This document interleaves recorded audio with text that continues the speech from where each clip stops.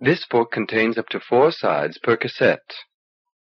Side 1 Lord Valentine's Castle by Robert Silverberg. Copyright 1979-1980 by Robert Silverberg. Narrated by Noah Siegel. This book contains 444 pages on 15 sides. If you would like to skip over any remaining announcements or introductory material, place your cassette player and fast forward until a beep is heard. Stop at that point to hear the table of contents, or at the second beep to locate the beginning of the book. Annotation On the immense planet Majipoor, young Valentine undertakes an epic journey through strange and wonderful places to reclaim his throne as the rightful ruler of the planet. 1979. From the Book Jacket Robert Silverberg's eagerly awaited epic, his first novel in some years, is the grand romantic saga of a prince in his heroic quest to reclaim his birthright in his realm. Unable to remember his past, and not caring much about his future, Valentine finds himself on the outskirts of the legendary city of Pidruid, on the immense planet of Majipoor. Joining a band of four-armed jugglers and a few humans, he sets out with the troupe on an epic journey, performing in strange and wonderful cities before enraptured audiences. It is one of his companions, the beautiful Carabella, who holds him close as uneasy dreams unsettle his sleep, and when the dreams become even more threatening, it is another companion, a mystic dwarf, who helps him solve the mystery of who he is and from whence he came. Accompanied by a growing host of friends and supporters, Valentine's quest becomes an exciting pilgrimage across the vast continents and seas of Majipoor to the great castle of the Coronal, where he must face the ultimate test to regain what is rightfully his. Rich in suspense and action, and written with an enthralling sweep and inventiveness, Robert Silverberg's Lord Valentine's Castle is bound to be among the most read and loved novels of the new decade. About the author. Robert Silverberg's novels and short stories have earned him the high regard of an international audience. He is perhaps best known for his books Dying Inside, The Book of Skulls, and Night Wings. Born in New York City, Mr. Silverberg now lives near San Francisco. For David Hartwell, Page Cuddy, John Bush. They pushed very gently. Contents. Book 1 The Book of the King of Dreams. Side 1 Book 2 The Book of the Metamorphs. Side 4 Book 3 The Book of the Isle of Sleep. Side 7 Book 4 The Book of the Labyrinth. Side 10 Book 5 The Book of the Castle. Side 12 Acknowledgements. For assistance with the technical aspects of juggling in this novel, I am indebted to Catherine Crowell of San Francisco and to those extraordinary performers, the Flying Karamazov brothers, who may not be aware until this moment of just how much help they rendered. However, the concepts of the theory and practice of juggling as expressed herein are primarily my own, especially as regards the capabilities of four-armed jugglers, and neither Ms. Crowell nor the Karamazovs should be held responsible for any implausibilities or impossibilities in these pages. Invaluable assistance in other aspects of writing this book was provided by Marta Randall, among Ms. Randall's contributions are the texts of some of the songs found herein. For additional criticism of the manuscript in its troublesome early stages, I am grateful to Barbara Silverberg and Suzanne L. Hufek. And I owe thanks to Ted Chichak of the Scott Meredith Literary Agency for his support and encouragement and professional acumen. Robert Silverberg A map showing the planet of Majipoor. three continents and an island lying in the Great Sea. In the northwest corner of the grouping is Zimroel, rectangular in shape. Due east of Zimroel is the much smaller Isle of Sleep, round in shape. Southwest of the Isle of Sleep, and extending southwest, is the Rhodomont Archipelago. Due east of the Isle of Sleep is the largest of the continents in this grouping, Alhanroel, trapezoidal in shape with a long peninsula extending from the southwest corner. South of these three lands, and separated from them by the inner sea, is Suvrael, a long, narrow continent, and one just west of the center of the continent, the Gonghar Mountains, which extend south and east at the southern end. From the northeast shore runs the river Zimr on an angle southeast to the center of the eastern shore. The river Steiche extends south and slightly west from the river Zimr at the point of the city, Ni-moya, so that the river lies a bit east of the center of the continent. Also lying on the river Zimr is the city Khintor, midway along the length of the river.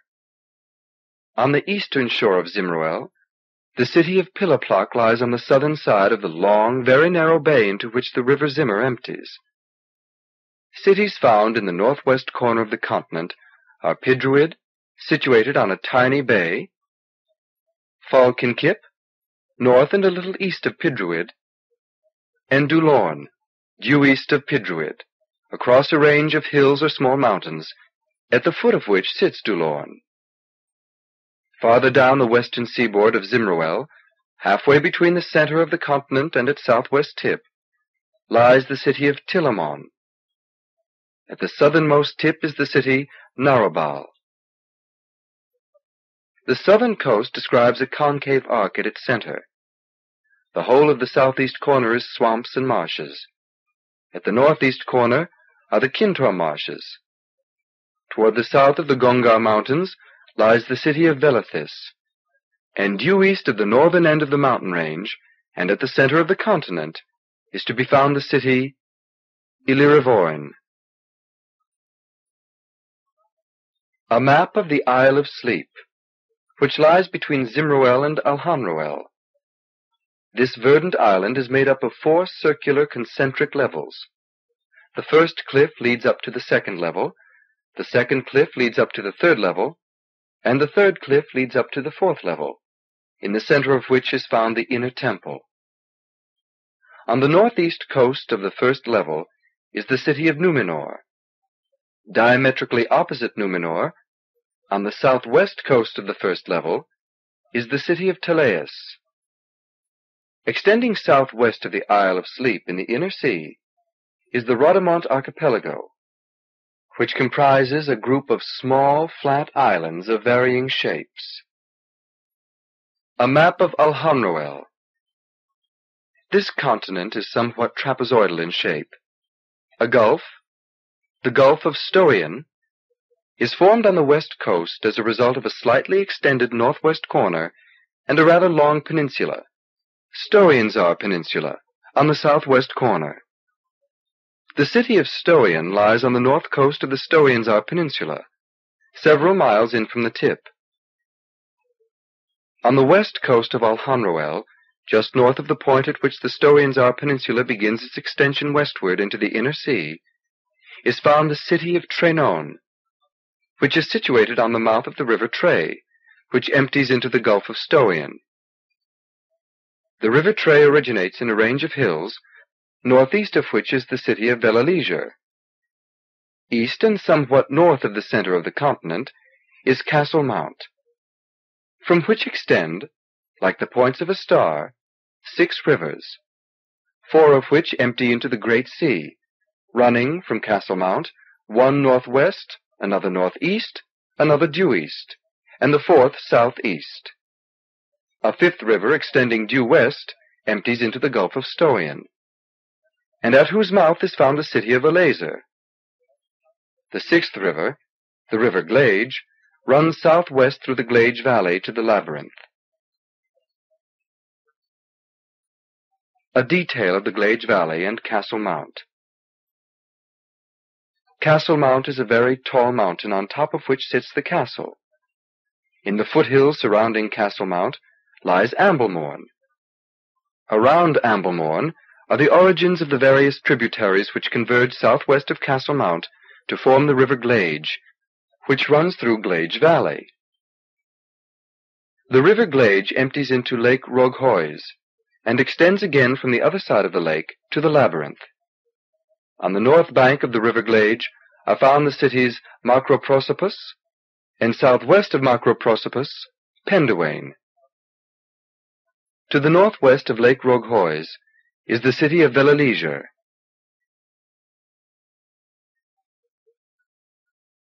Book 1 The Book of the King of Dreams And then, after walking all day through a golden haze of humid warmth that gathered about him like fine wet fleece, Valentine came to a great ridge of outcropping white stone overlooking the city of Pidruid. It was the provincial capital, sprawling and splendid, the biggest city he had come upon since... since... the biggest in a long while of wandering at any rate. There he halted, finding a seat at the edge of the soft, crumbling white ridge, digging his booted feet into the flaking, ragged stone. And he sat there staring down at Pidruid, blinking as though newly out of sleep. On this summer day, twilight was still some hours away, and the sun hung high to the southwest beyond Pidruid, out over the great sea. I will rest here for a while, Valentine thought, and then I will go down into Pidruid and find lodging for the night. As he rested, he heard pebbles tumbling past him from a higher point on the ridge. Unhurriedly, he looked back the way he had come. A young herdsman had appeared, a boy with straw-colored hair and a freckled face, leading a train of fifteen or twenty mounts down the hill road. They were fat, sleek, purple-skinned beasts, obviously well looked after. The boy's own mount looked older and less plump, a wise and toughened creature. Hoy, he called down to Valentine. Where are you bound? Pidruid. And you? The same. Bringing these mounts to market. Thirsty work it is, too. Do you have wine? Some, Valentine said. He tapped the flask at his hip, where a fiercer man might wear a weapon. Good red mid-country wine. I'll be sorry to see the last of it. Give me a drink and I'll let you ride into town with me. Done, said Valentine. He got to his feet as the boy dismounted and scrambled down the ridge toward him. Valentine offered him the flask. The boy was no more than fourteen or fifteen, he guessed, and small for his age, though deep through the chest and brawny. He came hardly elbow-high to Valentine, who was tall but not unusually so, a sturdy man just above middle height, with wide, flat shoulders and big, capable hands. The boy swirled the wine in the flask, inhaled in a knowing way, nodded his approval, took a deep gulp, sighed. I've been eating dust all the way from Falkynkip, and this sticky heat, it chokes you. Another dry hour and I'd have been a dead one. He returned the wine to Valentine. You live in town? Valentine frowned. No. Here for the festival, then? Festival? You don't know? Valentine shook his head. He felt the pressure of the boy's bright, mocking eyes, and was confused. I've been traveling. I haven't followed the news. Is this festival time in Pidruid? This week it is, said the boy. Beginning on Star Day. The grand parade, the circus, the royal celebration. Look down there. Don't you see him entering the city even now? He pointed. Valentine sighted along the boy's outstretched arm and squinted, peering at Pidruid's southern corner. But all he saw was a jumble of green-tiled rooftops and a tangle of ancient streets following no rational plan. Again he shook his head. There, the boy said impatiently. Down by the harbor, see? The ships? The five tremendous ones, with his banner flying from the rigging? And there's the procession, coming through Dragon Gate, just beginning to march Black Highway. I think that's his chariot, coming up now by the Arch of Dreams. Don't you see? Is there something wrong with your eyes? I don't know the city, said Valentine mildly. But yes, I see the harbor, the five ships. Good. Now follow along inland a little way. The big stone gate, and the wide highway running through it, and that ceremonial arch just this side of... I see it now, yes. And his banner over the chariot? Whose banner? If I sound dim, forgive me, but whose? Whose? Lord Valentine's banner. Lord Valentine's chariot. Lord Valentine's bodyguard marching through the streets of Pidruid. Don't you know the coronal has arrived? I didn't. And the festival. Why do you think there's a festival at this time of summer, if not to welcome the coronal? Valentine smiled. I've been traveling and I haven't followed the news. Would you like more wine? There's not much left, the boy said. Go on. Finish it. I'll buy more in Pidruid. He handed over the flask and turned toward the city again, letting his gaze travel down the slope and across the woodsy suburbs to the dense and teeming city, and outward toward the waterfront, and to the great ships, the banners, the marching warriors, the chariot of the coronal. This must be a great moment in the history of Pidruid, for the coronal ruled from far off Castle Mount, all the way on the other side of the world, so distant that he and it were almost legendary, distances being what they were on this world of Majipoor. Coronals of Majipoor did not come often to the western continent, but Valentine was oddly unmoved by the knowledge of the presence of his glittering namesake down below there. I am here, and the coronal is here, he thought, and he will sleep tonight in some splendid palace of the masters of Pidruid, and I will sleep in some pile of hay. And then there will be a grand festival. And what is that to me? He felt almost apologetic, being so placid in the face of the boy's excitement. It was a discourtesy. He said, Forgive me. I know so little of what's been happening in the world these past months. Why is the coronal here? He makes the grand processional, said the boy, to every part of the realm to mark his coming to power. This is the new one, you know. Lord Valentine, only two years on his throne. The brother to Lord Voriax who died. You knew that, that Lord Voriax was dead, that Lord Valentine was our coronal. I had heard, said Valentine vaguely. Well, that's he down there in Pidruid, touring the realm for the first time since he got the castle. He's been down south all month, in the jungle provinces, and yesterday he sailed up the coast to Pidruid, and tonight he enters the city, and in a few days there'll be the festival, and food and drink for everyone, games, dancing, delights, a great market, too, for I'll sell these animals for a fortune.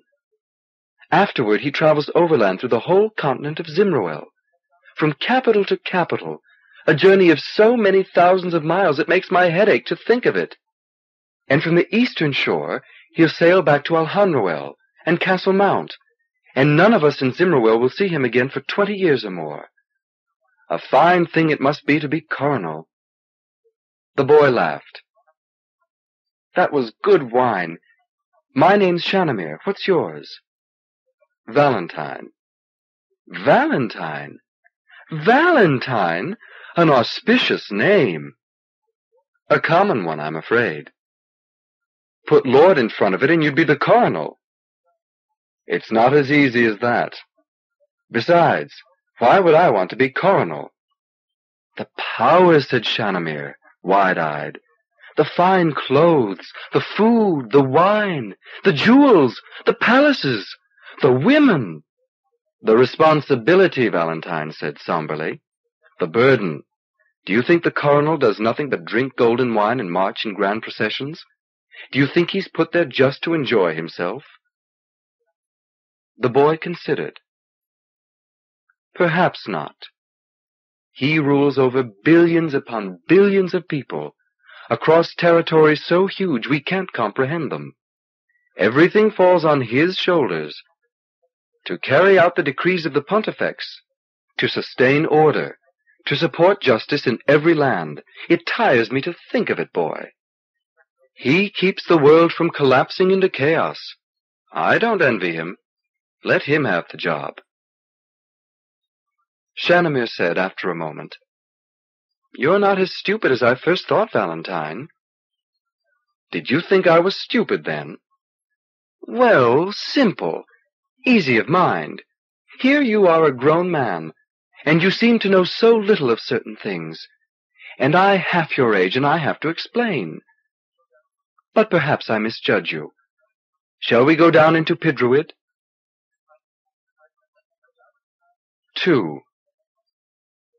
Valentine had his pick of the mounts the boy was taking to market, but they all seemed alike to him, and after making a pretense of choosing, he picked one at random, vaulting lightly into the creature's natural saddle.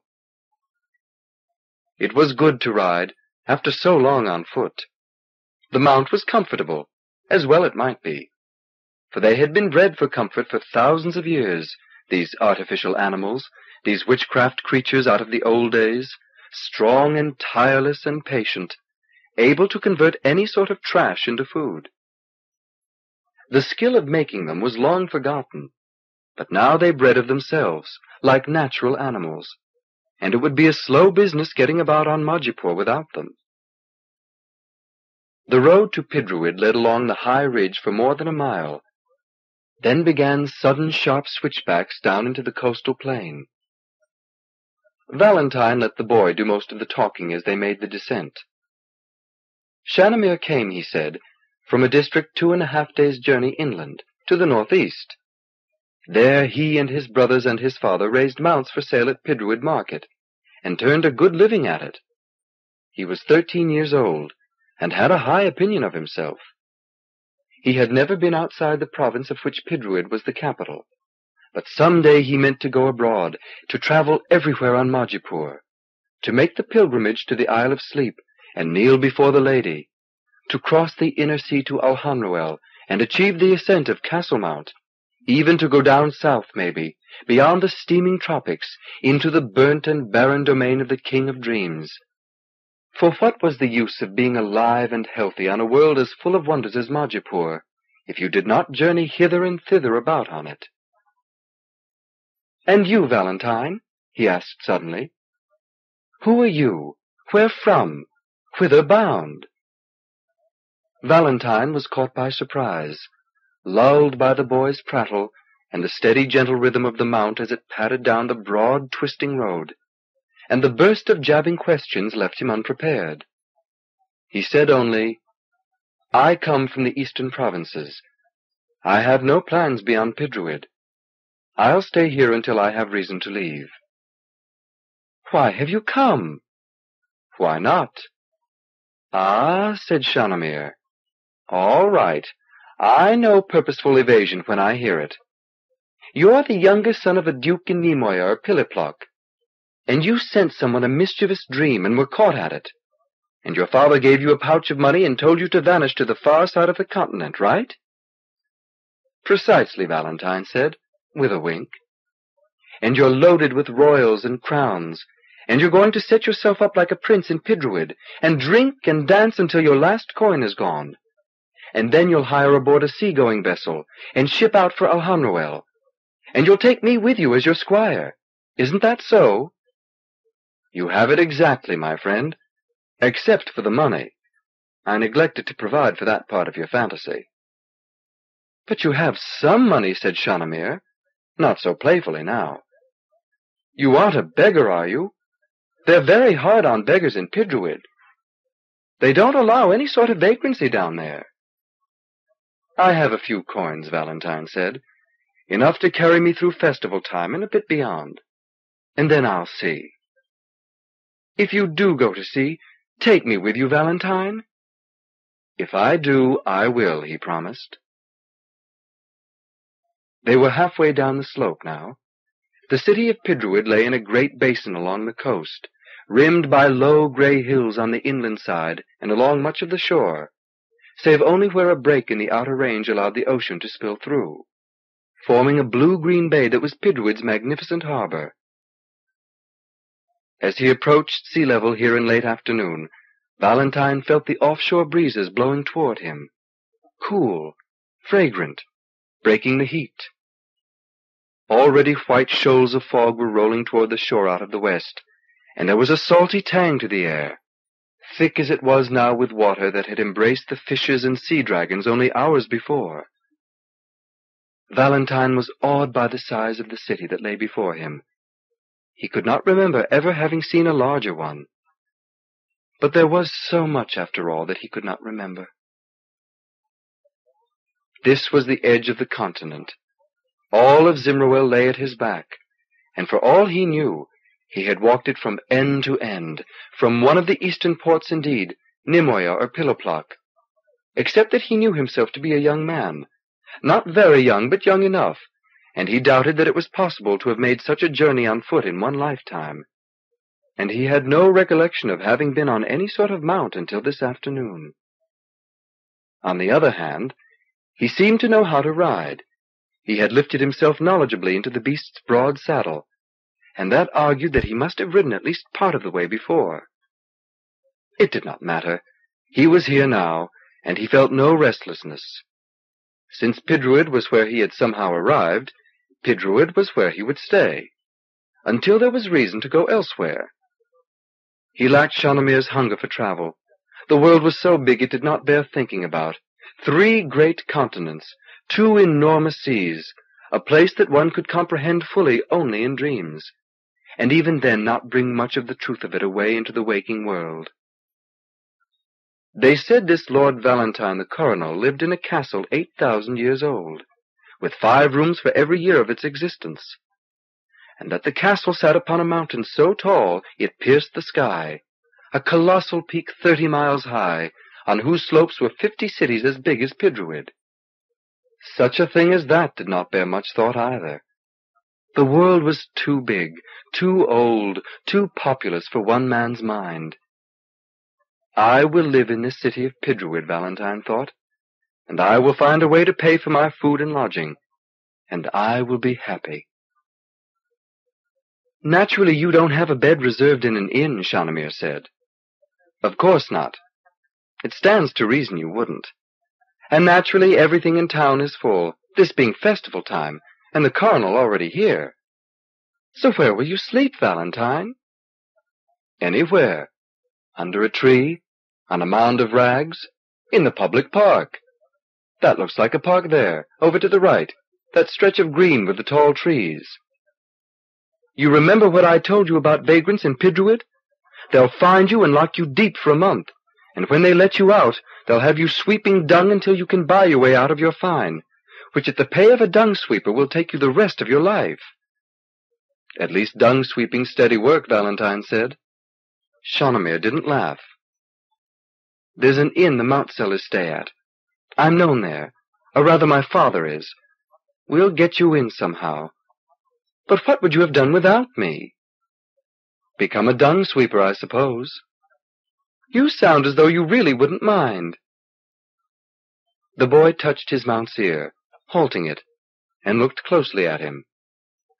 Doesn't anything matter to you, Valentine? I don't understand you. Are you a fool, or simply the most carefree man on Majipoor? I wish I knew, said Valentine. At the foot of the hill, the ridge road joined with a grand highway that came running down out of the north and curved westward toward Pidruid. The new road, wide and straight along the valley floor, was rimmed with low white markers stamped with the double crest of Pontifex and Coronal, the labyrinth and the starburst, and was paved in smooth blue-gray stuff of light resiliency, a springy, flawless roadbed that probably was of great antiquity as were so many of the best things of this world. The mounts plodded tirelessly. Synthetic things that they were, they scarcely understood fatigue, and would clop from Pidruid to Piliplok without resting and without complaining. From time to time, Shanamir glanced back, checking for strays, since the beasts were not tied. But they remained blandly in their places, one after another, blunt snout of one close behind coarse ropy tail of another, along the flank of the highway. Now the sun was faintly tinged with late-day bronze, and the city lay close before them. A stunning sight presented itself in this part of the road. On both shoulders of it had been planted noble trees, twenty times the height of a man, with slim tapering trunks of dark bluish bark and mighty crowns of glistening greenish-black leaves sharp as daggers. Out of those crowns burst astounding clusters of bloom, red-tipped with yellow, that blazed like beacons as far as Valentine could see. What are those trees? he asked. Fire shower palms, Shanamir said. Pidruid is famous for them. They grow only near the coast and flower just one week a year. In the winter they drop sour berries, that make a strong liquor. You'll drink it tomorrow. The Coronal has picked a good moment to come here, then. Not by chance, I imagine. On and on the twin column of brilliant trees stretched, and they followed along until open fields yielded to the first country villas, and then suburban tracts thick with more modest homes, and then a dusty zone of small factories, and finally the ancient wall of Pidruid itself, half as high as a fire shower tree, pierced by a pointed arch set with archaic-looking battlements. Falkynkip Gate, Shanamir announced. The eastern entrance to Pidruid. Now we enter the capital. Eleven million souls here, Valentine, and all the races of Majipoor to be found. Not just humans. No, everything here, all mixed together, Skandars and Hjorts and Liimen and all the rest. Even, so they say, a little group of shapeshifters. Shapeshifters? The old race, the first natives.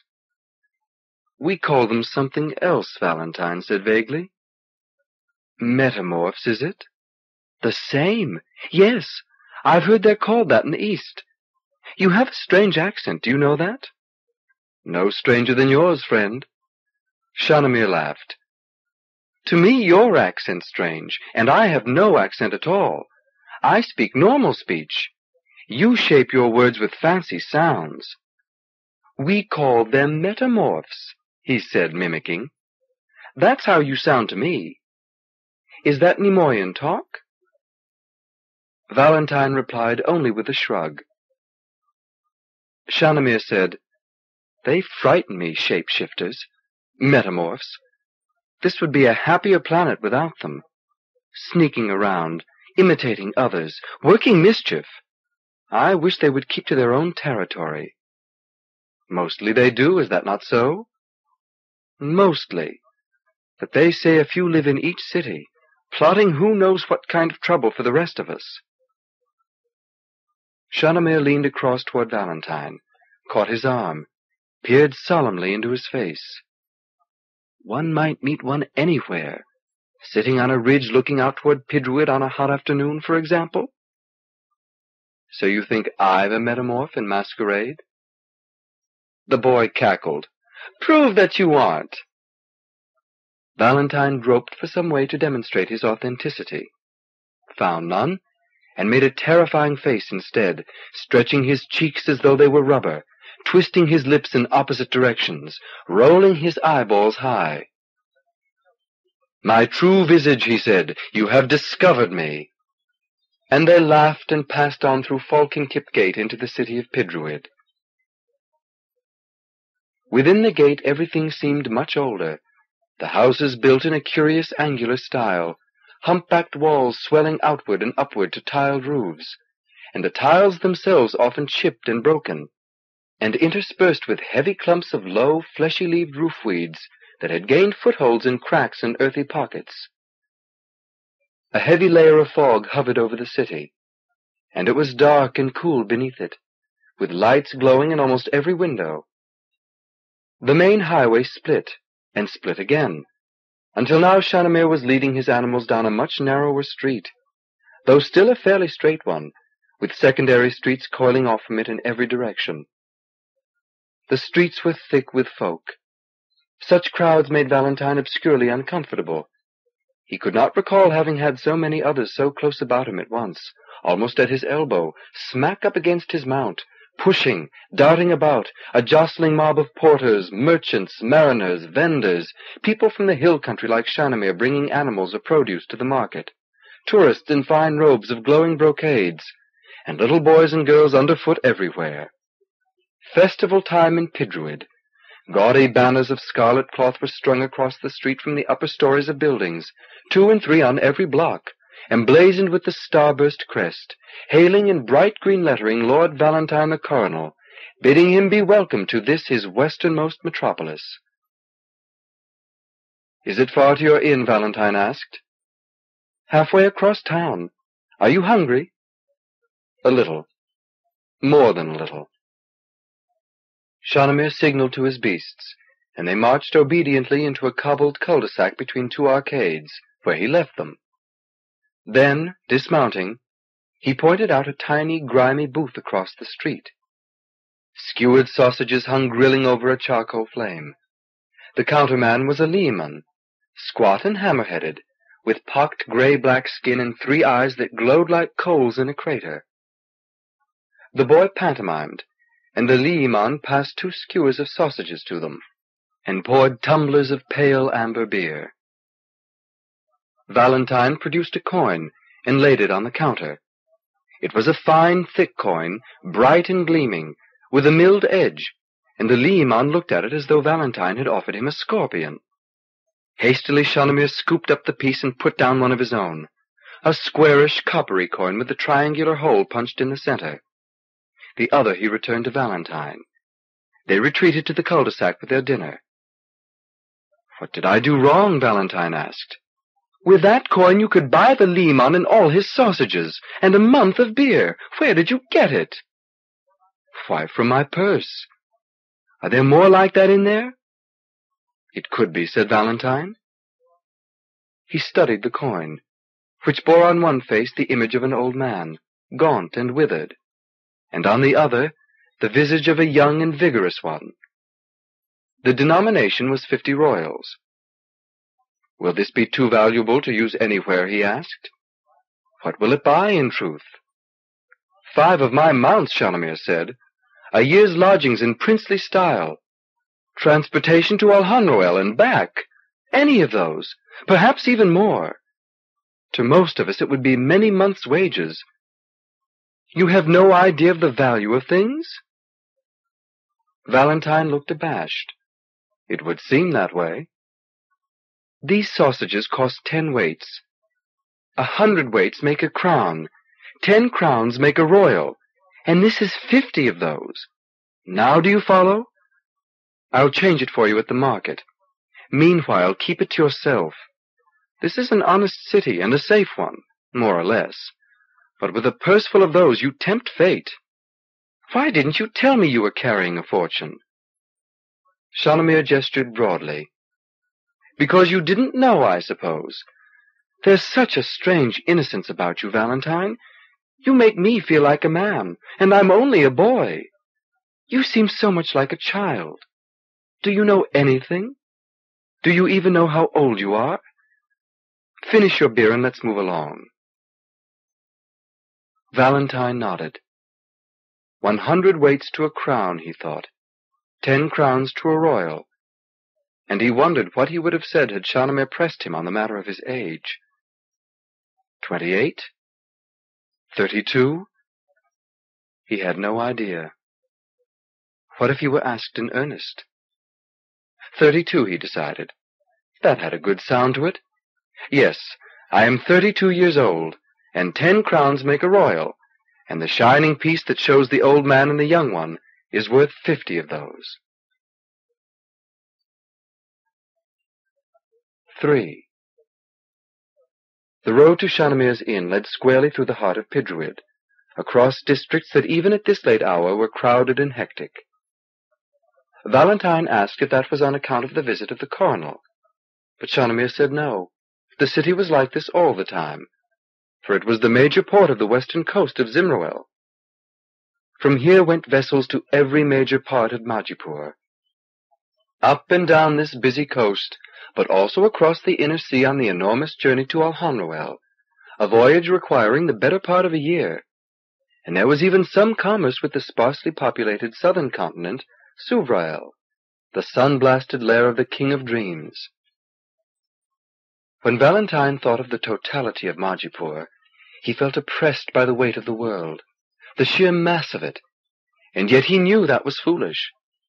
For was not Majipoor a light and airy place, a giant bubble of a planet, huge but without much substance, so that one felt forever buoyant, forever afloat? Why this leaden sense of pressure across his back? Why these moments of unfounded dismay? He led himself quickly back to an easier mood. Soon he would sleep, and the morning would be a day of new marvels. We cross the Golden Plaza, said Shanamir, and on the far side of it we take Water Road. That leads to the piers, and our inn is ten minutes out that way. You'll find the plaza amazing. Indeed it was.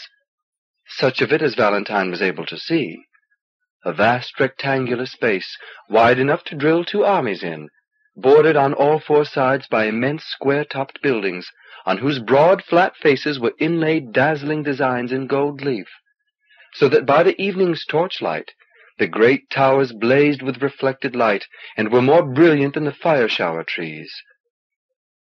But there was no crossing the plaza tonight. A hundred paces from its eastern entrance it was roped off with thick braided cord of red plush, behind which stood troops in the uniform of the Coronal's bodyguard, smug, impassive, arms folded across their green and gold jerkins. Shanamir leaped from his mount and trotted forward, and spoke quickly with the vendor. When he returned, he said angrily, They have it entirely blocked. May the king of dreams send them prickly sleep tonight. What's happening? The Coronal has taken lodging in the mayor's palace. That's the tallest building, with the jagged golden swirls on its walls, on the far side over there. And nobody can get near it tonight. We can't even go around the plaza's inner rim, because there's such a mob piled up there, waiting for a glimpse of Lord Valentine. So it's a detour for us, an hour or more, the long way around. Well, sleep isn't that important, I suppose. Look! There he is! Shanamir indicated a balcony high on the facade of the mayor's palace. Figures had emerged on it. At this distance they were no larger than mice, but mice of dignity and grandeur, clad in sumptuous robes. Valentine could see at least that much. There were five of them, and the central personage was surely the coronal. Shanamir was straining and standing on tiptoe for a better view. Valentine could make out very little. A dark-haired man, possibly bearded, in a heavy white steetmoy fur robe over a doublet in green or light blue. The Coronal stood at the front of the balcony, spreading his arms toward the crowd, who made the starburst symbol with their outstretched fingers and shouted his name again and again. Valentine! Valentine! Lord Valentine! And Shanamir, at Valentine's side, cried out too, Valentine! Lord Valentine! Valentine felt a fierce shudder of revulsion. Listen to them, he muttered, yelling as if he's the divine itself, come down for dinner in Pidruid. He's only a man, isn't he? When his bowels are full, he empties them, yes? Shanamir blinked in shock. He's the coronal! He means nothing to me, even as I mean less than nothing to him. He governs. He administers justice. He holds back chaos. You said those things yourself. Aren't such things worthy of your respect? Respect, yes, but not my worship. To worship the king is nothing new. My father has told me of olden times. They had kings as far back as old earth itself, and I'll bet they were worshipped, Valentine, in scenes far more wild than what you see here tonight. And some were drowned by their own slaves, and some were poisoned by their chief ministers, and some were smothered by their wives, and some were overthrown by the people they pretended to serve, and every last one was buried and forgotten. Valentine felt himself growing surprisingly warm with anger. He spat in disgust. And many lands on old Earth got along without kings altogether. Why do we need them on Majipoor? These expensive coronals, and the weird old pontifex hiding in his labyrinth, and the sender of bad dreams out of Suvrael? No, Shanamir, I may be too simple to understand it, but it makes no sense to me. This frenzy, these screams of delight. No one screams delight, I'll wager, when the mayor of Pidruid rides through the streets. We need kings, Shanamir insisted. This world is too big to be ruled by mayors alone. We need great and potent symbols, monarchs who are almost like gods, to hold things together. Look, look! The boy pointed toward the balcony. Up there, that little figure in the white robe. The Coronal of Majipoor. You feel nothing go shivering down your back when I say that? Nothing. You get no thrill, knowing that there are twenty billion people on this world, and only one is Coronal, and that tonight you behold him with your own eyes, something which you will never do again? You feel no awe? None. You're a strange one, Valentine. I've never met anyone like you at all. How could anyone be untouched by the sight of the coronal? I am, said Valentine, shrugging, a little puzzled by it himself. Come, let's get out of here. This mob tires me. Let's find the inn. It was a long journey around the plaza, for all streets ran into it, but few ran parallel to it and Valentine and Shanamir had to move in ever-widening circles while trying to proceed westward, with the train of mounts clopping placidly wherever Shanamir led. But at last they emerged from a district of hotels and fine shops into one of warehouses and lofts, and approached the edge of the waterfront, and came finally to a weather-beaten inn of warped black timbers and frayed thatching, with stables to the rear. Shanamir housed his beasts and went through a courtyard to the innkeeper's quarters, leaving Valentine alone in the shadows. He waited a long while. It seemed to him that even here he could hear the blurred and muffled cries, Valentine! Valentine! Lord Valentine! But it meant nothing whatever to him that multitudes were crying his name, for it was the name of another. Shanamir returned in time, sprinting lightly and silently across the yard. It's arranged. Give me some money. The fifty. Smaller, much smaller. A half crown or so. Valentine groped for coins, sorted through them by dim lamplight, handed several well-worn pieces to Shanamir. For the lodging, he asked. To bribe the doorkeeper, Shanamir replied. Places to sleep are hard to come by tonight.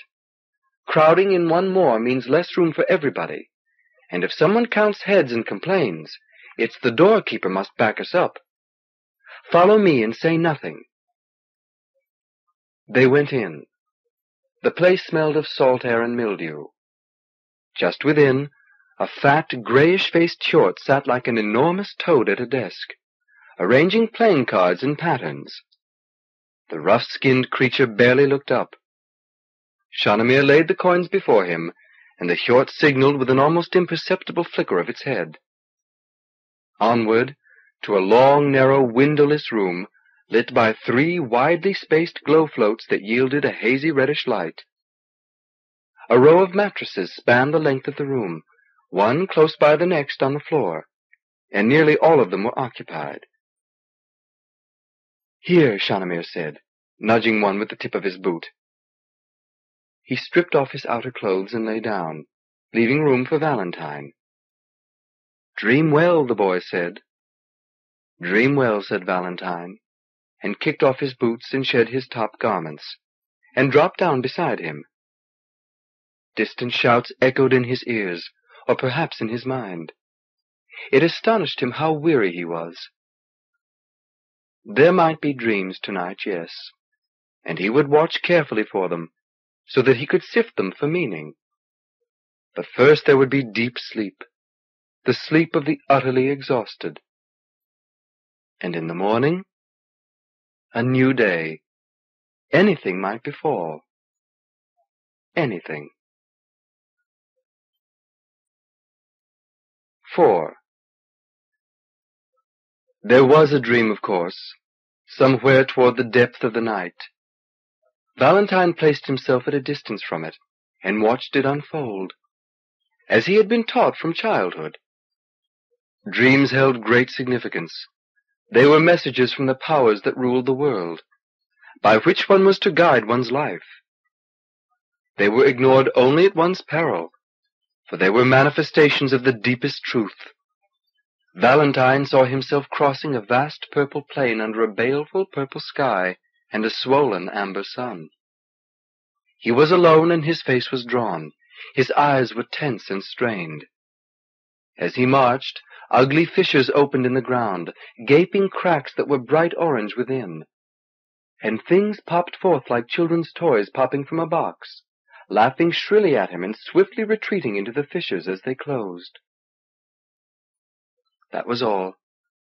Not a full dream, then, for it had no story, no pattern of conflicts and resolution. It was only an image, a bizarre scene, a slice from some larger canvas not yet revealed to him. He could not even tell whether it was ascending from the lady, the blessed lady of the Isle of Sleep, or from the malevolent king of dreams. He lay half awake, pondering it a while, and decided at last to give it no deeper consideration. He felt oddly adrift, cut free from his own inner self. It was as though he had not even existed the day before yesterday, and even the wisdom of dreams was concealed from him now. He slept again, a sleep unbroken except when a light patter of rain fell briefly but noisily, and he was unaware of further dreams. Early light woke him, warm golden-green light pouring in through the far end of the long, narrow hall. The door stood open. Shanamir was nowhere about. Valentine was alone, except for a couple of snorers deeper into the room. Valentine rose, stretched, flexed his arms and legs, dressed. He washed at a basin against the wall, and stepped out into the courtyard, feeling alert energetic, ready for whatever this day might bring. The morning air was thick with moisture, but warm and bright, and last night's fog had altogether burned off. Out of a clear sky came the throbbing heat of the summer sun. In the courtyard grew three great vines, one along each wall, with gnarled woody trunks broader than a man's waist, and shovel-shaped glossy leaves of a deep bronze hue, the new growth bright red. The vine was abloom with showy yellow blossoms like little trumpets, but also it bore ripened fruit, heavy blue-white berries glistening with beads of wetness. Valentine plucked one boldly and ate it. Sweet, tart as well, with the headiness of very young wine. He had another, then reached for a third, and thought better of it. Circling the courtyard, he peered into the stables and saw Shanamir's mounts munching quietly on bits of straw. But no Shanamir. Off on business, perhaps. Onward now around a bend, and the odor of grilled fish came to him and made him tingle with sudden hunger. He pushed open a rickety door and found himself in a kitchen, where a small, weary-looking man was cooking breakfast for half a dozen lodgers of several races. The cook looked at Valentine without interest. Am I too late to eat? Valentine asked softly. Take a seat. Fish and beer thirty weights. He found a half-crown piece and laid it on the stove. The cook pushed a few coppers back at him and threw another fillet onto his griddle. Valentine took a seat against the wall. Several of the diners got up to depart, and one, a slender, lithe young woman with close-clipped black hair paused near him. The beer's in that pitcher, she said. You help yourself around here. Thank you, said Valentine. But she was already out the door. He poured a mugful. It was heavy, tangy stuff, thick against his tongue. In a minute he had his fish, crisply cooked and sweet. He ate it swiftly. Another, he said to the cook, who eyed him sourly but complied.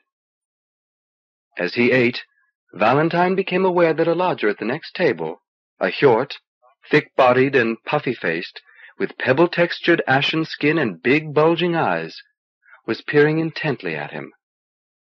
The strange surveillance made Valentine uncomfortable. After a time he glanced directly back at the Hjort, who blinked and looked quickly away. Some moments later the Hjort turned to Valentine again and said, Just got here, did you? Last night. Staying long? Through the festival at least, Valentine said. Definitely there was something about the Hjort that he instinctively disliked. Perhaps it was merely his looks, for Valentine found Hjorts unattractive, coarse and bloated creatures. But that was unkind, he knew. Hjorts bore no responsibility for the way they looked, and they probably found humans equally disagreeable, pale, scrawny things with disgustingly smooth skins.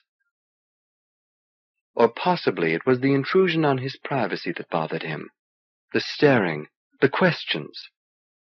Or maybe just the way the Hjort was decorated with fleshy daubs of orange pigment.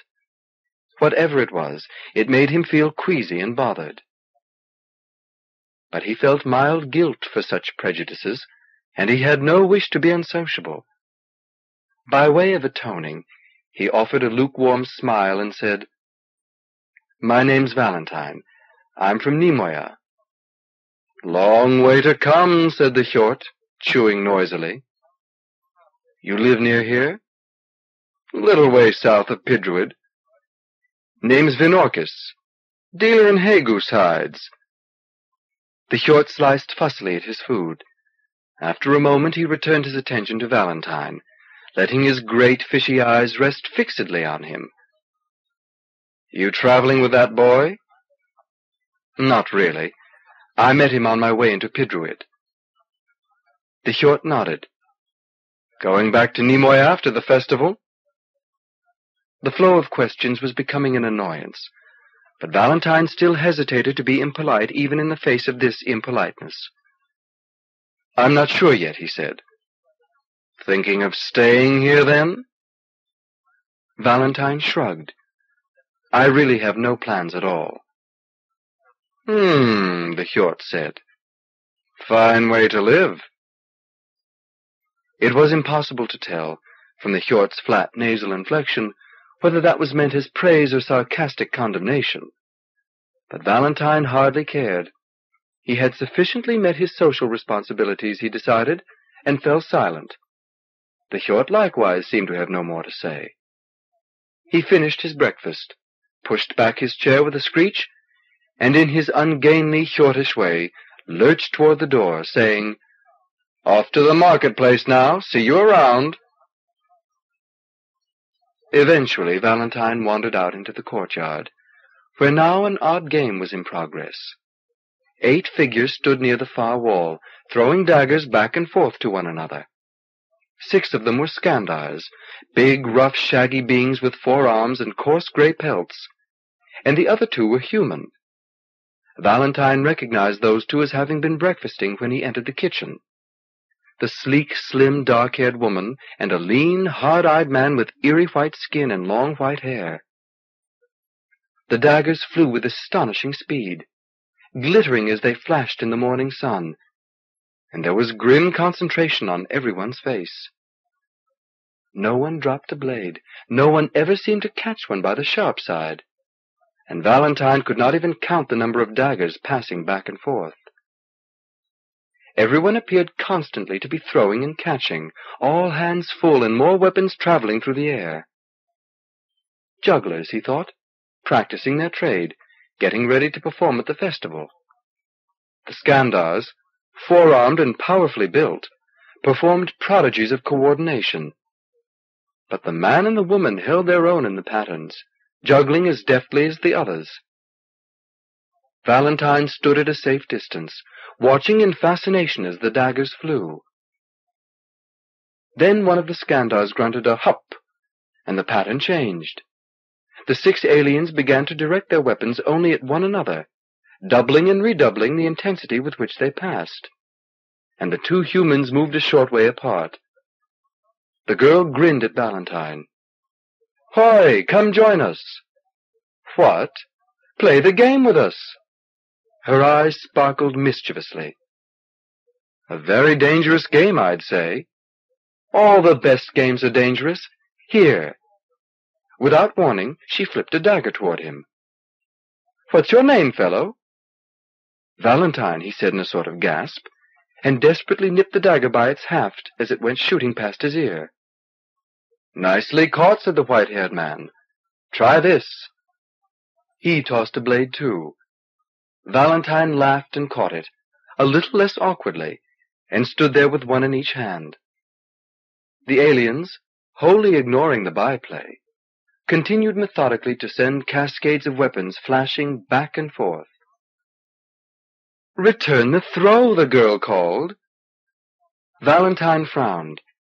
He tossed it too carefully, absurdly fearful of skewering her, and the dagger described a limp arc and landed at her feet. You can do better, she said scornfully. Sorry, he said. He threw the other one with more vigor.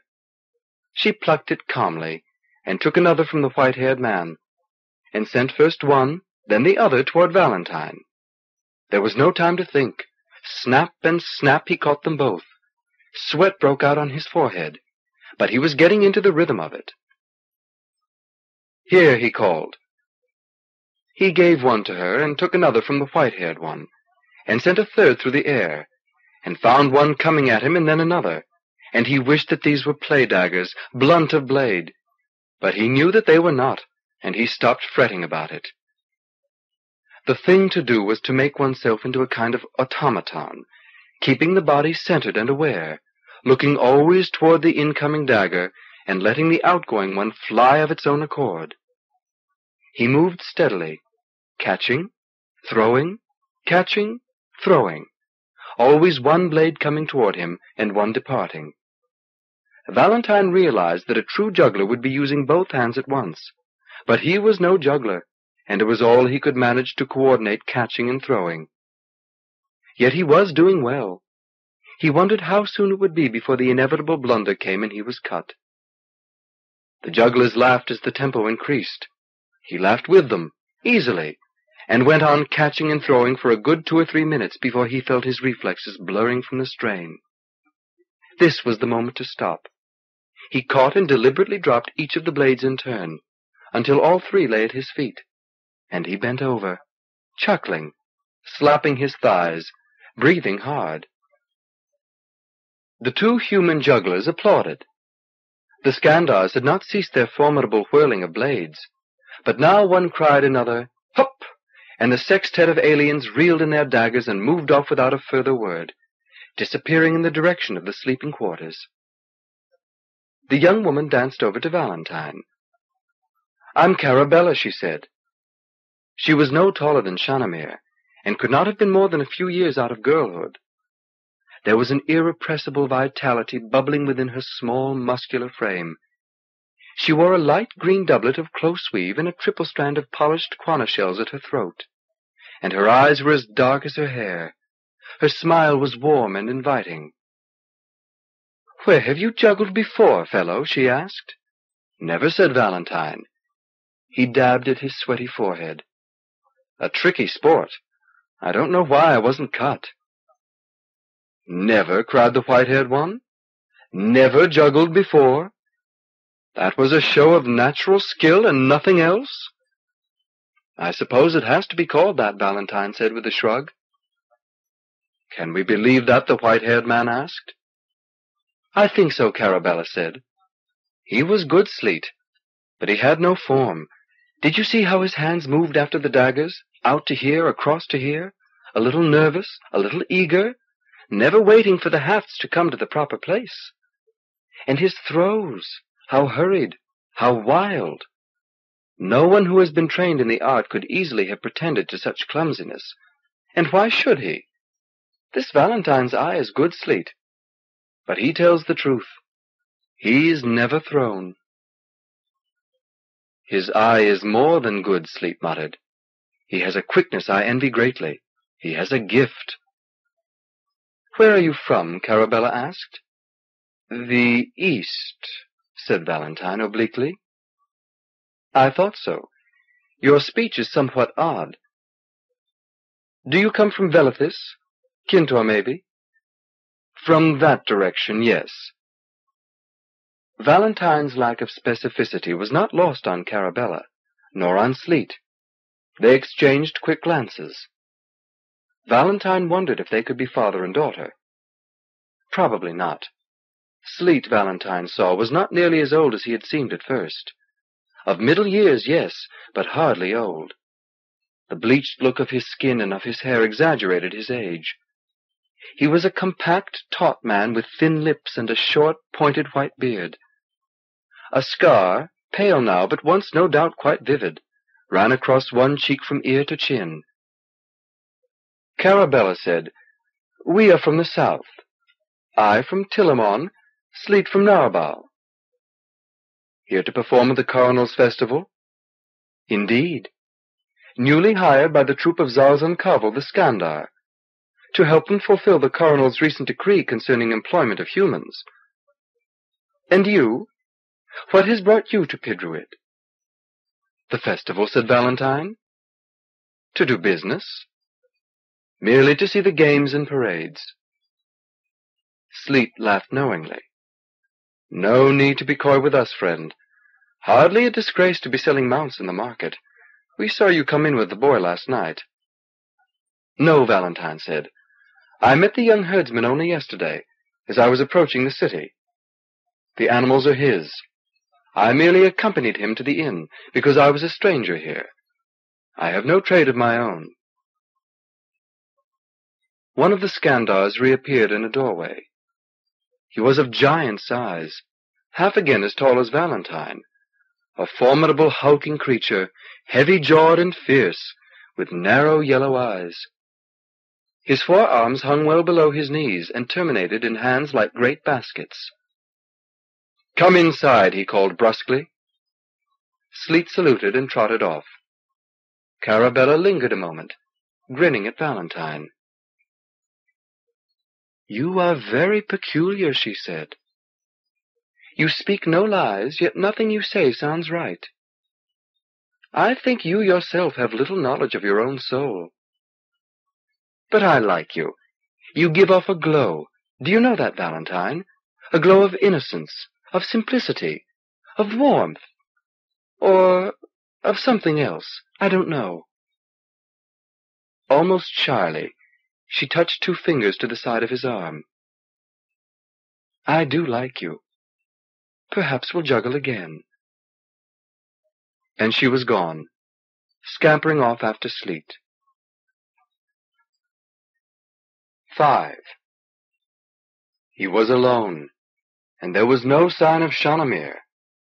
And although he found himself wishing mightily he could spend the day with the jugglers, with Carabella, there was no way he could do that. And the morning was still young. He was without plan, and that troubled him, but not excessively. There was all of Pidruid for him to explore. Out he went, down winding streets heavy with foliage. Lush vines and trees with thick weeping limbs sprouted everywhere, thriving in the moist, warm salt air. From far away came band music, a gay, if somewhat strident, wheezing and pumping melody, maybe a rehearsal for the grand parade. A small river of foaming water rushed along the gutter, and the wildlings of Pidruid frolicked in it, mintons and mangy dogs, and little prickly-nosed drolls. Busy, busy, busy, a teeming city where everyone and everything, even the stray animals, had something important to do, and were doing it in a hurry all but Valentine, who strolled aimlessly, following no particular route. He paused now to peer into some dark shop festooned with bolts and swatches of fabric, now into some musty repository of spices, now into some choice and elegant garden of rich-hued blossoms sandwiched between two tall, narrow buildings. Occasionally people glanced at him, as though marveling that he could allow himself the luxury of sauntering. In one street, he stopped to watch children playing a game, a sort of pantomime. One little boy with a strip of golden cloth tied as a circlet round his forehead, making menacing gestures in the center of a ring, and the others dancing around him, pretending to be terrified, singing, The old king of dreams sits on his throne. He's never asleep. He's never alone. The old king of dreams comes in the night. If you've been bad, he'll give you a fright. The old king of dreams has a heart made of stone. He's never asleep. He's never alone. But when the children realized that Valentine was watching, they turned and made grotesque gestures at him, grimacing, crooking their arms, pointing. He laughed and moved on. By mid-morning, he was at the waterfront. Long elbow-angled piers thrust far out into the harbor, and every one seemed a place of mad activity. Longshoremen of four or five races were unloading cargo vessels that bore the arms of twenty ports on all three continents. They used floaters to bring the bales of goods down to dockside and convey them to the warehouses. But there was plenty of shouting and angry maneuvering as the immensely heavy bundles were jockeyed this way and that. As Valentine watched from the shadow of the wharf, he felt a rough thump between his shoulders, and whirled to find a puffy-faced choleric Hjort pointing and waving arms. Over there, the Hjort said. We need six more to work the Suvrael ship. But I'm not. Quick! Hurry! Very well. Valentine was not disposed to argue. He moved out onto the pier and joined a group of longshoremen who were bellowing and roaring as they guided a cargo of livestock downward. Valentine bellowed and roared with them, until the animals, squealing long-faced yearling blaves, were on their way toward the stockyard or slaughterhouse.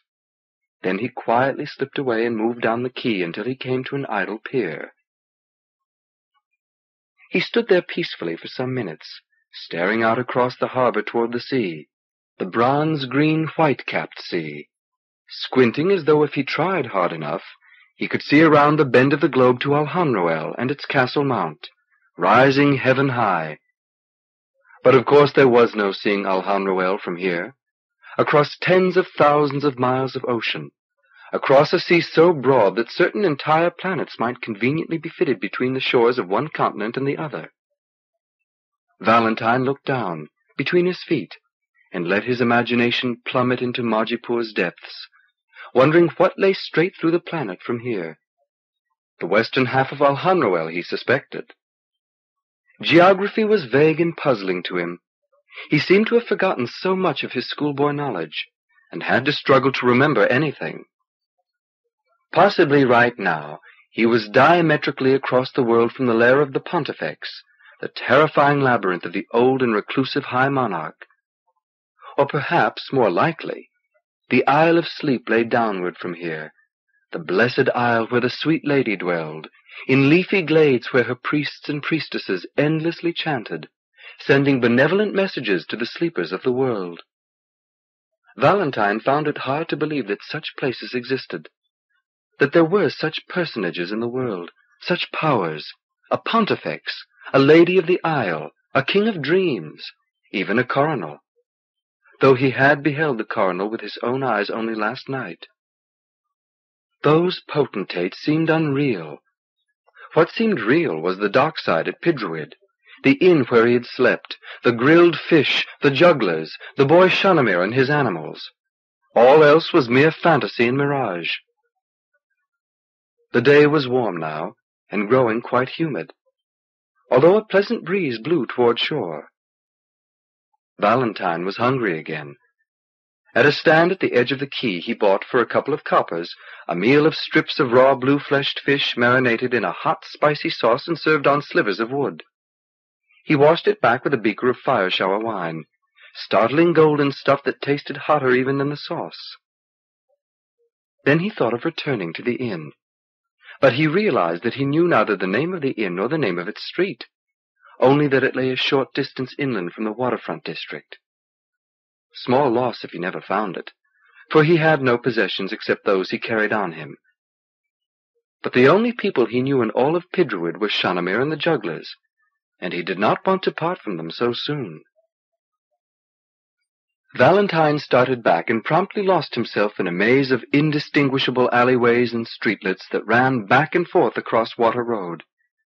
Three times he found inns that seemed the right one, but each, when he approached it closely, proved to be some other. An hour passed, or more, and it grew to be early afternoon. Valentine understood that it would be impossible for him to find the inn, and there was a pang of sadness at that. For he thought of Carabella and the touch of her fingers to the side of his arm, and the quickness of her hands as she caught the knives, and the brightness of her dark eyes. But what is lost, he thought, is lost, and no use weeping over it. He would find himself a new inn and new friends before dark. And then he turned a corner and discovered what must surely be Pidruid Market. It was a vast enclosed space, nearly as huge as the Golden Plaza, but there were no towering palaces and hotels with golden facades here, only an endless sprawl of tile-roofed sheds and open stockyards and cramped booths. Here was every fragrance and stink in the world, and half the produce of the universe for sale. Valentine plunged in, delighted, fascinated. Sides of meat hung from great hooks in one shed. Barrels of spice, spilling their contents, occupied another. In one stockyard were giddy spinnerbirds, standing taller than Skandars on their preposterous bright legs, pecking and kicking at one another while dealers in eggs and wool bargained over them. In another were tanks of shining serpents, coiling and twisting like streaks of angry flame. Nearby was a place where small sea dragons, gutted and pithed, lay stacked for sale in foul-smelling heaps. Here was a place of public scribes, doing letters for the unlettered, and here a money changer deftly haggling for currencies of a dozen worlds, and here a row of sausage stands, fifty of them and identical, with identical-looking Liimen side by side tending their smoky fires and twirling their laden skewers. And fortune-tellers, and sorcerers, and jugglers, though not the jugglers Valentine knew, and in a clear space squatted a storyteller, relating for coppers some involuted and all but incomprehensible adventure of Lord Stiamot, the famed coronal of eight thousand years ago, whose deeds now were the stuff of myth. Valentine listened for five minutes, but could make no sense of the tale, which held fifteen or twenty off-duty porters in rapture. He went on, past a booth where a golden-eyed vroon with a silver flute played slinky tunes to charm some three-headed creature in a wicker basket. Past a grinning boy of about ten, who challenged him to a game involving shells and beads, past an aisle of vendors who were selling banners that bore the coronal's starburst, past a fakir who hovered suspended over a vat of some nasty-looking hot oil, past an avenue of dream speakers and a passageway thronged with drug dealers, past the place of the interpreters and the place of the jewel sellers, and at last after turning a corner where all manner of cheap garments were for sale, he arrived at the stockyard where mounts were sold. The sturdy purple beasts were lined up flank to flank by the hundreds, maybe even the thousands, standing impassively and peering without interest at what appeared to be an auction taking place before their noses.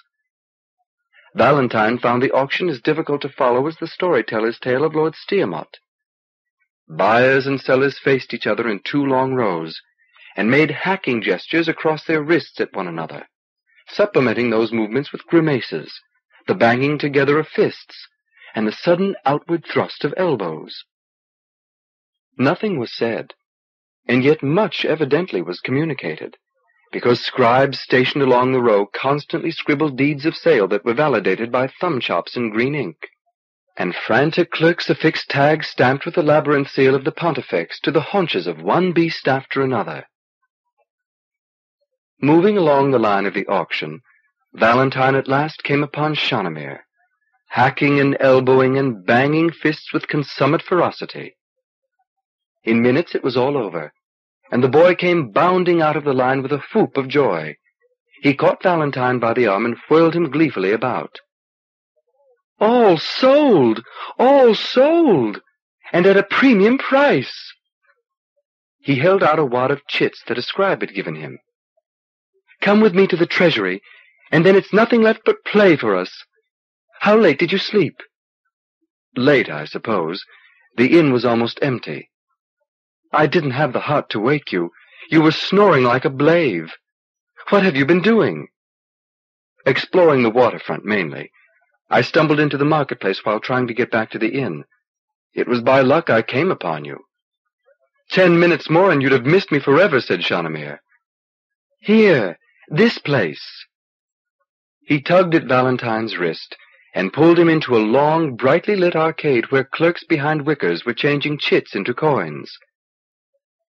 Give me the fifty, Shanamir murmured. I can have it broken for you here. Valentine produced the thick, gleaming coin and stood aside while the boy joined a line. Minutes later, Shanamir returned. These are yours, he said, dumping into Valentine's outstretched purse a shower of money, some five royal pieces and a jingle of crowns. And these are mine, the boy said, grinning wickedly and holding up three big fifty royal pieces of the kind he had just changed for Valentine. He popped them into a money band under his jerkin. A profitable trip it was. At festival time, everyone's in a fever to spend his money fast. Come now, back to the inn, and let's celebrate with a flask of fire shower wine, eh? The treat's mine. The inn, it turned out, was no more than fifteen minutes from the market, on a street that suddenly looked familiar as they entered it. Valentine suspected that he had come within a block or two of it in his fruitless quest. No matter, he was here, and with Shanamir. The boy, relieved at being rid of his animals and excited over the price he had had for them, chattered on and on about what he would do in Pidruid before he returned to his countryside home. The dancing, the games, the drinking, the shows. As they sat in the tavern of the inn at work on Shanamir's wine, Sleet and Carabella appeared. May we join you? Sleet asked. Valentine said to Shanamir, These are jugglers, members of a Skandar troupe here to play in the parade. I met them this morning. He made introductions. They took seats and Shanamir offered them drinks. Have you been to market? said Sleet. Been and done, Shanamir said. A good price. And now? Carabella asked. The festival for a few days, said the boy. And home to Falkynkip, I suppose. He looked a little crestfallen at the thought. And you, Carabella said, glancing at Valentine, do you have plans? To see the festival. And then? Whatever seems right. They were finished with the wine. Sleet gestured sharply, and a second flask appeared. It was poured around generously. Valentine felt his tongue tingling with the heat of the liquor, and his head becoming a little light. Carabella said, would you think to be a juggler, and join our troupe then? It startled Valentine. I have no skill. You have skill aplenty, said Sleet. What you lack is training. That we could supply, Carabella and I. You would learn the trade quickly, I take an oath on it. And I would travel with you, and live the life of a wandering player, and go from town to town, is that it? Exactly. Valentine looked across at Shanamir. The boy's eyes were shining at the prospect. Valentine could almost feel the pressure of his excitement, his envy. But what is all this about? Valentine demanded. Why invite a stranger, a novice, an ignoramus like me, to become one of your number? Carabella signaled to Sleet, who quickly left the table. She said, Zalzan Kavol will explain. It is a necessity, not a caprice. We are short-handed, Valentine, and we have need of you. She added, Besides, have you anything other to do?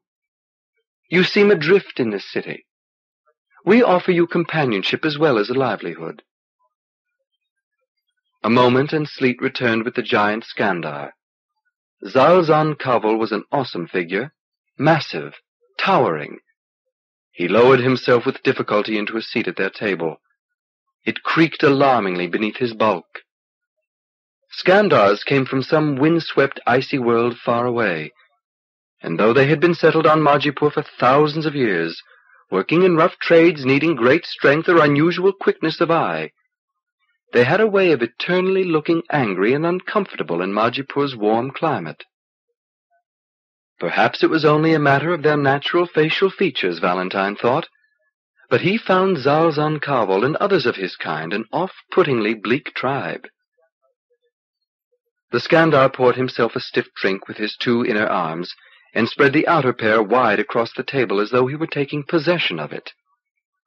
In a harsh, rumbling voice he said, I watched you do the knives with Sleet and Carabella this morning. You can serve the purpose. Which is, I need a third human juggler, and in a hurry. You know what the new coronal has lately decreed concerning public entertainers? Valentine smiled and shrugged. Zalzan Kavol said, It is foolishness and stupidity, but the Coronal is young and I suppose must let fly some wild shafts. It has been decreed that in all troops of performers made up of more than three individuals, one-third of the troop must be Majipoori citizens of human birth, this to be effective as of this month. A decree like that, said Carabella, can accomplish nothing but to set race against race, on a world where many races have lived in peace for thousands of years. Zalzan Kavol scowled. Nevertheless, the decree exists. Some jackal in the castle must have told this Lord Valentine that the other races are growing too numerous, that the humans of Majipoor are going hungry when we work. Foolishness and dangerous. Ordinarily, no one would pay attention to such a decree. But this is the festival of the Coronal, and if we are to be licensed to perform, we must obey the rules, however idiotic. My brothers and I have earned our keep as jugglers for years, and done no harm to any human by it. But now we must comply, so I have found Sleet and Carabel in Pidruid, and we are working them into our routines. Today is two-day. Four days hence we perform in the Coronal's parade, and I must have a third human. Will you apprentice yourself to us, Valentine? How could I learn juggling in four days? You will be merely an apprentice, said the Skandar. We will find something of a juggling nature for you to do in the grand parade that will disgrace neither yourself nor us. The law does not, as I see it, require all members of the troop to have equal responsibilities or skills. But three of us must be human. And after the festival? Come with us from town to town. You know nothing about me and you invite me to share your lives? I know nothing about you, and I want to know nothing about you. I need a juggler of your race. I'll pay your room and board wherever we go, and ten crowns a week besides. Yes? Carabella's eyes had an odd glint, as though she were telling him, You can ask twice that wage and get it, Valentine. But the money was unimportant. He would have enough to eat and a place to sleep, and he would be with Carabella and Sleet, who were two of the three human beings he knew in this city, and he realized with some confusion, in all the world. For there was a vacancy in him where a past should be. He had hazy notions of parents, and cousins and sisters, and a childhood somewhere in eastern Zimroel, and schooling and travels, but none of it seemed real to him. Nothing had density and texture and substance. And there was a vacancy in him where a future should be too. These jugglers promised to fill it. But yet... One condition, Valentine said. Zalzan Kavol looked displeased. Which is? Valentine nodded toward Shanamir. I think this boy is tired of raising mounts in Falkynkip, and may want to travel more widely. I ask that you offer him a place in your troop as well. Valentine, the boy cried. As groom or valet, or even a juggler if he has the art, Valentine went on, and that if he is willing to go with us, you accept him along with me. Will you do that? Zalzan Kavol was silent a moment, as if in calculation. and there was a barely audible growling sound from somewhere deep within his shaggy form. At length he said, Have you any interest in joining us, boy? Have I? Have I? I feared as much, said the Skandar morosely. Then it is done. We hire the both of you at thirteen crowns the week with room and board. Done? Done, said Valentine. Done, cried Shanamir. Zalzan Kavol knocked back the last of the fire shower wine. Sleet, Carabella, take this stranger to the courtyard and begin making a juggler out of him. You come with me, boy. I want you to have a look at our mounts. 6. They went outside. Carabella darted off to the sleeping quarters to fetch equipment. Watching her run, Valentine took pleasure in her graceful movements, imagining the play of supple muscles beneath her garments.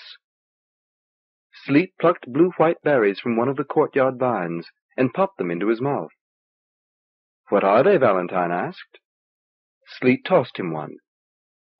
Thokkas, in Narabal, where I was born, a thokka vine will sprout in the morning and be as high as a house by afternoon.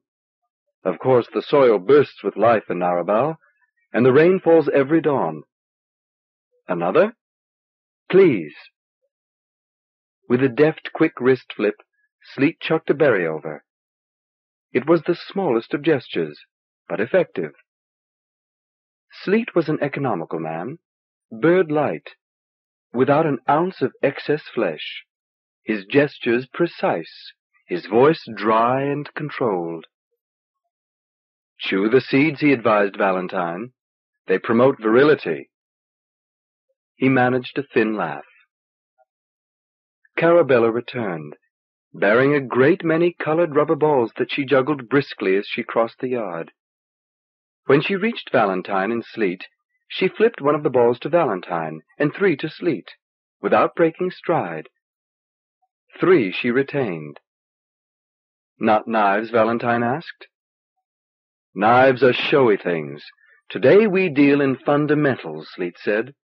We deal in the philosophy of the art. Knives would be a distraction. Philosophy? Do you think juggling's a mere trick? the little man asked, sounding wounded an amusement for the gapers, a means of picking up a crown or two at a provincial carnival? It is all those things, yes. But first it is a way of life, friend, a creed, a species of worship. And a kind of poetry, said Carabella. Sleet nodded. Yes, that too. And the mathematics. It teaches calmness, control, balance, a sense of the placement of things and the underlying structure of motion. There is silent music to it. Above all, there is discipline. Do I sound pretentious? He means to sound pretentious, Carabella said. There was mischief in her eyes. But everything he says is true. Are you ready to begin? Valentine nodded. Sleet said, Make yourself calm. Cleanse your mind of all needless thought and calculation. Travel to the center of your being and hold yourself there.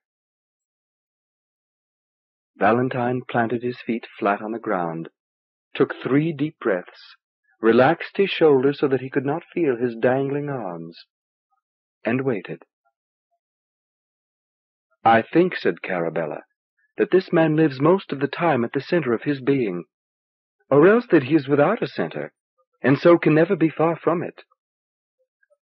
Are you ready? Sleet asked. Ready. We will teach you basics, one small thing at a time. Juggling is a series of small, discrete motions done in quick sequence that give the appearance of constant flow and simultaneity. Simultaneity is an illusion, friend, when you are juggling, and even when you are not. All events happen one at a time. Sleet smiled coldly. He seemed to be speaking from ten thousand miles away. Close your eyes, Valentine. Orientation in space and time is essential. Think of where you are and where you stand in relation to the world. Valentine pictured Majipoor, mighty ball hanging in space, half of it or more than half engulfed by the great sea. He saw himself standing rooted at Zimroel's edge with the sea behind him and a continent unrolling before him, and the inner sea punctuated by the Isle of Sleep and Alhanroel beyond, rising on its nether side to the great swollen bulge of Castle Mount, and the sun overhead, yellow with a bronze-green tint, sending blistering rays down on dusty Suvrael and into the tropics, and warming everything else, and the moon somewhere on the far side of things, and the stars farther out, and the other worlds, the worlds from which the Skandars came, and the Hjorts and the Liimen, and all the rest, even the world from which his own folk had emigrated, old Earth, fourteen thousand years ago. A small blue world absurdly tiny when compared to Majipoor, far away, half forgotten in some other corner of the universe. And he journeyed back down across the stars to this world, this continent, this city, this inn, this courtyard, this small plot of moist, yielding soil in which his boots were rooted, and told Sleet he was ready. Sleet and Carabella stood with arms hanging straight, elbows at their sides, and brought their forearms up to a level position, cupped hands outstretched, one ball in the right hand. Valentine imitated them. Sleet said, Pretend that a tray of precious gems rests on your hands. If you move your shoulders or elbows, or raise or lower your hands, the gems will spill. Eh? The secret of juggling is to move your body as little as possible. Things move, you control them. You remain still. The ball that Sleet held traveled suddenly from his right hand to the left, though there had not been a flicker of motion in his body. Carabella's ball did the same. Valentine, imitating, threw the ball from hand to hand, conscious of effort and movement. Carabella said, You use too much wrist and much too much elbow. Let the cup of your hand open suddenly. Let the fingers stretch apart. You are releasing a trapped bird. So. The hand opens. The bird flies upward. No wrist at all? Valentine asked. Little, and conceal what you use. The thrust comes from the palm of your hand. So. Valentine tried it. The shortest of upward movements of the forearm, the quickest of snaps with the wrist, propulsion from the center of his hand and from the center of his being. The ball flew to his cupped left hand. Yes, said Sleet, again, again, again, again. For fifteen minutes the three of them popped balls from one hand to the other. They made him send the ball in a neat, unvarying arc in front of his face, holding it in a plane with his hands, and they would not permit him to reach upward or outward for a catch. Hands waited. Ball traveled. After a time he was doing it automatically. Shanamir emerged from the stables and stared, bemused, at the single-minded tossing. Then he wandered away. Valentine did not halt.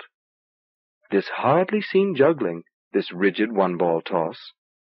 But it was the event of the moment, and he gave himself up to it entirely. He realized eventually that Sleet and Carabella had stopped throwing, that he alone was proceeding, like a machine, here, said Sleet, and flipped him a thockerberry fresh from the vine. Valentine caught it between ball tosses, and held it as if thinking he might be asked to juggle with it. But no, Sleet pantomimed that he was to eat it. His reward, his incentive. Carabella now put a second ball in his left hand, and a third next to the original one in his right. Your hands are big, she said. This will be easy for you. Watch me, then do as I do. She popped a ball back and forth between her hands, catching it by making a four-pointed basket out of three fingers and the ball she held in the center of each hand. Valentine imitated her. Catching the ball was harder with a full hand than with an empty one, but not greatly so, and soon he was flawless. Now, said Sleet, comes the beginning of art. We make an exchange. So. One ball traveled in a face-high arc from Sleet's right hand to his left. As it journeyed, he made room for it in his left by popping the ball he held there upward and across, under the incoming ball, into his right. The maneuver seemed simple enough, a quick reciprocal toss. But when Valentine tried it, the balls collided and went bounding away. Carabella, smiling, retrieved them. He tried again with the same result, and she showed him how to throw the first ball so it would come down on the far side of his left hand, while the other traveled inside its trajectory when he launched it rightward. He needed several tries to master it, and even after he did, he sometimes failed to make the catch, his eyes going in too many directions at once. Meanwhile, Sleet, machine-like, completed exchange after exchange. Carabella drilled Valentine in the double throw for what seemed like hours, and perhaps was. He grew bored at first, once he was perfect at it, and then he passed through boredom into a state of utter harmony, knowing that he could throw the balls like this for a month without wearying or dropping one and suddenly he perceived that Sleet was juggling all three at once. Go on, Carabella urged. It only looks impossible. He made the shift with an ease that surprised him, and evidently surprised Sleet and Carabella too, because she clapped her hands and he, without breaking rhythm, released a grunt of approval. Intuitively, Valentine threw the third ball as the second was moving from his left hand to the right. He made the catch and returned the toss. And then he was going. A throw, a throw, a throw and a catch, a throw and a catch, a catch, a throw, always a ball on a rising arc and one descending into the waiting hand, and one waiting to be thrown. And he kept it up for three, four, five interchanges before he realized the difficulty of what he was doing, and broke his timing, sending all three balls spraying across the courtyard as they collided. You have a gift, Sleet murmured. A definite gift.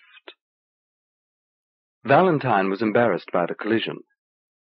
But the fact that he had dropped the balls did not appear to matter nearly as much as that he had been able to juggle them at all on the first try. He rounded them up and began again, Sleet facing him and continuing the sequence of tosses that he had never interrupted. Mimicking Sleet's stance and timing, Valentine began to throw, dropped two balls on the first try, reddened and muttered apologies, started again, and this time did not stop. Five, six, seven interchanges. Ten. And then he lost count, for they no longer seemed like interchanges, but all part of one seamless process, infinite and never-ending. Somehow his consciousness was split, one part making precise and accurate catches and tosses, the other monitoring the floating and descending balls, making rapid calculation of speed, angle, and rate of descent. The scanning part of his mind relayed data instantly and constantly to the part of his mind that governed the throwing and catching. Time seemed divided into an infinity of brief strokes, and yet paradoxically he had no sense of sequence. The three balls seemed fixed in their places, one perpetually in midair, one in each of his hands, and the fact that at each moment a different ball held one of those positions was inconsequential. Each was all. Time was timeless. He did not move. He did not throw. He did not catch. He only observed the flow, and the flow was frozen outside time and space. Now Valentine saw the mystery of the art. He had entered into infinity. By splitting his consciousness, he had unified it. He had traveled to the inner nature of movement, and had learned that movement was illusion and sequence an error of perception. His hands functioned in the present, his eyes scanned the future, and nevertheless there was only this moment of now. And as his soul journeyed toward the heights of exultation, Valentine perceived, with the barest flicker of his otherwise transcendent consciousness, that he was no longer standing rooted to the place, but somehow had begun to move forward, drawn magically by the orbiting balls, which were drifting subtly away from him. They were receding across the courtyard with each series of throws, and he experienced them now as a series once again, rather than as an infinite seamless continuum. And he was having to move faster and faster to keep pace with them, until he was virtually running, staggering, lurching around the yard, Sleet and Carabella scrambling to avoid him, and finally the balls were out of his reach altogether, beyond even his last desperate lunge. They bounced off in three directions. Valentine dropped to his knees, gasping, he heard the laughter of his instructors and began to laugh with them. What happened? he asked finally. I was going so well, and then, and then... Small errors accumulate, Carabella told him. You get carried away by the wonder of it all, and you throw a ball slightly out of the true plane, and you reach forward to catch it, and the reaching causes you to make the next throw out of plane as well, and the next, and so on until everything drifts away from you, and you give chase, and in the end pursuit is impossible. It happens to everyone at the beginning. Think nothing of it. Pick up the balls, said Sleet. In four days you juggle before the coronal. 7. He drilled for hours, going no further than the three-ball cascade, but repeating it until he had penetrated the infinite a dozen times, moving from boredom to ecstasy to boredom so often that boredom itself became ecstasy. His clothing was soaked with sweat, clinging to him like warm, wet towels. Even when one of Pidruid's brief light rain showers began, he continued to throw the balls. The rain ended and gave way to a weird twilight glow, the early evening sun masked by light fog. Still, Valentine juggled. A crazy intensity overcame him. He was dimly aware of figures moving about the courtyard. Sleet, Carabella, the various Skandars, Shanamir, strangers, coming and going. But he paid no attention. He had been an empty vessel into which this art, this mystery, had been poured, and he dared not stop, for fear he would lose it and be drained and hollow once again. Then someone came close, and he was suddenly empty-handed. And he understood that Sleet had intercepted the balls, one by one, as they arced past his nose. For a moment, Valentine's hands went on moving anyway in persistent rhythms. His eyes would not focus on anything but the plane through which he had been throwing the balls. Drink this, Carabella said gently, and put a glass to his lips. Fire shower wine. He drank it like water, she gave him another. You have a miraculous gift, she told him. Not only coordination, but concentration. You frightened us a little, Valentine, when you would not stop. By Star Day you will be the best of us, said Sleet. The Coronal himself will single you out for applause. Eh, Zalzan Kavol? What do you say? I say he is soaking wet and needs clean clothes, the Skandar rumbled. He handed Sleet some coins. Go to the bazaar, buy something that fits him before the booths close. Carabella, take him out back to the cleanser. We eat in half an hour. Come with me, Carabella said. She led Valentine, who still was dazed, through the courtyard to the sleeping quarters, and behind them. A crude open-air cleanser had been rigged against the side of the building. The animal, she said angrily. He could have given you a word of praise, but praise isn't his way, I suppose. He was impressed, all right. Zalzan Kavol? Impressed! Yes, astonished. But how could he praise a human? You have only two arms. Well, praise isn't his way. Here, get out of those. Quickly she stripped, and he did the same, dropping his soggy garments to the ground. By bright moonlight he saw her nakedness and was delighted.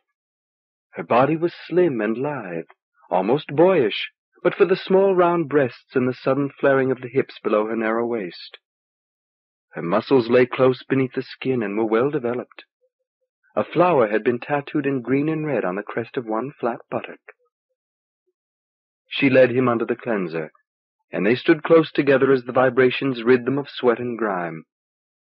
Then, still naked, they returned to the sleeping quarters, where Carabella produced a fresh pair of trousers in soft gray fabric for herself, and a clean jerkin. By then Sleet had come back from the bazaar with new clothes for Valentine. A dark green doublet with scarlet trim, tight red trousers, and a light cloak of blue that verged on black. It was a costume far more elegant than the one he had shed. Wearing it, he felt like one raised to some high rank, and moved with conscious hauteur as he accompanied Sleet and Carabella to the kitchen. Dinner was stew, an anonymous meat at its base, and Valentine did not dare ask, washed down with copious draughts of fire-shower wine. The six Skandars sat at one end of the table, the four humans at the other, and there was little conversation. At meal's end, Zalzan Kavol and his brothers rose without a word and strode out. Have we offended them? Valentine asked. It is their normal politeness, said Carabella. The Hjort who had spoken to him at breakfast, Vinorkis, now crossed the room and hovered by Valentine's shoulder, staring down in that fishy-eyed way of his. Evidently it was a habit. Valentine smiled awkwardly. Vinorkis said, Saw you juggling in the yard this afternoon. You're pretty good. Thank you. Hobby of yours? Actually, I've never done it before but the Skandars seem to have hired me for their troupe. The Hjort looked impressed. Really? And will you go on tour with them? So it appears. Whereabouts? I have no idea, said Valentine. Perhaps it hasn't even been decided yet. Wherever they want to go will be good enough for me. Ah, the free floating life, Vinorkis said. I've meant to try it myself. Perhaps your Skandars would hire me, too. Can you juggle? I can keep accounts. I juggle figures. Vinorkis laughed vehemently and gave Valentine a hearty slap on the back. I juggle figures. Do you like that? Well, good night to you. Who was that? Carabella asked, when the Hjort was gone. I met him at breakfast this morning. A local merchant, I think.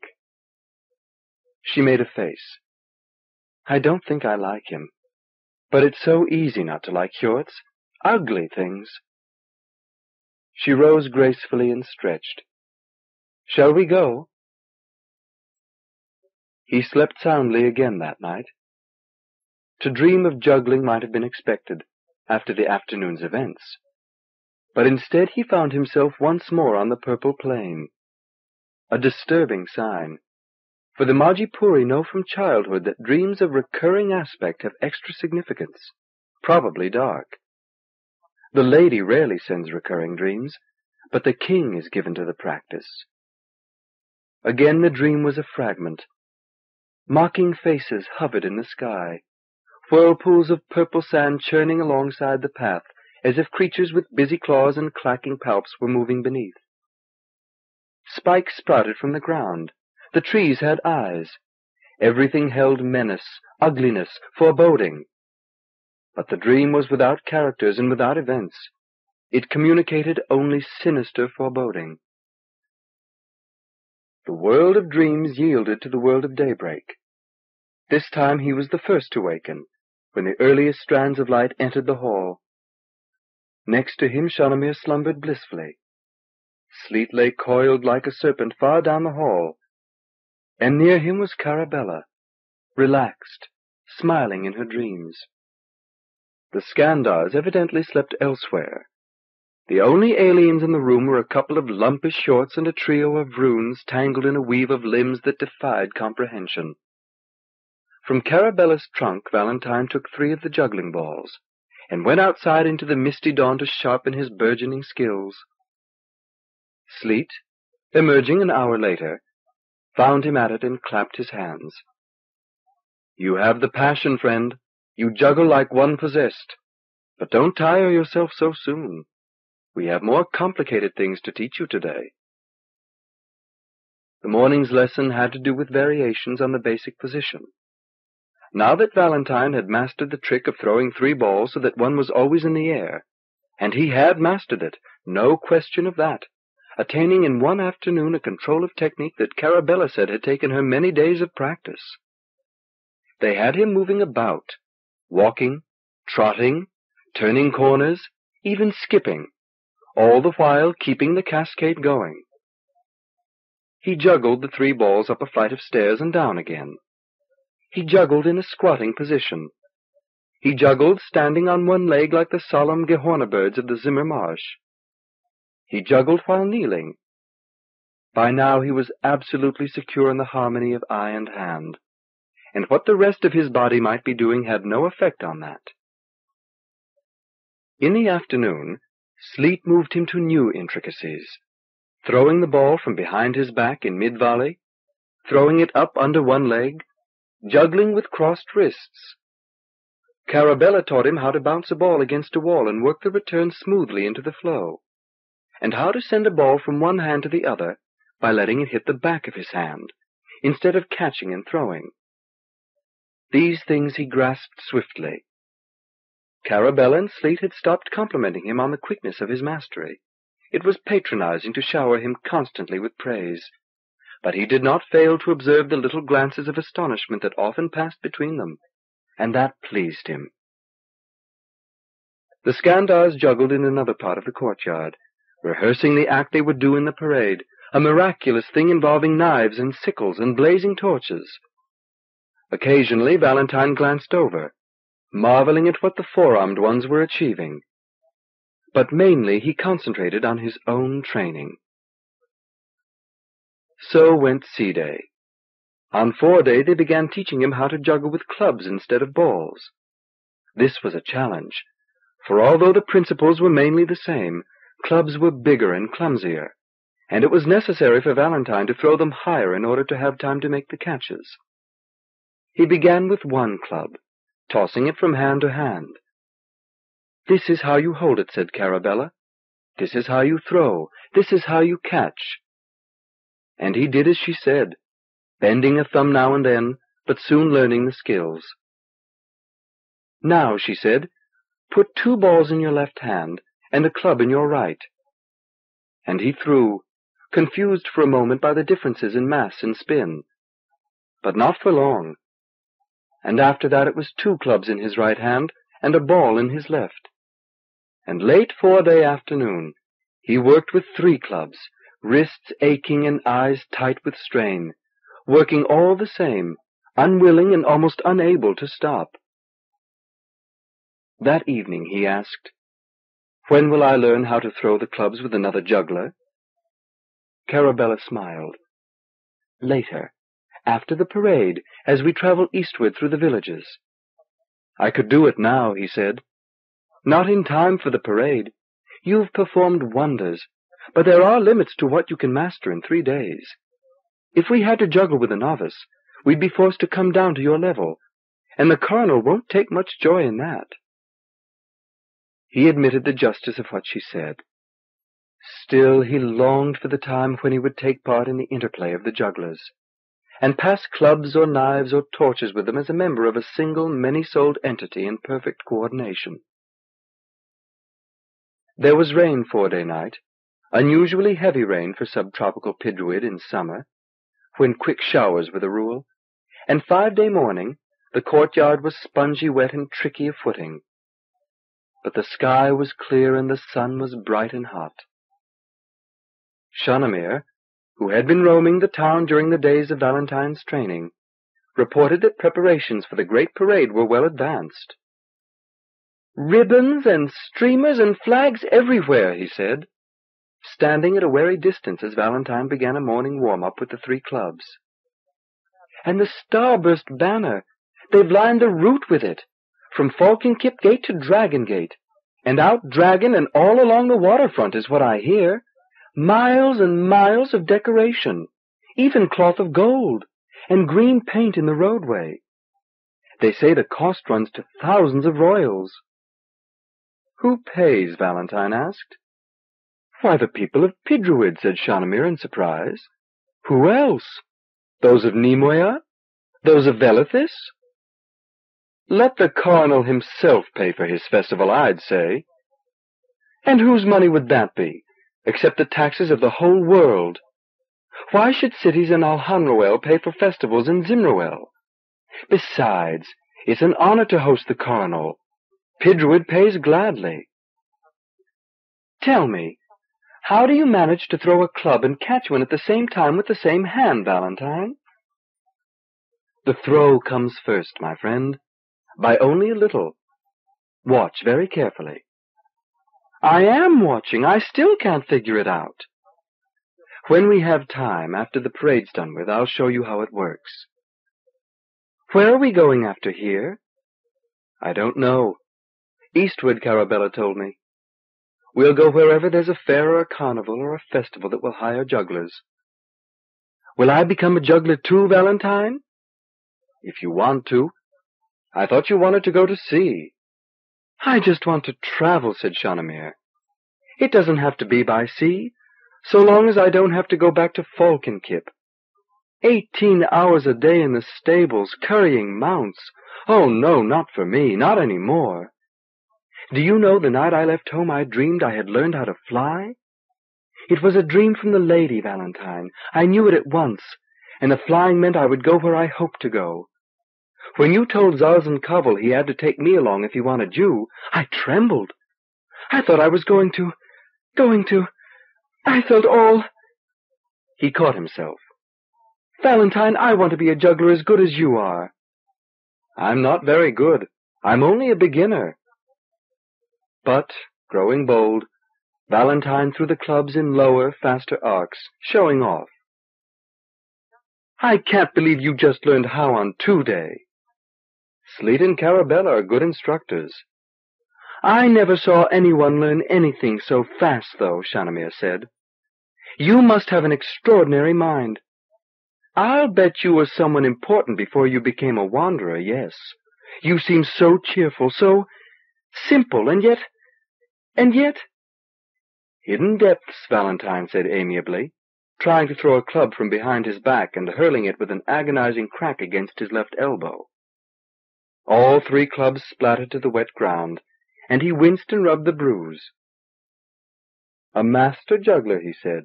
You see, Ordinarily, it takes weeks of training to learn to hit your elbow like that. You did it to change the subject, Shanamir said, sounding more than half serious. 8. Star Day morning. Parade Day. The Coronal's Day. The first day of the grand festival of Pidruid. And Valentine lay curled in sleep, dreaming a quiet dream of lush green hills and limpid pools flecked with blue and yellow pond anemones, when fingers poking in his ribs awakened him. He sat up, blinking and mumbling. Darkness, long before dawn. Carabella crouching over him. He sensed the cat-like grace of her, heard her light laughter, picked up the creamy fragrance of her skin. Why so early, he asked to get a good place when the coronal goes by. Hurry! Everyone's up already. He scrambled to his feet. His wrists were a little sore from juggling with the clubs, and he held out his arms, letting his hands loll and flop. Carabella grinned and took them in hers and looked up at him. You'll juggle magnificently today, she said softly. I hope so. There's no doubt of it, Valentine. Whatever you set out to do, you'll do supremely well. That's the sort of person you are. You know what sort of person I am? Of course I do. Better than you know, I suspect. Valentine, can you tell the difference between sleeping and waking? He frowned. I don't follow you. There are times when I think it's all the same to you. that you're living a dream or dreaming a life. Actually, I didn't think that. Sleet did. You fascinate him. And Sleet doesn't fascinate easily. He's been everywhere. He's seen much. He's seen through everything, and yet he talks constantly of you. He tries to comprehend you, to see into your mind. I didn't realize I was so interesting. I find myself boring. Others don't. Her eyes were sparkling. Come now. Dress. Eat. Off to the parade. In the morning we watch the coronal go by. In the afternoon we perform. And at night? At night? Yes, at night. At night we hold festival, she cried, and sprang away from him and out the door. In morning mist, the troupe of jugglers headed for the place that Zalzan Kavol had secured for them along the grand processional highway. The coronal's route began in the Golden Plaza, where he was lodged. From there he would move eastward along a curving boulevard that led out one of the city's secondary gates, and around to the great road on which Valentine and Shanamir had entered Pidruid, the one bordered by twin columns of fire-shower palms in bloom, and thence via Falkynkip Gate back into the city, and across it down Water Road through the Arch of Dreams and out Dragon Gate to the waterfront, to the edge of the bay, where a reviewing stand had been erected in Pidruid's chief stadium. So the parade was double in nature. First a progress of the coronal past the people, and then the people passed the coronal. It was an event that would last all through the day and into the night beyond, and probably toward Sunday's dawn. Because the jugglers were part of the royal entertainment, it was necessary for them to take up a position somewhere near the waterfront end of things. Otherwise they would never be able to cross the congested city in time to reach the stadium for their own performance. Zalzan Kavol had obtained a choice location for them close by the Arch of Dreams. But it meant that they would spend the better part of the day waiting for the parade to come to them. No help for it. On foot they cut diagonally through the back streets, emerging at last at the lower end of Water Road. As Shanamir had reported, the city was lavishly decorated, cluttered with ornament, banners and bunting dangling from every building, every light globe. The roadbed itself had been freshly painted in the coronal's colors, gleaming bright green bordered by golden stripes. At this early hour, the route was already lined with viewers, and no open spaces, but a space in the crowd swiftly was made when the Skandar jugglers appeared and Zalzan Kavol produced his sheaf of tickets. People on Majipoor normally tended to courtesy and graceful accommodation. Besides, there were few who cared to argue points of precedence with six surly Skandars. And then the waiting.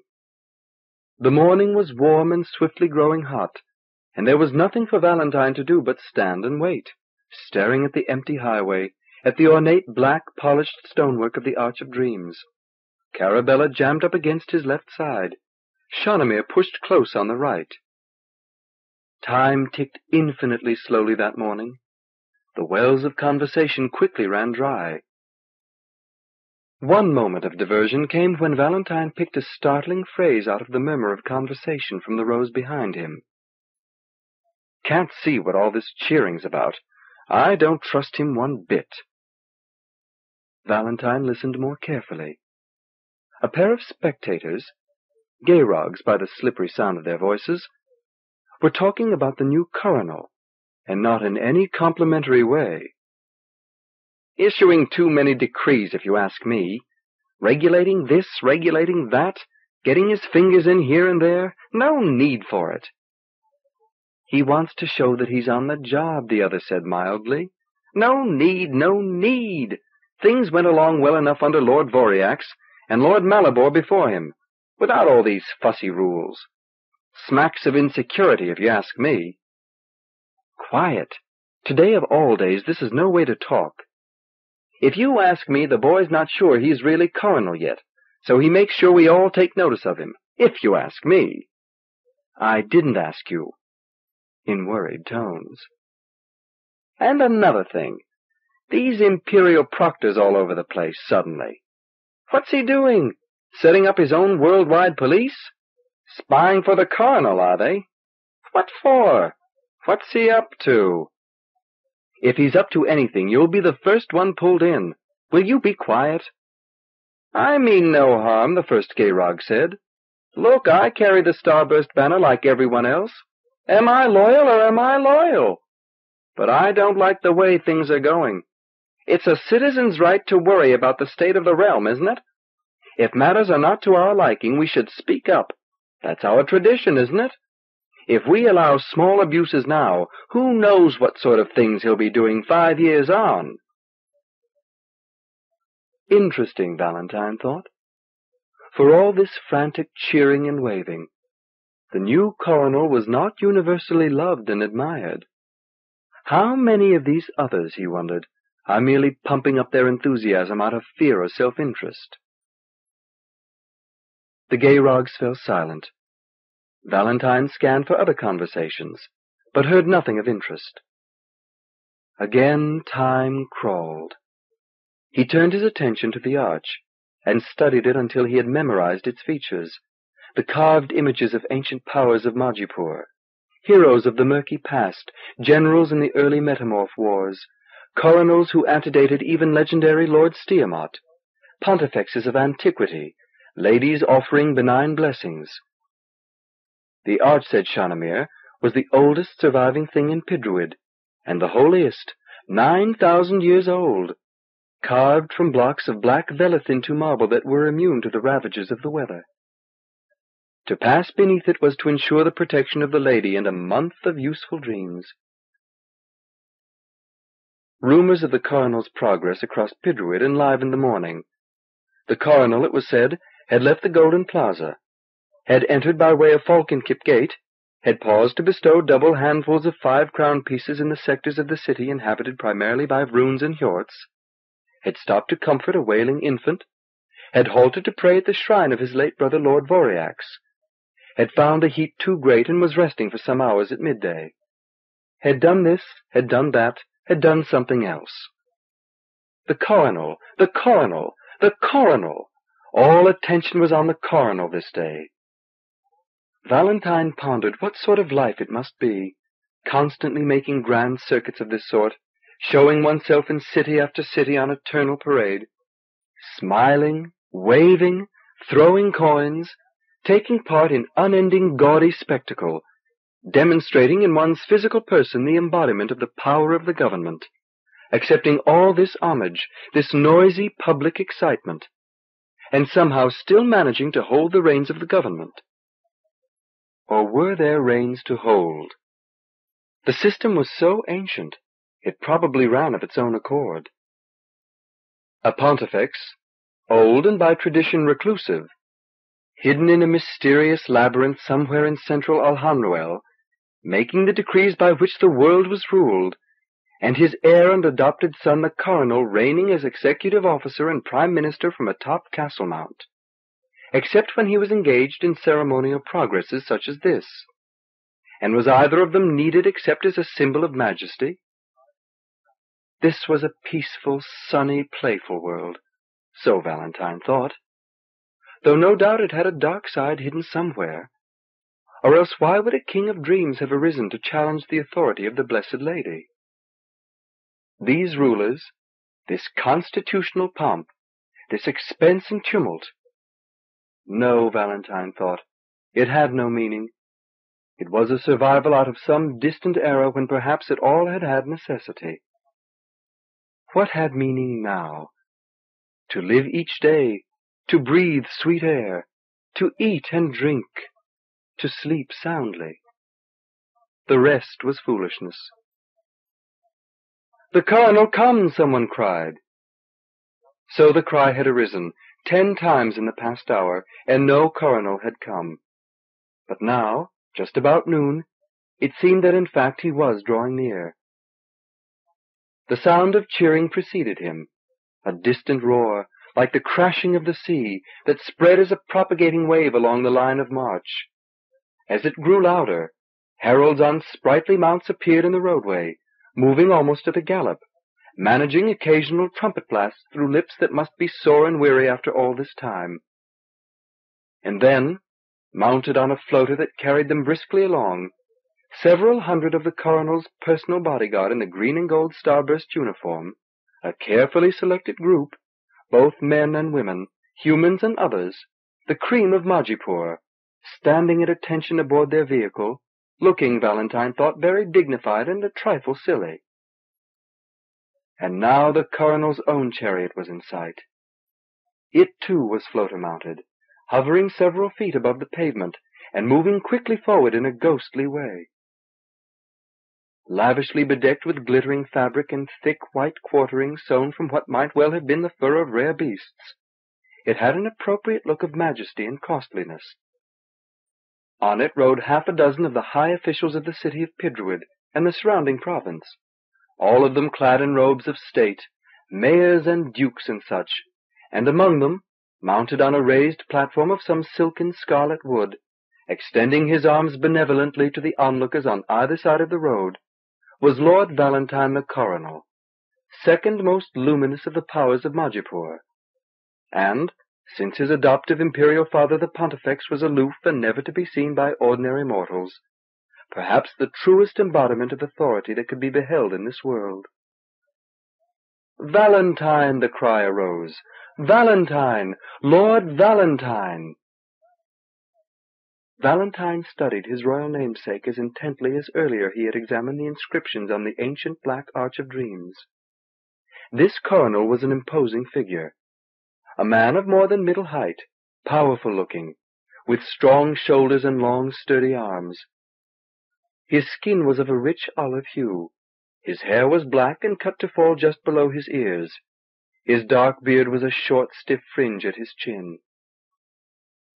As the tumult of cheers descended on him, Lord Valentine turned graciously to one side and another, acknowledging, inclining his body slightly, offering his outstretched hands to the air.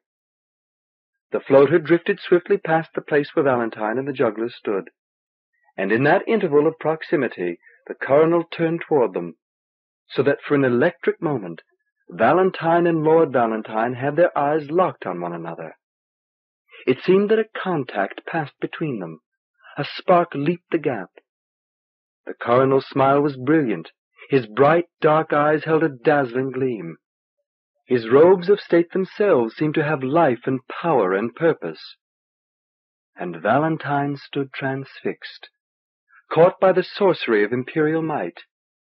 For an instant he comprehended Shanamir's awe, the awe of all these people at the presence among them of their prince. Lord Valentine was only a man, true. He needed to void his bladder and fill his gut. He slept at night and rose yawning in the morning like ordinary mortals.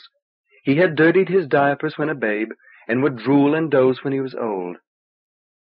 And yet, and yet he moved in sacred circles. He dwelled on Castlemount, he was the living son of the Lady of the Isle of Sleep, and had been taken as son by the Pontifex Tyeveras, as had his brother, dead Voriax, before him. He had lived most of his life close to the founts of power. He had had given into his charge the government of all this colossal world and its teeming multitudes.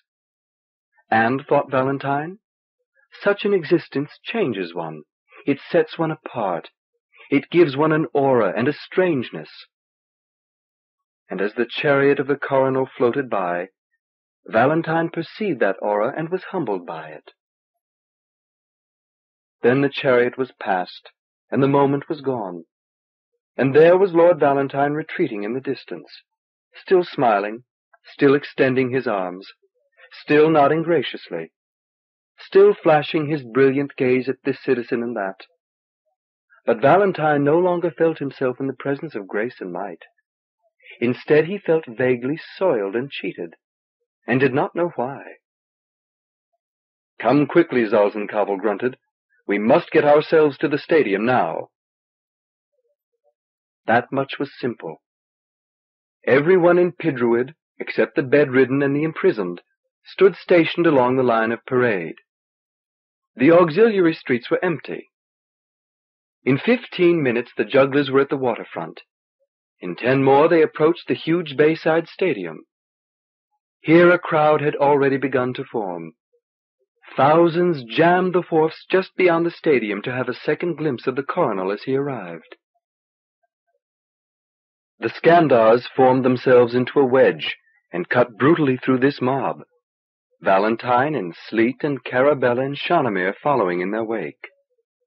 Performers were instructed to report to the staging area at the stadium's rear, a great open space fronting the water, and a kind of madness already prevailed there, with hundreds of costumed artists jostling for position. Here were giant gladiators of quill who made even the Skandars look frail, and teams of acrobats clambering impatiently over each other's shoulders, and an entire nude corps de ballet, and three orchestras of strange outworldly instruments tuning up in bizarre discord, and animal trainers tugging strings that controlled floater-born beasts of improbable size and ferocity, and freaks of every description. A man who weighed a thousand pounds, a woman eleven feet high and slender as a black bamboo rod, a Vroon with two heads, Liimen who were triplets and joined by a rope of ghastly blue-gray flesh from waist to waist to waist, someone whose face was like a hatchet and whose lower body was like a wheel, and so much more that Valentine was dizzied by the sights and sounds and smells of this congregation of the bewildering. Frantic clerks wearing municipal sashes were trying to arrange these performers into an orderly procession. Some sort of order of march actually existed. Zalzan Kavol barked an identification at a clerk and received in return a number that marked his troupe's place in line. But then it was their task to find their neighbors in the line, and that was not so easy, for everyone in the staging area was in constant motion, and finding numbers was like trying to attach name tags to waves in the sea. Eventually the jugglers found their place, well back in the crowd, jammed in between a group of acrobats and one of the orchestras. After that there was no moving about, and once more they stood in place for hours. The performers were offered refreshments as they waited. Servitors moved among them bearing bits of skewered meat and globlets of green or gold wine, for which no fee was asked. But the air was warm and heavy, and the reek of so many close-packed bodies of so many races and metabolisms made Valentine feel faint. In an hour he thought I will be juggling before the coronal. How odd that sounds. He was aware of Carabella close beside him, jaunty, buoyant, always smiling, unfailingly energetic. May the divine spare us from having to do this ever again, she whispered. At last there was some sense of movement far away near the gate to the stadium, as if some stopcock had been pulled and eddy currents were drawing the first performers out of the staging area. Valentine stood on tiptoe, but had no clear idea of what was happening. The better part of an hour went by before any sort of motion was apparent at their end of the assemblage. Then the line began to go steadily forward. From within the stadium came sounds, music, screeching beasts, laughter, applause. The orchestra that preceded Zalzan Kavol's troupe now was ready to enter. Twenty players, of three non-human races, bearing fanciful instruments unknown to Valentine, swirls of shining brass pipe and strange lopsided drums and small five-bodied fifes and the like, everything oddly delicate. But the sound they made was not delicate at all when they struck up and began their march. The last of the musicians disappeared through the great double gates of the stadium, and an officious major domo strutted forward to bar the access of the jugglers. Zalzan Kavol and his troupe, the major domo announced. We are here, said Zalzan Kavol. You will wait for the signal. Then you enter and follow those musicians in procession from left to right around the stadium. Do not begin to perform until you pass the large green flag that bears the coronal's emblem. When you reach the pavilion of the coronal, pause and make obeisance, and hold your place for sixty seconds, performing your act before moving onward. When you reach the far gate, depart from the area at once. You will be paid your fee as you leave. Is everything clear? Quite, said Zalzan Kavol. The Skandar turned to his troupe. He had until this moment been nothing other than brusque and rough. But suddenly he displayed another side, for he reached three of his arms toward his brothers and clasped hands with them, and something that seemed almost like a loving smile appeared on his harsh face. Then the Skandar embraced Sleet, and then Carabella, and then he drew Valentine toward him and said, as gently as a Skandar could, You have learned quickly, and you show signs of mastery. You were only a convenience for us, but I am pleased now that you are among us. Thank you, said Valentine solemnly. Jugglers, the major domo barked. Zalzan Kavol said, It's not every day that we juggle for a power of Majipoor. Let this be our finest performance. He gestured and the troupe moved through the mighty double gates. Sleet and Carabella led the way, juggling five knives that they exchanged with one another in staccato patterns constantly varying. Then, after a space, Valentine walked alone, juggling his three clubs with a taut intensity likely to conceal the simplicity of his routine. And behind him, the six Skandar brothers, making utmost use of their twenty-four arms to fill the air with a preposterous miscellany of flying objects. Shanamir, as a kind of esquire, concluded the march, making no performance, merely serving as a human punctuation mark. Carabella was exuberant, irrepressible. She did high springs, clicking her heels, clapping her hands, and yet never missing a beat, while beside her Sleet, Whiplash quick, compact, dynamic, made himself a veritable well of energy as he snatched knives from the air and returned them to his partner.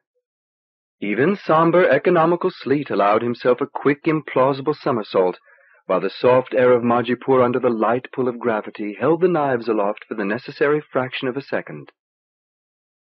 Around the stadium they marched, taking their rhythm from the strident squeaks and tootles and thumps of the orchestra before them. The vast throng, jaded already with novelty after novelty, hardly reacted. But no matter. The juggler's allegiance was to their art, not to the sweaty faces barely visible in the distant seats. Valentine had devised yesterday, and privately practiced, a fancy flourish for his routine. The others knew nothing of it, for there were risks in such things for a novice, and a royal performance was perhaps not the right place for a risk although he thought, more truthfully, a royal performance was the most proper place for extending oneself to the fullest. So he grasped two of his clubs in his right hand and hurled them high, and as he did so he heard the grunting hoy of surprise from Zalzan Kavol. But there was no time to think on that, for the two clubs were descending, and Valentine sent the one in his left hand up between them in a soaring double flip. Deftly he caught one falling club in each hand, sent the one in his right hand aloft, caught the double-flipped one as it dropped, and went serenely and with great relief into his familiar cascade of clubs, looking neither to the right nor to the left as he trailed Carabella and Sleet around the perimeter of the gigantic stadium. Orchestras, acrobats, dancers, animal trainers, jugglers, before him and aft, thousands of blank faces in the seats, ribbon-bedecked arcades of grandees. Valentine saw none of it, except in the most subliminal way. Throw, throw, throw and catch, throw and catch, throw and catch, on and on, until in the corner of his eye he saw the brilliant green and gold draperies flanking the royal pavilion. He turned to face the coronal. This was a difficult moment, for now he had to divide his attention. Keeping the clubs flying, he sought for Lord Valentine himself, and found him, halfway up the sloping pavilion. Valentine prayed for another jolt of interchanged energy, another quick flash of contact with the coronal's searing eyes. He threw automatically, precisely, each club rising its allotted distance and arcing over to land between his thumb and fingers. And as he did so, he searched the coronal's face. But no, no jolt of energy this time for the prince was distracted. He did not see the juggler at all. He stared in boredom across the whole width of the stadium, toward some other act, perhaps some fang and claw animal number. Perhaps the bare-rumped ballet dancers. Perhaps at nothing at all. Valentine persevered, counting out the full sixty seconds of his homage, and toward the end of his minute, it seemed to him the coronal did indeed glance his way a fraction of an instant, but no more than that. Then Valentine moved on. Carabella and Sleet were already approaching the exit. Valentine turned in a half circle where he stood, and grinned high-heartedly at the Skandars, who marched forward under a dancing canopy of axes and fiery torches and sickles and hammers and pieces of fruit, adding object after object to the multitude of things they whirled aloft. Valentine juggled at them a moment before continuing his solitary orbit of the stadium. And onward and outward through the far gate, and caught his clubs and held them as he passed into the outer world. Again, as he left the presence of the cardinal, he felt a letdown, a weariness, an emptiness, as though Lord Valentine did not truly radiate energy, but merely drained it from others, giving the illusion of a bright, outflashing aura, and when moved beyond him one experienced only a sense of loss. Besides, the performance was over. Valentine's moment of glory had come and gone, and no one apparently had noticed. Except Zalzan Kavol, who looked dour and irritable. Who taught you that two-club throw? he demanded, the moment he came through the gate. No one, said Valentine. I invented it myself. And if you had dropped your clubs out there? Did I drop them? That was no place for fancy tricks, the Skandar muttered. Then he softened a bit. But I do admit you carried yourself well. From a second major domo he received a purse of coins, and dumped them into his two outer hands, counting quickly through them.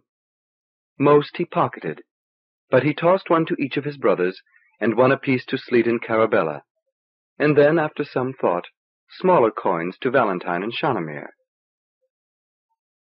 Valentine saw that he and Shanamir had each received half a crown, and the others a crown apiece.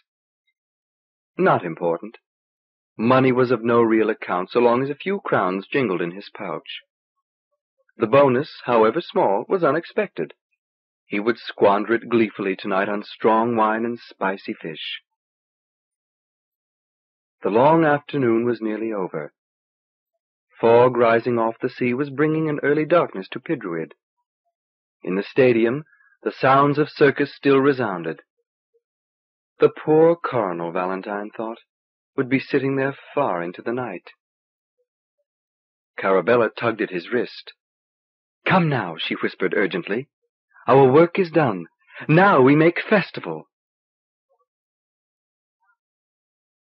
9. She sprinted off into the crowd, and Valentine, after a moment's confusion, followed her. His three clubs, fastened by a cord to his waist, clumped awkwardly into his thighs as he ran. He thought he had lost her. But no, she was in sight now, taking high, bouncy strides, turning and grinning saucily back at him, waving him on. Valentine caught up with her on the great flat steps that led down to the bay. Barges had been towed into the near harbor, with pyres of slender logs piled on them in intricate patterns. And already, though it was hardly night yet, a few of them had been torched and were burning with a cool green glow, sending up scarcely any smoke. The entire city had been converted, during the day, into a playground. Carnival booths had sprung up like toadstools after summer rain. Revelers in strange costumes swaggered along the quays. There was music on all sides, laughter, a feverish excitement. As the darkness deepened, new fires blazed, and the bay became a sea of colored light. And out of the east erupted some kind of pyrotechnic display a skyrocket of piercing brilliance that soared to a point high overhead and burst, sending dazzling streamers downward to the tips of Pidruid's highest buildings. A frenzy was on Carabella, and a frenzy crept into Valentine, too. Hand in hand they raced recklessly through the city, from booth to booth, scattering coins like pebbles as they played. Many of the booths were games of skill, knocking down dolls with balls or upsetting some carefully balanced construct. Carabella, with her juggler's eye and juggler's hand, won nearly everything she tried, and Valentine, though less skilled, took his share of prizes too. At some booths, the winnings were mugs of wine or morsels of meat. At others they were silly stuffed animals or banners bearing the coronal's emblem. And these things they abandoned. But they ate the meat, they gulped the wine, and they grew flushed and wild as the night moved on. Here, Carabella cried, and they joined a dance of Vroons and Ghayrogs and drunken Hjorts, a capering circle dance that seemed to have no rules. For long minutes they pranced with the aliens. When a leathery-faced Hjort embraced Carabella, she hugged it back, clasping it so tightly that her small, strong fingers sank deep into its puffy hide. And when a female Ghayrog, all snaky locks and myriad swaying breasts, pressed herself against Valentine, he accepted her kiss and returned it with more enthusiasm than he would have expected himself to muster. And then it was onward again, into an open-walled theater where angular puppets were enacting a drama in jerky stylized movements, and on into an arena where at a cost of a few weights they watched sea dragons swim in menacing circles round and round in a glistening tank, and onward from there to a garden of animate plants from Alhanroel's southern shore, ropey tentacular things, and tall trembling rubbery columns with surprising eyes near their summits. Feeding time in half an hour, the keeper called. But Carabella would not stay, and with Valentine in tow, she plunged off through the gathering darkness. Fireworks exploded again, now infinitely more effective against the backdrop of night. There was a triple starburst that gave way to the image of Lord Valentine filling half the sky, and then a dazzle of green and red and blue that took the form of the labyrinth, and yielded to the gloomy visage of old Pontifex Tyeveras. And after a moment, when the colors had cleared, a new explosion threw a sheet of fire across the heavens, out of which coalesced the beloved features of the great royal mother, the lady of the Isle of Sleep, smiling down on Pidruid with all of love. The sight of her so deeply moved Valentine that he would have fallen to his knees and wept, a mysterious and startling response. But there was no room in the crowd for any of that. He stood trembling an instant. The lady faded into the darkness. Valentine slipped his hand against Carabella's and held it tightly. I need more wine, he whispered. Wait, there's one more to come. Indeed, another skyrocket, another burst of color, this one jagged and uncouth to the eye, yellows and reds, and out of it another face, heavy-jawed and somber-eyed, that of the fourth of the powers of Majipoor, that darkest and most ambiguous figure of the hierarchy, the king of dreams, Simonan Barjazid. A hush fell over the crowd, for the king of dreams was no one's friend, though all acknowledged his power, lest he bring bad fortune and dread punishment. Now they went for wine, Valentine's hand shook and he downed two mugs quickly, while Carabella looked at him in some concern. Her fingers played with the strong bones of his wrist, but she asked no questions. Her own wine she left barely touched. The next door that opened before them in the festival was that of a wax museum, in the shape of a miniature labyrinth, so that when they stumbled inside, there was no turning back and they gave the waxen keeper their three-weight pieces and went forward. Out of the darkness emerged heroes of the realm done in cunning simulation, moving, even speaking in archaic dialects. This tall warrior announced himself to be Lord Stiamot, conqueror of the metamorphs. And this was the fabled Lady Thien, his mother, the warrior lady who in person led the defense of the Isle of Sleep when it was besieged by aborigines. To them came one claiming to be Dvorn, the first pontifex, a figure almost as remote in time from the era of Stiamot as Stiamot was from the present. And near him was Dinitak Barjazid, the first king of dreams, a personage far less ancient. Deeper into the maze went Carabel and Valentine, encountering a host of dead powers, a cleverly chosen assortment of pontifexes and ladies and coronals, the great rulers Confalume and Prestimion and Dekkeret, and the Pontifex Arioch of curious fame. And last of all, presiding over the exit, the image of a ruddy-faced man in tight black garments, perhaps forty years of age, black-haired and dark-eyed and smiling. And he needed to offer no introductions, for this was Voriax, the late coronal, brother to Lord Valentine, cut down in the prime of his reign two years past, dead in some absurd hunting accident after holding power only eight years. The image bowed and reached forth its hands, and exclaimed, Weep for me, brothers and sisters, for I was supreme and perished before my time, and my fall was all the greater since I fell from so lofty a height. I was Lord Voriax, and think long on my fate. Carabella shuddered. A gloomy place, and a gloomy finish to it. Away from here.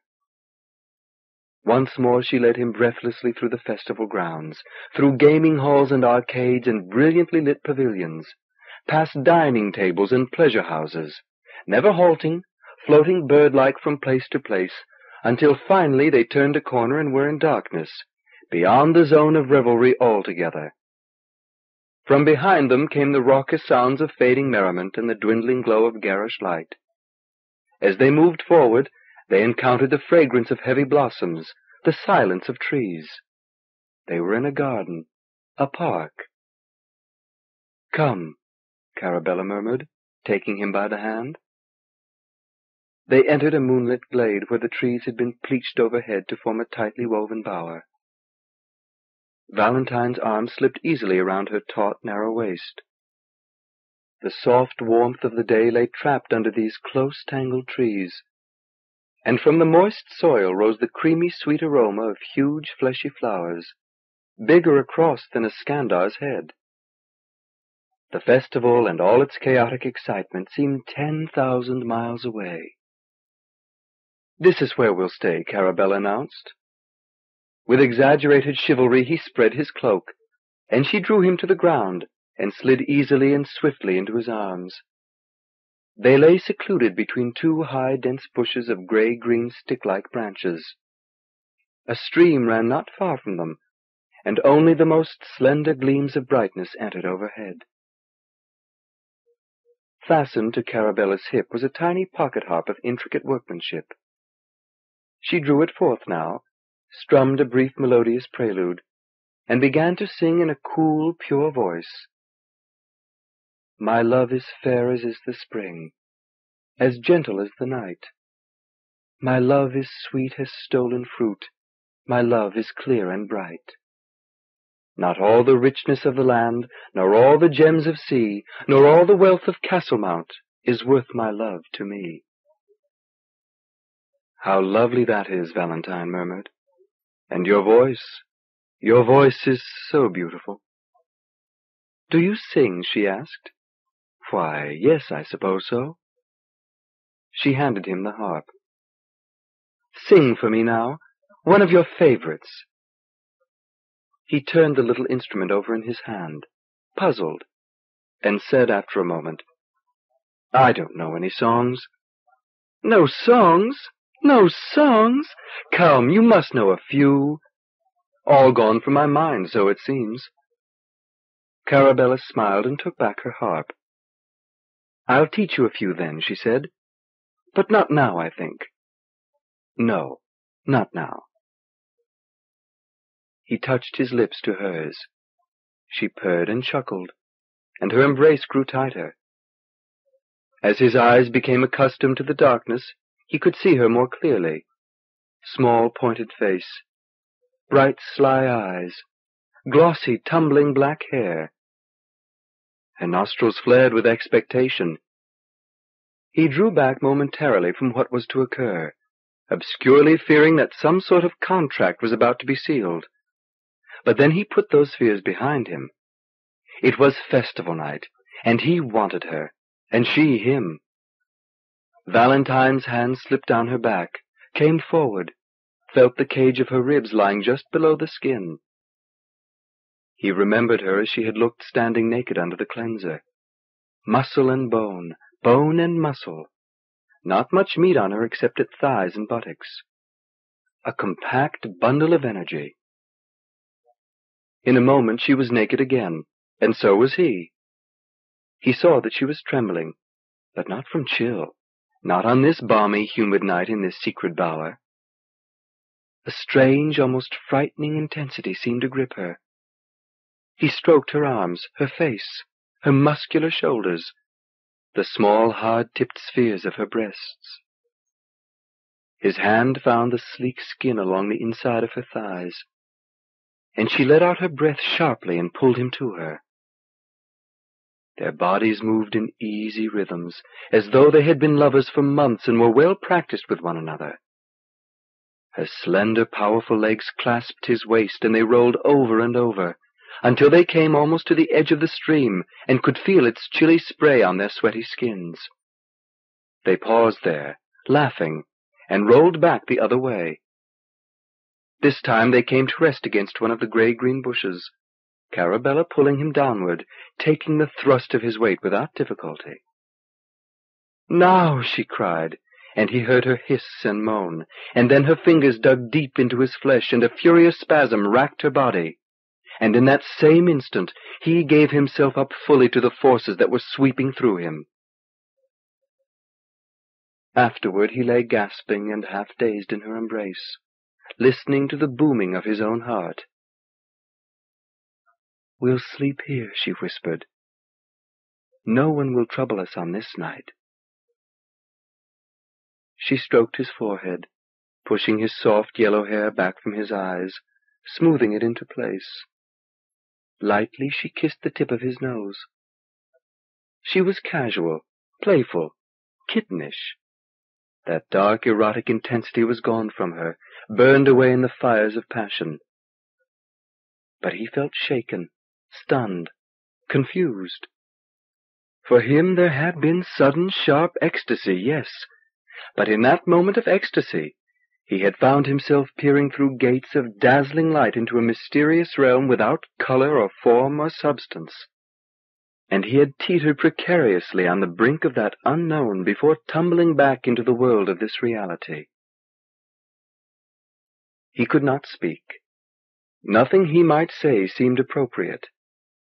He had not expected such disorientation to come out of the act of love. Carabella evidently sensed the disquiet in him, for she said nothing, only held him, rocked him gently, drew his head against her breast, sang softly to him. In the warmth of the night, he drifted gradually into sleep. When the dream images came, they were harsh and terrifying. He was carried back yet again to that bleak, familiar purple plain, the same mocking faces leered at him from the purple sky, but this time he was not alone. Looming up against him was a figure of dark visage and heavy, oppressive physical presence, whom Valentine understood to be his brother, although in the fierce, crackling glow of the amber sun he could not clearly see the other man's features. And the dream enacted itself against a background of somber music, the low, keening note of mind music that denoted the peril dream, the threat dream, the death dream. The two men were locked in a bitter duel, and only one would come forth from the duel alive. Brother! Valentine cried in shock and horror. No! He stirred and twisted and came swimming up to the surface of sleep, and hovered there for an instant. But his training lay too deep for that. One did not flee dreams. One did not reject them no matter how appalling. One entered fully into them and accepted their guidance. One came to grips with the unthinkable in dreams. And to avoid it then meant the inevitability of confronting it, and being defeated by it in waking life. Deliberately Valentine drove himself downward again, through the borderland between wakefulness and sleep, and felt stealing about him once more the malign presence of his enemy, his brother. They were armed with swords, but the contest was unequal, for Valentine's weapon was a flimsy rapier, the brother's a massive saber. Through skill and agility, Valentine tried desperately to slip his sword past his brother's guard. Impossible. With slow, weighty strokes, the other parried steadily, sweeping Valentine's frail blade aside and driving him inexorably backward over the rough, gullied terrain. Vultures circled overhead. Out of the sky came a hissing death song. There would be blood spilling soon, and a life returning to the source. Step by step Valentine yielded, knowing that a ravine lay just behind him, and further retreat soon would be forestalled. His arm was aching, his eyes pounded with fatigue. There was the gritty taste of sand in his mouth, his last strength ebbing. Backward, backward. Brother, he cried in anguish, in the name of the divine! His plea drew harsh laughter and a sharp obscenity. The saber descended in a mighty swing. Valentine thrust out his blade and was shaken by a terrible body-numbing shiver as metal rang against metal and his light sword was snapped to a stump. In the same moment he tripped over a dry, sand-scoured snag of wood and tumbled heavily to the ground, landing in a tangle of thorny, creeping stems. The huge man with the saber reared above him, blotting out the sun, filling the sky. The death song took on a murderous, screeching intensity of timbre. The vultures fluttered and swooped. The sleeping Valentine moaned and trembled. He turned again, huddled close against Carabella, took warmth from her as the dread cold of the death dream enveloped him. It would be so easy to awaken now, to escape the horror and violence of these images, to swim to safety on the shores of consciousness. But no. With fierce discipline he thrust himself again into the nightmare. The giant figure laughed, the saber rose high, the world lurched and crumbled beneath his fallen body. He commended his soul to the lady and waited for the blow to descend. And the blow of the saber was awkward and lame, and with a foolish thud his brother's sword buried itself deep in the sand, and the texture and thrust of the dream were altered. For no longer did Valentine hear the wailing hiss of death songs, and now he found everything reversed, found currents of new and unexpected energy pouring into him. He leaped to his feet. His brother tugged at the saber, cursed, struggled to pull it from the ground, and Valentine snapped it with a contemptuous kick. He seized the other man barehanded. Now it was Valentine who commanded the duel, and his cowering brother who retreated before a shower of blows, sagging now to his knees as Valentine battered him, growling like a wounded bear, shaking his bloody head from side to side, taking the beating and offering no defense, murmuring only, Brother, brother, as Valentine pounded him to the sand.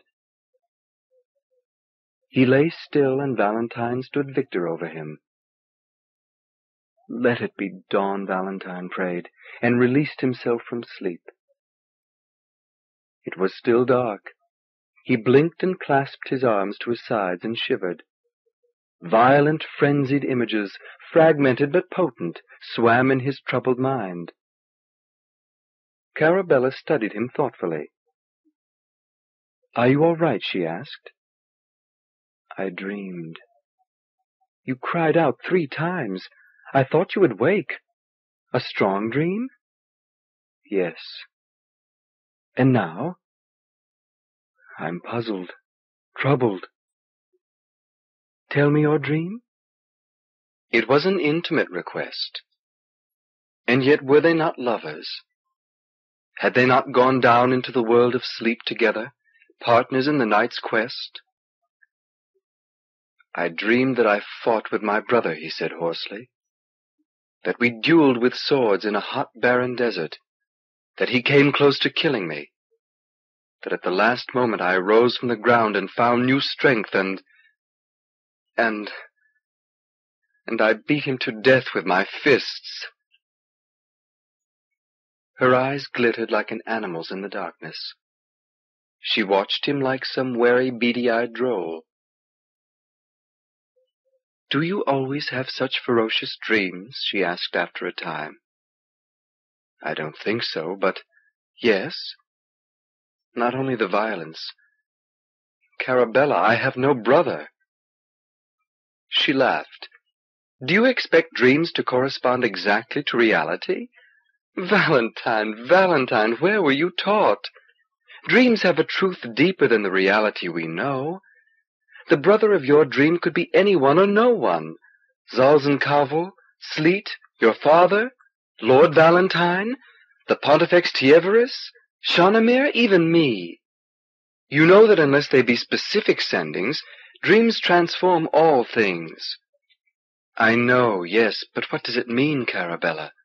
To duel with a brother? To be killed almost by him? To slay him instead? You want me to speak your dream for you, she said, surprised.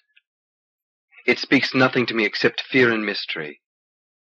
You were badly frightened, yes. You were soaked with sweat, and you cried out again and again. But painful dreams are the most revealing ones, Valentine. Speak it for yourself. My brother. I have no brother. I told you it doesn't matter. Did I make war against myself, then? I don't understand. I have no enemies, Carabella. Your father, she suggested. He considered that. His father? He searched for a face that he could give to the shadowy man with the saber. But he found only more darkness. I don't remember him, Valentine said. Did he die when you were a boy? I think so. Valentine shook his head, which was beginning to throb. I don't remember. I see a big man. His beard is dark. His eyes are dark. What was his name? When did he die? Valentine shook his head again. Carabella leaned close. She took his hands in hers and said softly, Valentine, where were you born? In the East. Yes, you've said that. Where? What city? What province? Ni-moya? he said vaguely. Are you asking me or telling me? Ni-moya, he repeated. A big house. A garden. Near the bend of the river. Yes, I see myself there. Swimming in the river. Hunting in the Duke's forest. Am I dreaming that? Are you? It feels like something I've read. Like a story I've been told. Your mother's name? He began to reply, but when he opened his mouth, no name came. She died young, too? Kaliara, Valentine said without conviction. That was it. Kaliara. A lovely name. Tell me what she looked like. She... she had... He faltered golden hair like mine, sweet, smooth skin. Her eyes, her voice sounded like, It's so hard, Carabella. You're shaking. Yes. Come, here.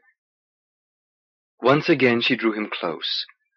She was much smaller than he, and yet she seemed very much stronger now, and he took comfort from her closeness. Gently she said, You don't remember anything, do you, Valentine? No, not really. Not where you were born or where you came from or what your parents looked like, or even where you were last star day. Isn't that so? Your dreams can't guide you because you have nothing to speak against them. Her hands roamed his head. Her fingers probed delicately but firmly into his scalp. What are you doing? he asked. Looking to see if you've been hurt. A blow on the head can take the memory away, you know. Is there anything there? No. No, nothing. No marks, no bumps. But that doesn't mean anything. It could have happened a month or two ago. I'll look again when the sun has risen. I like the feel of your hands touching me, Carabella. I like touching you, she said. He lay quietly against her. The words that had passed between them just now troubled him intensely. Other people, he realized, had rich memories of their childhood and adolescence, and knew the names of their parents and were sure of the place where they had been born. and he had nothing but his overlay of hazy notions, this mist of thin, untrustworthy memories covering a well of blankness, yes, and he had known that the blankness was there, but had chosen not to peer into it. Now Carabella had forced that upon him. Why, he wondered, was he unlike others? Why were his memories without substance? Had he taken some blow on the head, as she suggested? Or was it just that his mind was dim, that he lacked the capacity to retain the imprints of experience, that he had wandered for years across the face of Majipoor, erasing each yesterday as each new day dawned? Neither of them slept again that night. Toward morning, quite suddenly, they began to make love again, in silence, in a kind of driven, purposeful way quite different from the earlier playful union. And then they rose, still saying nothing, and bathed in the chilly little brook, and dressed and made their way through town to the inn. There were still some bleary-eyed revelers staggering in the streets as the bright eye of the sun rose high over Pidruid. 10. At Carabella's prompting, Valentine took Sleet into his confidence, and told him of his dream and of the conversation that followed it. The little white-haired juggler listened thoughtfully, never interrupting, looking increasingly solemn. He said when Valentine had done, You should seek guidance from a dream speaker. This is too strong a sending to be ignored. Do you think it is ascending, then? Possibly it is, said Sleet. From the king? Sleet spread his hands and contemplated his fingertips. It could be. You will have to wait and pay close heed. The king never sends simple messages. It could be from the lady just as well, Carabella offered. The violence of it shouldn't deceive us. The lady sends violent dreams when the need exists. And some dreams, said Sleet with a smile, come neither from the lady nor from the king, but up out of the depths of our own foggy minds. Who can tell unaided? Valentine, see a dream speaker. Would a dream speaker help me find my memories then? A dream speaker or a sorcerer, yes. If dreams are no guidance to your past, nothing will be. Besides, said Carabella, a dream so strong should not go unexamined. There is your responsibility to be considered. If a dream commands an action, and you choose not to pursue that action... She shrugged. Your soul will answer for it, and swiftly. Find a speaker, Valentine. I had hoped, Valentine said to Sleet, that you would have some wisdom in these things. I am a juggler. Find a speaker. Can you recommend one in Pidruid? We will be leaving Pidruid shortly. Wait until we are a few days' journey from the city. You will have richer dreams to give the speaker by then. I wonder if this is ascending, said Valentine. And from the king. What business would the king of dreams have with a wanderer like me? I hardly think it possible. With twenty billion souls on Majipoor, how could the king find time to deal with any but the most important? In Suvrael, said Sleet, at the palace of the King of Dreams are great machines that scan this entire world and send messages into the minds of millions of people every night. Who knows how those millions are chosen? One thing they tell us when we are children, and I know it has truth. At least once before we leave this world, we will feel the touch of the King of Dreams against our spirit, each and all of us. I know that I have. You? More than once. Sleet touched his lank, coarse white hair. Do you think I was born white-haired? One night I lay in a hammock in the jungles outside Narabal. No juggler then. And the king came to me as I slept, and placed commands upon my soul. And when I awakened, my hair was like this. I was twenty-three years old. Commands, Valentine blurted. What commands? Commands that turn a man's hair from black to white between darkness and dawn, Sleet said. Obviously he wished to say no more. He got to his feet and glanced at the morning sky as though checking the elevation of the sun. I think we've had enough talk for now, friend. There still are crowns to earn at the festival. Would you learn a few new tricks before Zalzan Kavol sends us out to work? Valentine nodded. Sleet fetched balls and clubs. They went out into the courtyard. Watch, said Sleet, and he stood close behind Carabella. She held two balls in her right hand, he one in his left, and they put their other arms around one another. This is half juggling, Sleet said. A simple thing even for beginners, but it looks extremely challenging. Carabella threw. Sleet threw and caught. At once they were in the rhythm of interchange, easily passing the balls back and forth. One entity with four legs and two minds and two juggling arms. Indeed, it did look taxing, Valentine thought. Sleet called out, Feed the clubs to us now. As Valentine delivered each club with a quick, sharp toss to Carabella's right hand, she worked it into the sequence. One, two, three, until balls and clubs flew from her to Sleet, from Sleet to her, in a dizzying cascade. Valentine knew from his own private trials how difficult it was to deal with that many objects. Five balls would be in his compass in another few weeks, he hoped. Four clubs might be feasible soon, too. But to handle three of each at the same time and coordinate this half juggling as well was a feat that amazed him with admiration. And some jealousy, too, he realized oddly, for here was Sleet with his body tight up against Carabella's, forming a single organism with her, and only a few hours ago she had lain with him by the side of that brook in the Pidruid Park. Try it, Sleet said. He stepped aside and Carabella put herself in front of Valentine, arm and arm. They worked with three balls only. At first Valentine had problems judging the height and force of his throws, and sometimes sent the ball popping beyond Carabella's reach. But in ten minutes he had the knack of it, and in fifteen they were working together as smoothly as if they had been doing the act for years.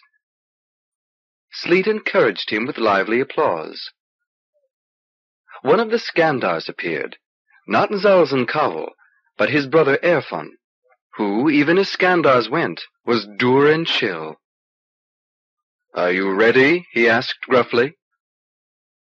The troupe performed that afternoon in the private park of one of the powerful merchants of Pidruid, who was giving an entertainment for a provincial duke.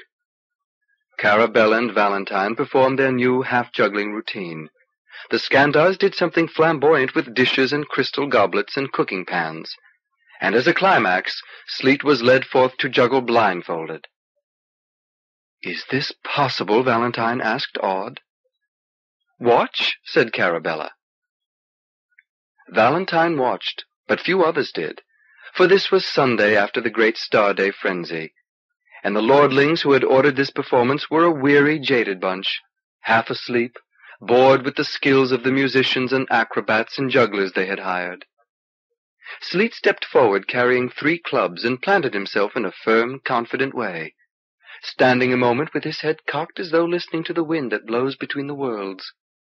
And then, catching his breath sharply, he began to throw. Zalzan Kavol boomed, Twenty years of practice, lords and ladies of Pidruid. The keenest sense of hearing is necessary for this.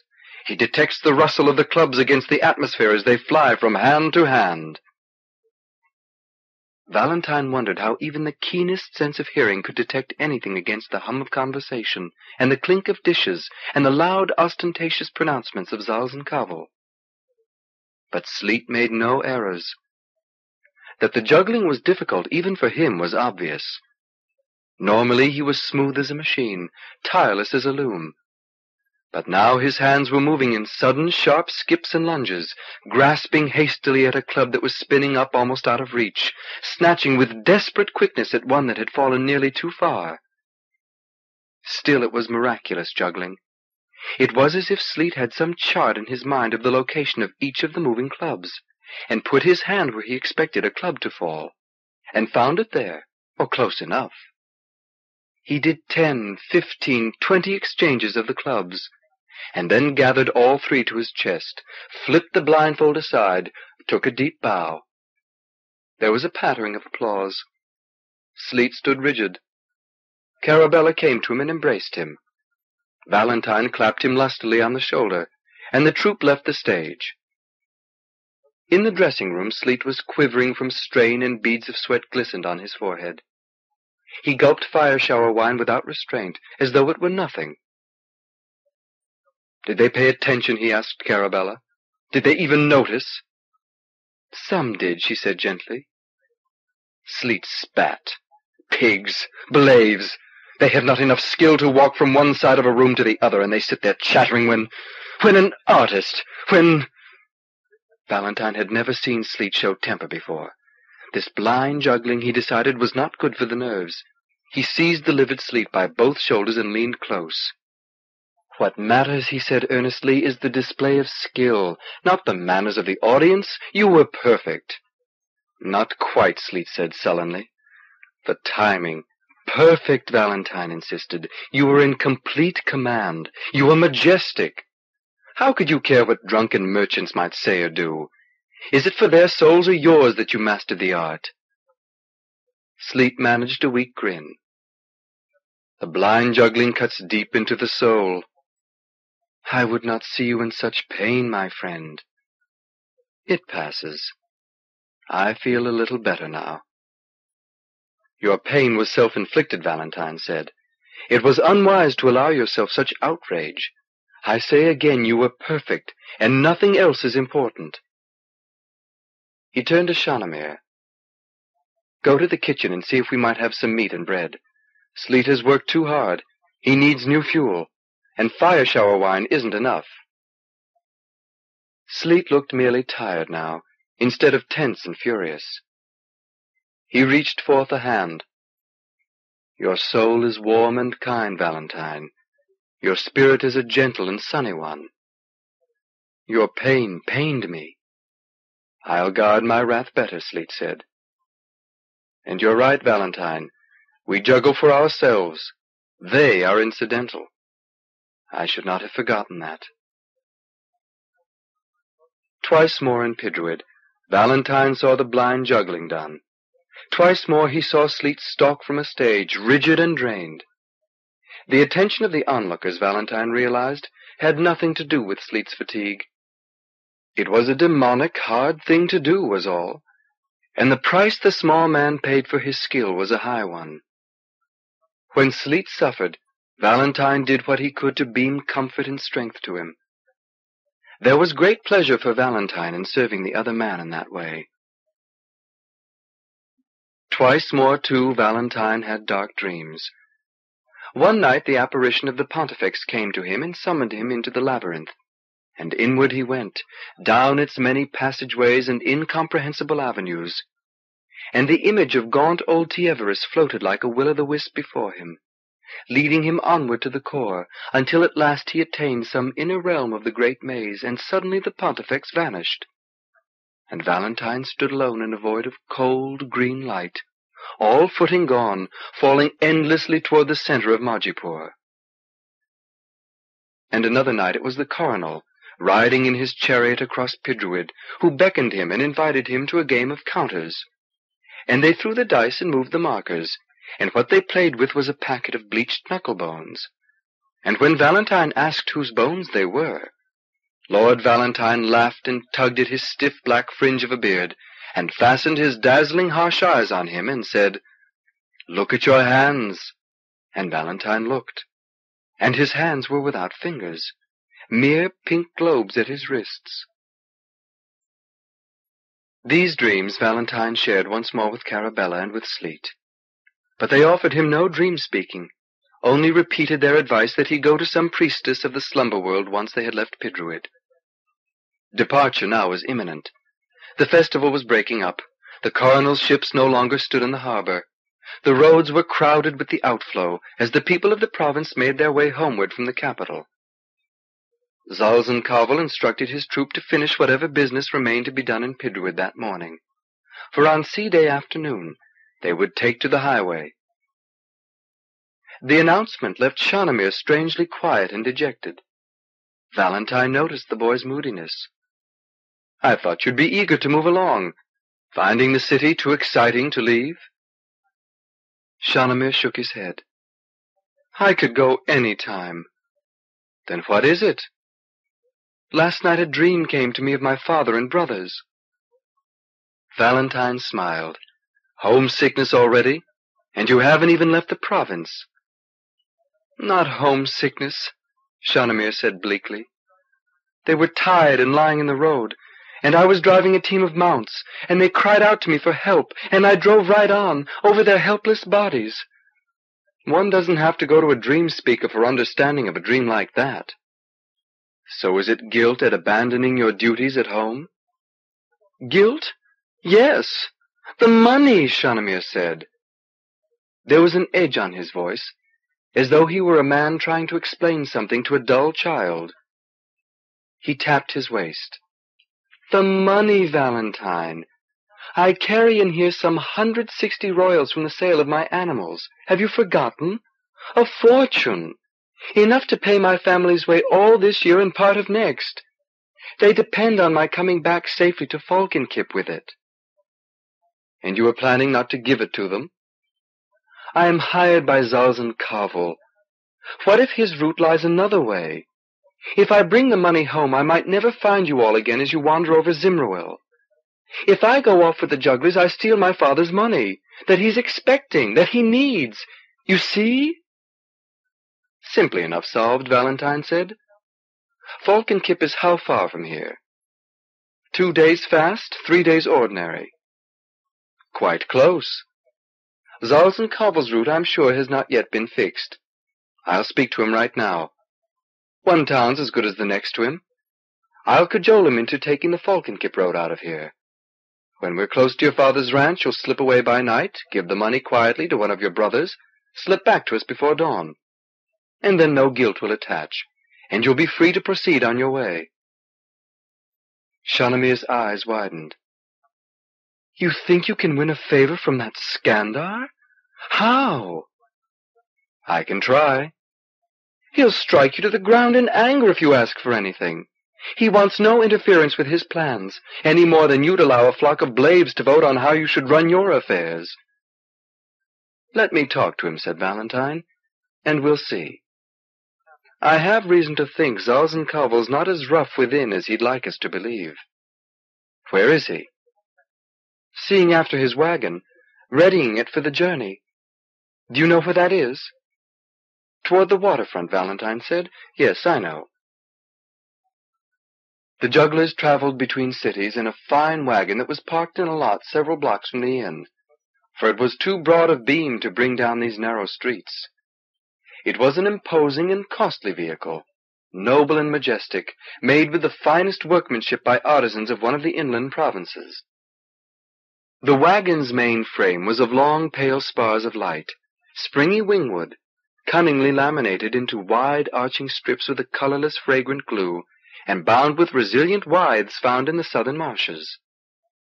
Over this elegant armature sheets of tan stick skin had been stretched and stitched into place with thick yellow fibers drawn from the stick creatures' own gristly bodies.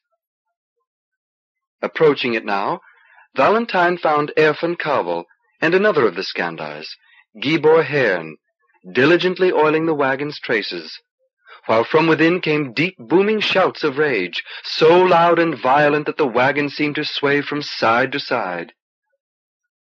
Where is your brother? Valentine asked. Gibor Haern nodded sourly toward the wagon. This would not be a wise moment to intrude. I have business with him. He has business, said Erfon Kavol, with the thieving little sorcerer we pay to guide us through the provinces and who would resign our service in Pidruid just as we are making ready to leave. Go in if you will, but you will regret it. The angry cries from the wagon grew more vociferous. Suddenly the door of the wagon burst open, and a tiny figure sprang forth. A wizened old vroon no bigger than a toy, a doll, a little feather-light creature, with ropey tentacular limbs and skin of a faded greenish tint, and huge golden eyes now bright with fear. A smear of something that might be pale yellow blood covered the vroon's angular cheek close beside its beak of a mouth. Zalzan Kavol appeared an instant later, a terrifying figure in the doorway, his fur puffed with wrath, his vast, basket-like hands impotently churning the air. To his brothers he cried, Catch him! Don't let him get away! Erfon Kavol and Gibor Haern rose ponderously and formed a shaggy wall blocking the Vroon's escape. The little being, trapped, panicky, halted and whirled and threw himself against Valentine's knees. Lord, the Vroon murmured, clinging hard, protect me. He is insane and would kill me in his anger. Zalzan Kavol said, Hold him there, Valentine. The Skandar came forward. Valentine pushed the cowering Vroon out of sight behind him and faced Zalzan Kavol squarely. Control your temper if you will. Murder this Vroon and we'll all be stuck in Pidruid forever. I mean no murder, Zalzan Kavol rumbled. I have no appetite for years of loathsome sendings. The Vroon said tremulously, He means no murder, only to throw me against a wall with all his strength. Valentine said, What is the quarrel? Perhaps I can mediate. Zalzan Kavol scowled. This dispute does not concern you. Get out of the way, Valentine. Better that I don't until your fury has subsided. Zalzan Kavol's eyes blazed. He advanced until he was no more than a few feet from Valentine, until Valentine could smell the anger-sharpened scent of the rough-thatched Skandar. Zalzan Kavol still seethed. It may be, Valentine thought, that he will throw both of us against the wall. Erfon Kavol and Gibor Haern stared from the side. Possibly they had never seen their brother defied before. There was silence a long moment. Zalzan Kavol's hands twitched convulsively, but he remained where he was. At length he said, This Vroon is the wizard Autifon Deliamber, whom I hire to show me the inland roads and to guard me against the deceits of the shapeshifters. All this week he has enjoyed a holiday at my expense in Pidruid, now it is time to leave, and he tells me to find another guide, that he has lost interest in traveling from village to village. Is this your sense of how contracts are kept, wizard? The Vroon answered, I am old and weary, and my sorceries grow stale, and sometimes I think I start to forget the road. But if you still wish it, I'll accompany you as before, Zalzan Kavol. The Skandar looked astounded. What? I've changed my mind, said Autifon Deliamber blandly, letting go his fearful clutch of Valentine's legs and stepping out into view. The Vroon coiled and opened his many rubbery boneless arms as if a dread tension were being discharged from them, and peered boldly up at the enormous Skandar. I will keep to my contract, he declared. Bewilderedly, Zalzan Kavol said, for an hour and a half you've been swearing you'll remain here in Pidruid, ignoring all my entreaties and even ignoring my threats, driving me into such rage that I was ready to smash you to pulp, to my own grievous harm as well as yours. For dead sorcerers give poor service, and the King of Dreams would rack me fearfully for such a thing. And still you were stubborn, still you denied the contract and told me to make shift elsewhere for a guide. And now at a moment's notice you retract all that. I do, Will you have the grace to tell me why? No reason, said the Vroon, except perhaps that this young man pleases me, that I admire his courage and his kindness, and the warmth of his soul. And because he goes with you, I will go with you again, for his sake and no other reason. Does that gratify your curiosity, Zalzan Kavol? The Skandar growled and sputtered in exasperation, and gestured fiercely with his outer pair of hands, as though trying to pull them free of a tangle of birdnet vines. For an instant it seemed he might burst out in some new uprising of uncontrollable anger, that he was controlling himself only by supreme effort. He said at last, Out of my sight, wizard, before I hurl you against a wall anyway, and may the divine guard your life if you aren't here to depart with us this afternoon. At the second hour after midday, Autifon Deliamber said courteously. I will be punctual, Zalzan Kavol. To Valentine he added, I thank you for protecting me. I am indebted to you, and will make repayment sooner than you think. The Vroon slipped quickly away. Zalzan Kavol said after a moment, It was a foolishness of you to come between us, Valentine. There could have been violence. I know. And if I had injured you both? I felt you would have held your anger. I was right, yes? Zalzan Kavol offered his sunless Skandar equivalent of a smile. I held my anger, true, but only because I was so amazed at your insolence that my own surprise halted me.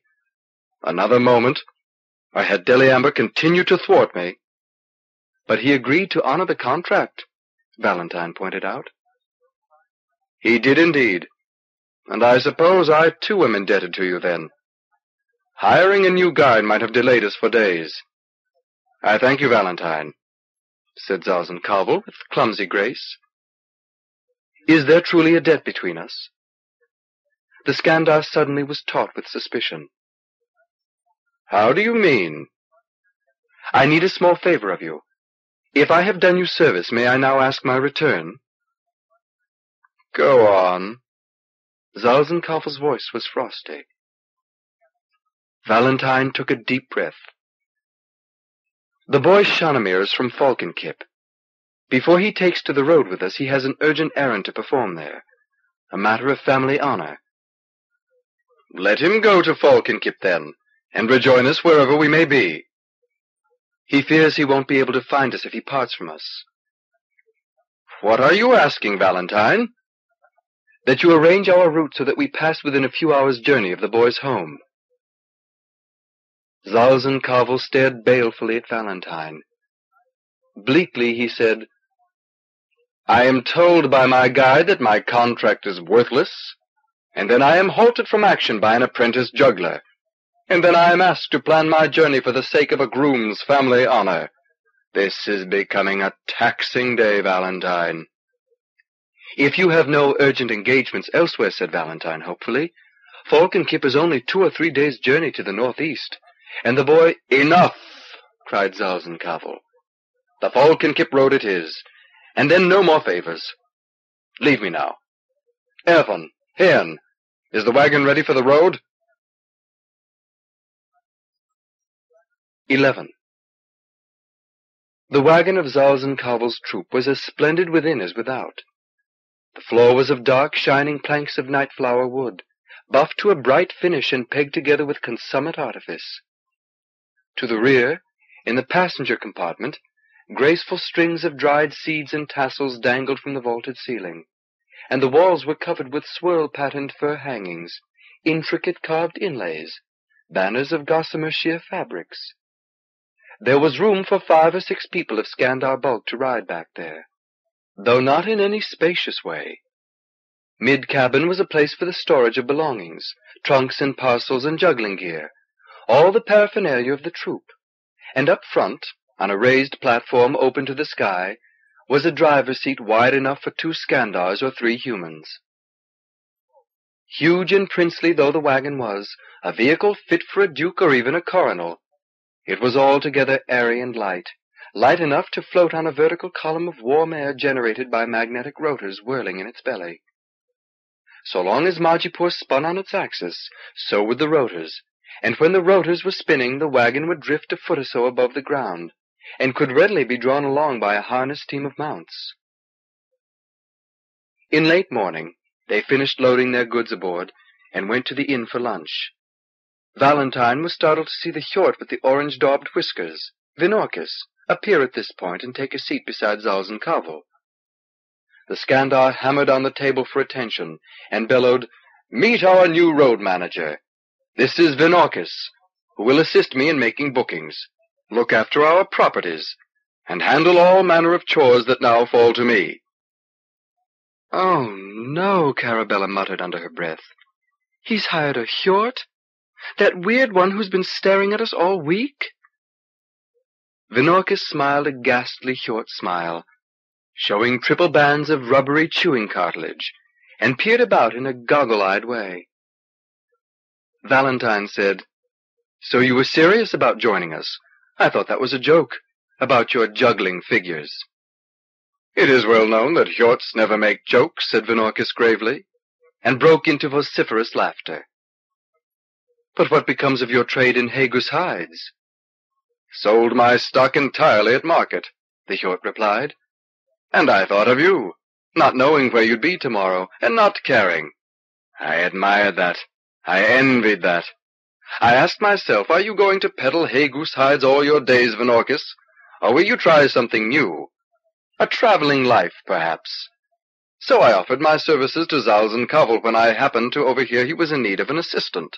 And here I am. Here you are, said Carabella sourly. Welcome. After a hearty meal, they began their departure. Shanamir led Zalzan Kavol's quartet of mounts from the stable, talking softly and soothingly to the animals as the Skandars tied them into the traces. Kavol took the reins. His brother Heitrag sat beside him, with Autifon Deliamber squeezed in alongside. Shanamir, on his own mount, rode alongside. Valentine clambered into the snug, luxurious passenger compartment along with Carabella, Vinorkis, Sleet, and the other four Skandars.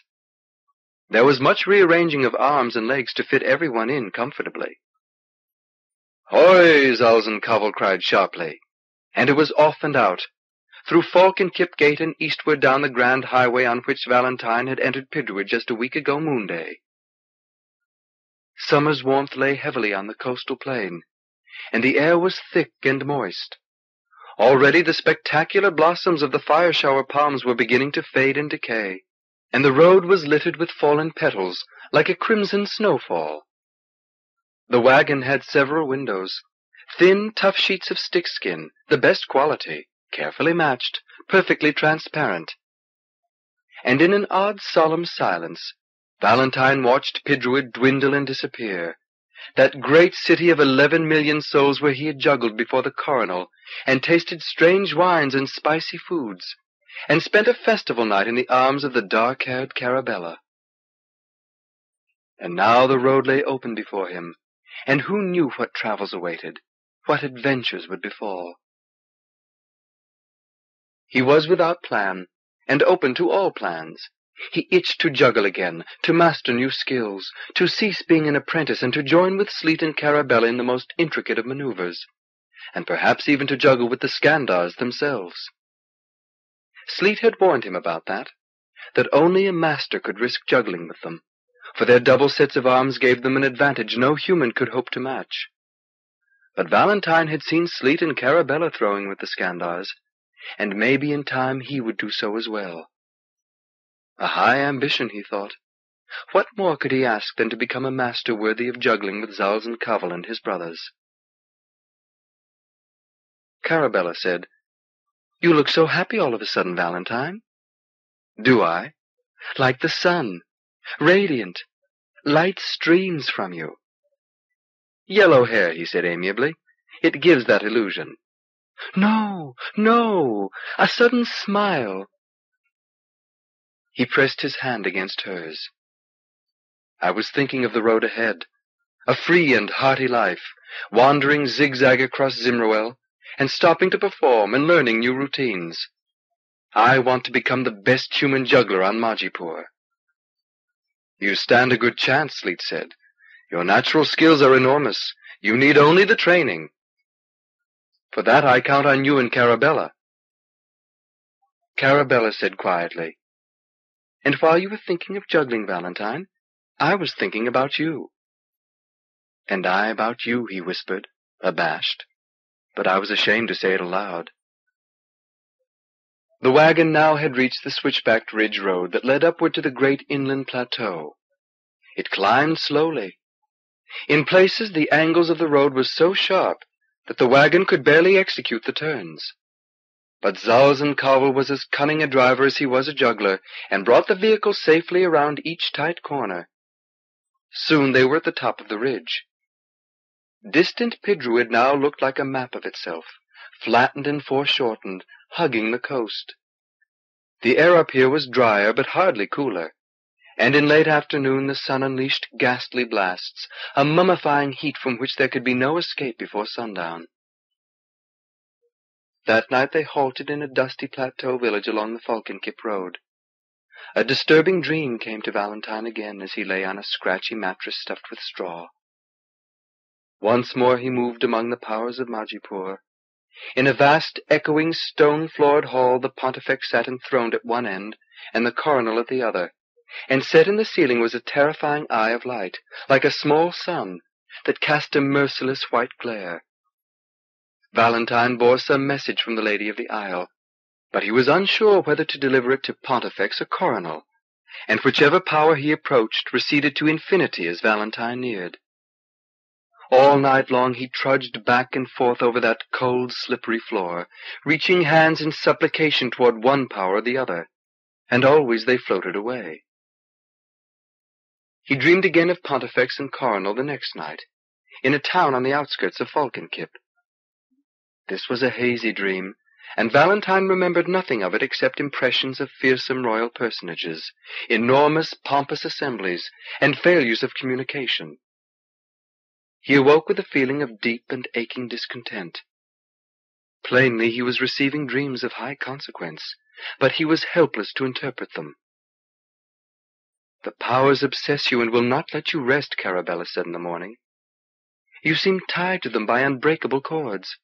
It isn't natural to dream so frequently of such mighty figures. I think surely these are sendings. Valentine nodded. In the heat of the day I imagine I feel the hands of the King of Dreams pressing coldly on my temples, and when I close my eyes his fingers enter my soul. Alarm flashed in Carabella's eyes. Can you be sure they are his sendings? Not sure, no. But I think perhaps the lady. The lady sends kinder, softer dreams, so I believe, said Valentine. These are sendings of the king, I much fear. But what does he want of me? What crime have I done? She frowned. In Falkynkip, Valentine, take yourself to a speaker as you promised. I'll look for one, yes. Found Deliamber, joining the conversation unexpectedly, said, May I make a recommendation? Valentine had not seen the wizened little Vroon approach. He looked down, surprised. Pardon, the sorceress said offhandedly. I happen to overhear. You are troubled by sendings, you think? They could be nothing else. Can you be certain? I'm certain of nothing, not even of my name, or yours, or the day of the week. Sendings are rarely ambiguous.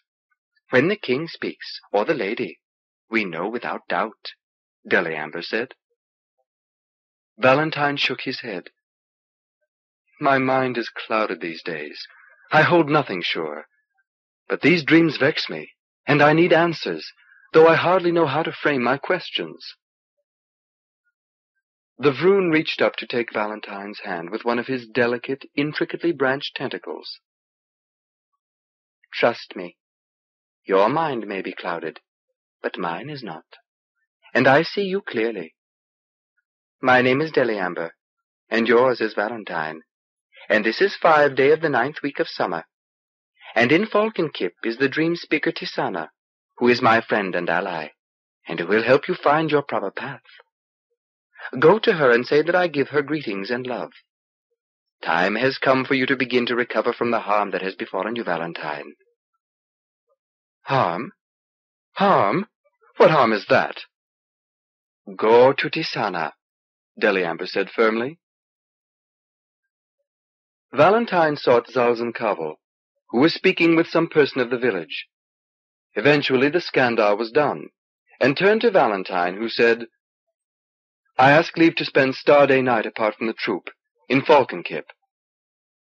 Also a matter of family honor? asked Zalzan Kavol sardonically. A matter of private business. May I? The Skandar shrugged an elaborate four-shouldered shrug. There is something strange about you, something troublesome to me. But do as you wish. We perform in Falkynkip anyway, tomorrow, at the market fair. Sleep where you like, but be ready to leave early Sunday morning, eh? 12. Falkynkip was nothing in the way of being a city to compare with huge, sprawling Pidruid, but all the same was far from insignificant, a county seat that served as metropolis for a ranching district of great size. Perhaps three quarters of a million people lived in and about Falkynkip, and five times as many in the outlying countryside. But its pace was different from Pidruid's, Valentine observed. Possibly its location on this dry, hot plateau rather than along the mild and humid coast had something to do with that. But people moved deliberately here, with stolid, unhurried manners. The boy Shanamir made himself scarce on Star Day. He had indeed slipped off secretly the night before to his father's farm some hours north of the city, where, so he told Valentine the next morning, he had left the money he had earned in Pidruid and a note declaring that he was going off to seek adventure and wisdom, and had managed to get away again without being noticed. But he did not expect his father to take lightly the loss of so skilled and useful a hand, and fearing that municipal proctors would be out in search of him, Shanamir proposed to spend the rest of his stay in Falkynkip hidden in the wagon. Valentine explained this to Zalzan Kavol, who agreed with his usual acrid grace. That afternoon, at the fair, the jugglers came marching boldly out, Carabella and Sleet leading the way, he banging a drum, she tapping a tambourine and singing a lilting jingle. Spare a royal, spare a crown, gentlefolk, come sit ye down. Astonishment and levity, come and see our jugglery. Spare an inch and spare a mile, gentlefolk, we'll make you smile. Cup and saucer, ball and chair, dancing lightly in the air. Spare a moment, spare a day, and we'll spin your cares away. A moment's time, a coin well spent, will bring you joy and wonderment. But levity and wonderment were far from Valentine's spirit that day, and he juggled poorly. He was tense and uneasy from too many nights of troubled sleep, and also was inflamed with ambitions that went beyond his present skills, which led him to overreach himself. Twice he dropped clubs. But Sleet had shown him ways of pretending that that was part of the routine, and the crowd seemed forgiving. Forgiving himself was a harder matter. He crept off sullenly to a wine stand while the Skandars took the center of the stage. From a distance he watched them working, the six huge, shaggy beings weaving their twenty-four arms in precise and flawless patterns. Each juggled seven knives while constantly throwing and receiving others, and the effect was spectacular, the tension extreme, as the silent interchange of sharp weapons went on and on. The placid burghers of Falkynkip were spellbound. Watching the Skandars, Valentine regretted all the more his own faulty performance. Since Pidruid, he had yearned to go before an audience again. His hands had twitched for the feel of clubs and balls, and he had finally had his moment, and had been clumsy. No matter. There would be other marketplaces, other fairs. All across Zimroel the troupe would wander, year after year, and he would shine. He would dazzle audiences. They would cry out for Valentine the juggler. They would demand encore after encore, until Zalzan Kavol himself looked black with jealousy. A king of jugglers, yes. A monarch, a coronal of performers. Why not? He had the gift. Valentine smiled. His dour mood was lifting. Was it the wine, or his natural good spirits reasserting themselves? He had been at the art only a week after all, and look what he had achieved already. Who could say what wonders of eye and hand he would perform when he had had a year or two of practice? Autifon Deliamber was at his side. Tisan is to be found in the street of Watermongers, the diminutive sorcerer said. She expects you shortly. Have you spoken to her of me, then? No, said Deliamber. But she expects me. Ha! Is it by sorcery? Something of that, the Vroon said, giving a Vroonish wriggle of the limbs that amounted to a shrug. Go to her soon. Valentine nodded. He looked across. The Skandars were done and Sleet and Carabella were demonstrating one-arm juggling. How elegantly they moved together, he thought. How calm, how confident they were. How crisp of motion. and how beautiful she is. Valentine and Carabella had not been lovers since the night of the festival, though sometimes they had slept side by side. It was a week now, and he had felt aloof and apart from her, though nothing but warmth and support had come from her to him. These dreams were the problem, draining and distracting him. To Tisana, then, for a speaking, and then perhaps tomorrow to embrace Carabella again. The street of watermongers, he said to Deliamber. Very well. Will there be a sign marking her dwelling? Ask, Deliamber said. As Valentine set out, the Hjort Vinorkis stepped from behind the wagon and said, Off for a night on the town, are you? An errand, Valentine said. Want some company? The Hjort laughed his coarse, noisy laugh. We could hit a few taverns together, hoy? I wouldn't mind getting away from all this jugglery for a few hours. Uneasily, Valentine said, It's the sort of thing one must do by oneself. Vinorkis studied him a moment. Not too friendly, are you? Please, it's exactly as I said. I must do this alone. I'm not going tavern crawling tonight, believe me. The Hjort shrugged. All right. Be like that. See if I care. I just wanted to help you have fun. Show you the town, take you to a couple of my favorite places. Another time, said Valentine quickly. He strode off toward Falkynkip. The street of watermongers was easy enough to find. This was an orderly town, no medieval maze like Pidruid, and there were neat and comprehensible city maps posted at every major intersection. But finding the home of the dream speaker Tisana was a slower business, for the street was long and those he asked for directions merely pointed over their shoulders toward the north. He followed along steadfastly, and by early evening reached a small gray, rough-shingled house in a residential quarter far from the marketplace. It bore on its weather-worn front door two symbols of the powers, the crossed lightning bolts that stood for the King of Dreams, and the triangle within triangle that was the emblem of the Lady of the Isle of Sleep. Tisana was a sturdy woman of more than middle years, heavy-bodied and of unusual height, with a broad, strong face and cool, searching eyes. Her hair, thick and unbound, black streaked with swaths of white, hung far down her shoulders. Her arms, emerging bare from the gray cotton smock that she wore, were solid and powerful, although swinging dewlaps of flesh hung from them. She seemed a person of great strength and wisdom. She greeted Valentine by name, and bade him be comfortable in her house. I bring you, as you must already know, the greetings and love of Autifon Deliamber, he said. The dream speaker nodded gravely. He has sent advance word, yes. That rascal. But his love is worth receiving for all his tricks. Convey the same from me to him. She moved around the small dark room, closing draperies, lighting three thick red candles, igniting some incense. There was little furniture, only a high-piled woven rug in tones of gray and black, a venerable wooden table on which the candle stood, and a tall clothes cabinet in antique style. She said as she made her preparations, I've known Deliamber nearly forty years. Would you believe it? It was in the early days of the reign of Tyeveras that we met, at a festival in Piliplok, when the new coronal came to town, Lord Malibor that drowned on the sea-dragon hunt. The little Vroon was tricky even then.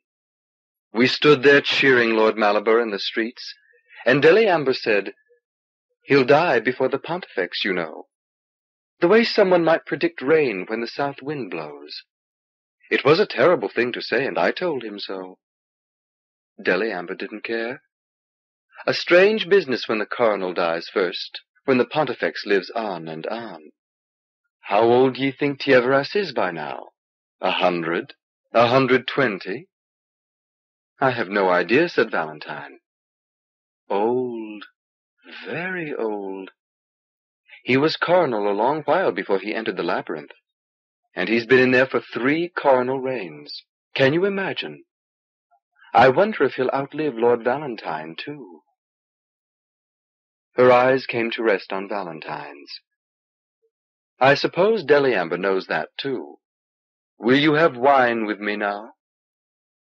Yes, Valentine said, uncomfortable with her blunt, outgoing manner, and with the sense she gave him of knowing far more about him than he knew himself.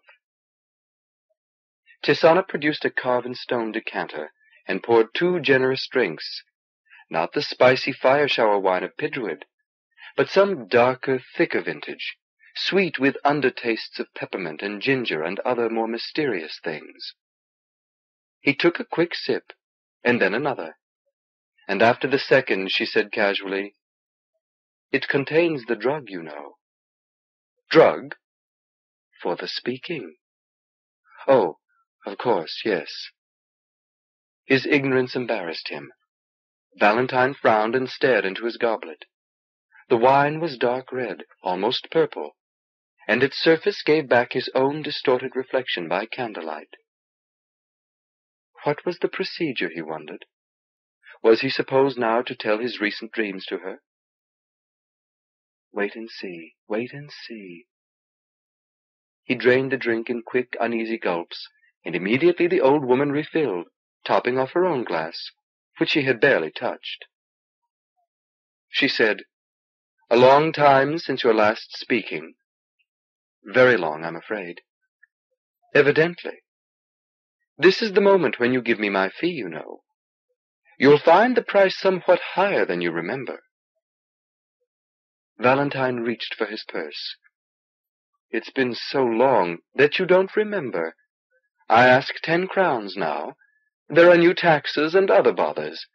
In Lord Voriax's time it was five, and when I first took up speaking, in the reign of Lord Malibor, I got two or two and a half. Is ten a burden for you?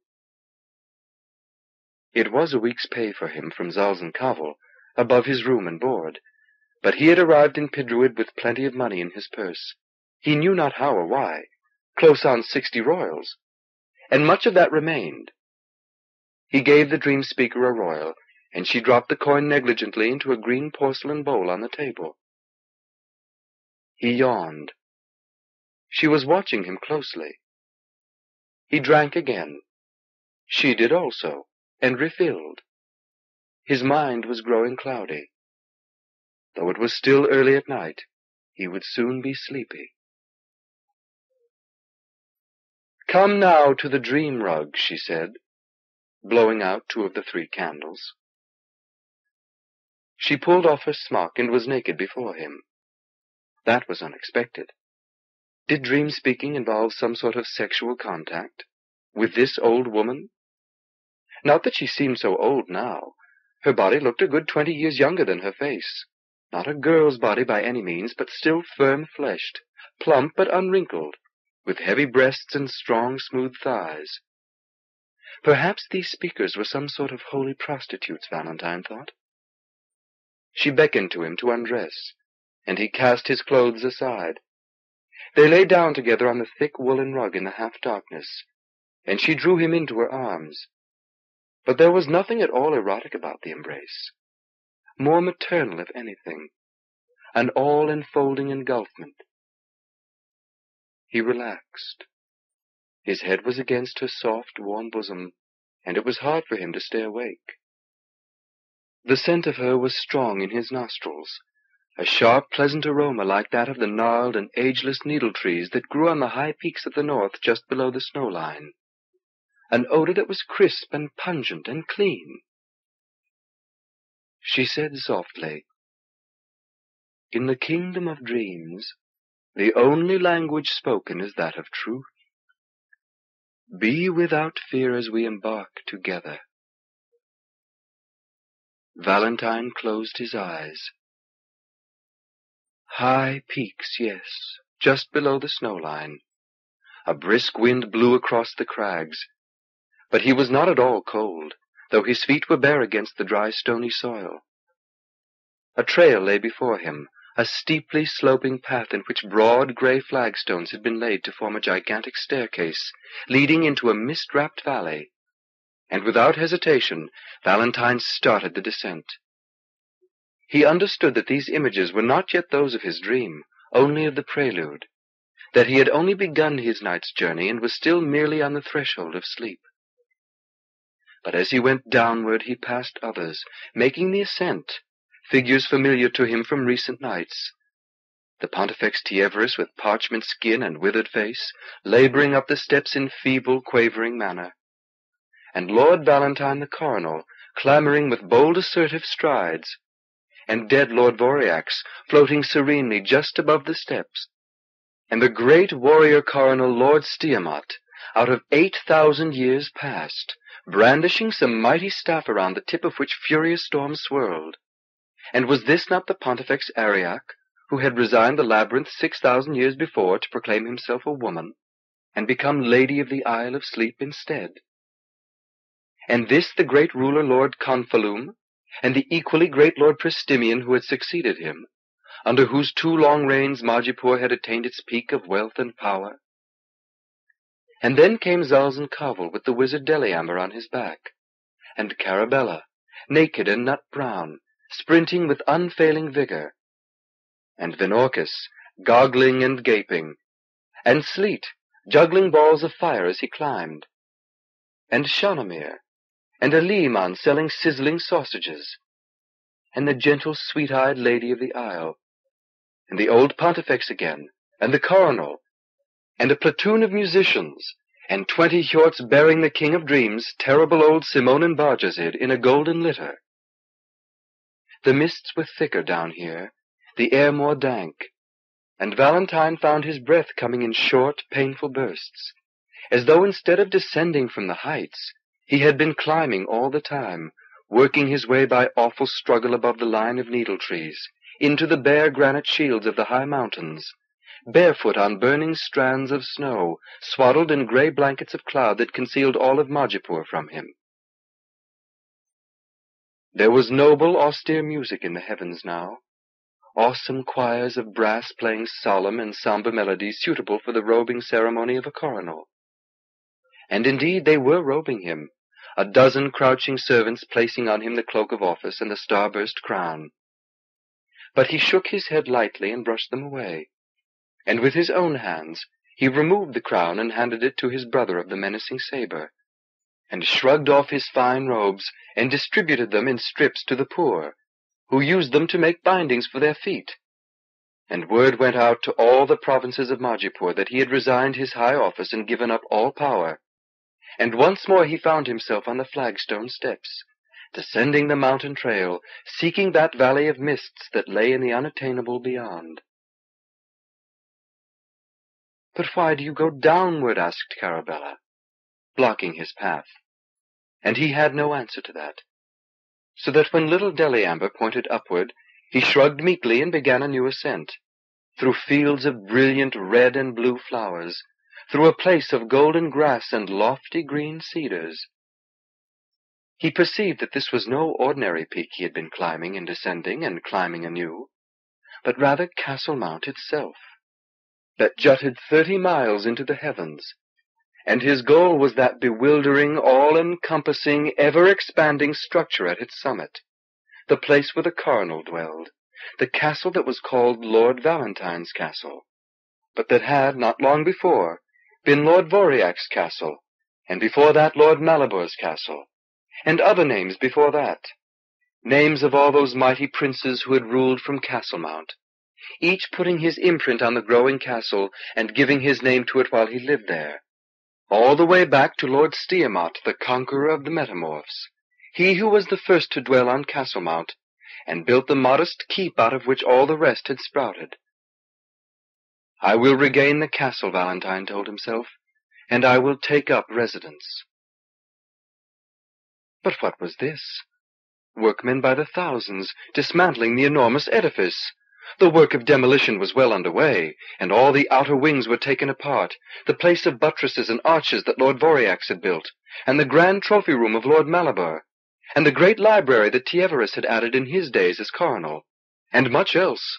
All those rooms now mere piles of bricks laid in neat mounds on the slopes of the mount, and they were working inward toward more ancient wings, to the garden house of Lord Confalume, and the armory of Lord Dekkeret, and the archive vault of Lord Prestimion, removing those places brick by brick by brick, like locusts sweeping over the fields at harvest time.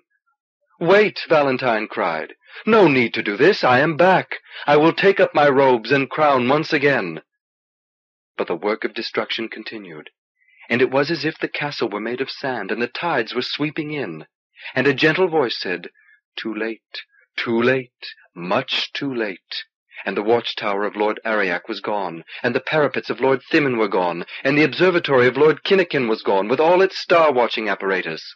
And Castlemount itself was shuddering and swaying as the removal of the castle disrupted its equilibrium. And workmen now were running frantically with bricks in their hands, seeking flat places on which to stack them. And a dread eternal night had come, and baleful stars swelled and writhed in the sky and the machineries that held back the chill of space atop Castlemount were failing, so that the warm, mild air was flowing moonward, and there was sobbing in the depths of the planet, and Valentine stood amid the scenes of disruption and gathering chaos, holding forth outstretched fingers to the darkness. The next thing he knew, morning light was in his eyes, and he blinked and sat up confused, wondering what inn this was and what he had been doing the night before. For he lay naked on a thick woolly rug in a warm, strange room, and there was an old woman moving about, brewing tea, perhaps? Yes, the dream speaker Tisana. And this was Falkynkip, in the street of watermongers. His nakedness discomforted him. He rose and dressed quickly. Tisana said, Drink this. I'll put some breakfast up, now that you're finally awake. He looked dubiously at the mug she handed him. Tea, she said. Nothing but tea. The time for dreaming is long past. Valentine sipped at it while she bustled around the small kitchen. There was a numbness in his spirit, as though he had caroused himself into insensibility, and now had a reckoning to pay. And he knew there had been strange dreams, a whole night of them. But yet he felt none of the malaise of the soul that he had known upon awakening these past few mornings, only that numbness, a curious, centered calmness, almost an emptiness. Was that the purpose of visiting a dream speaker? He understood so little. He was like a child loose in this vast and complex world. They ate in silence. Tisana seemed to be studying Valentine intently across the table. Last night she had chattered much before the drug had had its effect. But now she seemed subdued, reflective, almost withdrawn, as if she needed to be apart from him while preparing to speak his dream. At length she cleared the dishes and said, How do you feel? Quiet within. Good, good, that's important. To go away from a dream speaker in turmoil is a waste of money. I have no doubts, though. Your spirit is strong. Is it? Stronger than you know. Reverses that would crush an ordinary person leave you untouched. You shrug off disaster and whistle in the face of danger. You speak very generally, Valentine said. I am an oracle, and oracles are never terribly specific, she replied lightly. Are my dreams sendings? Will you tell me that at least? She was thoughtful a moment. I am uncertain. But you share them. Aren't you able to know at once if a dream comes from the lady or the king? Peace, peace, this is not so simple, she said, waving a palm at him. Your dreams are not sendings of the lady, this I know. Then if they are sendings, they are of the king. Here is the uncertainty. They have an aura of the king about them in some way, yes, but not the aura of sendings. I know you find that hard to fathom. So do I. I do believe the king of dreams watches your doings, and is concerned with you. But it doesn't seem to me that he's been entering your sleep. It confounds me. Has anything like this been known to you before? The dream speaker shook her head. Not at all. Is this my speaking, then? Only more mysteries and unanswered questions?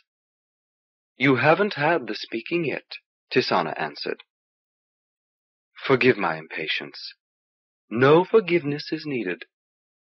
Come, give me your hands, and I'll make a speaking for you. She reached for him across the table, and grasped and held him, and after a long while said, You have fallen from a high place, and now you must begin to climb back to it. He grinned. A high place? The highest. The highest place on Majipoor, he said lightly, is the summit of Castlemount. Is that where you would have me climb? There. Yes. A very steep ascent you lay upon me. I could spend my entire life reaching and climbing that place. Nevertheless, Lord Valentine, that ascent awaits you, and it is not I who lays it on you. He gasped at her use of the royal title to him, and then burst out laughing at the grossness of it, the tastelessness of her joke. Lord Valentine! Lord Valentine! No, you do me far too much honor, Madame Tisana. Not Lord Valentine, only Valentine. Valentine the juggler is all, the newest of the troupe of Zalzan the Skandar. Her gaze rested steadily on him.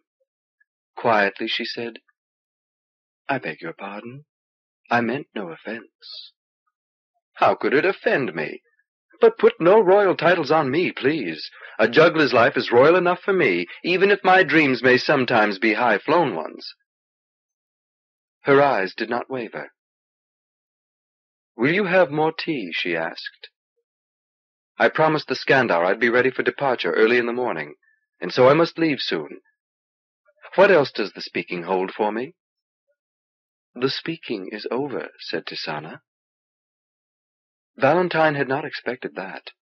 He was awaiting interpretations, analysis, exegesis, counsel, and all he had had from her I have fallen and I must climb back on high. That's all you tell me for a royal? Fees for everything grow larger nowadays, she said without rancor. Do you feel cheated? Not at all. This has been valuable for me in its fashion. Politely said, but false. Nevertheless, you have received value here. Time will make that clear to you. She got to her feet and Valentine rose with her. There was about her an aura of confidence and strength. I wish you a good journey, she said, and a safe ascent.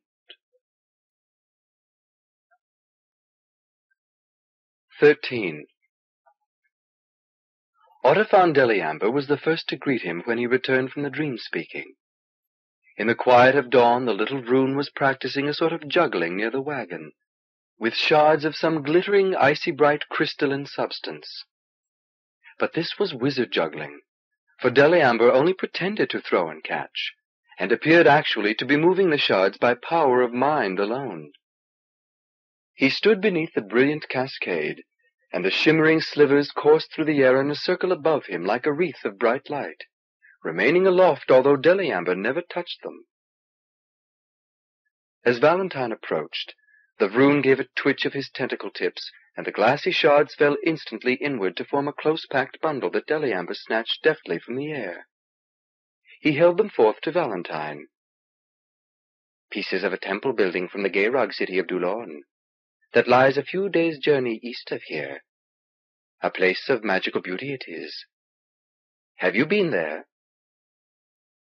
The enigmas of the dream-speaking night still lay heavy on Valentine and he had no taste for Deliamber's flamboyant spirit this early in the morning. Shrugging, he said, I don't remember. You'd remember if you had. A city of light, a city of frozen poetry. The Vroon's beak clacked, a Vroonish sort of smile. Or perhaps you wouldn't remember. I suppose not.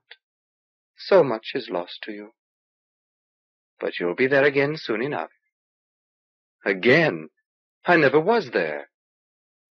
If you were there once, you'll be there again when we get there. If not, not. However it may be for you, Dulorn is our next stop, so says our beloved Skandar. Deliamber's mischievous eyes probed Valentine's.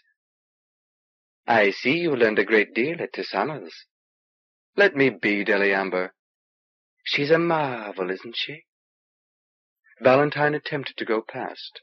I learned nothing there, he said tightly. I wasted an evening. Oh, no, no, no. Time is never wasted. Give me your hand, Valentine. The Vroon's dry, rubbery tentacles slipped around Valentine's reluctant fingers. Solemnly Deliamber said, Know this, and know it well. Time is never wasted. Wherever we go, whatever we do, everything is an aspect of education, even when we don't immediately grasp the lesson. Tisana told me approximately the same thing as I was leaving, Valentine murmured sullenly. I think you two are in conspiracy. But what did I learn?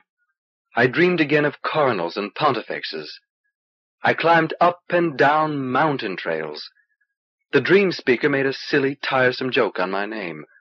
I rid myself of a royal better spent on wine and feasting. No, I achieved nothing. He attempted to withdraw his hand from Deliamber's grip, but the Vroon held him with unexpected strength. Valentine felt an odd sensation, as of a chord of somber music rolling through his mind. And somewhere beneath the surface of his consciousness, an image glimmered and flashed, like some sea dragon stirring and sounding in the depths. But he was unable to perceive it clearly. The core of the meaning eluded him. Just as well. He feared to know what was stirring down there, an obscure and incomprehensible anguish flooded his soul. For an instant it seemed to him that the dragon in the depths of his being was rising, was swimming upward through the murk of his clouded memory toward the levels of awareness. That frightened him. Knowledge, terrifying and menacing knowledge, was hidden within him, and now was threatening to break loose. He resisted. He fought. He saw little Deliamber staring at him with terrible intensity, as if trying to lend him the strength he needed to accept that dark knowledge. But Valentine would not have it. He pulled his hand free with sudden violent force, and went lurching and stumbling toward the Skandar wagon. His heart was pounding fiercely, his temples throbbed, he felt weak and dizzy. After a few uncertain steps he turned and said angrily, What did you do to me? I merely touched my hand to yours, and gave me great pain. I may have given you access to your own pain, said Deliamber quietly. Nothing more than that. The pain is carried within you. You have been unable to feel it, but it's struggling to awaken within you, Valentine. There's no preventing it. I mean to prevent it. You have no choice but to heed the voices from within. The struggle has already begun. Valentine shook his aching head. I want no pain and no struggles. I've been a happy man this last week. Are you happy when you dream? These dreams will pass from me soon. They must be sendings intended for someone else. Do you believe that, Valentine? Valentine was silent. After a moment, he said, I want only to be allowed to be what I want to be. And that is? A wandering juggler, a free man. Why do you torment me this way, Deliamber? I would gladly have you be a juggler, the Vroon said gently. I mean you no sorrow. But what one wants often has little connection with what may be marked out for one on the great scroll. I will be a master juggler, said Valentine, and nothing more than that, and nothing less. I wish you well, Deliamber said courteously, and walked away. Slowly Valentine let his breath escape. His entire body was tense and stiff, and he squatted and put his head down, stretching out first his arms and then his legs, trying to rid himself of these strange knots that had begun to invade him. Gradually he relaxed a little. but some residue of uneasiness remained, and the tension would not leave him. These tortured dreams, these squirming dragons in his soul, these portents and omens. Carabella emerged from the wagon and stood above him as he stretched and twisted. Let me help, she said, crouching down beside him. She pushed him forward until he lay sprawled flat, and her powerful fingers dug into the taut muscles of his neck and back. Under her ministrations he grew somewhat less tense, yet his mood remained dark and troubled. The speaking didn't help you? she asked softly. No. Can you talk about it? I'd rather not, he said. Whatever you prefer. But she waited expectantly, her eyes alert, shining with warmth and compassion. He said, I barely understood the things the woman was telling me, and what I understood I can't accept. But I don't want to talk about it. Whenever you do, Valentine, I'm here. Whenever you feel the need to tell someone. Not right now. Perhaps never. He sensed her reaching toward him, eager to heal the pain in his soul as she had grappled with the tensions in his body. He could feel the love flooding from her to him. Hmm. Valentine hesitated. He did battle within himself. Haltingly he said, The things the speaker told me. Yes. No. To talk of these things was to give them reality. And they had no reality. They were absurdities. They were fantasies. They were foolish vapors. Were nonsense, Valentine said. What she said isn't worth discussing. Carabella's eyes reproached him. He looked away from her. Can you accept that? he asked roughly. She was a crazy old woman and she told me a lot of nonsense, and I don't want to discuss it, not with you, not with anyone.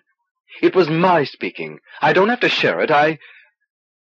He saw the shock on her face. In another moment he would be babbling. He said in an entirely different tone of voice, Get the juggling balls, Carabella. Now? Right now. But I want you to teach me the exchange between jugglers, the passing of the balls. Please. We are due to leave in half an hour. Please, he said urgently. She nodded and sprinted up the steps of the wagon, returning a moment later with the balls. They moved apart, to an open place where they would have room, and Carabella flipped three of the balls to him. She was frowning. What's wrong? he asked. Learning new techniques when the mind is troubled is never a good idea. It might calm me, he said. Let's try. As you wish. She began to juggle the three balls she held, by way of warming up.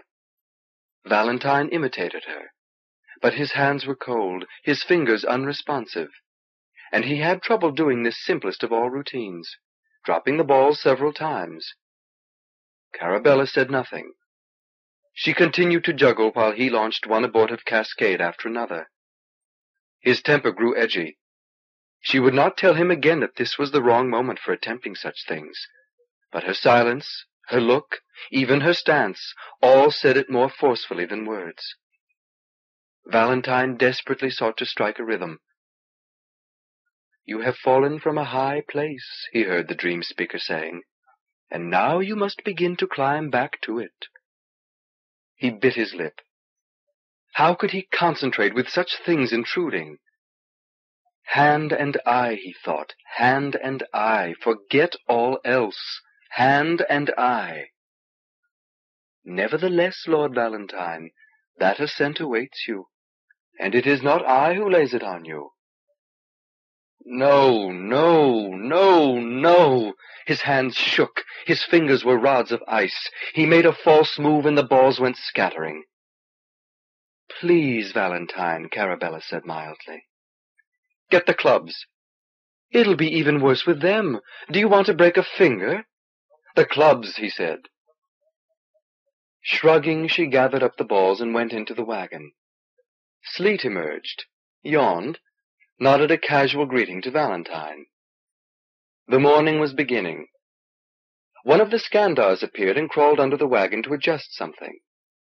Carabella came out bearing six clubs. Behind her was Shanamir, who gave Valentine a quick salute and went to feed the mounts. Valentine took the clubs. Conscious of Sleet's cool eyes on him, he put himself into the juggling position, threw one club high, and botched the catch. No one spoke. Valentine tried again. He managed to get the three clubs into sequence, but for no more than thirty seconds. Then they spilled, one landing unpleasantly on his toe. Valentine caught sight of Autifon Deliamber watching the scene from a distance. He picked up the clubs again. Carabella facing him, patiently juggled her three, studiously ignoring him.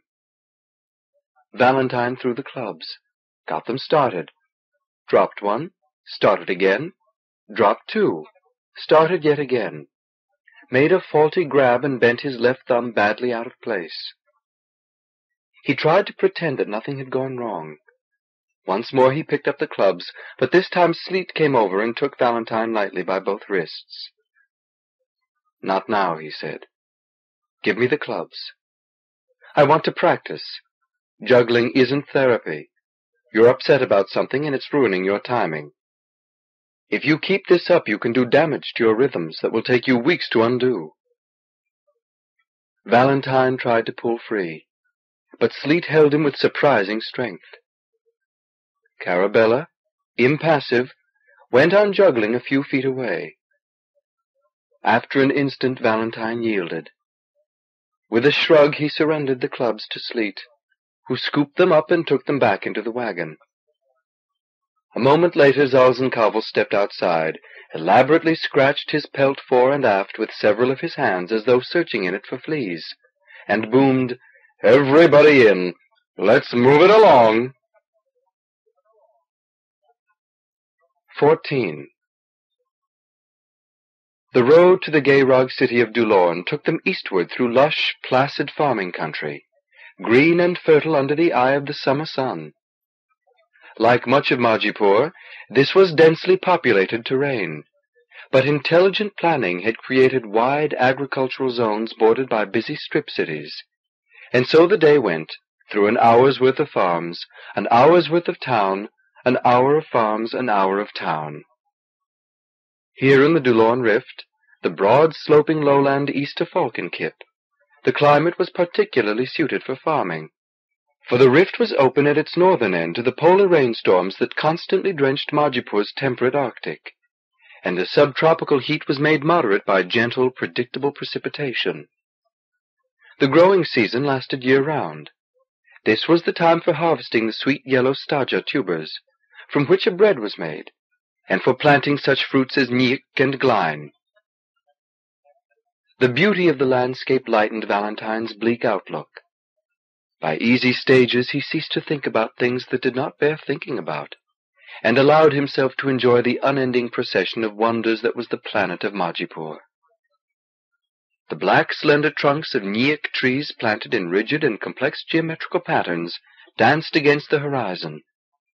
Teams of Hjort and human farmers in rural costumes moved like invading armies across the staja fields, plucking the heavy tubers, now the wagon glided quietly through a district of lakes and streams, and now through one where curious blocks of white granite jutted tooth-fashion from the smooth grassy plains.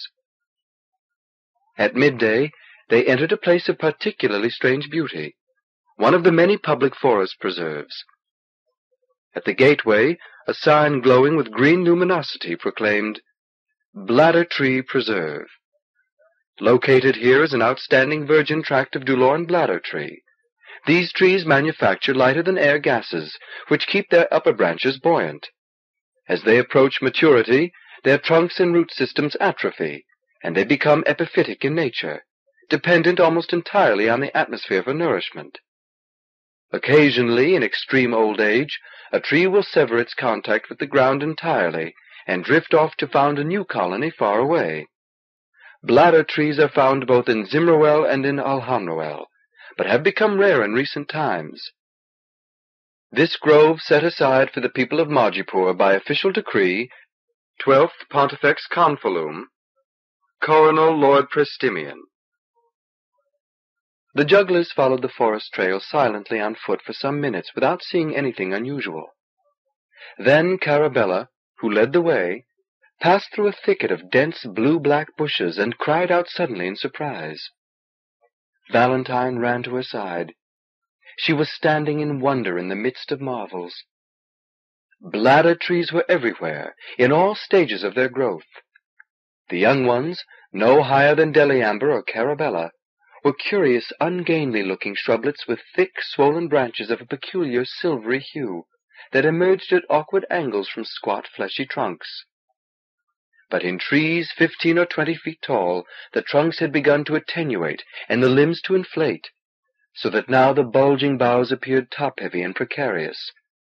And in even older trees, the trunks had shriveled to become nothing more than rough, scaly guy ropes by which the trees' buoyant crowns were fastened to the ground. High overhead they floated and bobbed in the gentlest breeze, leafless, turgid, the branches puffed up like balloons. The silvery color of the young branches became, in maturity, a brilliant translucent gleam, so that the trees seemed like glass models of themselves, shining brightly in the shafts of sunlight through which they danced and weaved. Even Zalzan Kavol seemed moved by the strangeness and beauty of the trees. The Skandar approached one of the tallest, its gleaming, swollen crown floating far overhead, and carefully, almost reverently, encircled its taut, narrow stem with his fingers. Valentine thought Zalzan Kavol might be minded to snap the stem and send the bladder tree floating away like a glittering kite. But no. The Skandar seemed merely to be marking the slenderness of the stem, and after a moment he stepped back, muttering to himself. For a long while they wandered among the bladder trees, studying the little ones, observing the stages of growth, the gradual narrowing of the trunks and bloating of the limbs. The trees were leafless and no flowers were apparent. It was difficult to believe that they were vegetable creations at all, so vitreous did they seem. It was a place of magic. The darkness of his earlier mood now seemed a mystery to Valentine, on a planet where such beauty abounded, how could one have any need for brooding or fretting? Here, Carabella called. Catch! She had gauged the change in his spirits, and had gone to the wagon for the juggling balls. Now she threw three of them to him, and he went easily into the basic cascade, and she the same, in a clearing surrounded by glistening bladder trees. Carabella stood facing him, just a few feet away. They juggled independently for three or four minutes, until a symmetry of phase encompassed them and they were throwing in identical rhythms. Now they juggled together, mirroring one another, Valentine feeling a deeper calmness settling over him with each cycle of throws. He was balanced, centered, tuned. The bladder trees, stirring lightly in the wind, showered him with dazzles of refracted light. The world was silent and serene.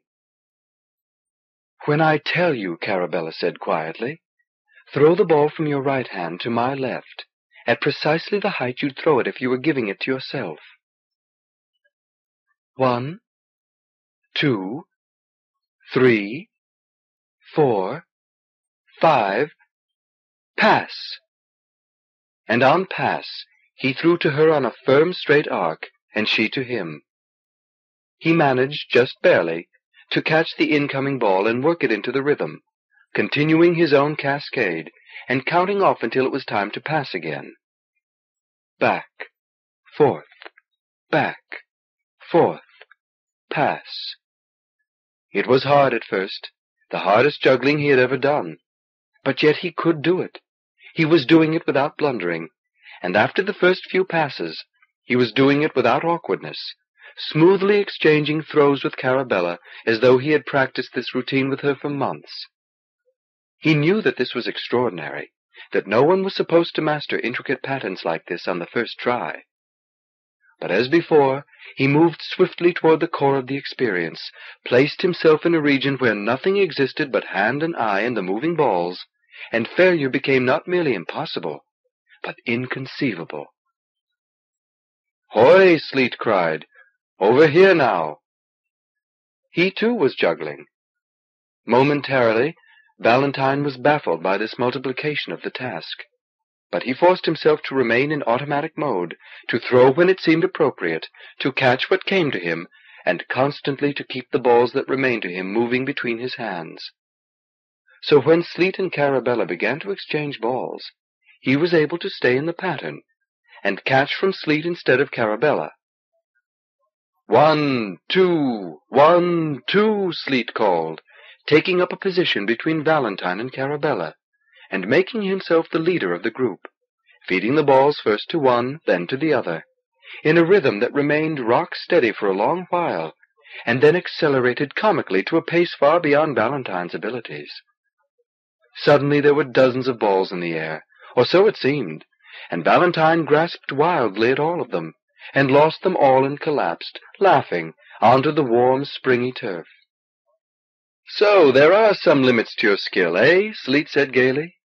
Good, good. I was beginning to wonder whether you were mortal. Valentine chuckled. Mortal enough, I fear. Lunch, Deliamber called. He presided over a pot of stew hanging from a tripod above a glow globe. The Skandars, who had been doing some practice of their own in another part of the grove, appeared as if conjured from the soil, and helped themselves with ungracious eagerness.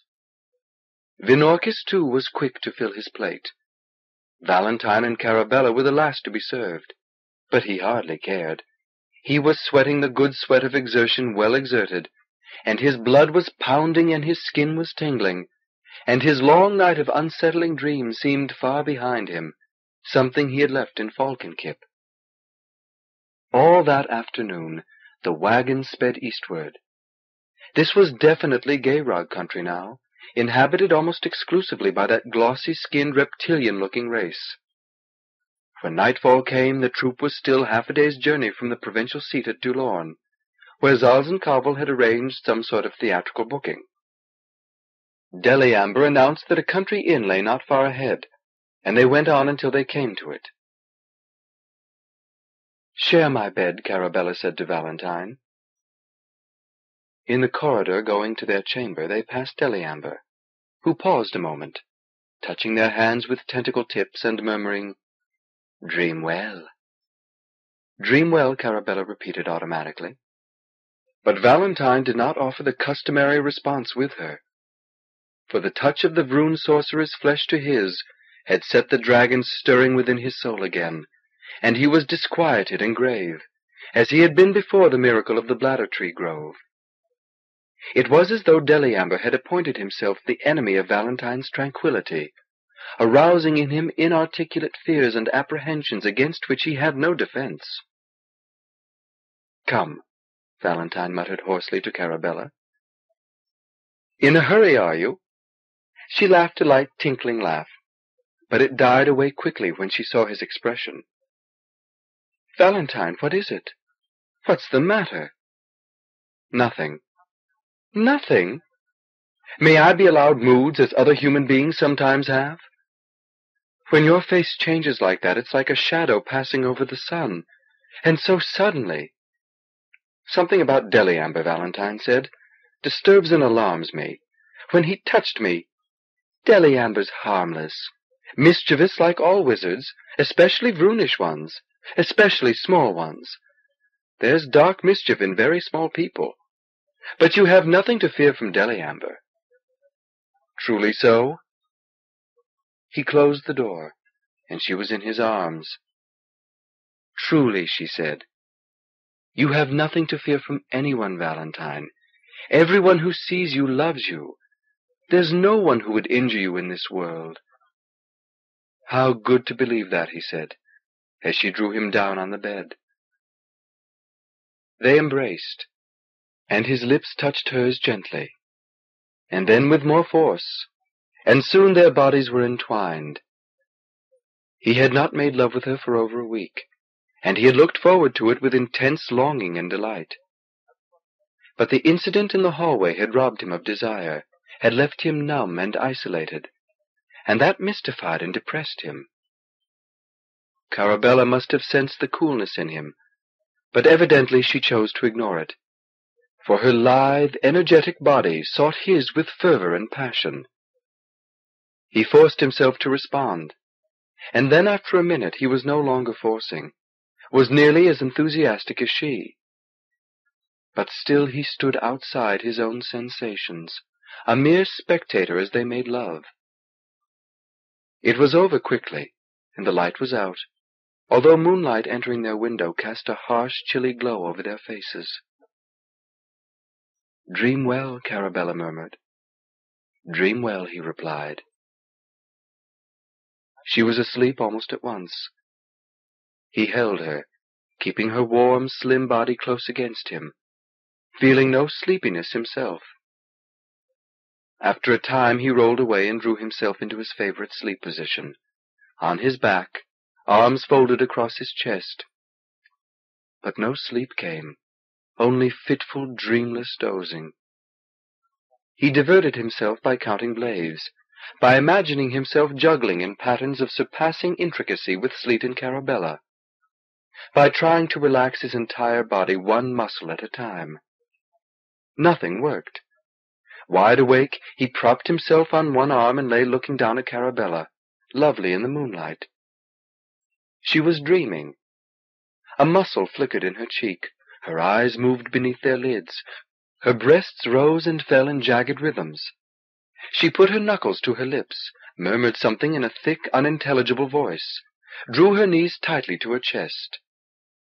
Her lean, bare form looked so beautiful that Valentine wanted to reach out to her, to stroke her cool thighs, to touch his lips lightly to her small, rigid nipples. But no, it was uncouth to interrupt a dreamer. It was an unforgivable breach of civility. So he was content to watch her, and to love her from afar, and to savor the reawakened desire that he felt. Carabella cried out in terror. Her eyes opened, but she saw nothing, the sign of ascending. A shudder went rippling the length of her body. She trembled and turned to him, still asleep, still dreaming, and he held her while she whimpered and moaned, giving her dream service, dream comfort, protecting her against the darkness of the spirit by the strength of his arms.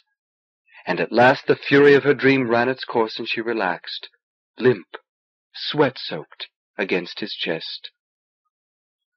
She lay still for some moments, until Valentine thought she had fallen peacefully asleep.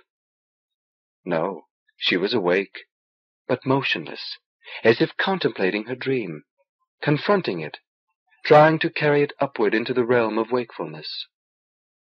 Suddenly she sat upright and gasped and covered her mouth with her hand. Her eyes were wild and glassy. My lord, she whispered. She backed away from him, scuttling across the bed in a strange crab-like crawl, holding one arm folded above her breasts and the other as a kind of shield across her face. Her lips were quivering, Valentine reached for her, but she pulled away in horror and threw herself to the rough wooden floor, where she crouched in an eerie huddle, folded inward on herself as if trying to conceal her nakedness. Carabella, he said, bewildered. She looked up at him. Lord, Lord, please, let me be, Lord, and bowed again, and made the starburst with her fingers, the two-handed gesture of obeisance that one makes only when one comes before the coronal. 15. Wondering whether it might be he and not she that had been dreaming, and the dream still going on, Valentine rose, found a robe for Carabella to wear, put on one of his own garments. Still she crouched apart from him, stunned and shattered. When he tried to comfort her, she pulled away, huddling still deeper into herself. What is it? he asked. What happened, Carabella? I dreamed. I dreamed that you were... She faltered. So real, so terrible. Tell me. I'll speak your dream for you if I can. It needs no speaking. It speaks of itself. She made the starburst sign at him again. In a cold, low, inflectionless voice she said, I dreamed that you were the true Coronal Lord Valentine, that had been robbed of your power and all your memory, and set into another's body, and turned loose near Pidruid to roam and live an idle life, while someone else ruled in your stead. Valentine felt himself at the edge of a great abyss, and the ground crumbling beneath his feet. Was this ascending, he asked. It was ascending. I know not from whom, lady or king, but it was no dream of mine. It was something that was placed in my mind from outside. I saw you, Lord. Stop calling me that. Atop Castle Mount, and your face was the face of the other Lord Valentine, the dark-haired one we juggled for. And then you came down from the mount to travel on the grand processional in all the lands. And while you were in the south, in my own city of Til-omon it was, they gave you a drug and seized you in your sleep, and changed you into this body and cast you out. And no one was the wiser that you had been magicked out of your royal powers. And I have touched you, Lord, and shared your bed, and been familiar with you in a thousand ways. And how will I be forgiven, Lord? Carabella! She cowered and trembled. Look up, Carabella. Look at me. She shook her head. He knelt before her and touched his hand to her chin. She shuddered as though he had marked her with acid. Her muscles were rigid. He touched her again. Raise your head, he said gently. Look at me. She looked up, slowly, timidly, the way one might look into the face of the sun, fearing the brightness. He said, I am Valentine the juggler, and nothing more. No, Lord. The coronal is a dark-haired man, and my hair is golden. I beg you, Lord, let me be. You frighten me. A wandering juggler frightens you? It is not who you are that frightens me. The person you are is a friend I have come to love. It is who you have been, Lord. You have stood beside the pontifex and tasted the royal wine. You have walked in the highest rooms of Castle Mount. You have known the fullest power of the world. It was a true dream, Lord. It was as clear and real as anything I have ever seen, ascending beyond doubt, not to be questioned. And you are rightful coronal, and I have touched your body, and you have touched mine. And it is sacrilege a thousand times over for an ordinary woman like me to approach a coronal so closely, and I will die for it. Valentine smiled. If I was ever coronal, love, it was in another body, and there's nothing holy about the one you embraced tonight. But I was never coronal. Her gaze rested squarely on him. Her tone was less quavering as she said, you remember nothing of your life before Pidruid. You were unable to tell me your father's name. And you told me of your childhood in Ni-moya, and didn't believe it yourself. And you guessed at a name for your mother. Is this not true? Valentine nodded. And Shanamir has told me you had much money in your purse, but had no idea what any of it was worth, and tried to pay a sausage man with a fifty royal piece. True? He nodded again. As though you had lived all your life at court, perhaps, and never handled money. You know so little, Valentine. You have to be taught like a child.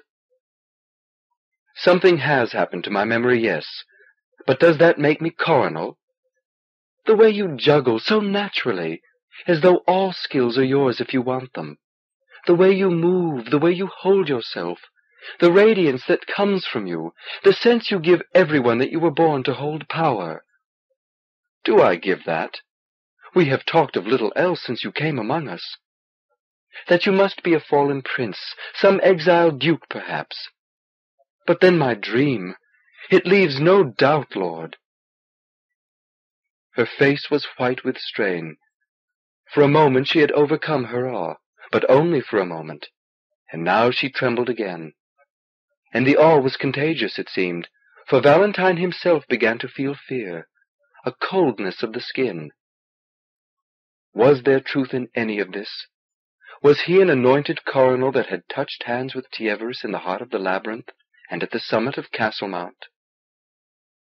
He heard the voice of the dream speaker Tisana.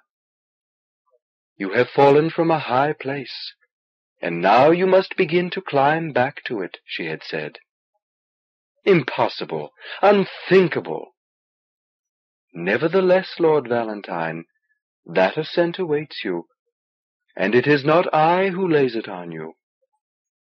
Unreal! Impossible!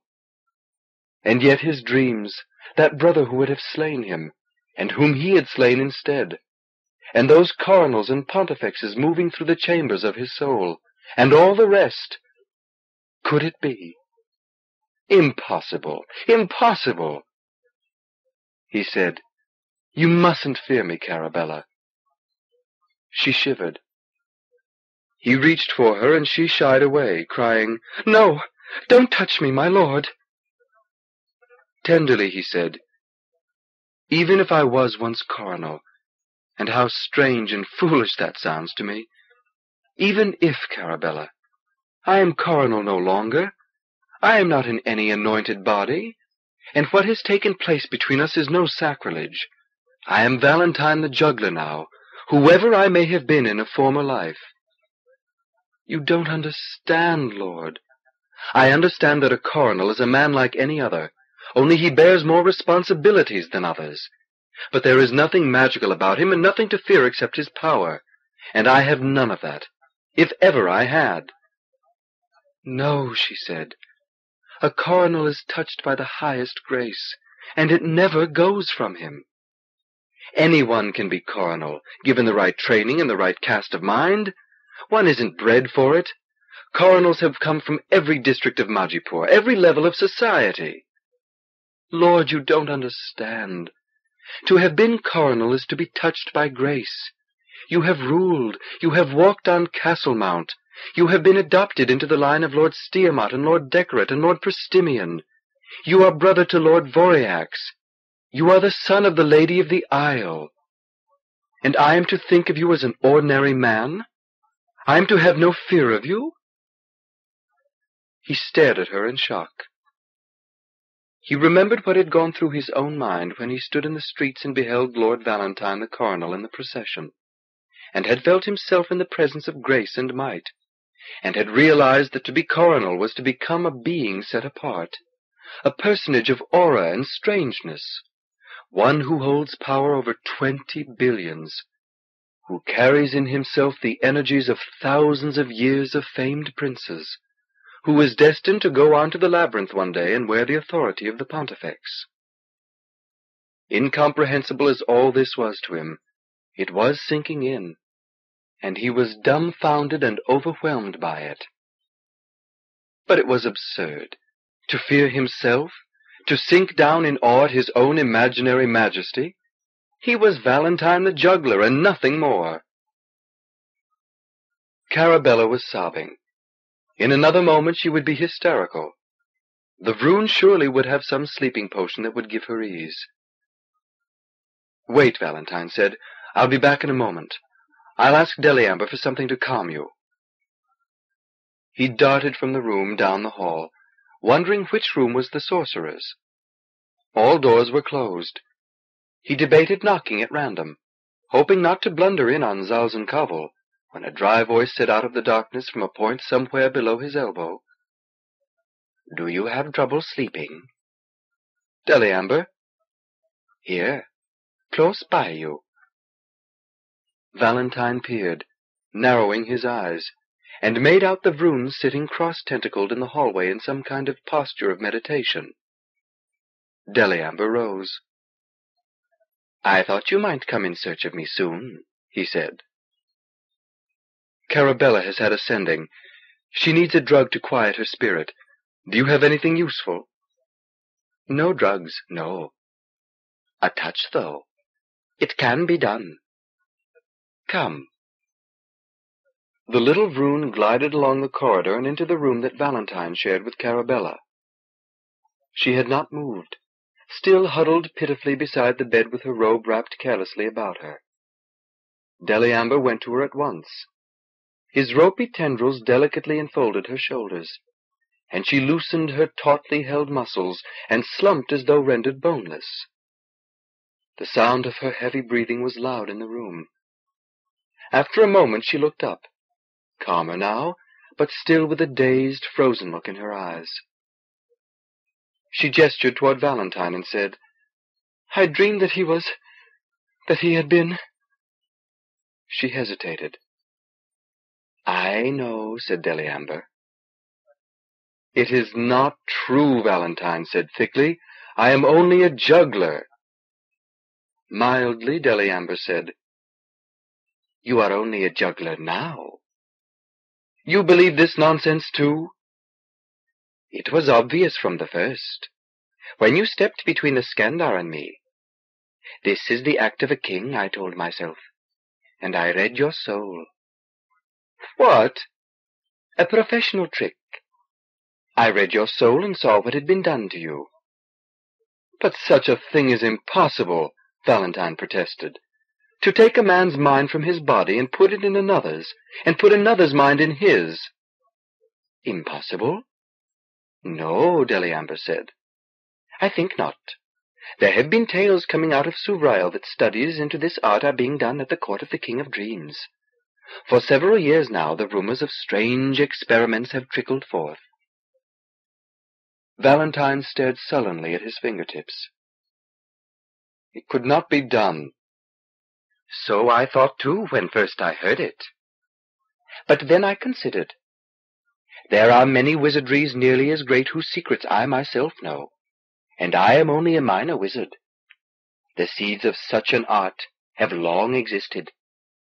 Maybe some Suvraelu sorcerer has found a way to germinate those seeds at last. Valentine, if I were you, I would not reject the possibility. A change of bodies, Valentine said, bewildered. This is not my true body. Whose would it be, then? Who knows?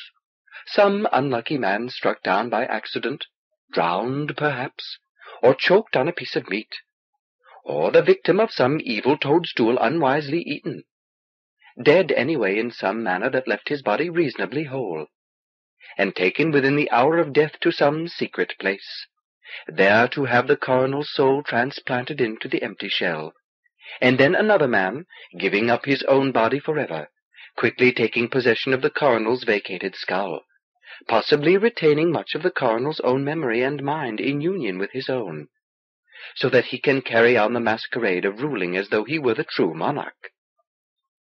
I accept none of this as remotely real, said Valentine stubbornly.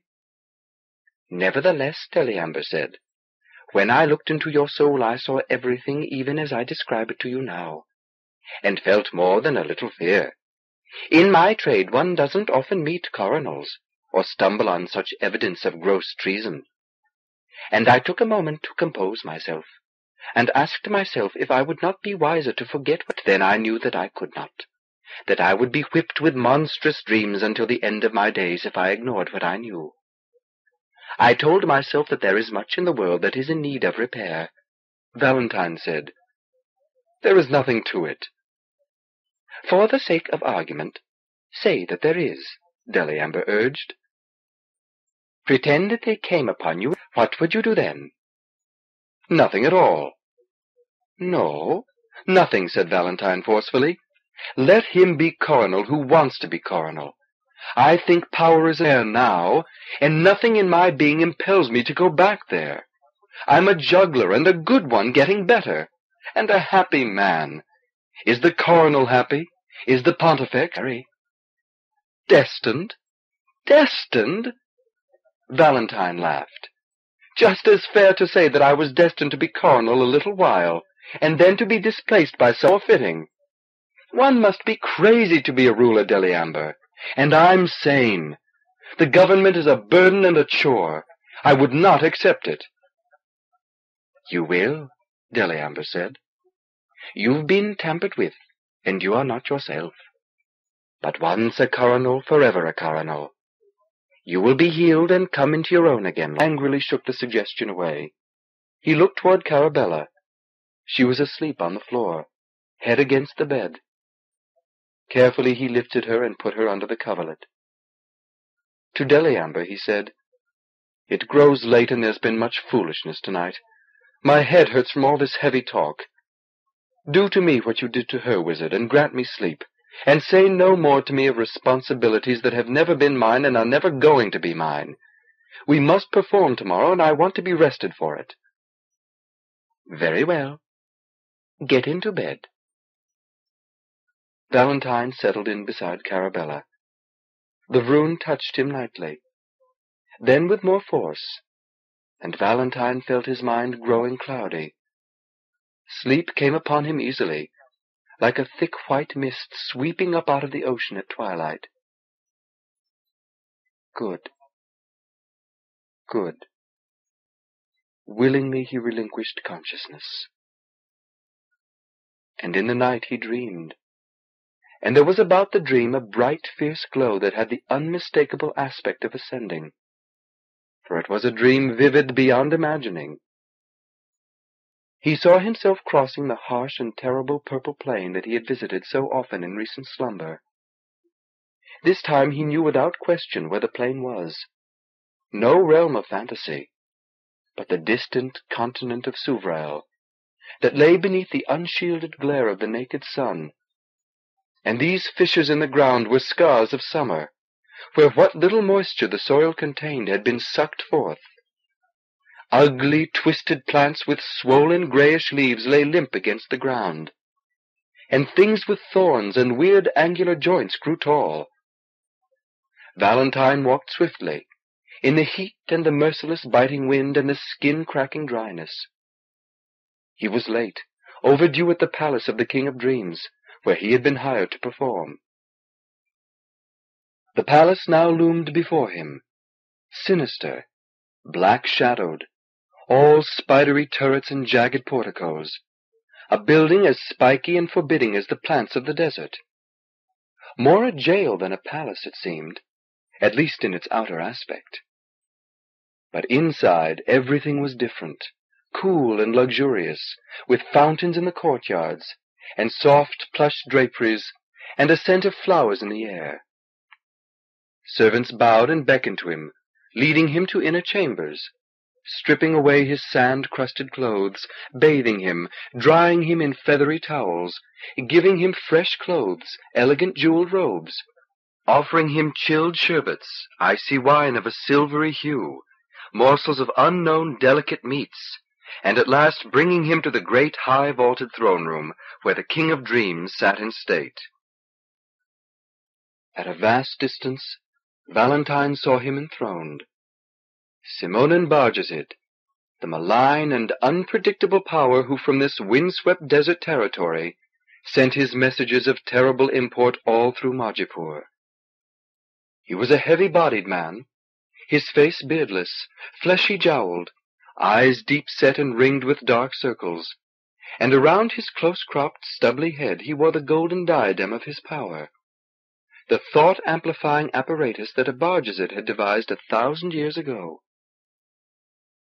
To Simonan's left sat his son, Cristoph, fleshy like his father, and at his right hand was his son Minax, the heir, a man of lean and forbidding aspect, dark-skinned and sharp-faced, as if honed by the desert winds. The King of Dreams, with a casual wave of his hand, ordered Valentine to begin. It was knives he juggled, ten, fifteen of them, thin, shining stilettos that would pierce right through his arm if they dropped wrongly. But he handled them with ease, juggling as only Sleet might do, or perhaps Zalzan Kavol, a virtuoso display of skill. Valentine stood still, making only the tiniest flicking motions of his hands and wrists, and the knives soared aloft and flashed with keen brilliance, coursing high through the air and falling perfectly back to his waiting fingers. And as they rose and fell, rose and fell, the arc that they described took on an alteration of form, no longer a mere cascade, but becoming the starburst emblem of the coronal, blades pointing outward as they flew through the air. And abruptly, as Valentine approached the climax of his performance, the knives froze in midair, and hovered there just above his questing fingers, and would not descend to them. And from behind the throne came a scowling, fierce-eyed man who was Dominin Barjazid, the third of the sons of the King of Dreams. And he strode toward Valentine, and with an easy, contemptuous gesture, swept the starburst of knives from the air, thrusting them into the sash of his robe. The King of Dreams smiled mockingly. You are an excellent juggler, Lord Valentine. At last you find a proper occupation. I am Coronal of Majipoor, Valentine replied.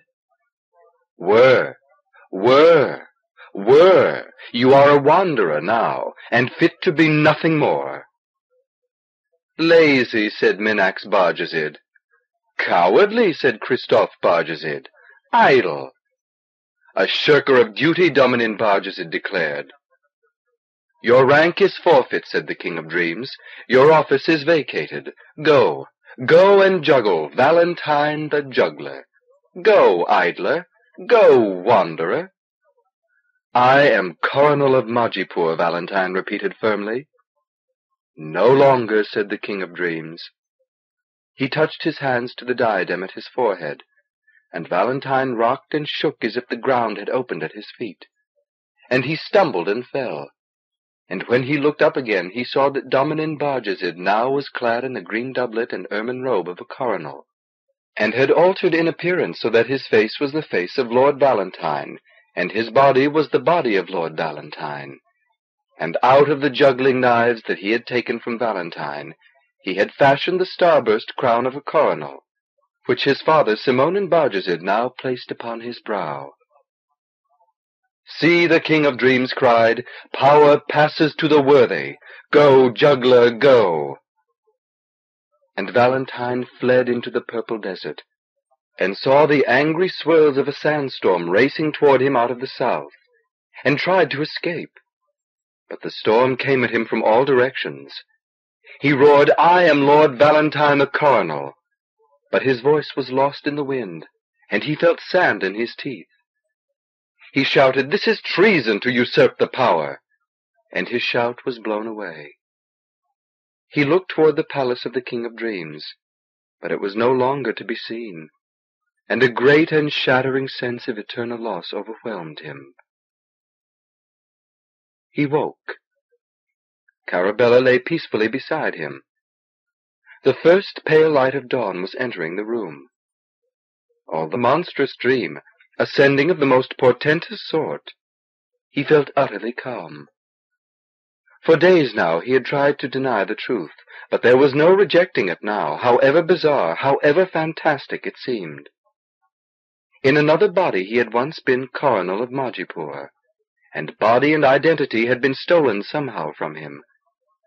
Could it be a dream of such urgency could scarcely be dismissed or ignored. He sorted through the deepest places of his mind, trying to uncover memories of power, ceremonies on the mount, glimpses of royal pomp, the taste of responsibility. Nothing. Nothing whatever. He was a juggler and nothing more than a juggler, and he could remember no shred of his life before Pidruid. It was as if he had been born on that hillside, moments before Shanamir the herdsman had encountered him. Born there with money in his purse and a flask of good red wine at his hip, and a scattering of false memories in his mind. And if it was true, if he was coronal, why then he must go forth, for the sake of the commonwealth of Majipoor, to overthrow the tyrant and reclaim his rightful position. There would be that obligation upon him, but the notion was absurd. It created a dryness in his throat and a pounding in his chest, close to panic. To overthrow that dark-haired man of power who had ridden in pomp through Pidruid, how could that possibly be done? How even come near a coronal, let alone push him from his perch? That it had been done once, maybe, was no argument that it could be done again, and by a wandering juggler an easy-natured young man who felt no compelling urge to tackle the impossible. Besides, Valentine saw in himself so little aptitude for governing. If he had in fact been coronal, he must have had years of training on Castle Mount, a lengthy apprenticeship in the ways and uses of power. But not a trace of that was left to him now. How could he pretend to be a monarch, with none of a monarch's skills in his head? And yet, and yet... He glanced down at Carabella. She was awake. Her eyes were open. She was watching him in silence. The awe was still upon her, but no longer the terror. She said, What will you do, Lord? Call me Valentine now and ever, if you so command me. I do so command you, he said. And tell me, Valentine, what will you do? Travel with the Skandars, he replied. Continue to juggle. Master the art more thoroughly. Keep close watch on my dreams. Bide my time. Seek to comprehend. What else can I do, Carabella? He put his hand lightly to hers, and momentarily she shrank from his touch, and then did not, but pressed her other hand above his. He smiled. What else can I do, Carabella? Book Two The Book of the Metamorphs The gay Rog city of Dulorn was an architectural marvel, a city of frosty brilliance that extended for two hundred miles up and down the heart of the great Dulorn Rift. Though it covered so huge an area, the city's predominant thrust was vertical. Great shining towers, fanciful of design but severely restrained in material, that rose like tapered fangs from the soft gypsum-rich ground. The only approved building material in Dulorn was the native stone of the region, a light, airy calcite of high refractive index, that glittered like fine crystal, or perhaps like diamond. Out of this the Dulornese had fashioned their sharp-tipped high-rise structures, and embellished them with parapets and balconies, with enormous flamboyant flying buttresses, with soaring cantilevered ribs, with stalactites and stalagmites of sparkling facets, with lacy bridges far above the streets, with colonnades and domes and pendentives and pagodas. The juggling troupe of Zalzan Kavol, approaching the city from the west, came upon it almost exactly at noon, when the sun stood straight overhead and streaks of white flame seemed to dance along the flanks of the titanic towers. Valentine caught his breath in wonder. Such a vast place, such a wondrous show of light and form. Fourteen million people dwelled in Dulorn, making it one of the larger cities of Majipoor, although by no means the largest. On the continent of Alhanroel, so Valentine had heard, a city of this size would be nothing remarkable. And even here on the more pastoral continent of Zimroel, there were many that matched or surpassed it. But surely no place could equal its beauty, he thought. Dulorn was cold and fiery, both at once. Its gleaming spires insistently claimed one's attention, like chill, irresistible music like the piercing tones of some mighty organ rolling out across the darkness of space. No country inns for us here, Carabella cried happily. We'll have a hotel, with fine sheets and soft cushions. Will Zalzan Kavol be so generous, Valentine asked. Generous, Carabella laughed. He has no choice. Dulorn offers only luxury accommodations. If we sleep here, we sleep in the street or we sleep like dukes. There's nothing between. Like dukes, Valentine said. To sleep like dukes, why not? He had sworn her that morning before leaving the inn to say nothing to anyone about last night's events.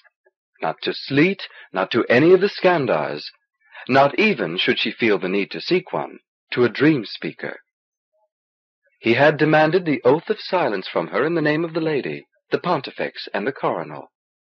Furthermore, he had compelled her to continue to behave toward him as though he had always been, and for the rest of his life would remain, merely Valentine the wandering juggler. In extracting the oath from her, Valentine had spoken with force and dignity worthy of a coronal, so that poor Carabella, kneeling and trembling, was as frightened of him all over again as if he were wearing the starburst crown. He felt more than a little fraudulent about that, for he was far from convinced that the strange dreams of the previous night were to be taken at face value. But still, those dreams could not lightly be dismissed, and so precautions must be taken. Secrecy, guile. They came strangely to him, such maneuvers. He swore Autifon Deliamber also to the oath, wondering as he did so how much he could trust a Vroon and a sorcerer. But there seemed to be sincerity in Deliamber's voice as he vowed to keep his confidence. Deliamber said, And who else knows of these matters? Only Carabella, and I have her bound by the same pledge. You've said nothing to the Hjort. Vinorkis? Not a word. Why do you ask? The Vroon replied, He watches you too carefully. He asks too many questions. I have little liking for him. Valentine shrugged. It's not hard to dislike Hjorts, but what do you fear? He guards his mind too well. His aura is a dark one.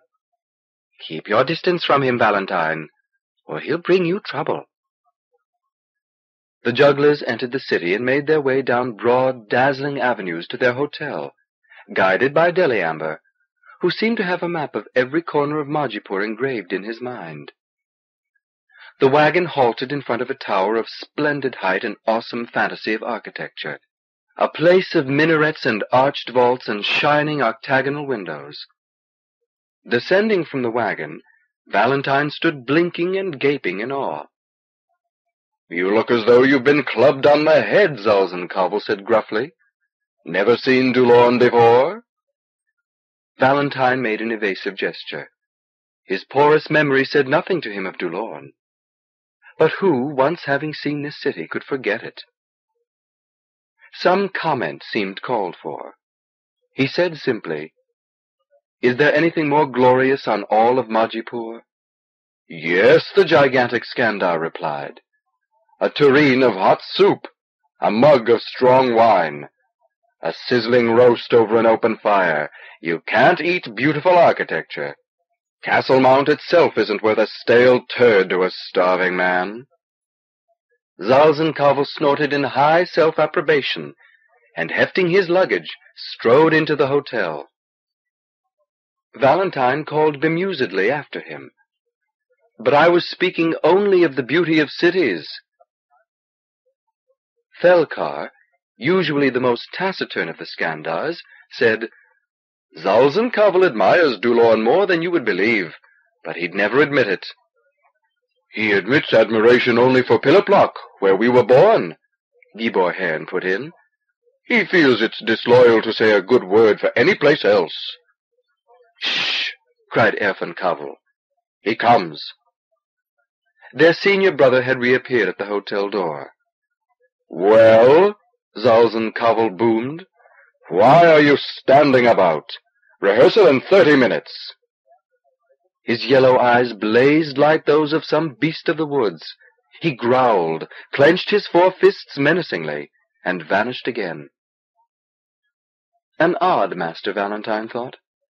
Somewhere far beneath that shaggy hide, he suspected, lay a person of civility and even, who could tell, of kindness. But Zalzan Kavol worked hard at his bearishness. The jugglers were booked to perform at the Perpetual Circus of Dulorn, a municipal festivity that was in progress during every hour of the day and on every day of the year. The Ghayrogs, who dominated this city and its surrounding province, slept not nightly but seasonally, for two or three months at a time, mainly in winter, and when they were awake, were insatiable in their demand for entertainment. According to Deliamber, they paid well, and there were never enough itinerant performers in this part of Majipoor to satisfy their needs. When the troupe gathered for the afternoon practice session, Zalzan Kavol announced that tonight's engagement was due to take place between the fourth and sixth hours after midnight. Valentine was unhappy about that. This night in particular he was eager for the guidance that dreams might bring, after last night's weighty revelations. But what chance could there be for useful dreams if he spent the most fertile hours of the night on stage? We can sleep earlier, Carabella observed. Dreams come at any hour. Or do you have an appointment for ascending? It was a sly, teasing remark, for one who had trembled in awe of him not so much earlier. He smiled to show he had taken no offense. He could see self-doubt lurking just beneath her mockery of him, and said, I might not sleep at all, knowing that I must rise so early. Have Deliamber touch you as he did last night, she suggested. I prefer to find my own path into sleep, he said. Which he did, after a stiff afternoon of practice and a satisfying dinner of wind-dried beef and cold blue wine at the hotel. He had taken a room by himself here, and before he entered the bed, cool, smooth sheets, as Carabella had said, fit for a duke, he commended his spirit to the Lady of the Isle, and prayed for ascending from her, which was permissible and frequently done, though not often effective. It was the lady now whose aid he most dearly needed. If he was in truth a fallen coronal, then she was his fleshly mother as well as his spiritual one, and might confirm him in his identity and direct him along his quest. As he moved into sleep, he tried to visualize the lady and her isle, to reach out across the thousands of miles to her and create a bridge, some spark of consciousness over that immense gap by which she could make contact with him. He was hampered by the empty places in his memory. Presumably, any adult Majipooran knew the features of the lady and the geography of the isle, as well as he did the face of his own mother in the outskirts of his city. But Valentine's crippled mind gave him mainly blanks, which had to be filled by imagination and chance. How had she looked that night in the fireworks over Pidruid? A round, smiling face, long, thick hair, very well. And the rest? Suppose the hair is black and glossy, black like that of her sons Lord Valentine and dead Lord Voriax. The eyes are brown, warm, alert, the lips full, the cheeks slightly dimpled, a fine network of wrinkles at the corners of the eyes. A stately, robust woman, yes, and she strolls through a garden of lush floriferous bushes, yellow tanagales and camellias and elderons and purple thwales, everything rich with tropical life. She pauses to pluck a blossom and fasten it in her hair, and moves on, along white marble flagstones that wind sinuously between the shrubs, until she emerges on a broad stone patio set into the side of the hill on which she dwells, looking down on the terraces upon terraces descending in wide sweeping curves toward the sea and she looks westward to far-off Zimroel. She closes her eyes. She thinks of her lost, wandering, outcast son in the city of the Ghayrogs. She gathers her force and broadcasts sweet messages of hope and courage to Valentine, exiled in Dulorn. Valentine slipped into deep sleep. And indeed the lady came to him as he dreamed. He encountered her not on the hillside below her garden, but in some empty city in a wasteland, a ruined place of weather-beaten sandstone pillars and shattered altars. They approached one another from opposite sides of a tumble-down forum under ghostly moonlight. But her face was veiled, and she kept it averted from him. He recognized her by the heavy coils of her dark hair, and by the fragrance of the creamy-petaled elderon flower beside her ear, and knew that he was in the presence of the Lady of the Isle. But he wanted her smile to warm his soul in this bleak place. He wanted the comfort of her gentle eyes. And he saw only the veil, the shoulders, the side of her head. Mother? he asked uncertainly. Mother, it's Valentine. Don't you know me? Look at me, Mother. Wraith-like she drifted past him, and disappeared between two broken columns inscribed with scenes of the deeds of the great coronals, and was gone. Mother, he called. The dream was over. Valentine struggled to make her return, but could not. He awakened and lay peering into the darkness, seeing that veiled figure once more and searching for meaning. She hadn't recognized him, was he so effectively transformed that not even his own mother could perceive who lay hidden in this body? or had he never been her son, so that there was no reason for her to know him? He lacked answers. If the soul of dark-haired Lord Valentine was embedded in the body of fair-haired Valentine, the Lady of the Isle in his dream had given no sign of it, and he was as far from understanding as he had been when he closed his eyes. What follies I pursue, he thought. What implausible speculations. What madnesses. He eased himself back into sleep. And almost at once, so it seemed, a hand touched his shoulder, and someone rocked him until he came reluctantly into wakefulness. Carabella. Two hours after midnight, she told him. Zalzan Kavol wants us down by the wagon in half an hour. Did you dream? Inconclusively. And you? I remained awake, she answered. It seemed safest. Some nights one prefers not to dream. She said timidly as he began to dress, Will I share your room again, Valentine? Would you like to? I have given oath to act with you as I acted before. Before I knew... Oh, Valentine, I was so frightened.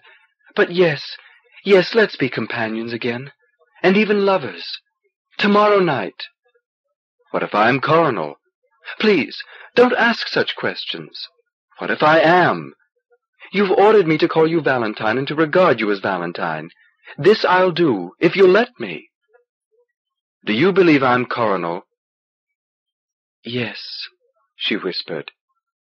It no longer frightens you? A little, just a little. You still seem human to me. Good. I've had a day to get used to things, and I'm under an oath. I must think of you as Valentine. I swore by the powers to that. She grinned impishly. I swore an oath to the coronal that I would pretend you are not coronal, and so I must be true to my pledge, and treat you casually, and call you Valentine, and show no fear of you, and behave as though nothing has changed. And so I can share your bed tomorrow night? Yes. I love you, Valentine. He pulled her lightly to him. I thank you for overcoming your fear. I love you, Carabella. Zalzan Kavol will be angry if we're late, she said. 2. The Perpetual Circus was housed in a structure altogether opposite from those most typical of Dulorn. A giant, flat, unadorned drum of a building, perfectly circular and no more than ninety feet high, that stood by itself on a huge tract of open land on the eastern perimeter of the city. Within, a great central space provided an awesome setting for the stage, and around it ran the seating ring, tier upon tier in concentric circles rising to the roof. The place could hold thousands, perhaps hundreds of thousands. Valentine was startled to see how nearly full it was, here at what was for him the middle of the night. Looking outward into the audience was difficult, for the stage lights were in his eyes, but he was able to perceive enormous numbers of people sitting or sprawling in their seats. Nearly all were Ghayrogs, though he caught sight of the occasional Hjort or Vroon or human making a late night of it. There were no places on Majipoor entirely populated by one race. Ancient decrees of the government, going back to the earliest days of heavy non-human settlement, forbade such concentrations except on the Metamorph Reservation. But the Ghayrogs were a particularly clannish lot, and tended to cluster together in and around Dulorn up to the legal maximum. Though warm-blooded and mammalian, they had certain reptilian traits that made them unlovable to most other races. Quick flicking forked red tongues, grayish scaly skin of a thick polished consistency, cold green unblinking eyes. Their hair had a medusoid quality, black succulent strands that coiled and writhed unsettlingly. And their odor, both sweet and acrid at once, was not charming to non-Ghayrog nostrils. Valentine's mood was subdued as he moved out with the troupe onto the stage. The hour was all wrong. His body cycles were at low ebb, and though he had had enough sleep, he had no enthusiasm for being awake just now. Once again he carried the burden of a difficult dream. That rejection by the lady, that inability to make contact with her. What did it signify? When he was only Valentine the juggler, significance was insignificant to him. Each day had a path of its own, and he had no worries about larger patterns, only to increase the skill of hand and eye from one day to the next. But now that these ambiguous and disturbing revelations had been visited upon him, he was forced to consider dreary, long-range matters of purpose and destiny, and the route on which he was bound. He had no liking for that. Already he tasted a keen nostalgic sorrow for the good old times of the week before last, when he had wandered busy Pidruid in happy aimlessness. The demands of his art quickly lifted him out of this brooding. There was no time under the glare of the spotlights to think of anything except the work of performing. The stage was colossal, and many things were happening on it at once. Vroon magicians were doing a routine involving floating colored lights and bursts of green and red smoke. An animal trainer just beyond had a dozen fat serpents standing on their tails. A dazzling group of dancers with grotesquely attenuated bodies sprayed in many-faceted silver glow stuff did austere leaps and carries. Several small orchestras in widely separated regions played the tinny and tootling woodwind music beloved of the Gayrogs. There was a one-finger acrobat, a high-wire woman, a levitator, a trio of glass-blowers engaged in fashioning a cage for themselves, an eel-eater, and a platoon of berserk clowns, along with much more beyond Valentine's range of vision. The audience, slouching and lounging out there in the half-darkness, had an easy time watching all this, for Valentine realized the giant stage was in gentle motion, turning slowly on hidden bearings, and in the course of an hour or two would make a complete circuit, presenting each group of performers in turn to every part of the auditorium. It all floats on a pool of quicksilver, Sleet whispered. You could buy three provinces with the value of the metal. With so much competition for the eyes of the onlookers, the jugglers had brought forth some of their finest effects which meant that the novice Valentine was largely excluded, left to toss clubs to himself and occasionally to feed knives or torches to the others. Carabella was dancing atop a silver globe two feet in diameter that rolled in irregular circles as she moved. She juggled five spheres that glowed with brilliant green light. Sleet had mounted stilts and rose even taller than the Skandars, a tiny figure far above everyone, coolly flipping from hand to hand three huge red and black speckled eggs of the Malika hen that he had bought at market that evening. If he dropped an egg from so great a height, the splash would be conspicuous and the humiliation enormous. But never since Valentine had known him had Sleet dropped anything, and he dropped no eggs tonight. As for the six Skandars, they had arranged themselves in a rigid star pattern, standing with their backs to one another, and were juggling flaming torches. At carefully coordinated moments, each would hurl a torch backward over his outer shoulder to his brother at the opposite side of the star. The interchanges were made with wondrous precision. The trajectories of the flying torches were flawlessly timed to create splendid crisscrossing patterns of light. And not a hair on any Skandar's hide was scorched as they casually snatched from the air the firebrands that came hurtling past them from their unseen partners. Round and round the stage they went, performing in stints of half an hour at a stretch, with five minutes to relax in the central well just below the stage, where hundreds of other off-duty artists gathered. Valentine longed to be doing something more challenging than his own little elementary juggle, but Zalzan Kavol had forbidden it. He was not yet ready, the Skandar said, though he was doing excellently well for a novice. Morning came before the troupe was allowed to leave the stage. Payment here was by the hour, and hiring was governed by silent response meters beneath the seats of the audience, monitored by cold-eyed Ghayrogs in a booth in the well. Some performers lasted only a few minutes before universal boredom or disdain banished them. But Zalzan Kavol and his company, who had been guaranteed two hours of work, remained on stage for four, they would have been kept for a fifth if Zalzan Kavol had not been dissuaded by his brothers, who gathered around him for a brief and intense argument. His greed, Carabella said quietly, will lead him to embarrass himself yet. How long does he think people can throw those torches around before someone slips up? Even Skandars get tired eventually. Not Zalzan Kavol from the looks of it, Valentine said. He may be a juggling machine, yes, but his brothers are mortal. Rovard's timing is starting to get ragged. I'm glad they had the courage to make a stand. She smiled. And I was getting pretty tired, too. So successfully were the jugglers received in Dulorn that they were hired for four additional days. Zalzan Kavol was elated. The gay Ghayrogs gave their entertainers high wages, and declared a five-crown bonus for everyone. All well and good, Valentine thought, but he had no wish to settle in indefinitely among the gay Ghayrogs. After the second day, restlessness began to make him chafe. You wish to be moving on, Deliamber said. A statement, not a question. Valentine nodded. I begin to glimpse the shape of the road ahead of me. To the Isle? Why do you bother speaking with people, Valentine said lightly, if you see everything within their minds? I did no mind peeking this time. Your next move is obvious enough. Go to the lady, yes. Who else can truly tell me who I am? You still have doubts, Deliamber said. I have no evidence other than dreams, which speak powerful truths.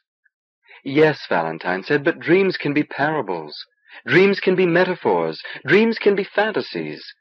It's folly to speak them literally without confirmation.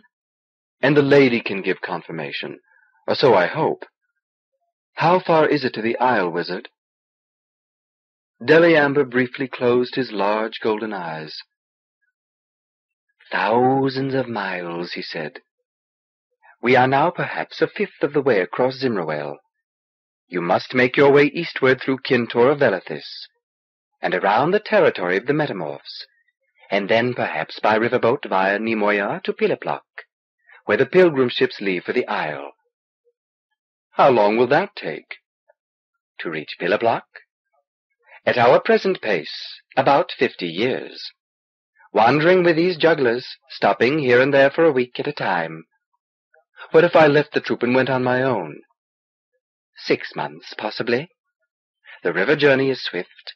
The overland section takes much longer.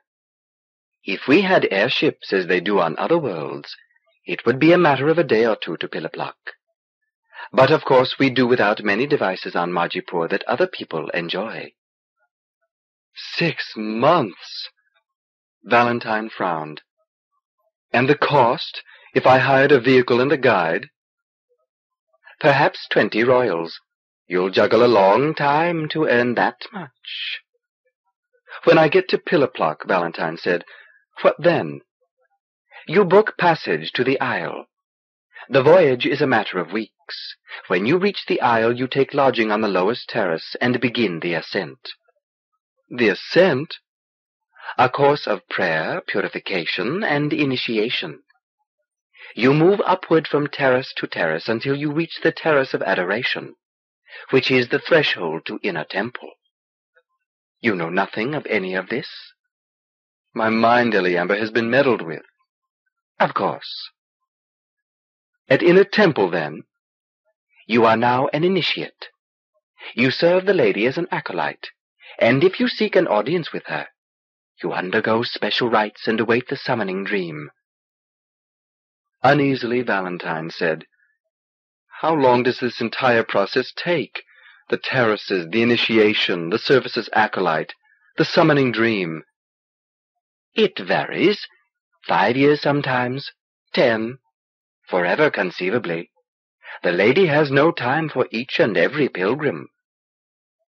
And there's no more direct way of gaining audience? Deliamber uttered the thick coughing sound that was his laugh. What? Knock on the temple door? Cry out that you are her changeling son? Demand entry? Why not? Because, the Vroon said, the outer terraces of the isle are designed as filters to keep such things from happening. There are no easy channels of communication to the lady, and deliberately so. It would take you years. I'd find a way. Valentine stared levelly at the little wizard. I could reach her mind if I were on the isle. I could cry out to her. I could persuade her to summon me. Perhaps. Perhaps. With your assistance it could be done. I feared that was coming, said Deliamber dryly. You have some skill at making sendings. We could reach, if not the lady herself, then those close to her, step by step, drawing ourselves closer to her, cutting short the interminable process on the terraces. It could be done, possibly, Deliamber said. Do you believe I'm minded to make the pilgrimage with you, though? Valentine regarded the rune in silence for a long time. I'm certain of it, he said finally. You play at reluctance, but you've engineered my every motive to impel me toward the isle. With you at my side, am I right, eh, Deliamber? You're more eager to have me get there than I am myself. Ah, the sorcerer said. It comes out now. Am I right? If you resolve to go to the Isle, Valentine, I will be at your side. But are you resolved? Sometimes. Intermittent resolutions lack potency, said Deliamber. Thousands of miles, years of waiting, toil and intrigue. Why do I want to do this, Deliamber? Because you are a coronal, and must be again. The first may be true, though I have mighty doubts of it. The second is open to question. Deliamber's look was crafty. You prefer to live under the rule of a usurper? What's the coronal and his rule to me? He's half a world away on Castle Mount, and I'm a wandering juggler. Valentine extended his fingers and stared at them as though he had never seen his hands before. I could spare myself much effort if I remained with Zalzan Kavol and let the other, whoever he may be, keep the throne. Suppose he's a wise and just usurper. Where's the benefit for Majipoor if I do all this work merely to put myself back in his place? Oh, Deliamber, Deliamber, do I sound like a king at all when I say these things? Where's my lust for power? How can I ever have been a ruler when I so obviously don't care about what's happened? We've spoken of this before. You have been tampered with, my lord. Your spirit as well as your face has been changed. Even so, my royal nature, if ever I had one, is altogether gone from me. That lust for power, twice you've used the phrase, Deliamber said. Lust has nothing to do with it. A true king doesn't lust for power. Responsibility lusts for him, and takes him, and possesses him. This coronal is new. He has done little yet but make the grand processional, and already the people grumble at his early decrees. And you ask if he will be wise and just. How can any usurper be just? He is a criminal, Valentine, and he rules already with the criminal's guilty fears eating at his dreams. And as time goes on, those fears will poison him, and he will be a tyrant. Can you doubt that? He will remove anyone who threatens him, will kill even if need be. The poison that courses in his veins will enter the life of the planet itself, will affect every citizen.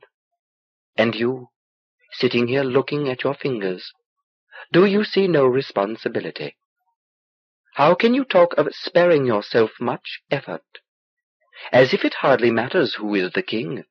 It matters very much who is the king, my lord, and you were chosen and trained for it, and not by lottery. Or do you believe anyone can become coronal? I do, by random stroke of fate. Deliamber laughed harshly. Possibly that was true nine thousand years ago. There is a dynasty, my lord. An adoptive dynasty? Precisely. Since the time of Lord Ariak, and maybe even earlier, Coronals have been chosen from among a small group of families, no more than a hundred clans, all of them dwellers on Castle Mount, and close participants in the government. The next coronal is already in training, though only he and a few advisers know who he is, and two or three replacements for him must also have been chosen. But now the line is broken. Now an intruder has pushed his way in. Nothing but evil can come of that. What if the usurper is simply the heir-in-waiting, who grew tired of waiting? No, said Deliamber. Inconceivable. No one deemed qualified to be coronal would overthrow a lawfully consecrated prince. Besides, why the mummery of pretending to be Lord Valentine, if he is another? I grant you that. Grant me also this, that the person atop Castle Mount now has neither right nor qualification for being there, and must be cast down, and you are the only one who can do it. Valentine sighed. You ask a great deal. History asks a great deal, said Deliamber. History has demanded, on a thousand worlds across many thousands of years, that intelligent beings choose between order and anarchy, between creation and destruction, between reason and unreason. And the forces of order and creation and reason have been focused always in a single leader, a king, if you will, or a president, a chairman, a grand minister, a generalissimo, use whatever word you wish, a monarch by some name or other. Here it is the coronal, or more accurately, the coronal ruling as the voice of the pontifex, who was once coronal. And it matters, my lord, it matters very much, who is to be coronal and who is not to be coronal. Yes, Valentine said, perhaps. You'll go on wavering from yes to perhaps a long while, said Deliamber.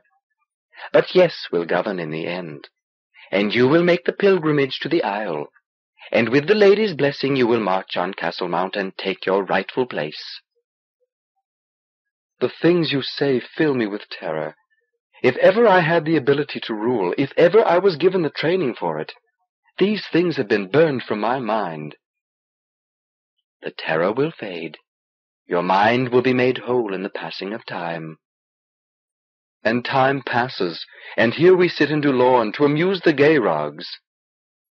Deliamber said, Not much longer. We'll find our way eastward, my lord. Have faith in that. There was something contagious about Deliamber's assurance. Valentine's hesitations and uncertainties were gone, for the moment. But when Deliamber had departed, Valentine gave way to uncomfortable contemplation of certain hard realities. Could he simply hire a couple of mounts and set off for Piliplok with Deliamber tomorrow? What about Carabella, who had suddenly become very important to him? Abandon her here in Dulorn? And Shanamir? The mm-hmm. boy was attached to Valentine, not to the Skandars. He neither could nor would be left. There was the cost, then, of a journey for four across nearly all of vast Zimroel. Food, lodging, transportation, then the pilgrimship to the isle. And what then of expenses on the isle while he schemed to gain access to the lady? Von Deliamber had guessed it might cost twenty royals for him to travel alone to Piliplok. The cost for the four of them, or for the five if Sleet were added, though Valentine had no idea if Sleet would care to come, might run a hundred royals or more, a hundred fifty perhaps to the lowest terrace of the isle. He sorted through his purse. Of the money he had had upon him when he found himself outside Pidruid, he had more than sixty royals left, plus a royal or two that he had earned with the troop. Not enough. Not nearly enough. Carabella, he knew, was almost without money. Shanamir had dutifully returned to his family the hundred sixty royals from the sale of his mounts. And Deliamber, if he had any wealth, would not in old age be hauling himself through the countryside under contract to a crowd of ruffian Skandars. So then, nothing to do but wait, and plan, and hope that Zalzan intended a generally eastward route, and save his crowns and bide his time, until the moment was ripe for going to the lady. 3. A few days after their departure from Dulorn, purses bulging with the generous Ghayrog pay, Valentine drew Zalzan aside to ask him about the direction of travel. It was a gentle late summer day, and here where they were camped for lunch along the eastern slope of the rift.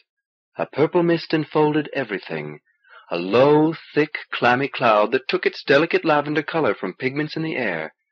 For there were deposits of scuva sand just north of here, and the winds were constantly stirring the stuff aloft.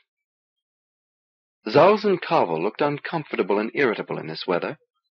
His gray fur, purpled now by droplets of mist, was clumped in comic bunches, and he rubbed at it, trying to restore it to its proper nap.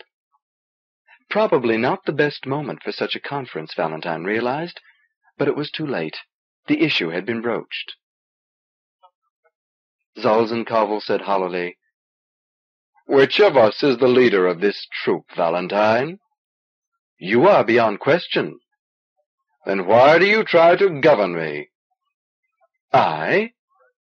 In Pidruid, the Skandar said, you asked me to go next to Falkynkip for the convenience of your herdsman squire's family honor.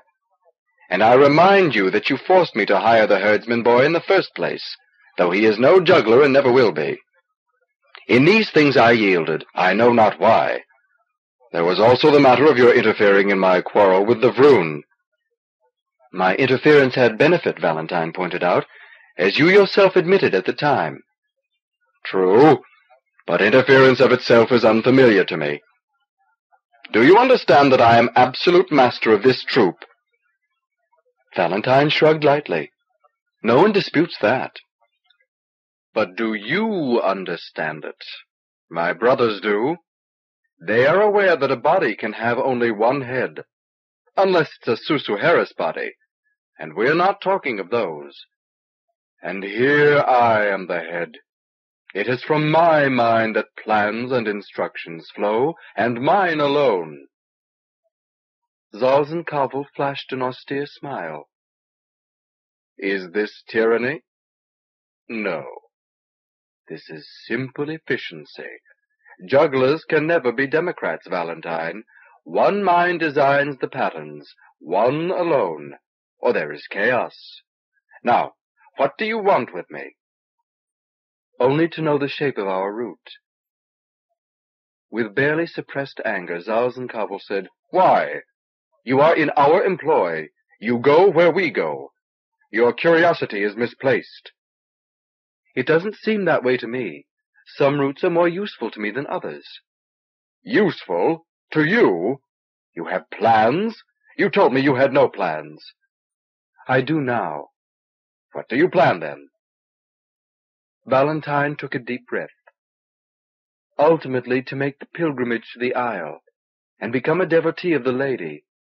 Since the pilgrim ships sail from Piliplok, and all of Zimroel lies between us and Piliplok, it would be valuable to me to know whether you plan to go in some other direction, let's say down to Velathys, or maybe back to Til-omon or Narabal, instead of... You are discharged from my service, Zalzan Kavol said icily. Valentine was astounded. What? Terminated. My brother Erfon will give you ten crowns as your settlement. I want you on your way within an hour.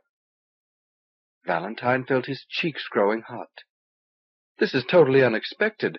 I merely asked... You merely asked.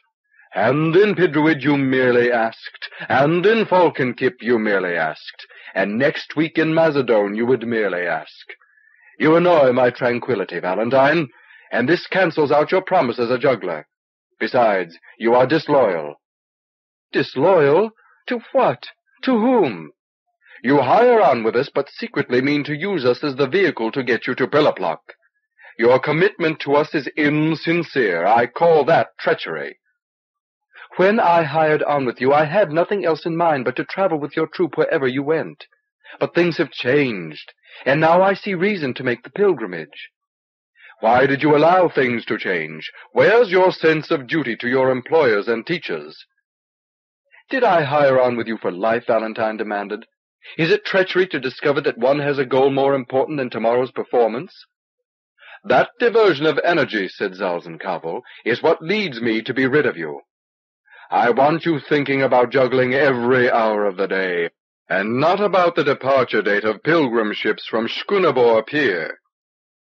There would be no diversion of energy. When I juggle, I juggle. And I'd resign from the troop when we approached Piliplok. But until then, enough, Zalzan Kavol said. Pack, go, take yourself swiftly to Piliplok and sail to the isle, and may you fare well. I have no further need of you. The Skandar seemed altogether serious. Scowling in the purple mist, slapping at the soggy patches in his pelt, Zalzan Kavol swung heavily around and began to walk away. Valentine trembled in tension and dismay. The thought of leaving now, of traveling alone to Piliplok, left him aghast. And beyond that he felt part of this troop, more so than he had ever been aware, a member of a close-knit team, and would not willingly be sundered. At least not now, not yet, while he could remain with Carabella and Sleet, and even the Skandars, whom he respected without liking, and continue to increase his skills of eye and hand, while moving eastward toward whatever strange destiny Deliamber seemed to have in mind for him. Wait, Valentine called. What about the law? Zalzan Kavol glared over his shoulder. Which law? The one requiring you to keep three human jugglers in your employ, said Valentine.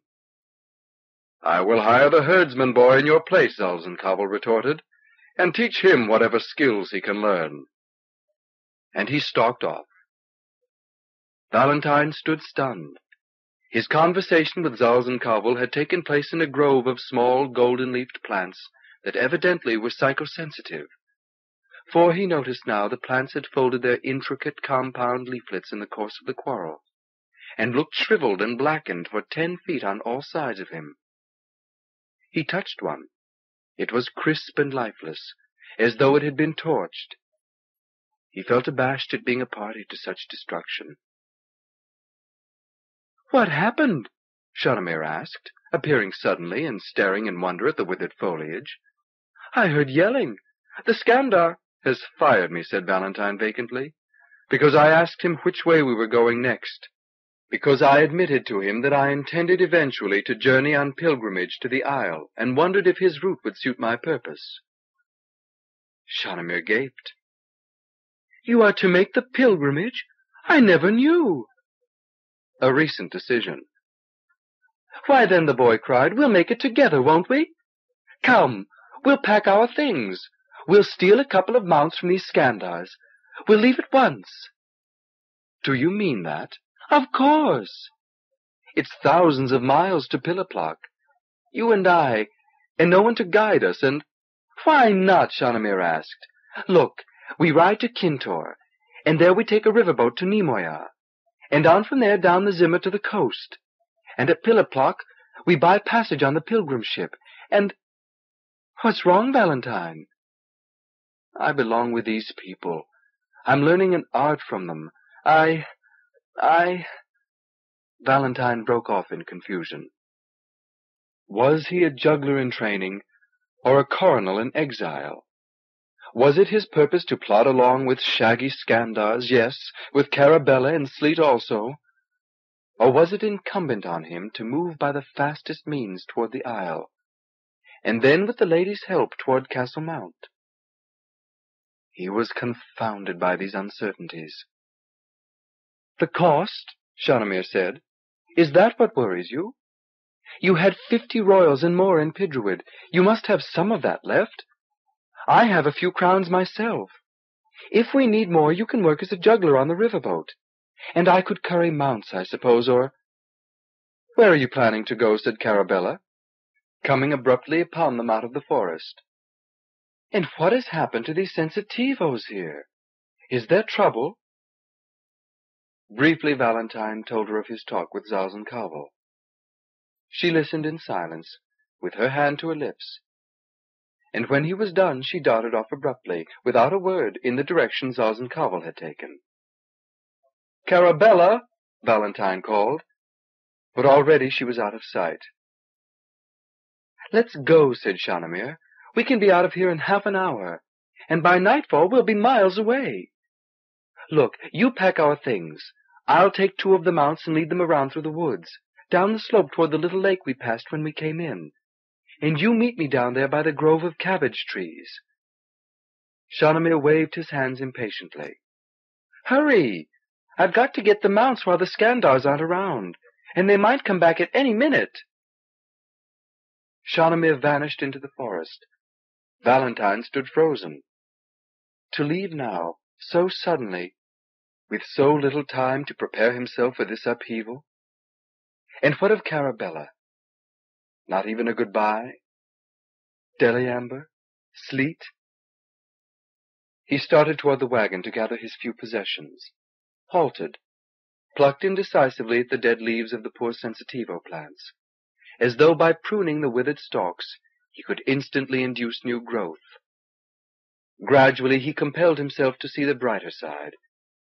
This was a disguised blessing. If he stayed with the jugglers, it would delay by months or even years the confrontation with reality that obviously lay in store for him.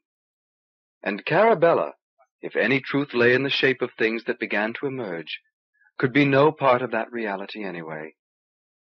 So then it behooved him to shrug away his shock and distress, and take to the highway, bound for Piliplok and the pilgrim ships. Come, he told himself, get moving, collect your things. is waiting by the cabbage trees with the mounts. But he could not move. And then Carabella came bounding toward him, face aglow. It's all fixed, she said. I got Deliamber to work on him. You know, a little trick here and there, a bit of a touch with the tip of a tentacle, the usual wizardry. He's changed his mind. Oh, we've changed it for him. Valentine was startled by the intensity of his feeling of relief. I can stay? If you'll go to him and ask forgiveness. Forgiveness for what? Carabella grinned. That doesn't matter. He took offense. The divine only knows why. His fur was wet, his nose was cold, who knows? He's a Skandar, Valentine. He has his own weird sense of what's right and wrong. He's not required to think the way humans do. You got him angry and he discharged you. Ask him politely to take you back, and he will. Go on now. Go. But, but, but what? Are you going to stand on pride now? Do you want to be rehired or don't you? Of course I do. Then go, Carabella said.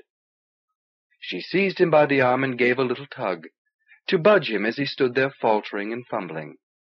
And as she did so, it must have occurred to her whose arm it was she was tugging, for she sucked in her breath and let go of him and moved away hovering as if on the verge of kneeling and making the starburst symbol. Please, she said softly, please go to him, Valentine, before he changes his mind again. If you leave the troop, I'll have to leave it too, and I don't want to. Go, please. Yes, said Valentine. She led him over the spongy, mist-moistened ground to the wagon. Zalzan Kavol sat sulkily on the steps, huddling in a cloak in the damp, close warmth of the purple mist. Valentine approached him and said straightforwardly, It was not my intent to anger you. I ask your pardon. Zalzan Kavol made a low, growling sound, almost below the threshold of audibility. You are a nuisance, the Skandar said. Why am I willing to forgive you? From now on you will not speak to me unless I have spoken to you first. Understood? Understood, yes. You will make no attempt to influence the route we travel. Understood, said Valentine. If you irritate me again, you will be terminated without severance pay, and you will have ten minutes to get out of my sight no matter where we are. Even if we are camped in the midst of a metamorph reservation and nightfall is coming. Do you understand? I understand, Valentine said. He waited, wondering if he would be asked to bow, to kiss the Skandar's hairy fingers, to grovel in obeisance. Carabella, standing to one side, seemed to be holding her breath, as though expecting some explosion to come from the spectacle of a power of Majipoor begging forgiveness from an itinerant Skandar juggler. Zalzan Kavol regarded Valentine disdainfully as he might have regarded a cold fish of uncertain vintage presented to him in a congealed sauce for dinner. Acidulously he said, I am not required to provide my employees with information of no concern to them. But I will tell you anyway that Piliplok is my native city, and I return there from time to time, and it is my purpose to arrive there eventually. How soon it will be depends on what engagements I can arrange between here and there. But be informed that our route lies generally eastward, although there may be some departures from that path, for we have a livelihood to earn. I hope this pleases you. When we reach Piliplok, you may resign from the troop if you still have it in mind to undergo the pilgrimage.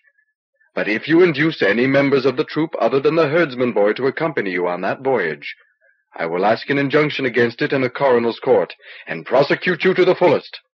Understood? Understood, said Valentine, though he wondered whether he would deal honorably with the Skandar on this point. Lastly, said Zalzan Kavol, I ask you to remember that you are paid a good many crowns a week, plus expenses and bonuses, to perform in this troop. If I detect you filling your mind with thoughts of the pilgrimage, or of the lady and her servants, or of anything else but how to throw things into the air and catch them in a theatrically suitable manner, I'll revoke your employment. In these last few days you've already seemed unacceptably moody, Valentine. Change your ways. I need three humans for this troupe, but not necessarily the ones I have now. Understood? Understood, Valentine said. Go then. Carabella said as they walked away. Was that terribly unpleasant for you? It must have been terribly pleasant for Zalzan Kavol. He's just a hairy animal. No, said Valentine gravely. He's a sentient being equal to ourselves in civil rank, and never speak of him as anything else. He only looks like an animal. Valentine laughed, and after a moment Carabella laughed with him, a trifle edgily. He said, In dealing with people who are enormously touchy on matters of honor and pride, I think it's wisest to be accommodating to their needs, especially if they're eight feet tall and provide you with your wages. At this point I need Zalzan Kavol far more than he needs me. And the pilgrimage, she asked. Are you really planning to undergo it? When did you decide that? In Dulorn, after conversation with Deliamber. There are questions about myself I must answer, and if anyone can help me with those answers, it's the Lady of the Isle. So I'll go to her, or try to. But all that's far in the future, and I've sworn to Zalzan Kavol not to think of such things. He took her hand in his. I thank you, Carabella, for repairing matters between Zalzan Kavol and me. I wasn't at all ready to be discharged from the troupe or to lose you so soon after I had found you. Why do you think you would have lost me, she asked, if the Skandar had insisted on letting you go? He smiled. I thank you for that, too. And now I should go down to the cabbage tree grove and tell Shanamir to return the mounts that he's stolen for us.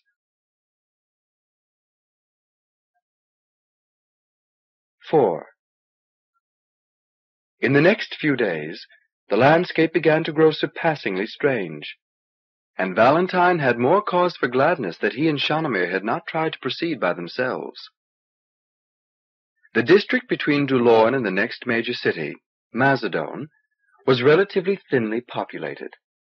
Much of it, according to Deliamber, was a royal forest preserve. That bothered Zalzan Kavol, for jugglers would not find employment in forest preserves nor for that matter in low-lying swampy farmland occupied mainly by rice paddies and lavender seed plantations. But there was no choice but to follow the main forest highway, since nothing more promising lay to the north or south. On they went, in generally humid and drizzly weather, through a region of villages and farms and occasional thick stands of the fat-trunked comical cabbage trees, short and squat, with massive white fruit sprouting directly from their bark. But as Mazadone Forest Preserve drew closer, the cabbage trees gave way to dense thickets of singing ferns, yellow-fronded and glassy of texture, that emitted piercing, discordant sounds whenever they were approached, shrill, high-pitched bings and twangs and bleeps, nasty screeches and scrapes. That would not have been so bad, The unmelodious song of the ferns had a certain raucous charm, Valentine thought. But the fern thickets were inhabited by bothersome small creatures far more disagreeable than the plants. Little toothy winged rodents known as diems, that came flapping up out of hiding every time the proximity of the wagon touched off the fern song. The diems were about the length and breadth of a small finger, and were covered by fine golden fur. They arose in such numbers that they clouded the air, and swarmed about indignantly, sometimes nipping with their tiny but effective incisors. The thickly furred Skandars up front in the driver's seat largely ignored them, merely swatting at them when they clustered too close.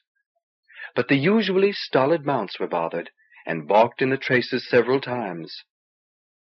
Shanamir, sent out to placate the animals, suffered half a dozen painful bites, and as he scurried back into the wagon a good many diems entered with him.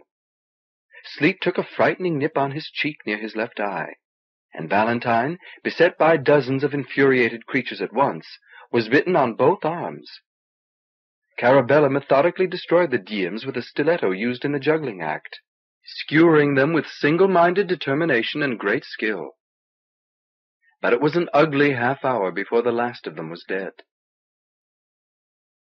Beyond the territory of the diems and the singing ferns, the travelers entered into a region of curious appearance. A broad, open area of meadows out of which rose hundreds of black granite needles just a few feet wide and perhaps eighty feet high, natural obelisks left behind by some unfathomable geological event. To Valentine it was a region of delicate beauty. To Zalzan Kavol it was merely one more place to pass quickly through, en route to the next festival where jugglers might be hired. But to Autifon Deliamber, it seemed something else, a place giving sign of possible menace.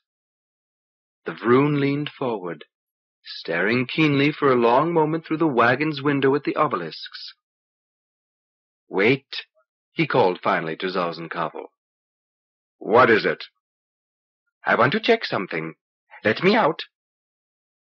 Zalzan Kavol grunted impatiently and tugged on the reins. Deliamber scrambled from the wagon, moving in his supple, ropey-limbed Vroonish glide toward the odd rock formations, disappearing among them, coming occasionally into view as he zigzagged from one thin pinnacle to the next. When he returned, Deliamber looked glum and apprehensive. See there, he said, pointing. Do you make out vines far up? stretched from that rock to that, and from that to that, and on over to there, and some small animals crawling about on the vines. Valentine could just barely discern a network of slender, glossy red lines high on the pinnacles, forty or fifty feet or more above the ground. And yes, half a dozen slim, ape-like beasts moving from obelisk to obelisk like acrobats, swinging freely by hands and feet. It looks like bird net vine, said Zalzan Kavol in a puzzled tone. It is, Deliamber said. But why do they not stick to it? What are those animals anyway? Forest brethren, the Vroon answered. Do you know of them? Tell me. They are troublesome, a wild tribe, native to central Zimroel, not usually found this far west. The metamorphs are known to hunt them for food or perhaps for sport. I'm not sure which. They have intelligence, though of a low order, something greater than dogs or drolls, less than civilized folk. Their gods are Dwikka trees. They have some sort of tribal structure. They know how to use poison darts and cause problems for wayfarers. Their sweat contains an enzyme that makes them immune to the stickiness of birdnet vine which they employ for many purposes. If they annoy us, Zalzan Kavol declared, we will destroy them. Onward! Once past the region of the obelisks, they saw no further traces of forest brethren that day. But on the next, Deliamber once again spied ribbons of birdnet vine in the tree-tops. And a day after that, the travelers, now deep in the forest preserve, came upon a grove of trees of truly colossal mass, which the Vroonish wizard said were Dwikkas, sacred to the forest brethren. This explains their presence so far from metamorph territory, said Deliamber. These must be a migrating band, come west to pay homage in this forest. The Dwikkas were awesome. There were five of them, set far apart in otherwise empty fields. Their trunks, covered with bright red bark that grew in distinct plates with deep fissures between, were greater in diameter than the long axis of Zalzan Kavol's wagon and though they were not particularly tall, no higher than a hundred feet or so, their mighty limbs, each as thick as the trunk of an ordinary tree, spread out to such a distance that whole legions might take shelter under the Dwikka's gigantic canopy. On stalks as thick as a Skandar's thigh sprouted the leaves, great leathery black things the size of a house, that drooped heavily, casting an impenetrable shade and from each branch hung suspended two or three elephantine yellowish fruits. Bumpy irregular globes a good twelve or fifteen feet in width. One of them had recently fallen, it appeared, from the nearest tree, perhaps on a rainy day when the ground was soft, for its weight had dug a shallow crater in which it lay, split apart, revealing large, glistening, many-angled black seeds in the mass of scarlet pulp. Valentine could understand why these trees were gods to the forest brethren. They were vegetable monarchs, imperious, commanding. He was quite willing to sink to his knees before them himself. Deliamber said, The fruit is tasty, intoxicating, in fact, to the human metabolism, and to some others. To Skandars? asked Zalzan Kavol. To Skandars, yes, Zalzan Kavol laughed. We'll try it. Erfon, Thelkar, gather pieces of the fruit for us. Nervously, Deliamber said, The talismans of the forest brethren are embedded in the ground before each tree. They've been here recently, and might return. And if they find us desecrating the grove, they will attack, and their darts can kill. Sleet, Carabella, stand guard to the left. Valentine, Shanamir, Vinorkis, over there. Cry out if you see even one of the little apes. Zalzan Kavol gestured at his brothers. Collect the fruit for us, he ordered. Haern, you and I will defend the situation from here. Wizard, remain with us. Zalzan Kavol took two energy throwers from a rack and gave one to his brother Haern. Deliamber clucked and muttered in disapproval. They move like ghosts. They come out of nowhere. Enough, said Zalzan Kavol. Valentine took up a lookout position fifty yards ahead of the wagon, and peered warily beyond the last of the Dwikka trees into the dark, mysterious forest. He expected to have a fatal dart come winging toward him at any moment. It was an uncomfortable feeling. Erfon Kavol and Thelkar, carrying a big wicker basket between them, made their way toward the fallen fruit, pausing every few steps to look in all directions. When they reached it, they began cautiously to edge around to the far side of it. What if a bunch of forest brethren are sitting behind that thing right now, Shanamir asked, having a little feast? Suppose Thelkar stumbles over them and... A tremendous and terrifying whoop and a roar such as might come from an outraged bull bidlak interrupted in its mating, erupted from the vicinity of the Dwikka fruit. Erfon Kavol, looking panic-stricken, came galloping back into view and rushed toward the wagon, followed a moment later by an equally daunted Thelkar. Beasts! cried a ferocious voice. Pigs and fathers of pigs! Rape a woman enjoying her lunch, will you? I'll teach you to rape! I'll fix you so you'll never rape again. Stand your ground, hairy animals. Stand, I say, stand. Out from behind the Dwikka fruit came the largest human woman Valentine had ever seen. A creature so vast she was a proper companion to these trees, and seemed perfectly in scale with them. She stood close to seven feet tall, perhaps more, and her gigantic body was a mountain of flesh rising on legs as sturdy as pillars. A close-fitting shirt and gray leather trousers were her garments, and the shirt was open nearly to the waist, revealing huge, jouncing globes of breasts the size of a man's head. Her hair was a mop of wild orange curls. Her blazing eyes were pale, piercing blue.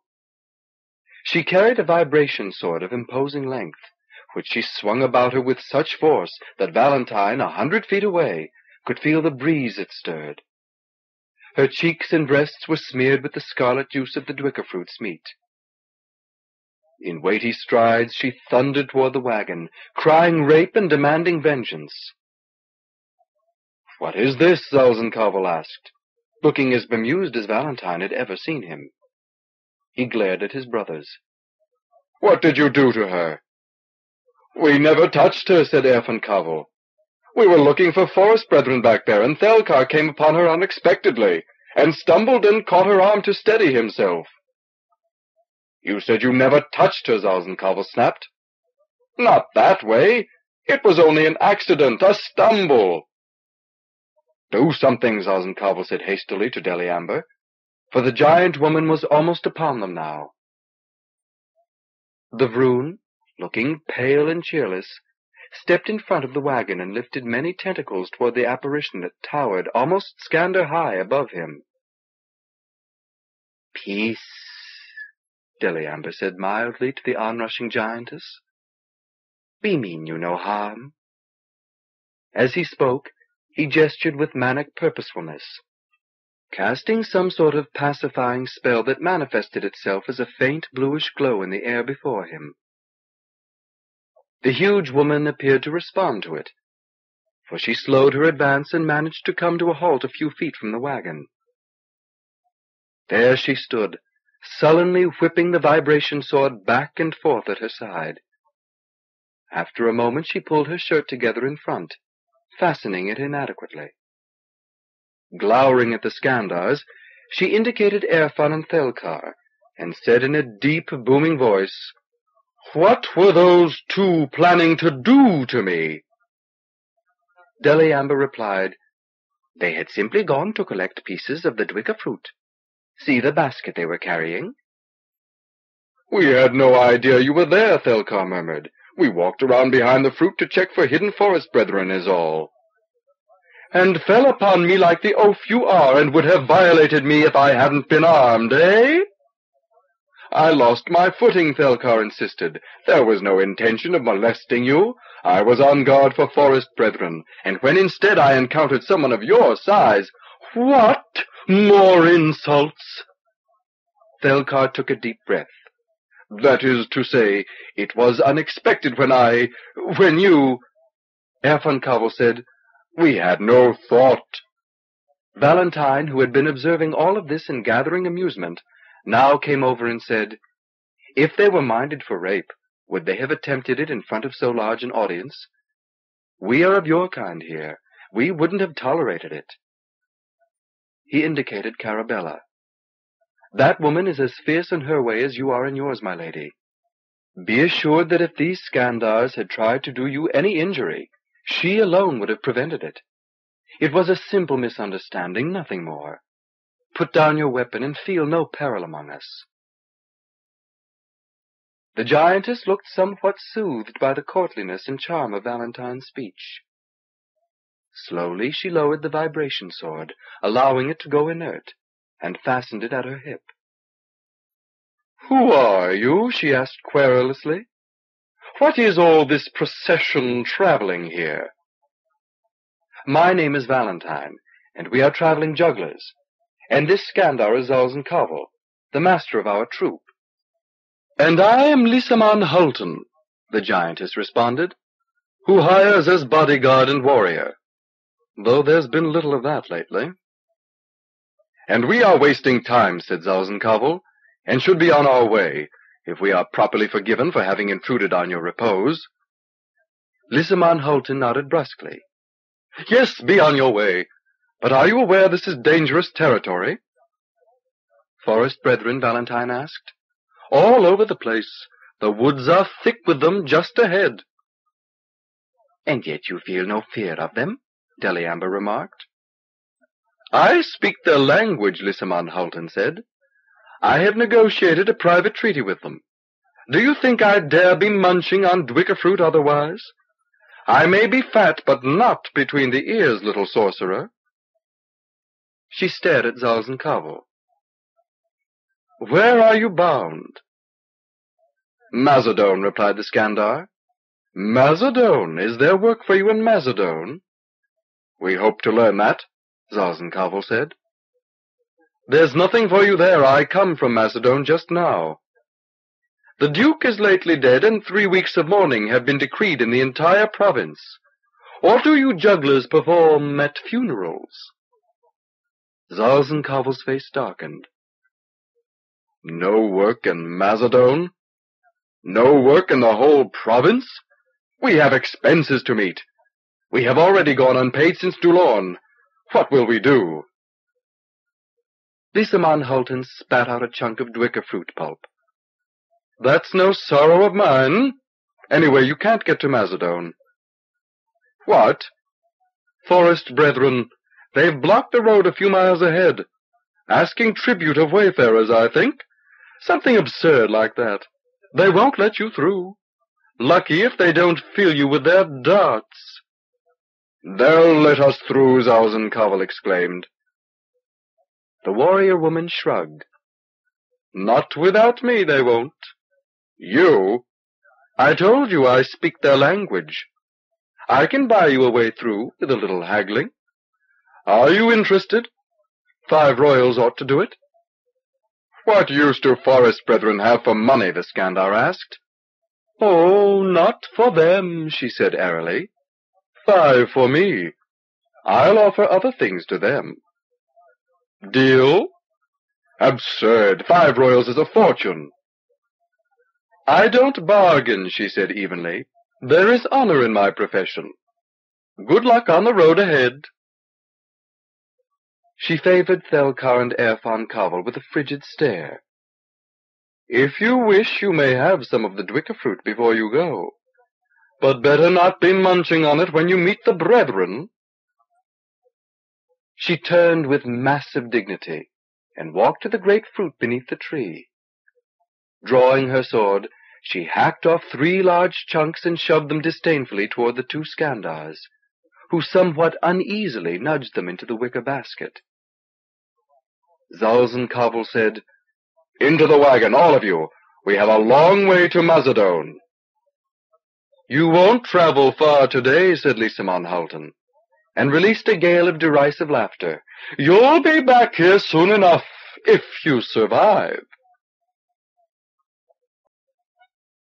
5. The poisoned darts of the forest brethren preoccupied Valentine for the next few miles.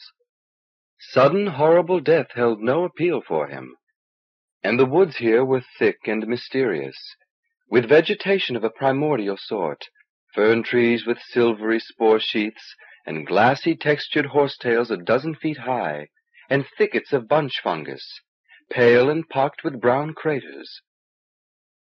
In a place of such strangeness, anything might happen, and probably would.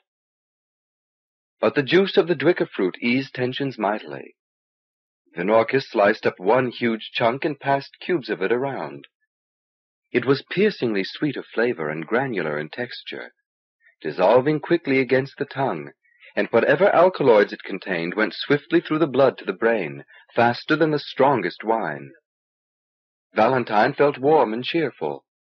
He slouched back in the passenger cabin, one arm around Carabella, the other around Shanamir. Up front, Zalzan Kavol evidently was more relaxed as well, for he stepped up the pace of the wagon pushing it to a rollicking speed not much in keeping with his dour, cautious practices. The usually self-contained Sleet, slicing up more Dwikka fruit, began to sing a rowdy song. Lord Barhold came to Belka strand with crown and chain and pail. He meant to force old Gornup's hand and make him eat his... The wagon pulled suddenly to a halt so suddenly that Sleet lurched forward and came close to falling into Valentine's lap, and a slab of soft, wet Dwikka fruit smacked into Valentine's face. Laughing and blinking, he wiped himself clean. When he could see again, he found that everyone was gathered at the front of the wagon, peering out between the Skandars on the driver's seat. What is it? he asked. Birdnet vine, said Vinorkis, sounding quite sober. Blocking the road. The giantess told the truth. Indeed, the sticky, tough red vine had been laced from fern tree to fern tree at a dozen angles, forming a sturdy and resilient chain both broad and thick. The forest flanking the road was altogether impenetrable here. The birdnet vine sealed the highway. There was no way the wagon could proceed. How hard is it to cut? Valentine asked. Zalzan said, We could do it in five minutes with energy throwers. But look there. Forest brethren, Carabella said softly. They were everywhere, swarming in the woods, hanging from every tree, although getting no closer to the wagon than a hundred yards or so. They seemed less like apes at close range, more like savages of an intelligent species.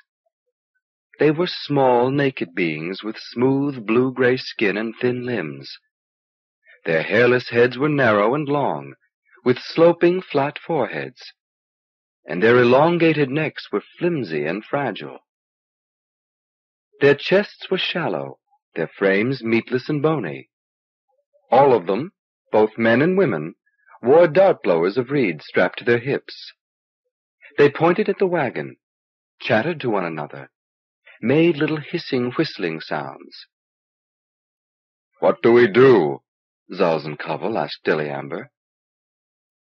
Hire the warrior woman, I would think. Never! In that case, said the Vroon, let us prepare to camp in the wagon until the end of our days, or else go back toward Dulorn and find some other road to travel. We could parley with them, the Skandar said. Go out there, wizard. Speak to them in dream language, monkey language, Vroon language, any words that will work.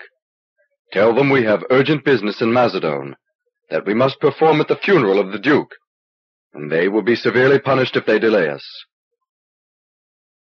Deliamber said calmly to Zalzan Kavol, You tell them. I? Whichever of us steps out of the wagon first is apt to be skewered by their darts. I prefer to yield the honor. Perhaps they will be intimidated by your great size and hail you as their king. Or perhaps not. Zalzan Kavol's eyes blazed. You refuse? A dead sorcerer, Deliamber said, will not guide you very far on this planet. I know something of these creatures. They are unpredictable and very dangerous. Pick another messenger, Zalzan Kavol. Our contract doesn't require me to risk my life for you. Zalzan Kavol made his growling sound of displeasure, but he let the issue drop. Stymied, they sat tight for long minutes. The forest brethren began to descend from the trees, remaining at a considerable distance from the wagon. Some of them danced and cavorted now in the roadway, setting up a ragged, tuneless chanting, formless and atonal, like the droning of huge insects. Erfon said, A blast from the energy thrower would scatter them. It wouldn't take long for us to incinerate the birdnet vine, and then, and then they'd follow us through the forest, pumping darts at us whenever we showed our faces, said Zalzan Kavol. No, there may be thousands of them all around us, they see us. We can't see them. We can't hope to win by using force against them. Moodily the big Skandar wolfed down the last of the dwikka fruit. Again he sat in silence for a few moments, scowling, occasionally shaking fists at the tiny folk blocking the path. At length he said in a bitter rumble, Mazadone is still some day's journey away, and that woman said there was no work to be had there anyway, so we'll have to go on to Borgax or maybe even Thagabar, eh, Deliamber? Weeks more before we earn another crown. And here we sit, trapped in the forest by little apes with poisoned darts. Valentine? Startled, Valentine said, Yes. I want you to slip out of the wagon the back way and return to that warrior woman. Offer her three royals to get us out of this. Are you serious? Valentine asked. Carabella, with a little gasp, said, No, I'll go instead. What's this? said Zalzan Kavol in irritation. Valentine is... he is... he gets lost easily. He becomes distracted. He... he might not be able to find... Foolishness, the Skandar said, waving his hands impatiently. The road is straight. Valentine is strong and quick, and this is dangerous work. You have skills too valuable to risk, Carabella. Valentine will have to go. Don't do it, Shanamir whispered. Valentine hesitated. He had not much liking for the idea of leaving the relative safety of the wagon to travel on foot alone in a forest infested with deadly creatures. But someone had to do it, and not one of the slow, ponderous Skandars, nor the splay-footed Hjort. To Zalzan Kavol, he was the most expendable member of the troupe. Perhaps he was. Perhaps he was expendable even to himself. He said, The warrior woman told us her price was five royals. Offer her three. And if she refuses? She said it was against her honor to bargain.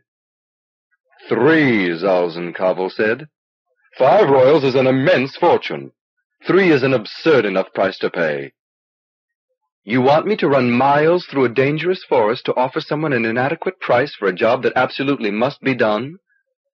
Are you refusing? Pointing out folly, said Valentine. If I'm to risk my life, there must be the hope of achievement.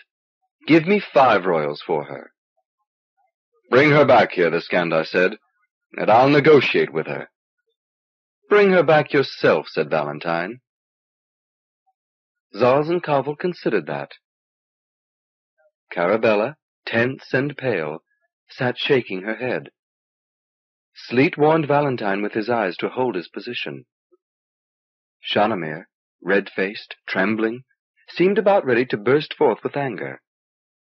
Valentine wondered if this time he had pushed the Skandar's always volatile temper too far.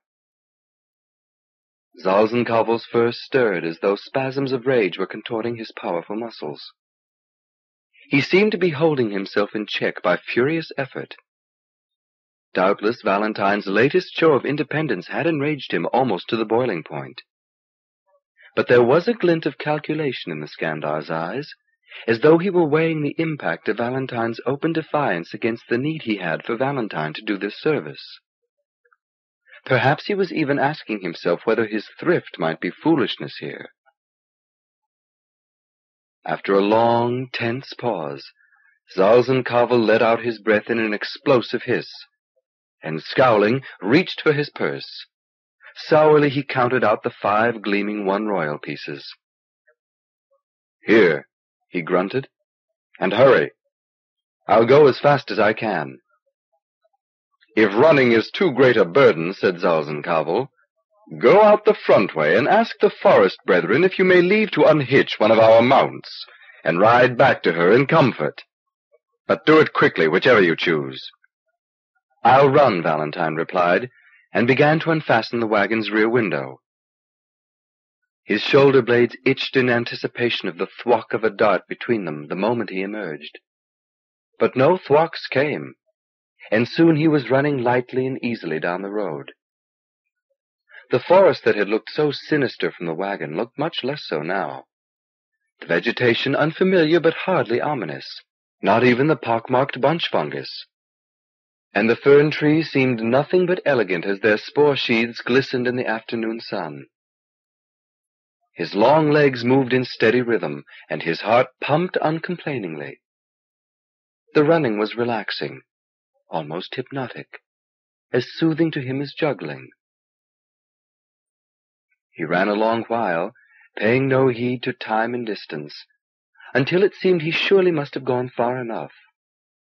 But how could he have run unknowingly past anything so conspicuous as five dwikka trees? Had he carelessly taken some fork in the road and lost the path? It seemed unlikely. So he simply ran on, and on and on, until eventually the monstrous trees, with the great fallen fruit beneath the closest of them, came into view. The giantess seemed nowhere around. He called out her name. He peered behind the dwikka fruit. He made a circuit of the entire grove. No one. In dismay, he contemplated running onward, back halfway to Dulorn, maybe, to find her. Now that he had stopped, he felt the effects of his jog. Muscles were protesting in his calves and thighs, and his heart was thumping in an unpleasant way. He had no appetite for more running just now. But then he caught sight of a mount tethered a few hundred yards back of the Dwikka-tree grove. An oversized beast, broad-backed and thick-legged, suitable for carrying Lisamon Hultin's bulk. He went to it and looked beyond, and saw a roughly hacked trail leading toward running water. The ground sloped off sharply and gave way to a jagged cliff. Valentine peered over the edge. A stream emerged from the forest here and tumbled down the face of the cliff to land in a rock basin perhaps forty feet below.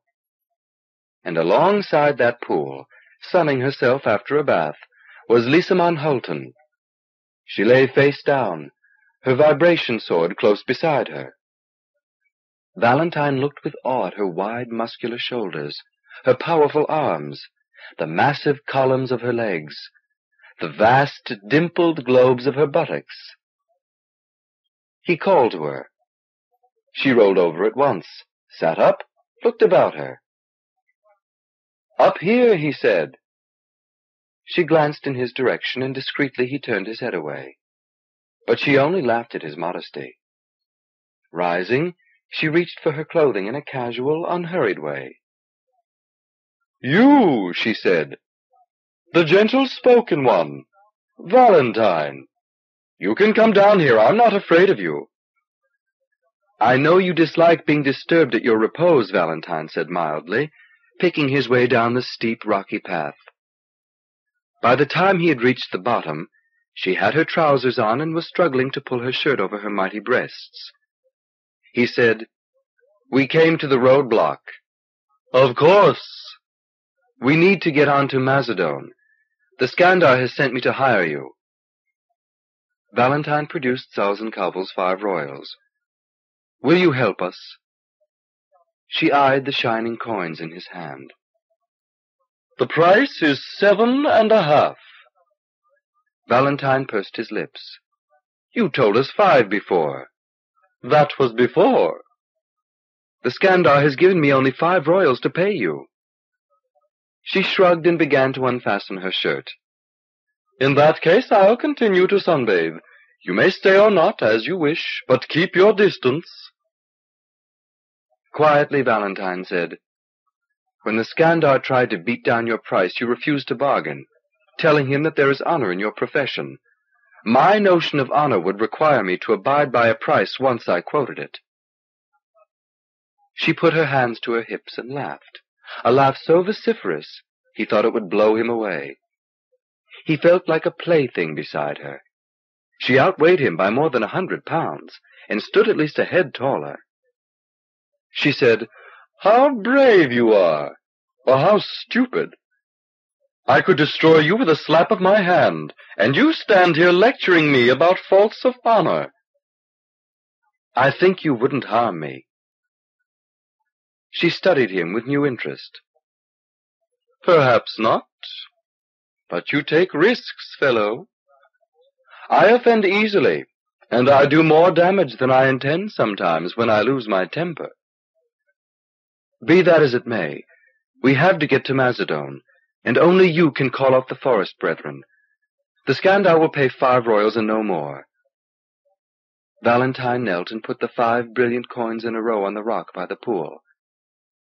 However, I have a little money of my own. If it'll settle the issue, I'll add that to the fee. He fished in his purse until he found a royal piece, found another, laid a half-royal beside it, and looked up hopefully. Five will be enough, Lisamon Hultin said. She scooped up Zalzan Kavol's coins, left Valentine's, and went scrambling up the path. Where's your mount? she asked, untethering her own. I came on foot. On foot? On foot? You ran all that way? She peered at him. What a loyal employee you are. Does he pay you well to give such service and take such risks? Not particularly. No, I suppose not. Well, climb on behind me. This beast would never even notice a little extra weight. She clambered onto the mount, which, though large for its kind, seemed dwarfed and frail once she was on it. Valentine, after some hesitation, got on behind her and clamped his hands around her waist. For all her bulk, there was nothing fat about her. Solid muscle girdled her hips. The mount cantered out of the dwikka-tree grove and down the road. The wagon, when they came to it, was still shut up tight, and forest brethren still danced and chattered in and around the trees behind the blockade. They dismounted. Lisamon Hultin walked without sign of fear to the front of the wagon, and called something to the forest brethren in a high, shrill voice. There was a reply of similar pitch from the trees. Again she called, again she was answered. Then a long, feverish colloquy ensued, with many brief expostulations and interjections. She turned to Valentine. They will open the gate for you, she said. For a fee. How much? Not money. Services. What services can we render for forest brethren? She said, I told them you are jugglers, and I explained what it is that jugglers do. They'll let you proceed if you perform for them, otherwise they intend to kill you and make toys of your bones. But not today, for today is a holy day among the forest brethren, and they kill no one on holy days. My advice to you is to perform for them, but do as you wish. She added, The poison that they use does not act particularly quickly. 6. Zalzan Kavol was indignant. Perform for monkeys? Perform without fee? But Deliamber pointed out that the forest brethren were somewhat higher on the evolutionary scale than monkeys. And Sleet observed that they had not had their practice today, and the workout would do them some good. And Erfon Kavol clinched the matter by arguing that it would not really be a free performance, since it was being traded for passage through this part of the forest, which these creatures effectively controlled. And in any case, they had no choice in the matter. So out they came, with clubs and balls and sickles, but not the torches, for Deliamber suggested that the torches might frighten the forest brethren and cause them to do unpredictable things. In the clearest space they could find, they began to juggle. The forest brethren watched raptly, Hundreds upon hundreds of them trooped from the forest and squatted alongside the road, staring, nibbling their fingers and their slender prehensile tails, making soft chittering comments to one another. The Skandars interchanged sickles and knives and clubs and hatchets. Valentine whirled clubs aloft. Sleet and Carabella performed with elegance and distinction. And an hour went by, and another, and the sun began to slink off in the direction of Pidruid. And still the forest brethren watched, and still the jugglers juggled, and nothing was done about unwinding the birdnet vine from the trees. Do we play for them all night? Zalzan demanded. Hush, said Deliamber. Give no offense. Our lives are in their hands. They used the opportunity to rehearse new routines. The Skandars polished an interception number, stealing throws from one another in a way that was comical in being so huge and fierce. Valentine worked with Sleet and Carabella on the interchange of clubs. Then Sleet and Valentine threw clubs rapidly at one another, while first Carabella and then Shanamir turned handsprings daringly between them. And so it went, on into a third hour. These forest brethren have had five royals worth of entertainment from us already, Zalzan grumbled. When does this end? You juggle very capably, said Lisamon Hultin. They enjoy your show immensely. I enjoy it myself. How pleasant for you, Zalzan said sourly. Twilight was approaching. Apparently the coming of darkness signaled some shift in mood for the forest brethren, for without warning, they lost interest in the performance. Five of them, of presence and authority, came forward and set about ripping down the barricade of birdnet vine. Their small, sharp-fingered hands dealt easily with the stuff that would have tangled anyone else hopelessly in snarls of sticky fiber. In a few minutes the way was clear, and the forest brethren, chattering, faded into the darkness of the woods. Have you wine? Lisamon Hultin asked, as the jugglers gathered their gear and prepared to move along. All this watching has given me a powerful thirst. Zalzan Kavol began to say something miserly about supplies running low, but too late. Carabella, with a sharp glare at her employer, produced a flask. The warrior woman tipped it back, draining it in one long, lusty gulp. She wiped her lips with the sleeve of her shirt and belched. Not bad, she said. Dulonese? Carabella nodded. Those Ghayrogs know how to drink, snakes that they are. You won't find anything like it in Mazadone. Zalzan Kavol said, Three weeks of mourning, you say? No less. All public amusements forbidden. Yellow mourning stripes on every door. Of what did the Duke die? Sleet asked. The giantess shrugged. Some say it was a sending from the king that frightened him to death, and others that he choked on a gobbet of half-cooked meat, and still others that he indulged in an excess with three of his concubines. Does it matter? He's dead. That's not to be disputed, and the rest is trifles. And no work to be had, said Zalzan Kavol gloomily. No, nothing as far as Thagabar and beyond. Weeks without earnings, the Skandar muttered. Lisamon Hultin said, It must be unfortunate for you, but I know where you could find good wages just beyond Thagabar. Yes, Zalzan Kavol said, in Khintor, I suppose. Khintor? No, times are lean there, I hear. A poor harvest of clenet puffs this summer, and the merchants have tightened credit. And I think there's little money to be spent on entertainments. No, I speak of Ilirivoyne. What? Sleet cried, as though he had been struck by a dart. Valentine sorted through his knowledge, came up with nothing, and whispered to Carabella, Where's that? Southeast of Khintor. But southeast of Khintor is the metamorph territory. Exactly. Zalzan Kavol's heavy features took on an animated cast for the first time since encountering the roadblock. He swung round and said, What work is there for us in Ilirivoyne? The shapeshifters hold festival there next month, Lisamon Hultin replied. There'll be harvest dancing and contests of many kinds and merrymaking. I've heard that sometimes troops from the imperial provinces enter the reservation and earn huge sums at festival time. The shapeshifters regard imperial money lightly and are quick to dispose of it. Indeed, Zalzan Kavol said. The chilly light of greed played across his face. I had heard the same thing long ago, but it never occurred to me to test its truth. You'll test it without me, Sleet cried suddenly. The Skandar glanced at him. Eh? Sleet showed intense strain, as though he had been doing his blind juggling routine all afternoon. His lips were taut and bloodless. His eyes were fixed and unnaturally bright. If you go to Ilirivoyne, he said tensely, I will not accompany you. I remind you of our contract, said Zalzan Kavol. Nevertheless, nothing in it obliges me to follow you into metamorph territory.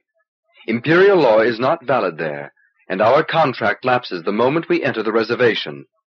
I have no love for the shapeshifters, and refuse to risk my life and soul in their province. We'll talk about this later, Sleet.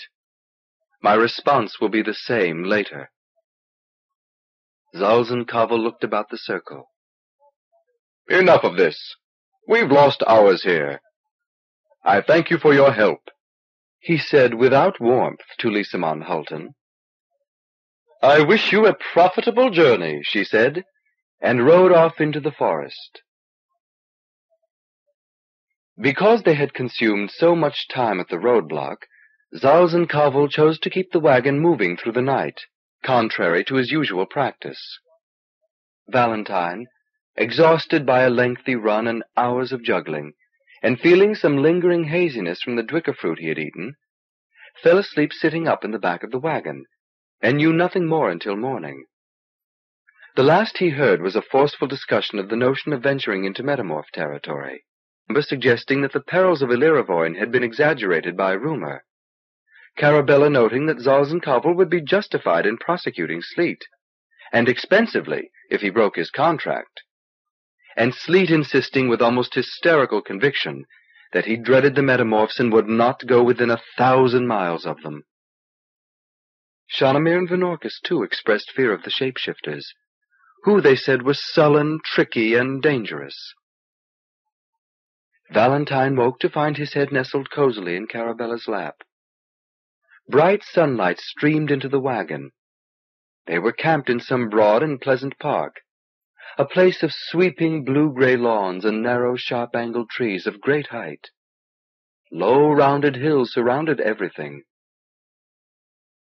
Where are we? he asked. Outskirts of Mazadone. The Skandar drove like a madman all night long. Carabella laughed prettily. And you slept like one who has been dead a long time. Outside, Zalzan Kavol and Sleet were engaged in heated argument a few yards from the wagon.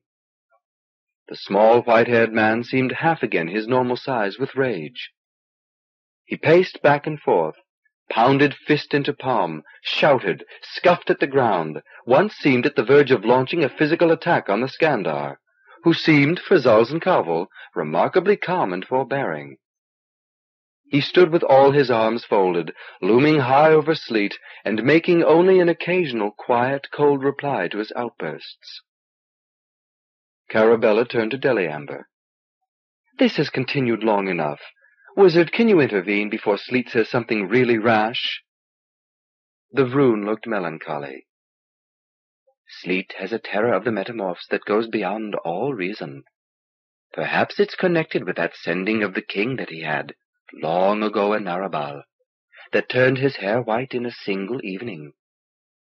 Or perhaps not. In any case, it may be wisest for him to withdraw from the troop, whatever the consequences. But we need him. And if he thinks terrible things will befall him in Ilirivoyne, can we ask him to subject himself to such fears? Perhaps I can calm him, Valentine said. He rose to go outside, but at that instant, Sleet, face dark and set, stormed into the wagon. Without a word, the compact little juggler began to stuff his few possessions into a pack. Then he swept out, his fury unabated, and striding past the motionless Zalzan Kavol, began to march at a startling clip toward the low hills to the north. Helplessly they watched him. No one made a move to pursue until Sleet was nearly out of sight. Then Carabella said, I'll go after him.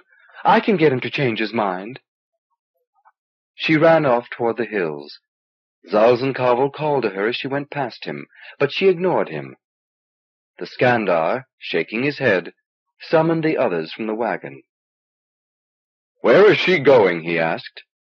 To try to bring Sleet back, said Valentine. Hopeless. Sleet has chosen to leave the troop. I'll see to it that he regrets his defection. Valentine, greater responsibilities now will fall upon you, and I'll add five crowns a week to your salary. Is this acceptable? Valentine nodded. He thought of Sleet's quiet, steady presence in the troop, and felt a pang of loss. The Skandar continued. Deliamber, I have, as you might suspect, decided to seek work for us among the metamorphs. Are you familiar with the routes to Ilirivoyne? I have never been there, the Vroon answered, but I know where it is. And which is the quickest way? To Khintor from here, I think, and then eastward by riverboat some four hundred miles. And at Verf there's a road due south into the reservation. Not a smooth road, but wide enough for the wagon, so I believe. I will study it. And how long will it take for us to reach Ilirivoyne, then? Perhaps a month, if there are no delays. Just in time for the Metamorph Festival, said Zalzan Kavol. Perfect. What delays do you anticipate? Deliamber said, The usual. Natural disasters, breakdown of the wagon, local disturbances, criminal interferences. Things are not as orderly in mid-continent as they are on the coasts. There are risks involved in traveling in those parts. You bet there are, boomed a familiar voice.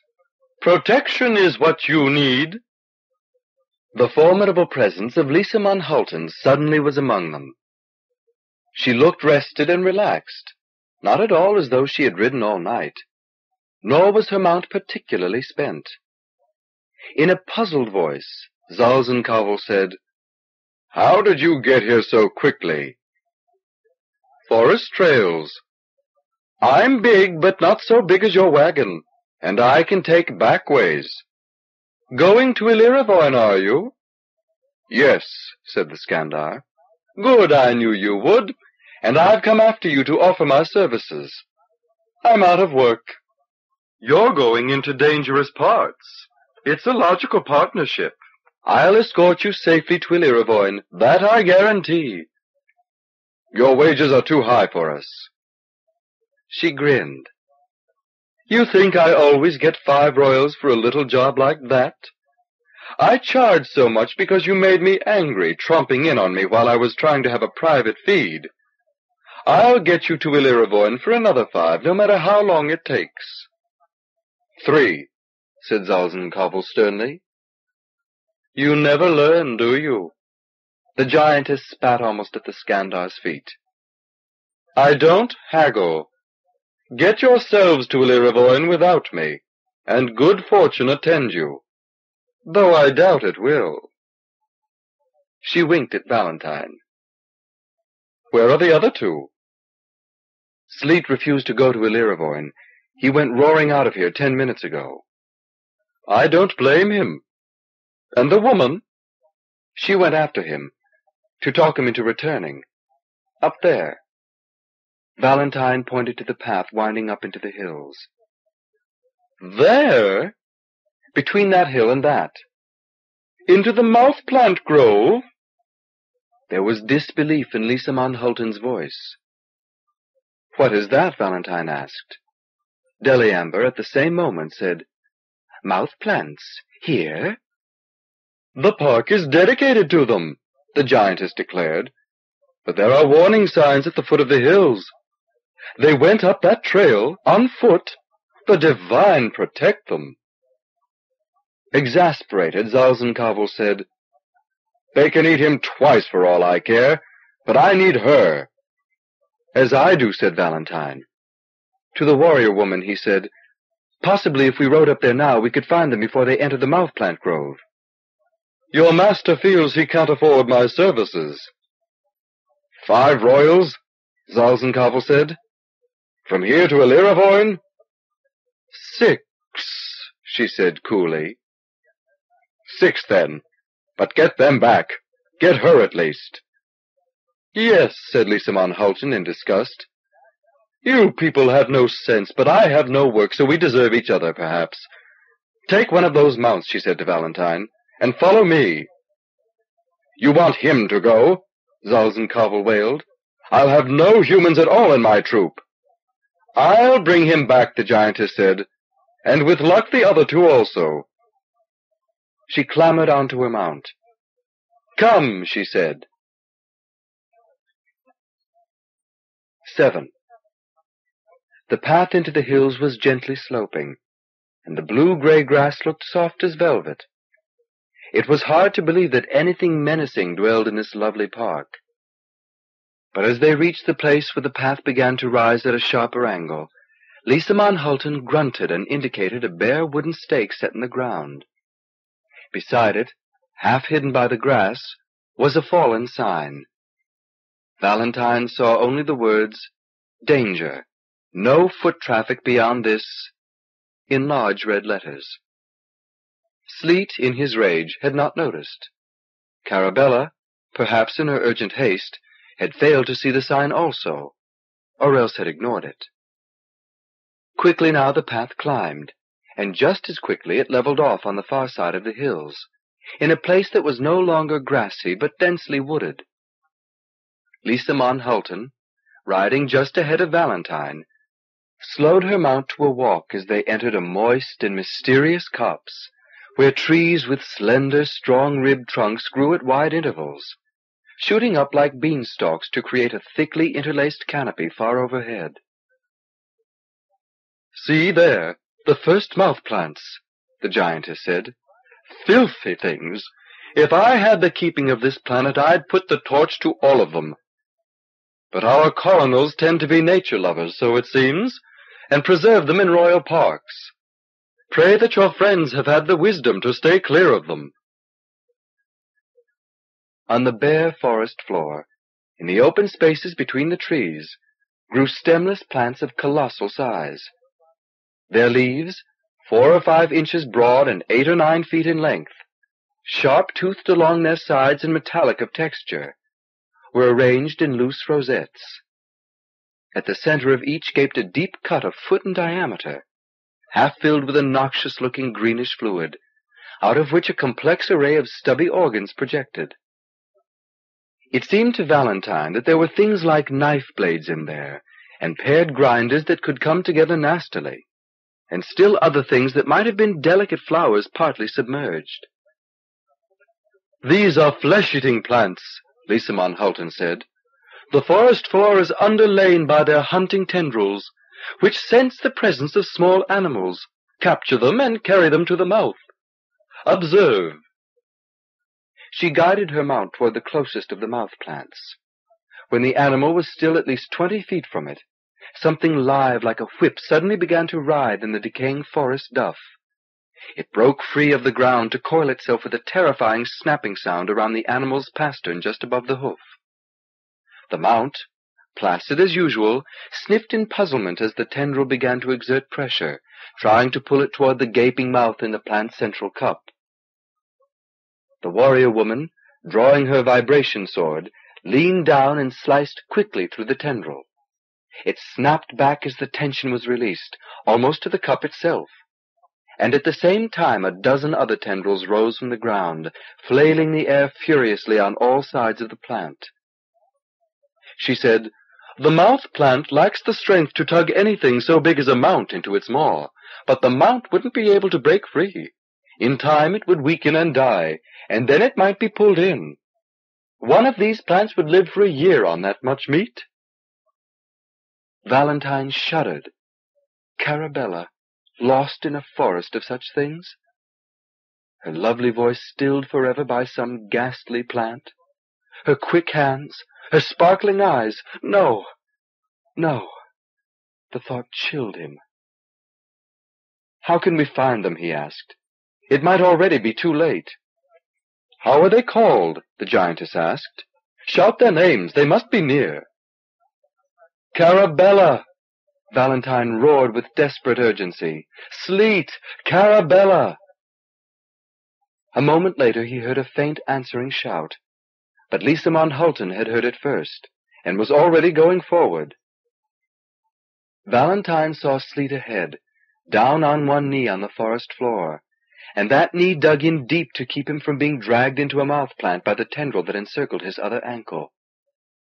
Crouching behind him was Carabella, her arms thrust through his and hooked tight around his chest in a desperate attempt to hold him back.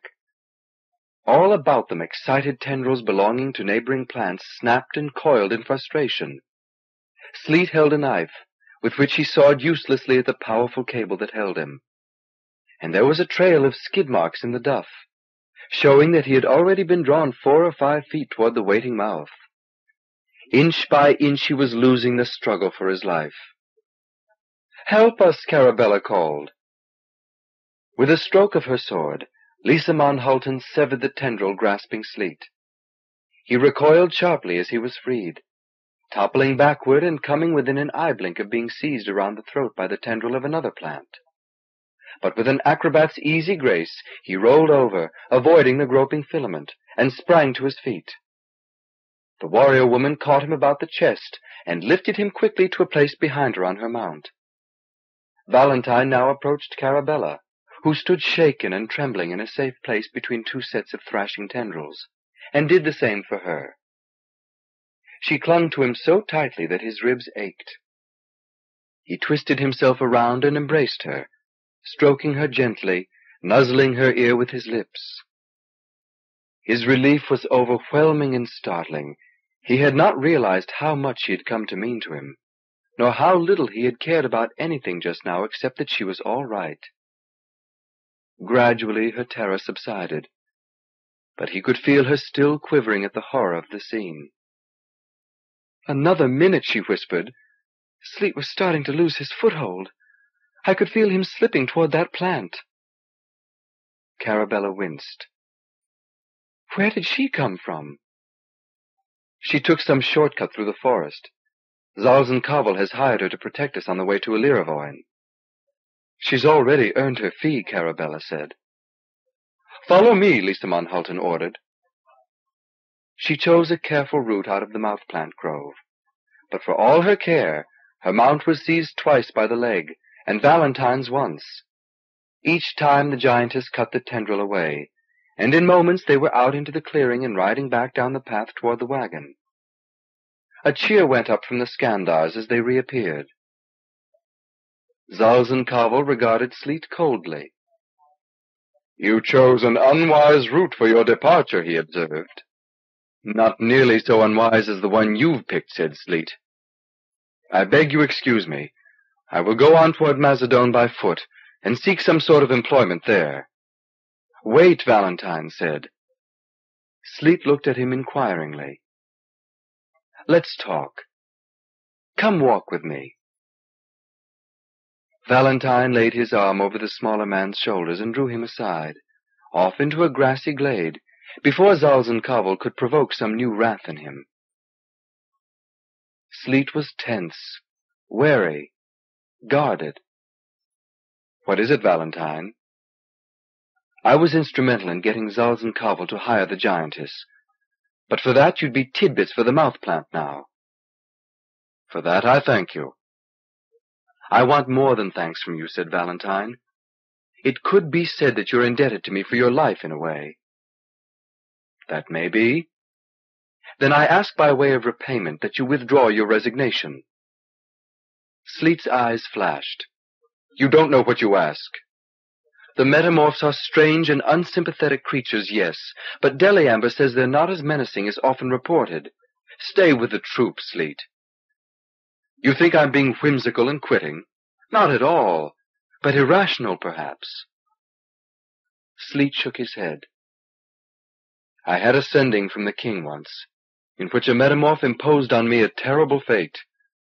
One listens to such sendings. I have no desire to go near the place where those beings dwell. Sendings don't always bear the literal truth.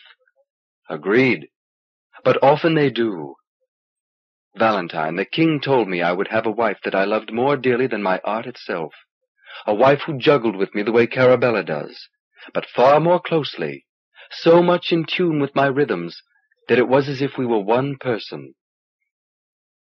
Sweat broke out on Sleet's scarred face, and he faltered, and almost did not go on. But after a moment he said, I dreamed, Valentine, that the shapeshifters came one day and stole that wife of mine, and substituted for her one of their own people, disguised so cunningly that I couldn't tell the difference. And that night, I dreamed, we performed before the coronal, before Lord Malibor that ruled then and drowned soon after. And our juggling was perfection. It was a harmony unequaled in all of my life. And the coronal feasted us with fine meats and wines, and gave us a bedchamber draped with silks.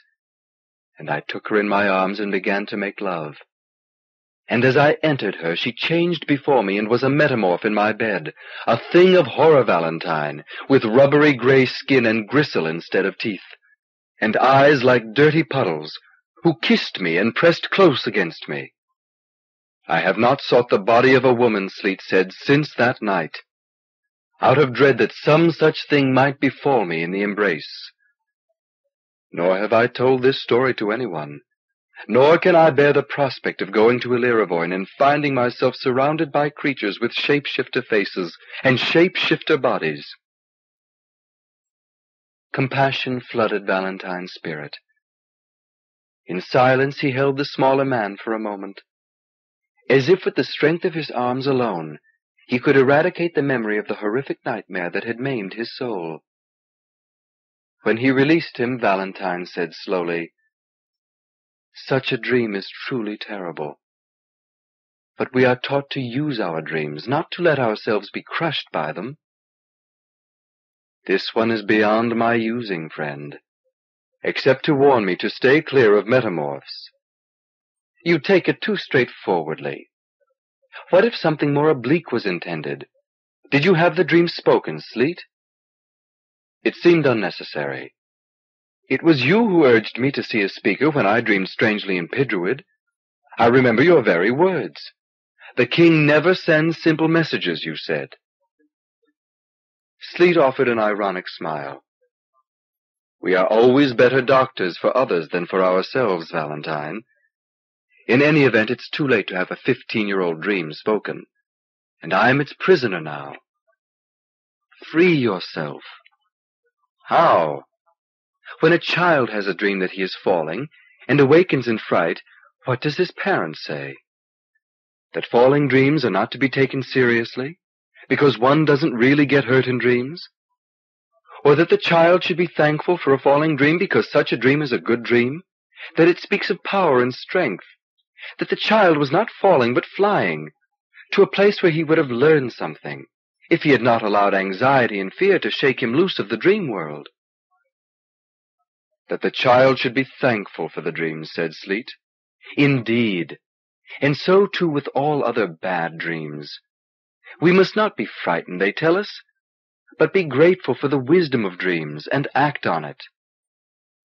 So children are told, yes.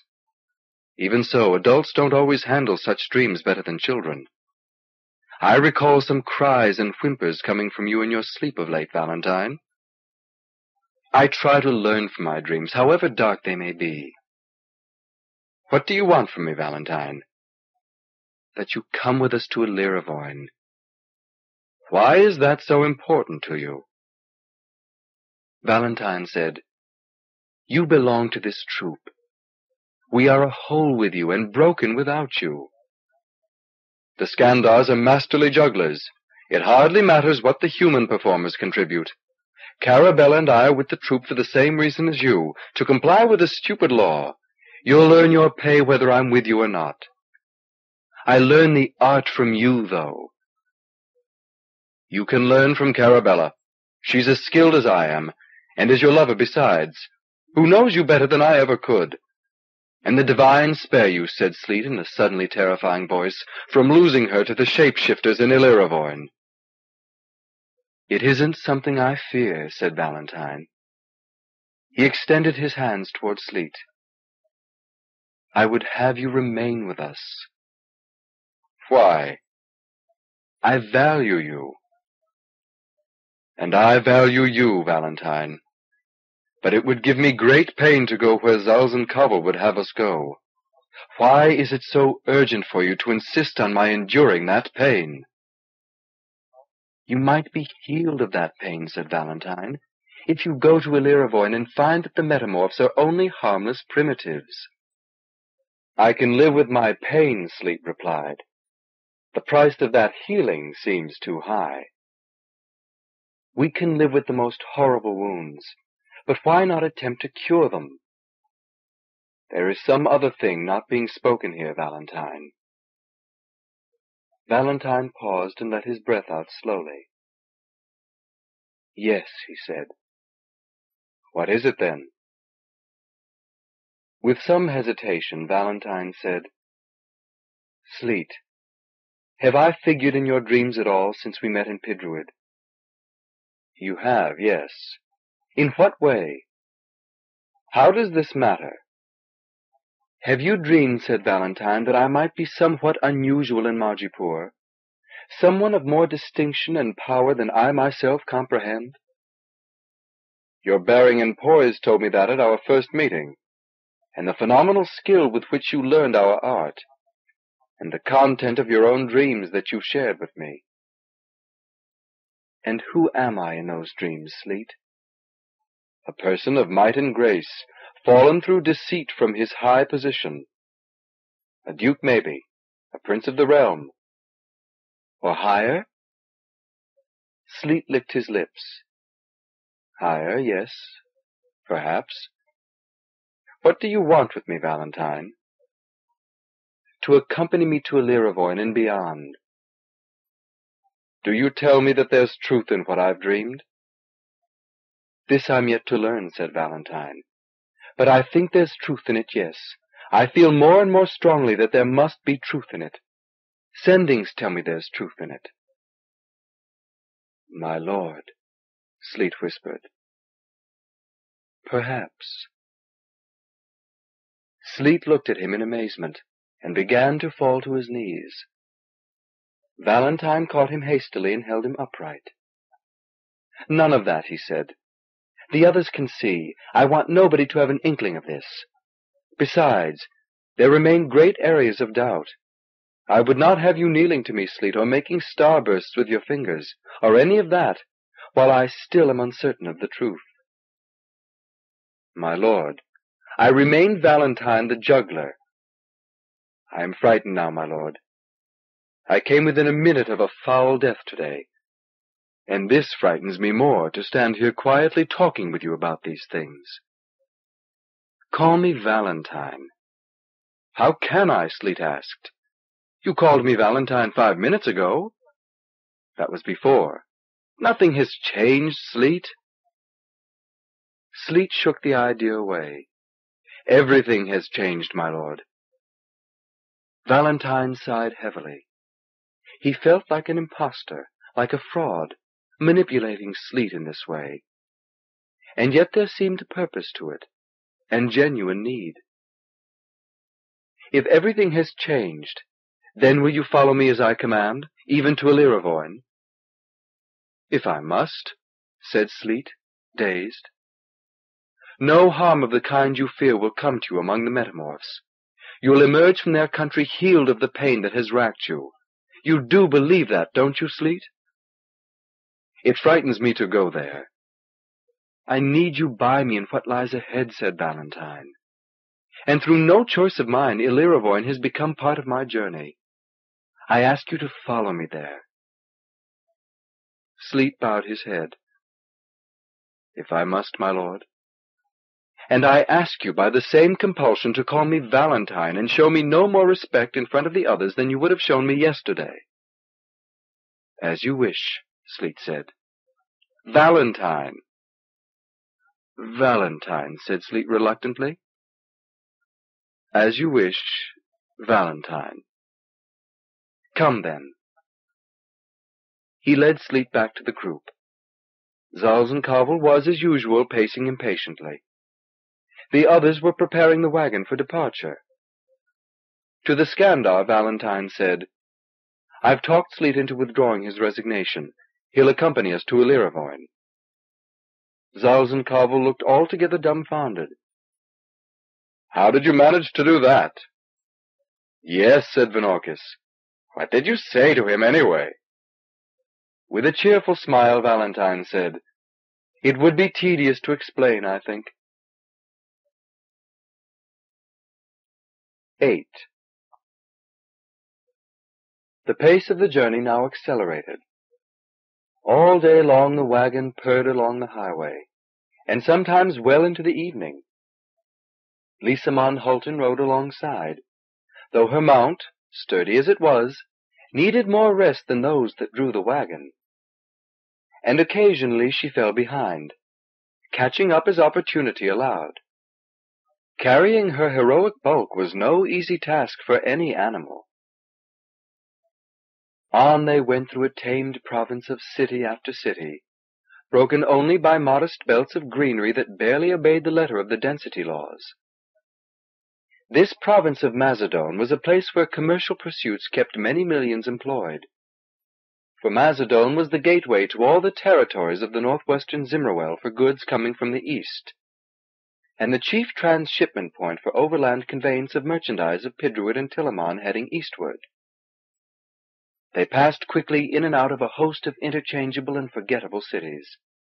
Cynthian and Apurtel and time, Mazadone city itself, Borgax and Thagabar beyond it, all of them subdued and quiescent during the mourning period for the late Duke, and strips of yellow dangling everywhere as sign of sorrow. It seemed to Valentine a heavy thing to shut down an entire province for the death of a duke. What would these people do, he wondered, over the death of a pontifex? How had they responded to the premature passing of the coronal Lord Voriax two years ago? But perhaps they took the going of their local duke more seriously, he thought, for he was a visible figure, real and present among them, whereas to people of Zimroel, thousands of miles separated from Castlemount or Labyrinth, the powers of Majipoor must seem largely abstract figures, mythical, legendary, immaterial. On a planet so large as this, no central authority could govern with real efficiency, only symbolic control. Valentine suspected that much of the stability of Majipoor depended on a social contract whereby the local governors, the provincial dukes, and the municipal mayors agreed to enforce and support the edicts of the imperial government, provided that they might do so as they pleased within their own territories. How, he asked himself, can such a contract be upheld when the coronal is not the anointed and dedicated prince, but some usurper, lacking in the grace of the divine through which such fragile social constructs are sustained? He found himself thinking more and more upon such matters during the long, quiet, monotonous hours of the eastward journey.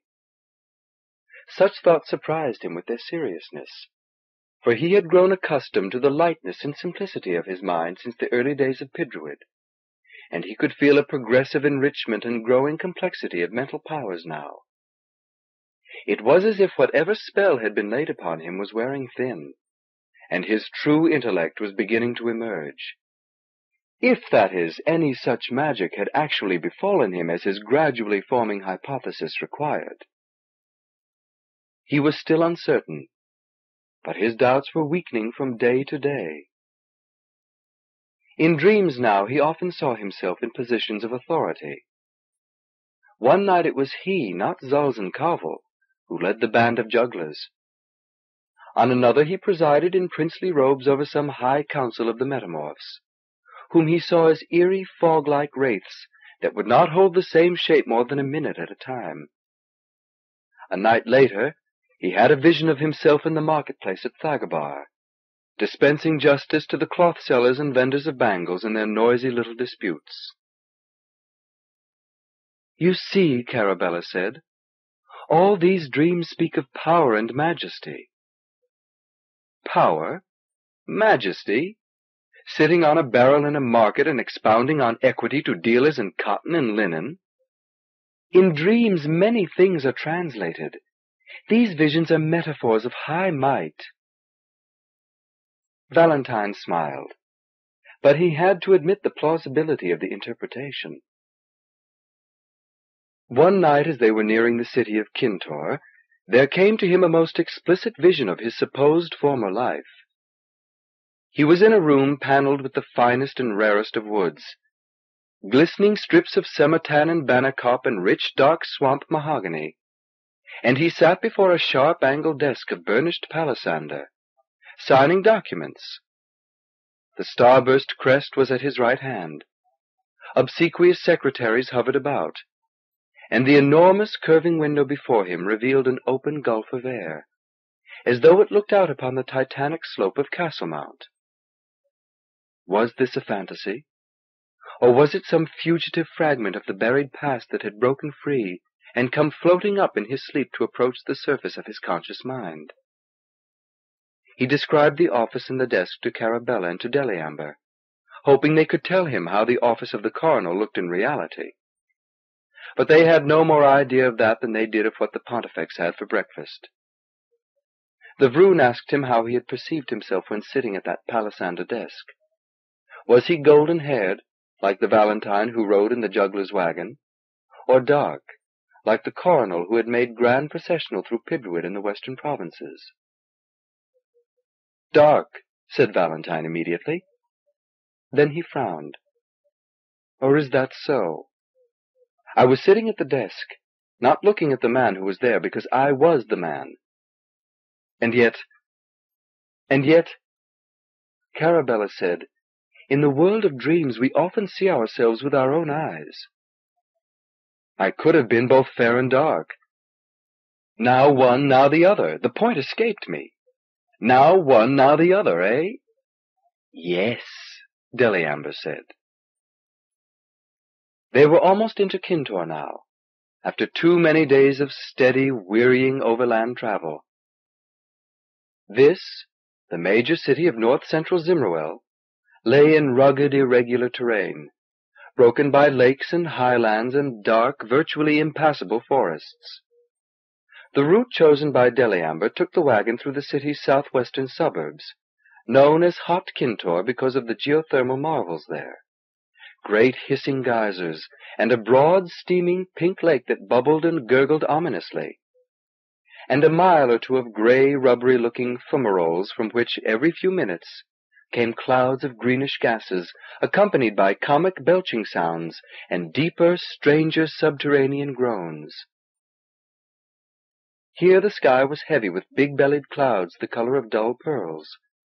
And although the last of summer still held the land, there was a cool autumnal quality to the thin, sharp wind that blew from the north. The river Zimr, largest in Zimroel, divided Hot Khintor from the city proper. When the travelers came upon it, the wagon emerging suddenly from an ancient district of narrow streets to enter a broad esplanade leading to the Khintor Bridge. Valentine gasped with amazement. What is it? Carabella asked. The river. I never expected it to be as big as this. Are rivers unfamiliar to you? There are none of any consequence between Pidruid and here, he pointed out. I remember nothing clearly before Pidruid. Compared with the Zimr, said Sleet, there are no rivers of any consequence anywhere. Let him be amazed. To the right and left, so far as Valentine could see, the dark waters of the Zimr stretched to the horizon. The river was so broad here that it looked more like a bay. He could barely make out the square-topped towers of Khintor on the far shore. Eight or ten mighty bridges spanned the waters here, so vast that Valentine wondered how it had been possible to build them at all. The one that lay directly ahead, Khintor Bridge, was four highways wide, a structure of looping arches that rose and descended and rose and descended in great leaps from bank to bank. A short way downstream was a bridge of entirely different design, a heavy brick roadbed resting on astounding lofty piers, and just upstream was another that seemed made of glass, and gleamed with a dazzling brightness. Deliamber said, That is Coronal Bridge, and to our right the Bridge of the Pontifex, and farther downstream is the one known as the Bridge of Dreams. All of them are ancient and famous. But why try to bridge the river at a place where it's so wide? Valentine asked in bewilderment. Deliamber said, this is one of the narrowest points. The Zimr's course, declared the Vroon, was some seven thousand miles, rising northwest of Dulorn at the mouth of the rift, and flowing in a southeasterly direction across all of Upper Zimroel toward the coastal city of Piliplok on the inner sea. This happy river, navigable for its entire length, was a swift and phenomenally broad stream that flowed in grand sweeping curves, like some amiable serpent. Its shores were occupied by hundreds of wealthy cities, major inland ports, of which Khintor was the most westerly. On the far side of Khintor, running off to the northeast and only dimly visible in the cloudy sky, were the jagged peaks of the Khintor Marches, nine great mountains on whose chilly flanks lived tribes of rough, high-spirited hunters. These people could be found in Khintor much of the year, exchanging hides and meat for manufactured goods. That night in Khintor, Valentine dreamed he was entering the labyrinth to confer with the Pontifex. This was no vague and misty dream, but one with sharp, painful clarity. He stood under harsh winter sunlight on a barren plain, and saw before him a roofless temple with flat white walls, which Deliamber told him was the gateway to the labyrinth. The Vroon and Lisamon Hultin were with him, and Carabella too, walking in a protective phalanx. But when Valentine stepped out onto the bare slate platform between those white walls, he was alone.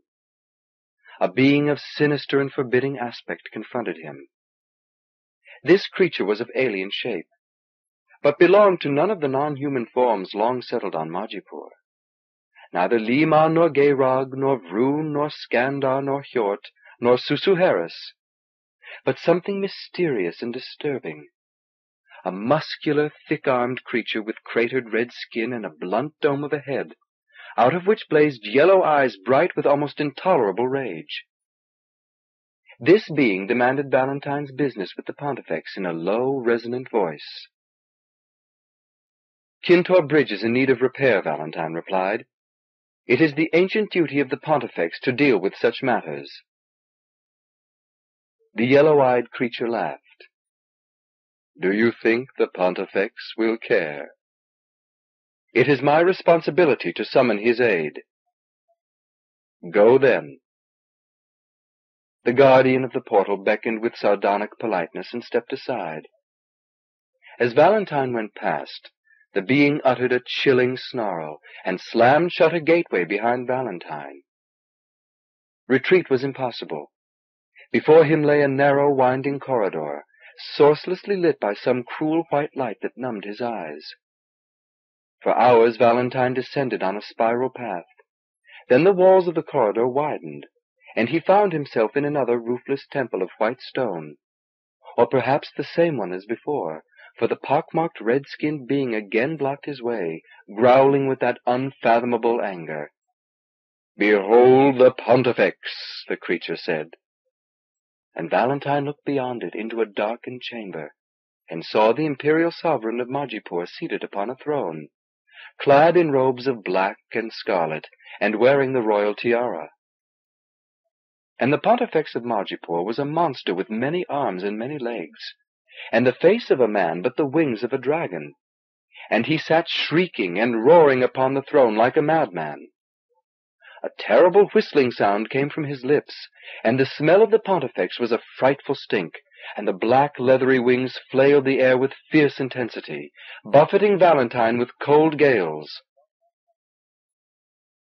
Your Majesty, Valentine said, and bowed, and said again, Your Majesty. Your Lordship, replied the Pontifex, and laughed and reached for Valentine and tugged him forward. And then Valentine was on the throne, and the Pontifex, laughing insanely, was fleeing up the brightly lit corridors, running and flapping wings and raving and shrieking, until he was lost from sight. Valentine woke wet with perspiration, in Carabella's arms. She showed a look of concern bordering on fear, as if the terrors of his dream had been only too obvious to her. And she held him a moment, saying nothing, until he had had a chance to comprehend the fact that he was awake. Tenderly she stroked his cheeks. You cried out three times, she told him. There are occasions, he said after gulping a little wine from a flask beside the bed, when it seems more wearying to sleep than to remain awake. My dreams are hard work, Carabella. There's much in your soul that seeks to express itself, my lord. It expresses itself in a very strenuous way, Valentine said, and nestled down against her breasts. If dreams are the source of wisdom, I pray to grow no wiser before dawn. 9. In Khintor, Zalzenkaval booked passage for the troupe aboard a riverboat bound toward Ni-moya and. They would be journeying only a short way down the river, though, to the minor city of Verf, gateway to the Metamorph territory. Mm-hmm. Valentine regretted having to leave the riverboat at Verf, when he could easily, for another ten or fifteen royals, sail all the way to Piliplok and take ship for the Isle of Sleep. That, after all, and not the shapeshifter reservation, was his most urgent immediate destination. The Isle of the Lady, where perhaps he might find confirmation of the visions that tormented him. But that was not to be. Just yet. Destiny, Valentine thought, could not be rushed. Thus far, things had moved with deliberate speed, but toward some definite, if not always understandable, goal. He was no longer the cheerful and simple idler of Pidruid, and although he had no sure knowledge of what it was he was becoming, he had a definite sense of inner transition, of boundaries passed and not to be recrossed.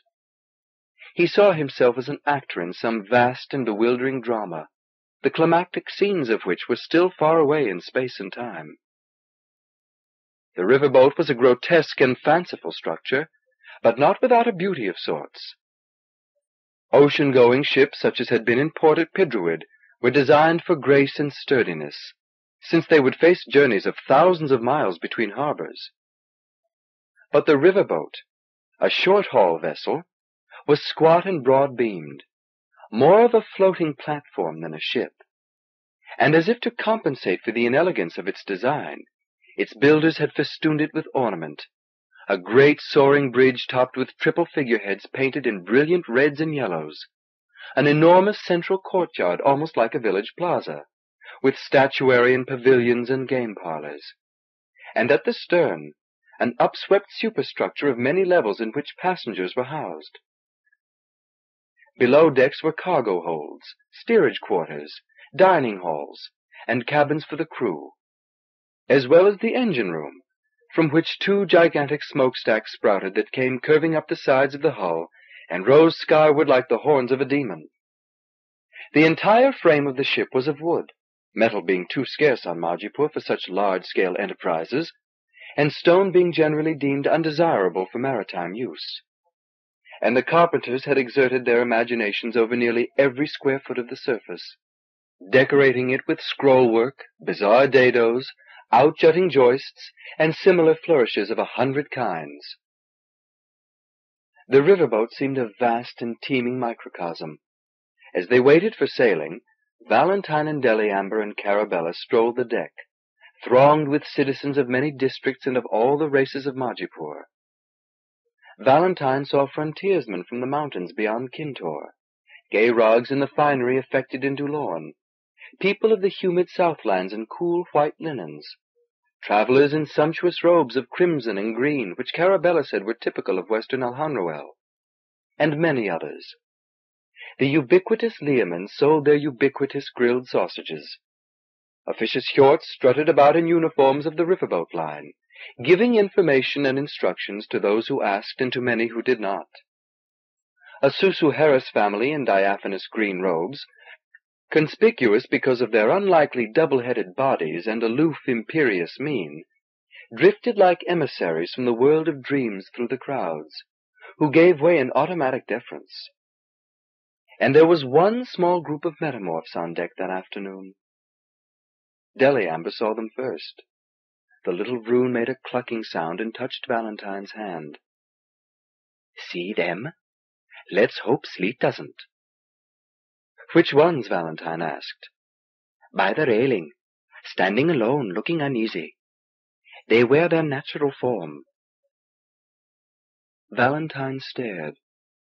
There were five of them, perhaps a male and a female adult, and three younger ones. They were slender, angular, long-legged beings, the older ones taller than he, with a frail, insubstantial look to them. Their skins were sallow, almost green in hue. Their faces approached the human pattern in construction, except that their cheekbones were sharp as blades.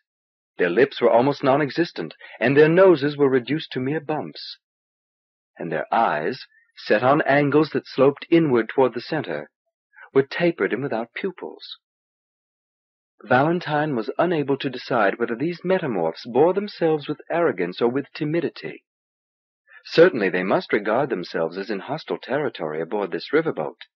These natives of the ancient race, these descendants of those who had possessed Majipoor before the coming of the first earthborn settlers fourteen thousand years ago. He could not take his eyes from them. How is the changing of shape accomplished? he asked. Their bones are not joined like those of most races, answered Deliamber. Under muscular pressure, they will move and take up new patterns. Also, they have mimicry cells in their skins that allow them to alter color and texture. And there are other adaptations. An adult can transform itself almost instantaneously. And what purpose does this serve? Who can say? Most likely the metamorphs ask what purpose there was in creating races in this universe that are unable to shift shape. It must have some value to them. Very little, said Carabella acidly. If they could have such powers and still have their world snatched away from them. Shifting shape is not enough of a defense, Deliamber replied, when people travel from one star to another to steal your home. The metamorphs fascinated Valentine. To him they represented artifacts of Majipoor's long history, archaeological relics, survivors from the era when there were no humans here, nor Skandars, nor Vroons, nor Ghayrogs. Only these fragile green people spread out across a colossal planet. Before the settlers came, the intruders, ultimately the conquerors. How long ago it had been! He wished they would perform a transformation as he watched, perhaps turn into Skandars or Liimen before his eyes. But they remained unwavering in their identities. Shanamir, looking agitated, appeared suddenly out of the crowd. He seized Valentine's arm and blurted, Do you know what's on board with us? I heard the cargo handlers talking. There's a whole family of shape. Not so loud, Valentine said. Look yonder. The boy looked and shivered. Scary things they are. Where's Sleet? On the bridge, with Zalzan They're trying to get a permit to perform tonight. If he sees them... He'll have to confront Metamorph sooner or later, Valentine murmured. To Deliamber, he said, Is it uncommon for them to be seen outside their reservation? They are found everywhere, but never in great numbers, and rarely in their own form. There might be eleven of them living in Pidruid, say, and six in Falkynkip, nine in Dulorn. Disguised? Yes, as Ghayrogs or Hjorts or humans, whatever seems best in a certain place. The metamorphs began to leave the deck. They moved with great dignity, but unlike the little Su-Suheris group, there was nothing imperious about them. They seemed rather to give an impression of wishing they were invisible. Valentine said, Do they live in their territory by choice or compulsion? Some of each, I think. When Lord Stiamot completed the conquest, he forced them to leave Alhanroel entirely. But Zimroel was barely settled then, just the coastal outposts, and they were allowed most of the interior. They chose only the territory between the Zimr and the southern mountains, though, where access could easily be controlled, and withdrew into that. By now there's a tradition that the metamorphs dwell only in that territory, except for the unofficial few living out in the cities. But I have no idea whether that tradition has force of law. Certainly they pay little attention to the decrees that emerge from the labyrinth or castle mount. If imperial law matters so little to them, are we not taking great risks in going to Ilirivoyne? Deliamber laughed. The days when metamorphs attacked outsiders for the sheer love of vengeance are long over, so I am assured.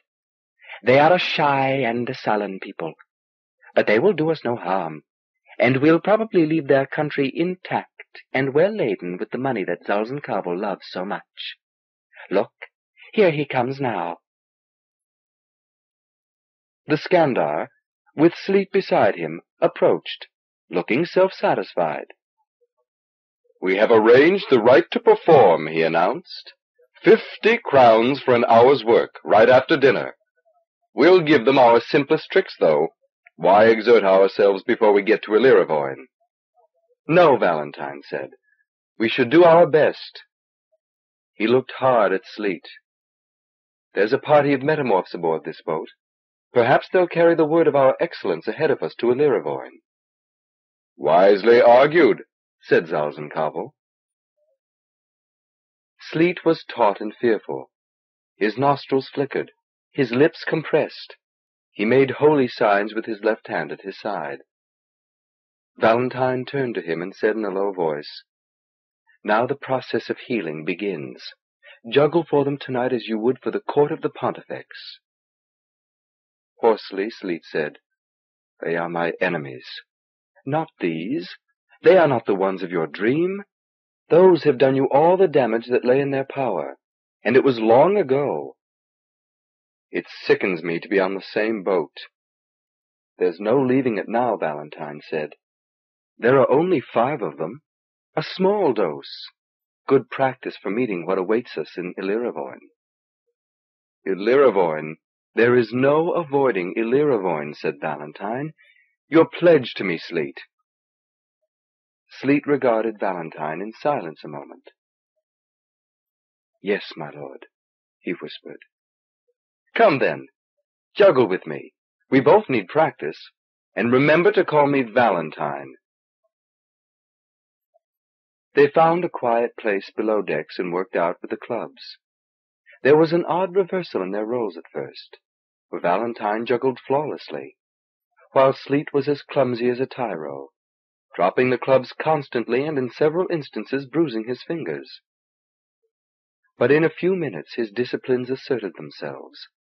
He filled the air with clubs, interchanging them with Valentine in patterns of such complexity that it left Valentine laughing and gasping. And finally he had to beg a halt and ask Sleet to return to more manageable cascades. That night at the deckside performance, their first since the impromptu event staged for the amusement of the Forest Brethren, Zalzan Kavol ordered a program that they had never done before an audience.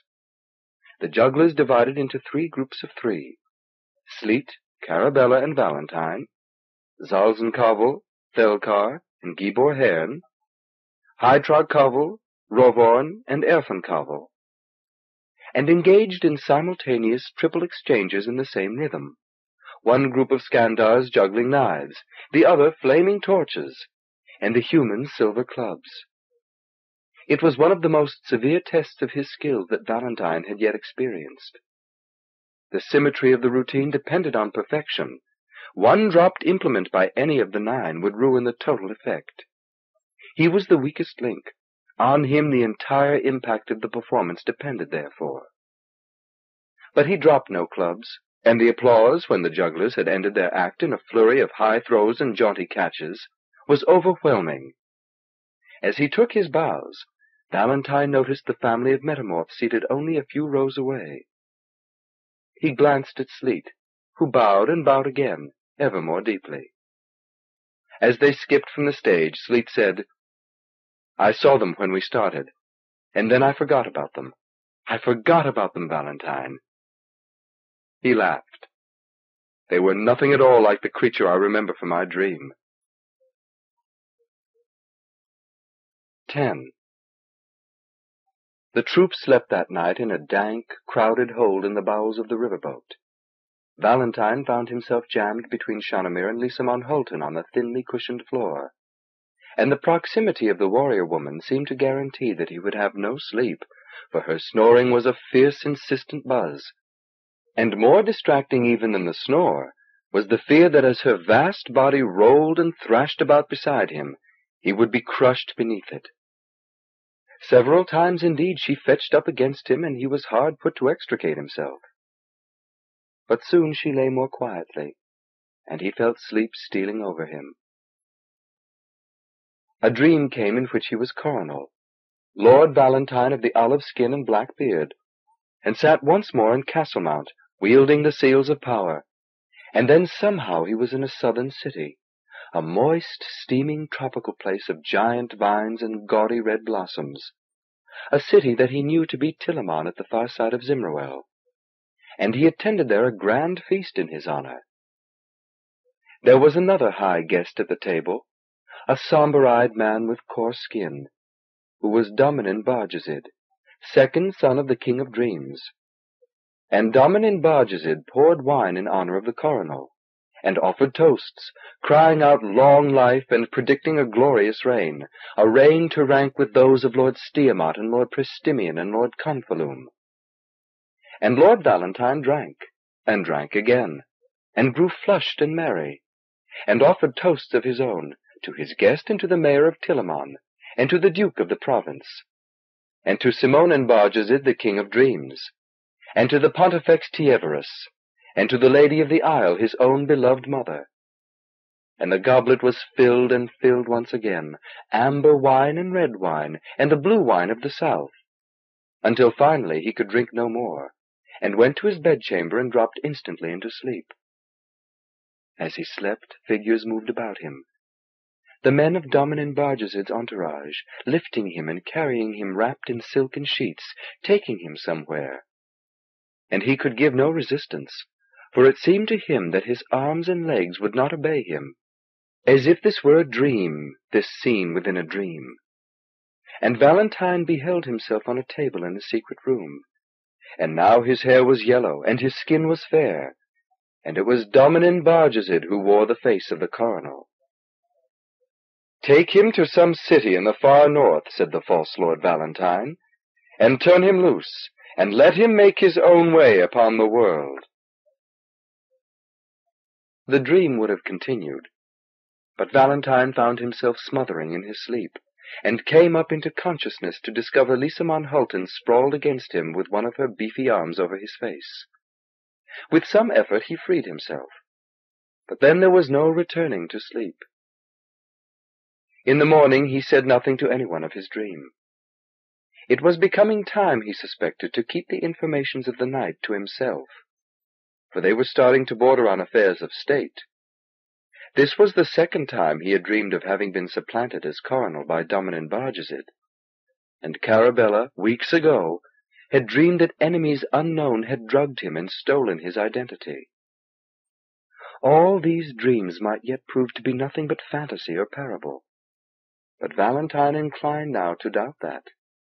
There was too strong a consistency to them, too frequent a repetition of underlying structures. And if a Barjazid now wore the starburst crown, what then? What then? The Valentine of Pidruid would have shrugged and said, No matter, one overlord is the same as another. But the Valentine now sailing from Khintor to Verf took a more thoughtful view of things. There was a balance of power in this world, a balance carefully designed over a span of thousands of years, a system that had been evolving since Lord Stiamot's time, or perhaps earlier, out of whatever forgotten polities had ruled Majipoor in the first centuries of the settlement. And in that system, an inaccessible pontifex ruled through the vehicle of a vigorous and dynamic coronal of his own choosing, with the official known as the King of Dreams functioning to execute the commands of the government and chastise lawbreakers by virtue of his entry into the minds of sleepers, and the Lady of the Isle, mother of the coronal, contributing a tempering of love and wisdom. There was strength to the system, or else it could not have endured so many thousands of years. Under it, Majipoor was a happy and prosperous world, subject true to the frailties of flesh and the vagaries of nature, but mainly free of conflict and suffering. What now, Valentine wondered, if a Barjazid of the king's blood were to put aside a lawfully constituted coronal and interpose himself in that divinely ordained balance? What harm to the commonwealth? What disruption of public tranquillity? And what might be said of a fallen coronal who chooses to accept his altered destiny and leaves the usurper unchallenged? Was that not an abdication? And had there ever been an abdication of a coronal in Majipoor's history? Would he not thereby become a co-conspirator in Dominin Barjazid's overthrow of order? The last of his hesitations were going from him. It had seemed a comical thing, or a bizarre one, to Valentine the juggler, when the first hints had come to him that he might be truly Lord Valentine the coronal. That had been an absurdity, a lunacy, a farce. No longer. The texture of his dreams carried the weight of plausibility. A monstrous thing had happened indeed. The full import of it was only now coming clear to him. And it was his task, that he must accept without further question, to set things right. But how? Challenge an incumbent coronal? Rise up in juggler's costume to claim Castlemount? He spent the morning quietly, giving no hint of his thoughts. Mostly he remained at the rail, staring at the far-off shore. The river's immensity was beyond his understanding. At some points here it was so wide that no land could be seen. And in other places, what Valentine took to be the shore turned out to be islands, themselves of great size, with miles of water between their farther sides and the river bank. The flow of the river was strong, and the huge riverboat was being swept rapidly along eastward. The day was bright, and the river rippled and glinted in the sparkling sunlight. In the afternoon a light rain began to fall, out of clouds so compact that the sunlight remained bright around them. The rain increased in intensity, and the jugglers were forced to cancel their second performance, to Zalzan Kavol's great annoyance. They huddled under cover, that night Valentine took care to sleep beside Carabella, and left the snores of Lisamon Hultin for the Skandars to cope with. He waited almost eagerly for revealing new dreams. But what came to him was useless. The ordinary formless hodgepodge of fantasy and chaos, of nameless streets and unfamiliar faces, of bright lights and garish colors, of absurd disputes, disjointed conversations, and unfocused images, and in the morning the river boat arrived at the port of Verf on the river's southern bank. 11. The province of the Metamorphs, said Autifon Deliamber, is named Piurifayne, after the name by which the Metamorphs call themselves in their own language, which is Piurivar. It is bounded on the north by the outlying suburb of Verf, on the west by the Velathys Scarp, on the south by the substantial range of mountains known as the Gonghars, and on the east by the river Steiche, an important tributary of the Zimr. I have beheld each of those boundary zones with my own eyes, though I have never entered Piurifayne itself. To enter is difficult, for the Velathys Scarp is a sheer wall a mile high and three hundred miles long. The Gonghars are storm-swept and disagreeable, and the Steiche is a wild, unruly river full of rapids and turbulence. The only rational way in is through Verf and down through Piurifayne Gate. The jugglers now were only a few miles north of that entrance, having left the drab mercantile city of Verf as quickly as possible. The rain, light but insistent, had continued all morning. The countryside here was unexciting, a place of light sandy soil and dense stands of dwarf trees with pale green bark and narrow twittering leaves. There was little conversation in the wagon. Sleet seemed lost in meditation. Carabella juggled three red balls obsessively in the mid-cabin space. The Skandars who were not driving engaged in some intricate game played with slivers of ivory and packets of black troll whiskers. Shanamir dozed. Vinorkis made entries in a journal he carried. Deliamber entertained himself with minor incantations, the lighting of tiny necromantic candles, and other wizardly amusements.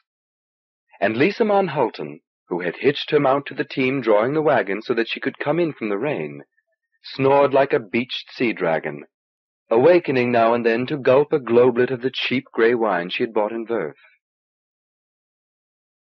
Valentine sat in a corner, up against a window, thinking of Castlemount. What could it be like, a mountain thirty miles high? a single stone shaft rising like a colossal tower into the dark night of space. If Velathys Scarp, a mile high, was as Deliamber said an impassable wall, what sort of barrier was a thing thirty times as tall? What shadow did Castlemount cast when the sun was in the east? A dark stripe running the length of Alhanroel? And how were the cities on its lofty slope provided with warmth and air to breathe? Some machines of the ancients, Valentine had heard, that manufactured heat and light and dispensed sweet air, miraculous machines of that forgotten technological era of thousands of years ago, when the old arts brought from earth still were widely practiced here. But he could no more comprehend how such machines might work than he understood what forces operated the engines of memory in his own mind to tell him that this dark-haired woman was Carabella, this white-haired man Sleet. He thought, too, of Castlemount's highest reaches, and that building of forty thousand rooms at its summit. Lord Valentine's castle now, Lord Voriax's not so long ago, Lord Malibor's when he was a boy in that childhood he no longer remembered. Lord Valentine's castle. Was there really such a place? Or was the castle and its mount only a fable, a vision, a fantasy such as comes in dreams? Lord Valentine's castle. He imagined it clinging to the mountain top like a coat of paint, a bright splash of color just a few molecules thick. Or so it would seem against the titanic scale of that impossible mountain. A splash that coursed irregularly down the flank of the summit in a tentacular way. Hundreds of rooms extending on this face, hundreds more on that. A cluster of great chambers extending themselves pseudopod fashion here, a nest of courtyards and galleries over there. And in its innermost place, the coronal in all grandeur, dark-bearded Lord Valentine. Except that the coronal would not be there now. He would still be making his grand processional through the realm, in Ni-moya by now or some other eastern city. And I, thought Valentine, I once lived on that mount, dwelled in that castle, what did I do when I was coronal? What decrees, what appointments, what duties? The whole thing was inconceivable, and yet, and yet he felt the conviction growing in him. There was fullness and density and substance to the phantom bits of memory that drifted through his mind. He knew now that he had been born not in Ni-moya, by the river's bend, as the false recollections planted in his mind had it, but rather in one of the fifty cities high up on the mount, almost at the verge of the castle itself, and that he had been reared among the royal caste, among that cadre from which princes were chosen, that his childhood and boyhood had been one of privilege and comfort. He still had no memory of his father, who must have been some high prince of the realm, nor could he recall anything of his mother except that her hair was dark and her skin was swarthy, as his once had been. And a memory rushed into his awareness out of nowhere, and that she had embraced him a long while one day, weeping a little, before she told him that Voriax had been chosen as coronal in the place of the drowned Lord Malibor, and she would go thenceforth to live as lady on the Isle of Sleep. Was there truth to that, or had he imagined it just now? He would have been, Valentine paused, calculating. Twenty-two years old, very likely, when Voriax came to power. Would his mother have embraced him at all? Would she have wept on becoming lady, or rather rejoice that she and her eldest son were chosen powers of Majipoor? To weep and to rejoice at once, maybe. Valentine shook his head. These mighty scenes, these moments of potent history, would he ever regain access to them? Or was he always to labor under the handicap placed upon him by those who had stolen his past? There was a tremendous explosion in the distance.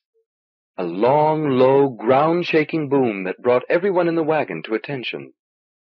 It continued for several minutes, and gradually subsided to a quiet throb, then to silence. What was that? Sleet cried. groping in the rack for an energy thrower. Peace, peace, Deliamber said. It is the sound of Piurifayne Fountain. We are approaching the boundary. Piurifayne Fountain, Valentine asked. Wait and see, Deliamber told him. The wagon came to a halt a few minutes later. Zalzan turned round from the driver's seat and yelled, Where's that Vroon? Wizard, there's a roadblock up ahead. We are at Piurifayne Gate, said Deliamber. A barricade made of stout, glossy yellow logs, lashed with a bright emerald twine, spanned the narrow roadway. And to the left of it was a guardhouse occupied by two Hjorts in customs official uniform of gray and green. They ordered everyone out of the wagon and into the rain, though they themselves were under a protective canopy. Where bound? asked the fatter Hjort. Ilirivoyne, to play at the Shapeshifter Festival. We are jugglers, said Zalzan Kavol.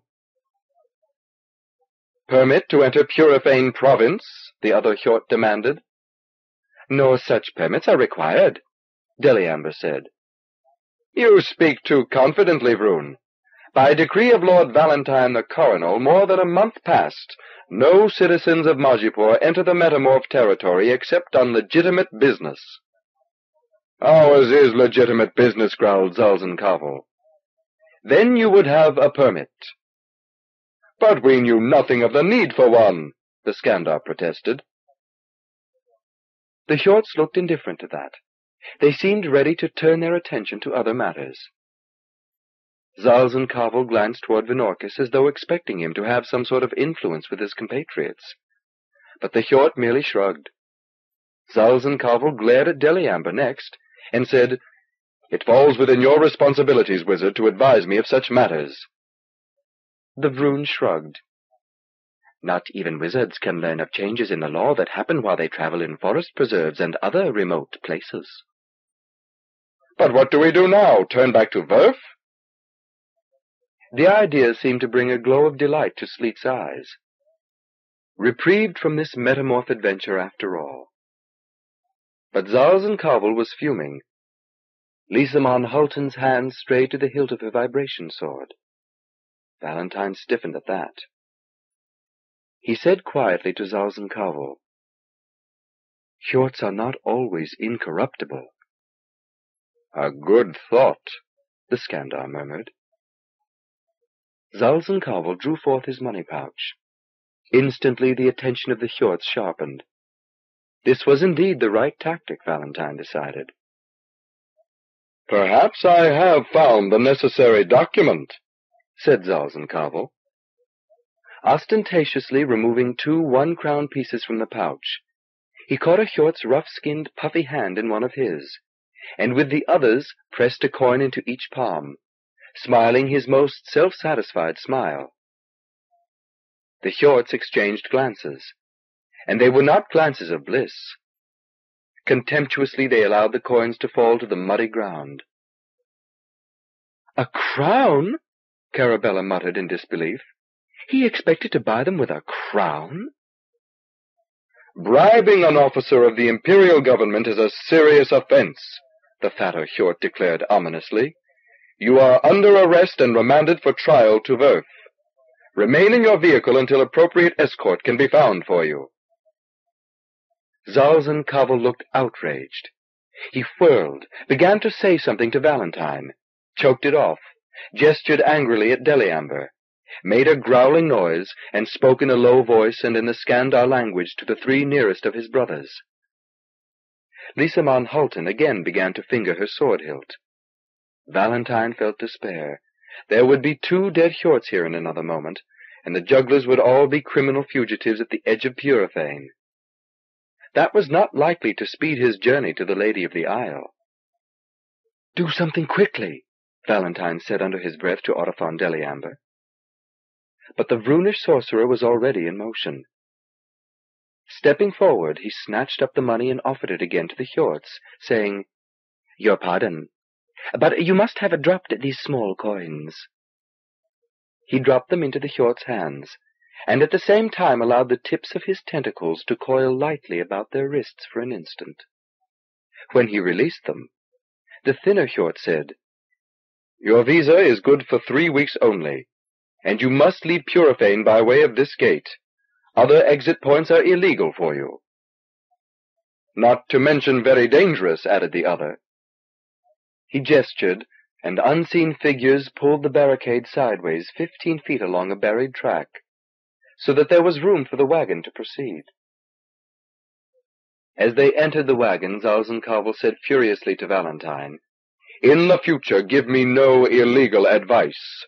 And you, Deliamber, make yourself aware of the regulations that apply to us. This could have caused us great delay, and much loss of income. Perhaps if you had tried bribing with royals instead of crowns, Carabella said, beyond the Skandar's range of hearing, we would have had a simpler time of it. No matter, no matter, Deliamber said.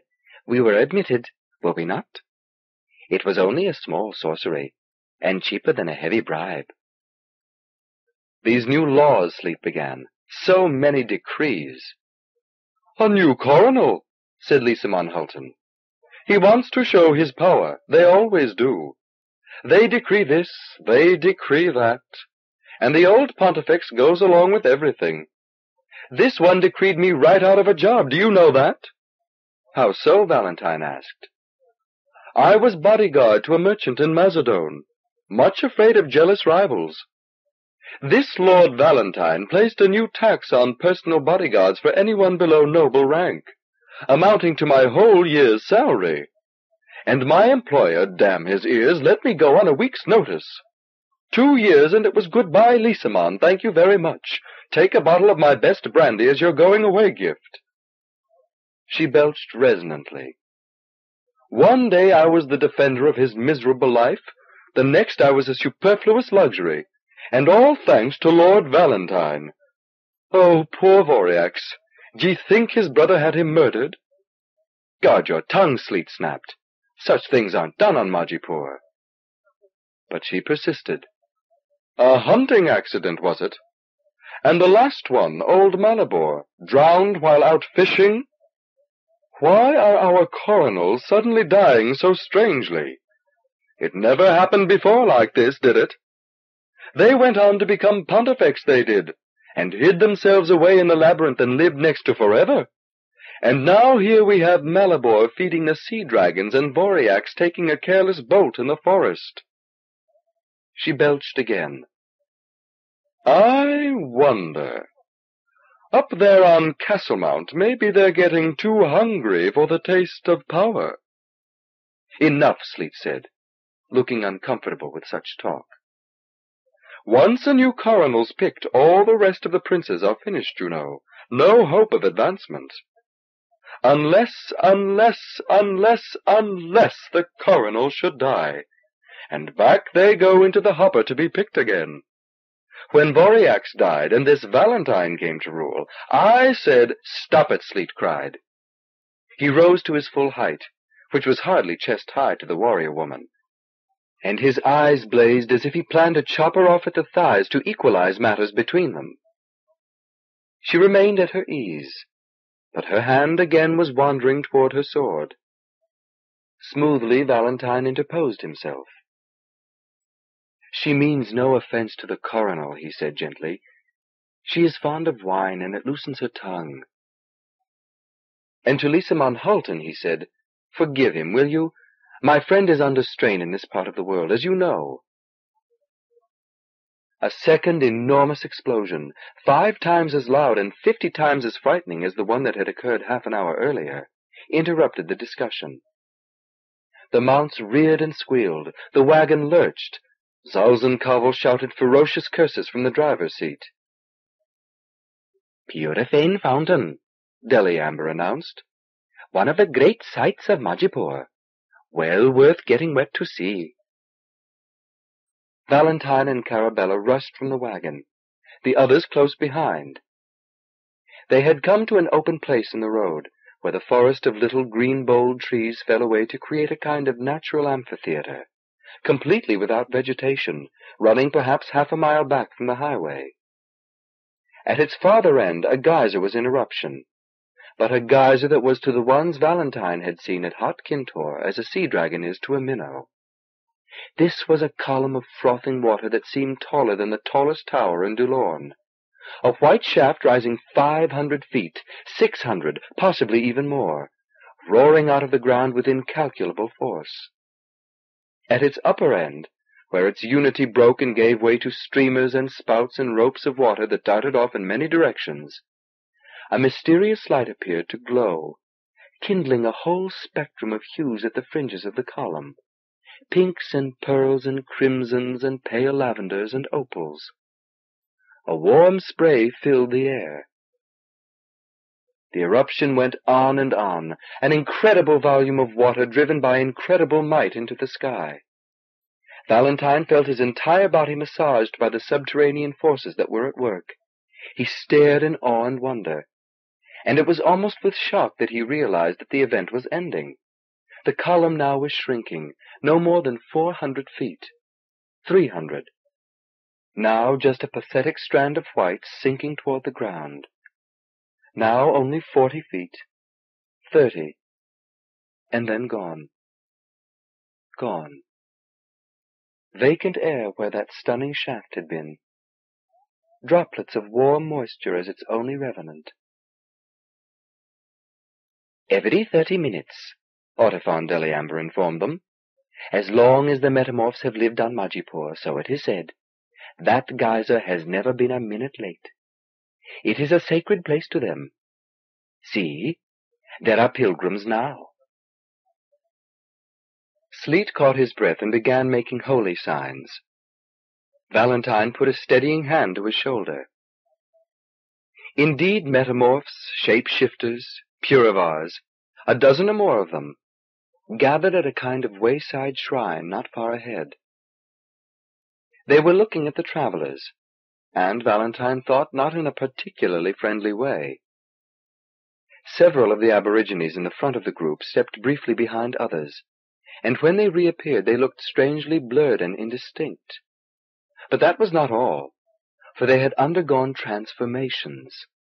One had sprouted great cannonballs of breasts, in caricature of Lisamon Hultin, and another had grown four shaggy Skandar arms, and another was mimicking Sleet's white hair.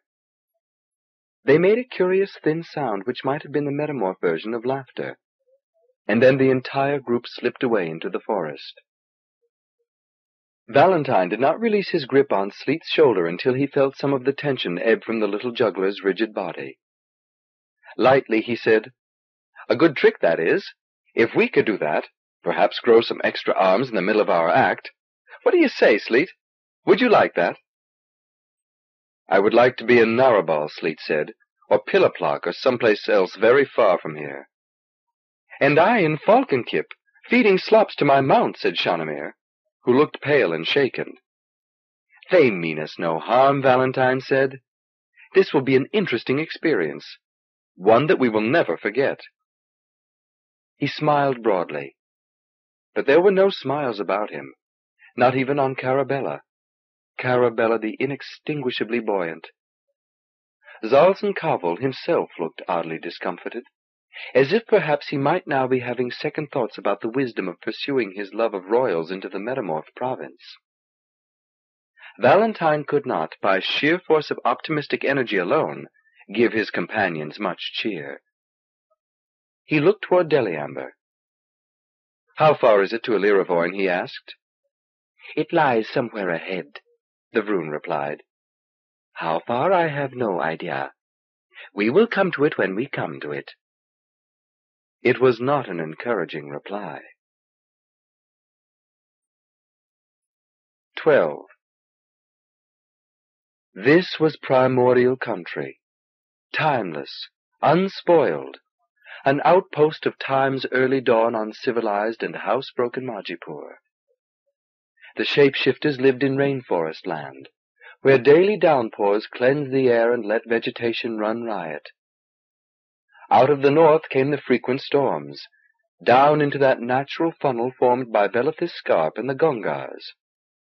And as the moist air rose in the ascent of the Gonghar foothills, Gentle rains were released, that soaked the light, spongy soil. Trees grew tall and slender-trunked, sprouting high and forming thick canopies far overhead. Networks of creepers and lianas tied the treetops together.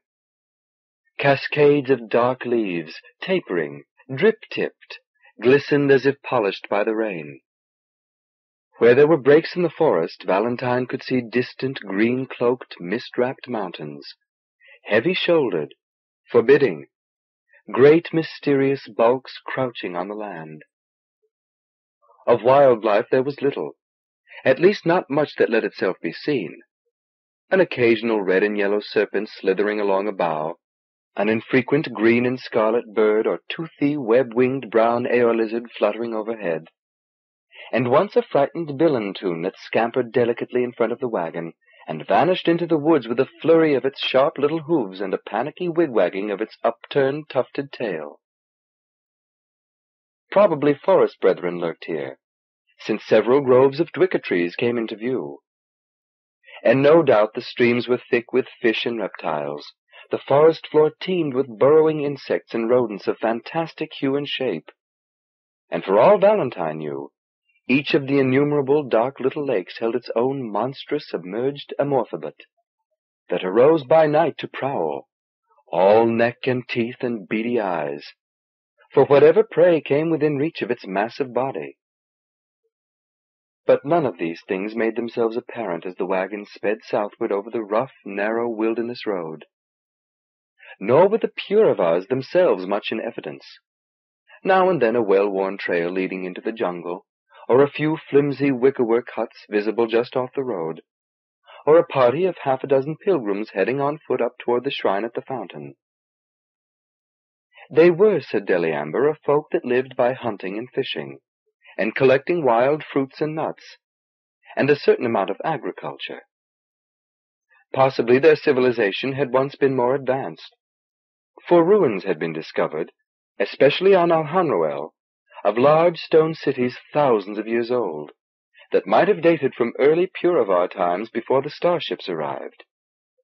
Although, Deliamber said, there were some historians who maintained that the ruins were those of ancient human settlements, founded and destroyed in the turbulent pre-pontifical period twelve to thirteen thousand years ago.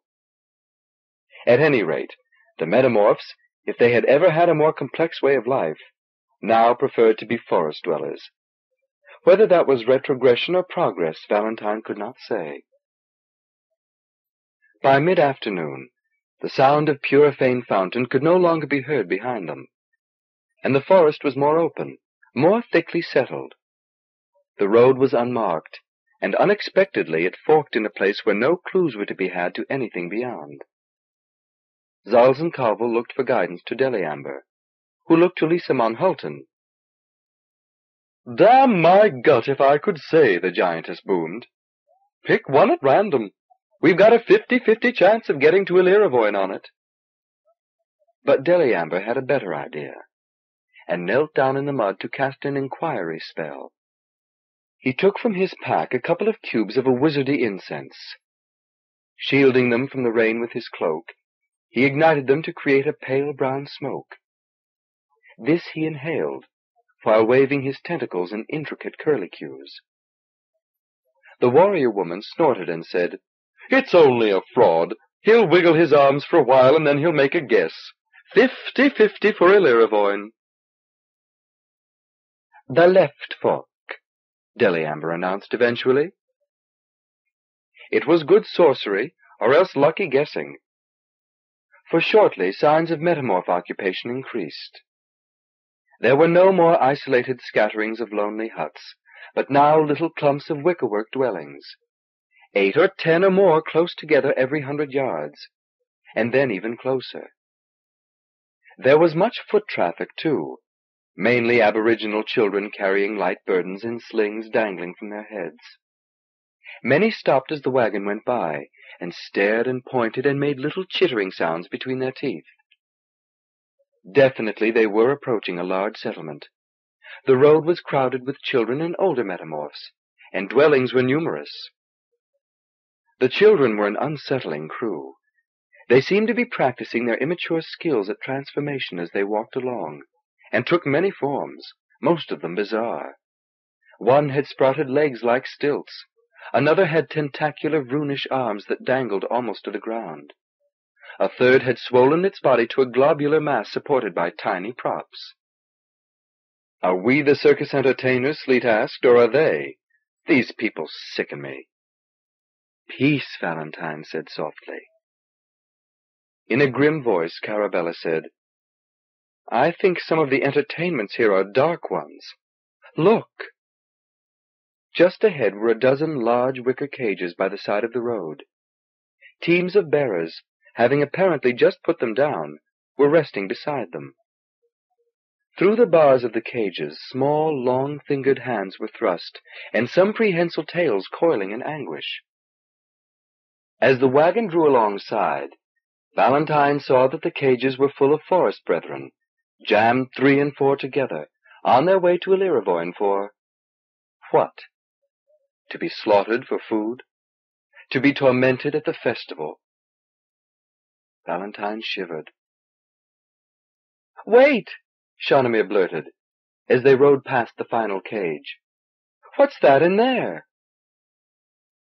The last cage was bigger than the others, and what it held was no forest brother, but rather some other sort of captive, a being of obvious intelligence, tall and strange, with dark blue skin, fierce and desolate purple eyes of extraordinary intensity and luminosity, and a wide, thin-lipped slash of a mouth. Its clothing, a fine green fabric, was ripped and tattered, and splotched with dark stains, possibly blood. It gripped the bars of its cage with terrible force, shaking and tugging at them, and cried out hoarsely at the jugglers for help in an odd, totally unfamiliar accent. The wagon went on. Chilled, Valentine said to Deliamber, That is no being of Majipoor. No, Deliamber said, none that I've seen before. I saw one once, Lisamon Hultin put in.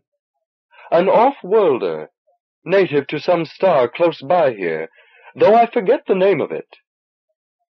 But what would off-worlders be doing here? Carabella asked.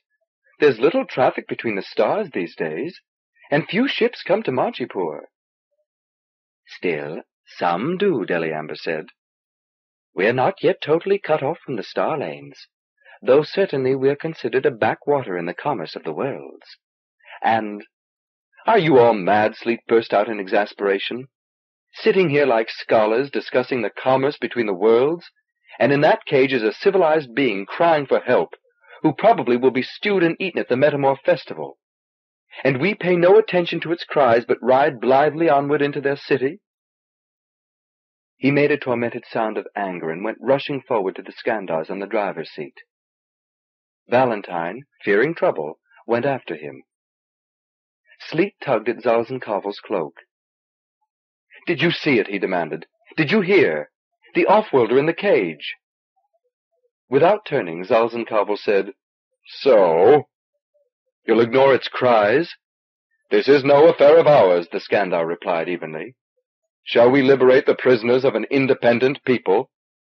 They must have some reason for arresting that being. Reason? Yes, to cook him for dinner and we'll be in the next pot. I ask you to go back and release impossible. At least let's ask of it why it's caged. Zalzan Kavol, we may be riding blithely to our deaths. Are you in such a hurry to reach Ilirivoyne that you'll ride right past someone who may know something about conditions here, and who is in such a plight? What Sleet says has wisdom in it, Valentine remarked. Very well, Zalzan Kavol snorted. He pulled the wagon to a halt. Go and investigate, Valentine, but be quick about it. I'll go with him, Sleet said. Stay here. If he feels he needs a bodyguard, let him take the giantess. That seemed sensible. Valentine beckoned to Lisamon Hultin, and they got down from the wagon and strode back toward the place of the cages. Instantly the forest brethren set up a frantic screeching and a banging on their bars. The metamorph bearers, armed, Valentine noticed now, with effective-looking short dirks of polished horn or wood, unhurriedly formed themselves into a phalanx in the road, keeping Valentine and Lisamon Hultin from a closer approach to the large cage. One metamorph, plainly the leader, stepped forward and waited with menacing calmness for inquiries. Valentine said quietly to the giantess, Will he speak our language? Probably. Try it. We are a troop of roving jugglers, Valentine said in a loud, clear voice, come to perform at the festival we hear you hold at Ilirivoyne. Are we near Ilirivoyne now? The metamorph, half a head taller than Valentine, though much flimsier of build, seemed amused. You are in Ilirivoyne, was the cool, remote reply. Valentine moistened his lips. These metamorphs gave off a thin, sharp odor, acrid but not disagreeable. Their strangely sloped eyes were frighteningly expressionless. He said, To whom would we go to make arrangements for performing in Ilirivoyne? The Danipiur interviews all strangers who come to Ilirivoyne. You will find her at the House of Offices. The metamorph's frosty, self-contained manner was disconcerting. After a moment, Valentine said, One thing more. We see that in that large cage you keep a being of an unfamiliar sort. May I ask for what purpose? Punishment. A criminal? So it is said, the metamorph replied distantly. Why does this concern you? We are strangers in your land. If strangers are placed in cages here, we might prefer to find employment somewhere else. There was a flicker of some emotion. Amusement? Contempt? Around the metamorph's mouth and nostrils. Why should you fear such a thing? Are you criminals? Hardly. Then you will not be caged. Pay your respects to the Danipiur and address further questions to her. I have important tasks to complete. Valentine looked toward Lisamon Hultin, who shrugged. The metamorph walked away. There was nothing more to do but return to the wagon.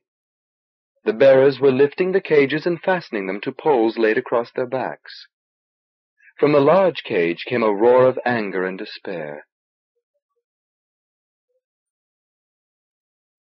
13. Ilirivoyne was neither a city nor a village, but something intermediate, a forlorn concentration of many low, impermanent-looking structures of withes and light woods, arranged along irregular, unpaved streets that seemed to stretch for considerable distances into the forest. The place had a makeshift look, as though Ilirivoyne might have been located elsewhere a few years ago, and might be in an altogether other district a few years hence. That it was festival time in Ilirivoyne was signaled, apparently, by fetish sticks of some sort planted in front of almost every house, thick-shaven stakes to which bright ribbons and bits of fur had been attached. Also, on many streets, scaffolding had been erected, as for performances, or, thought Valentine uneasily, for tribal rites of some darker kind. Finding the House of Offices in the Danipiur was simple. The main street opened into a broad plaza, bordered on three sides by small domed buildings with ornately woven roofs, and on the fourth by a larger structure, the first three-story building they had seen in Ilirivoyne with an elaborate garden of globular, thick-stemmed gray and white shrubs in front of it. Zalzan drew the wagon into a clearing just outside the plaza. Come with me, the Skandar said to Deliamber. We'll see what we can arrange. They were inside the House of Offices a long while. When they emerged, a female metamorph of great presence and authority was with them, doubtless the Danipiur, and the three stood together by the garden in elaborate conversation. The Danipiur pointed. Zalzan alternately nodded and shook his head. Otif Deliamber dwarfed between the two tall beings, made frequent graceful gestures of diplomatic conciliation.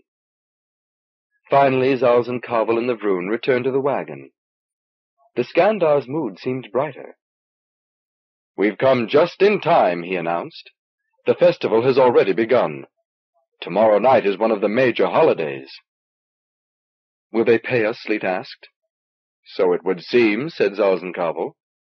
But they will supply us with no food and no lodging either, for Ilirivoyne is without hostelries and there are certain specified zones of the city that we may not enter. I have had friendlier welcomes in other places, but also less friendly ones now and then, I suppose. Crowds of solemn, silent metamorph children trailed after them as they moved the wagon from the plaza to an area just back of it where they could park.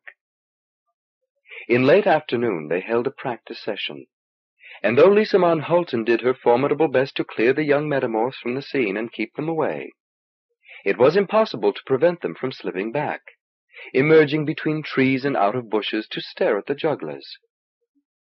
Valentine found it unnerving to work in front of them, and he was plainly not the only one, for Sleet was tense and uncharacteristically awkward, and even Zalzan Kavol, the master of masters, dropped a club for the first time in Valentine's memory.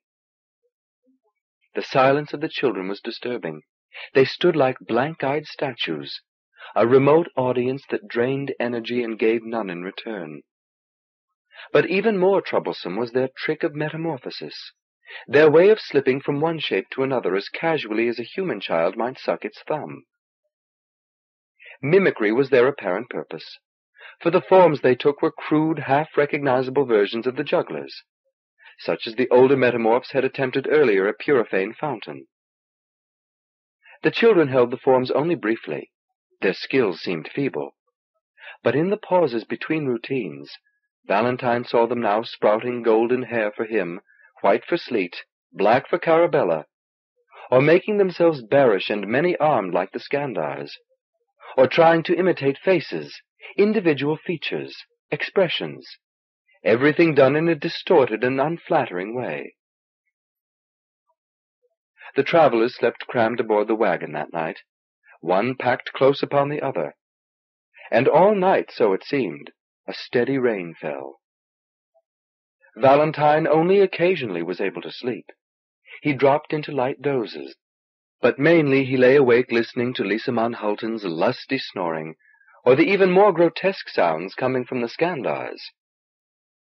Somewhere in the night he must have had some real sleep, for a dream came to him, hazy and incoherent, in which he saw the metamorphs leading a procession of prisoners, forest brethren and the blue-skinned alien, up the road toward Purifane Fountain, which erupted and rose above the world like a colossal white mountain.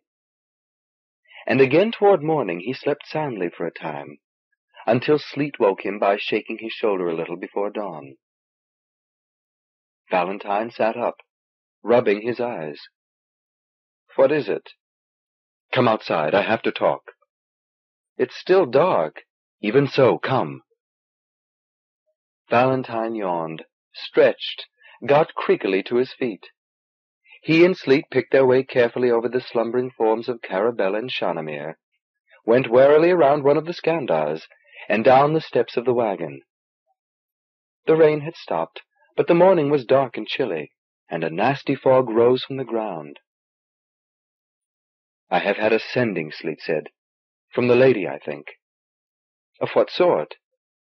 About the blue-skinned one, in the cage, that they said was a criminal going to be punished. In my dream he came to me and said he was no criminal at all, but only a traveler who had made the error of entering shapeshifter territory, and had been captured because it's their custom to sacrifice a stranger in Purifane Fountain at festival time. And I saw how it is done, the victim bound hand and foot and left in the basin of the fountain, and when the explosion comes, he is hurled far into the sky. Valentine felt a chill that did not come from the morning mist. I dreamed something similar, he said. In my dream I heard more, Sleet went on. That we are in danger too, not perhaps from sacrifice, but in danger all the same. And if we rescue the alien, he will help us to safety. But if we leave him to die, we will not leave pure of our country alive. You know I fear these shapeshifters, Valentine. But this dream is something new. It came to me with the clarity of ascending. It ought not be dismissed as more fears of foolish sleet. What do you want to do? Rescue the alien. Valentine said uneasily, And if he really was a criminal, by what right do we meddle in Piurivar justice? By right of sending, said Sleet. Are those forest brethren criminals too? I saw them also go into the fountain. We are among savages, Valentine. Not savages, no, but strange folk, whose way is not like the ways of Majipoor. I'm determined to set the blue-skinned one free, if not with your help, then by myself. Now? What better time? Sleet asked. It's still dark, quiet. I'll open the cage. He'll slip off into the jungle. You think the cage is unguarded? No, Sleet, wait. This makes no sense. You'll jeopardize us all if you act now. Let me try to find out more about this prisoner and why he's caged, and what's intended for him.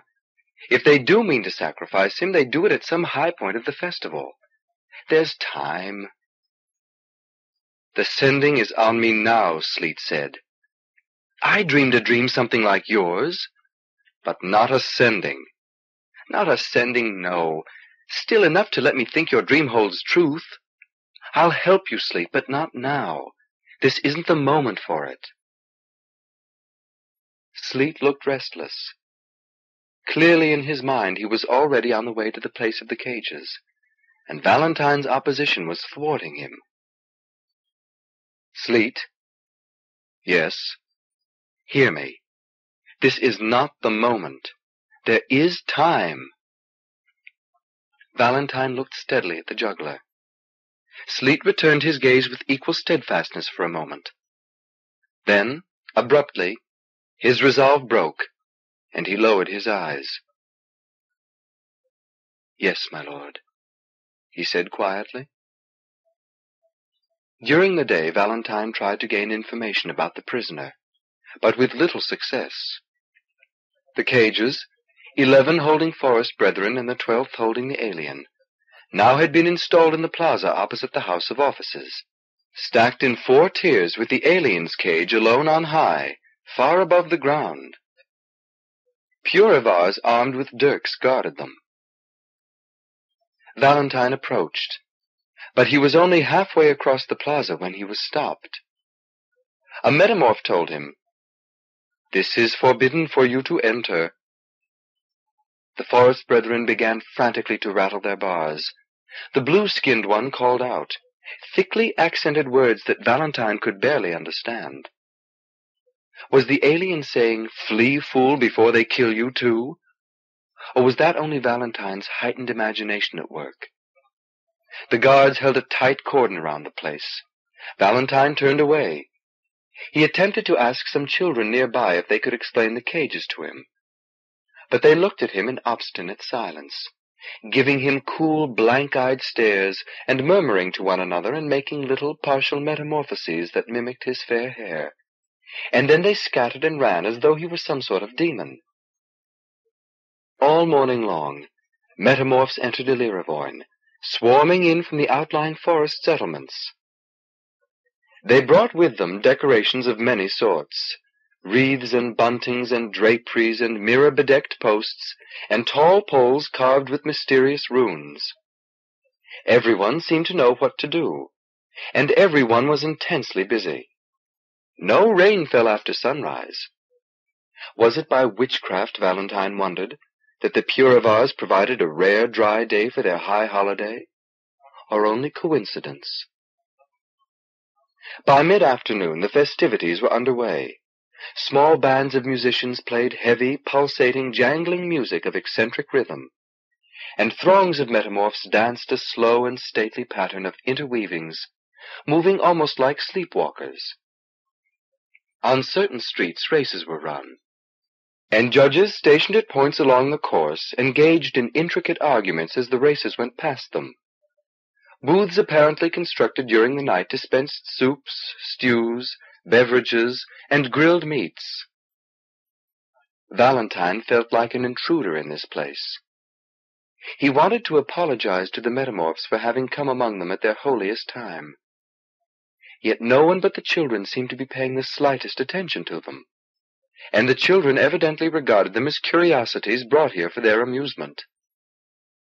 Young, shy metamorphs lurked everywhere, flashing jumbled imitations of Deliamber and Sleet and Zalzan Kavol and the rest but never allowing anyone to get close to them.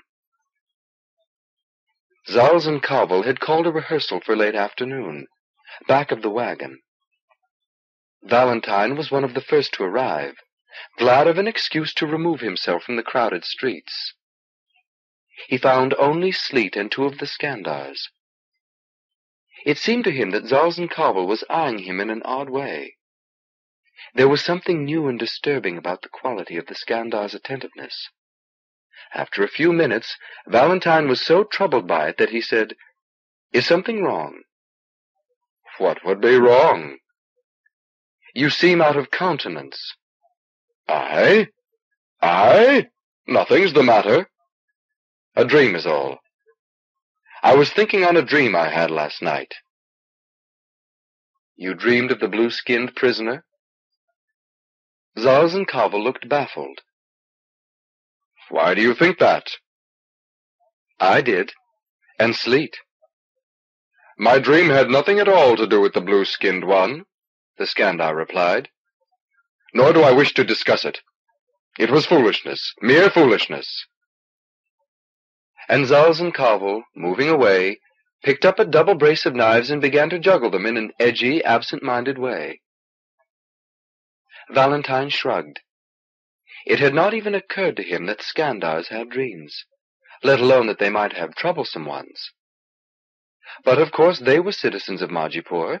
They shared in all the attributes of people here, and so they must live full and rich dream lives like everyone else, with sendings from king and lady, and stray intrusions from the minds of lesser beings, and upwellings of self from their own deeper reaches, even as humans did or, Valentine supposed, Hjorts and Vroons and Liimen.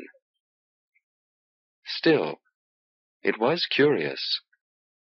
Zalzan was so guarded of emotion, so unwilling to let anything of himself be seen by others save greed and impatience and irritation, that Valentine found it strange that he would admit something so personal as that he was pondering a dream. He wondered if metamorphs had meaningful dreams, and sendings, and all of that. The rehearsal went well. Afterward, the jugglers made a light and not very satisfying dinner of fruits and berries that Lisamon Hultin had gathered in the forest, and washed it down with the last of the wine they had brought from Khintor. Bonfires now were blazing in many streets of Ilirivoyne, and the discordant music of the various bands set up weird clashing near harmonies. Valentine had assumed the performance would take place in the plaza. But no, metamorphs in what perhaps were priestly costumes came at darkness to escort them to some entirely other part of town. A much larger oval clearing that already was ringed by hundreds or even thousands of expectant onlookers. Kavol and his brothers went over the ground carefully, checking for pitfalls and irregularities that might disrupt their movements. Sleet usually took part in that, but Valentine noticed abruptly Sleet had vanished somewhere between the rehearsal place and this clearing. Had his patience run out? Had he gone off to do something rash? Valentine was just about to set out in search when Sleet appeared, breathing lightly as though he had just been jogging. I went to the plaza, he said in a low voice. The cages are still piled up, but most of the guards must be off at the dancing. I was able to exchange a few words with the prisoner before I was chased. And? He said he's to be sacrificed at midnight in the fountain, exactly as in my sending. And tomorrow night the same will happen to us. What? I swear it by the lady, said Sleet. His eyes were like augers. It was under pledge to you, my lord, that I came into this place. You assured me no harm would befall me. Your fears seemed irrational. And now? I begin to revise my opinion, Valentine said. But we'll get out of Ilirivoyne in good health. I pledge you that. I'll speak with Zalzan Kavol after the performance, and after I've had a chance to confer with Deliamber. It would please me more to get on the road sooner. The metamorphs are feasting and drinking this evening. They'll be less likely to notice our departure later, said Valentine, and less apt to pursue us, if pursuit is their aim. Besides, do you think Zalzan Kavol would agree to cancel a performance merely on the rumor of danger? We'll do our act, and then we'll begin to extricate ourselves. What do you say? I am yours, my lord, Sleet replied.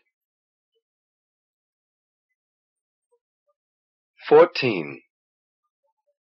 It was a splendid performance, and no one was in better form than Sleet, who did his blind juggling routine and carried it off flawlessly. The Skandars flung torches at one another with giddy abandon. Carabella cavorted on the rolling globe. Valentine juggled while dancing, skipping, kneeling, and running. The metamorph sat in concentric circles around them, saying little, never applauding peering in at them out of the foggy darkness with unfathomable intensity of concentration.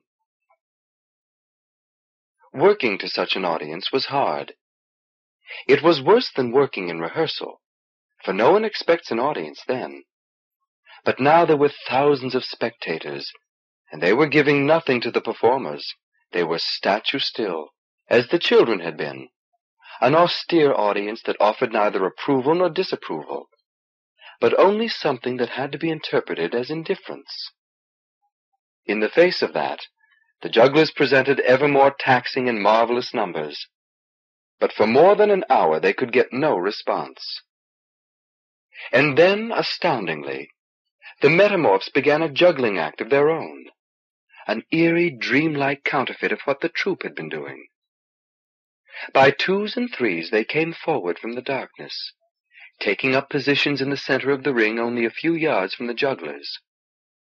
As they did so, they swiftly shifted forms, so that six of them now wore the look of bulky, shaggy Skandars, and one was small and lithe and much like Carabella, and one had Sleet's compact form, and one, yellow-haired and tall, wore the image of Valentine. There was nothing playful about this donning of the jugglers' bodies. To Valentine it seemed ominous, mocking, distinctly threatening. And when he looked to the side at the non-performing members of the troupe, he saw Autifon Deliamber making worried gestures with his tentacles, Vinorkis scowling, and Lisamon Hultin rocking evenly back and forth on the balls of her feet as if readying herself for combat. Zalzan Kavol looked disconcerted also by this development. Continue, he said in a ragged tone. We are here to perform for them. I think, said Valentine, we are here to amuse them, but not necessarily as performers. Nevertheless, we are performers and we will perform. He gave a signal and launched, with his brothers, into a dazzling interchange of multitudinous sharp and dangerous objects. Sleet, after a moment's hesitation, scooped up a handful of clubs and began to throw them in cascades, as did Carabella. Valentine's hands were chilled. He felt no willingness in them to juggle. The nine metamorphs alongside them were beginning to juggle now too. It was only counterfeit juggling, dream juggling, with no true art or skill to it. It was mockery and nothing more. They held in their hands rough-skinned black fruits, and bits of wood, and other ordinary things, and threw them from hand to hand in a child's parody of juggling, now and again failing to make even those simple catches, and bending quickly to retrieve what they had dropped. Their performance aroused the audience as nothing that the true jugglers had done had managed to do. The metamorphs now were humming. Was this their form of applause? And rocking rhythmically, and clapping hands to knees, and, Valentine saw, some of them were transforming themselves almost at random, taking on odd alternate forms, human or Hjort or Su-Suheris as the whim struck, or modeling themselves after the Skandars or Carabella or Deliamber. At one point he saw six or seven valentines in the rows nearest him. Performing was all but impossible in such a circus of distractions, but the jugglers clung grimly to their routines for some minutes more, doing poorly now, dropping clubs, missing beats, breaking up long familiar combinations. The humming of the metamorphs grew in intensity. Oh, look! Look! Carabella cried suddenly. She gestured toward the nine mock jugglers, and pointed at the one who represented Valentine. Valentine gasped. What the metamorph was doing defied all comprehension, and struck him rigid with terror and astonishment. For it had begun to oscillate between two forms. One was the Valentine image, the tall, wide-shouldered, big-handed, golden-haired young man. And the other was the image of Lord Valentine the Coronal. The metamorphosis was almost instantaneous, like the flashing of a light.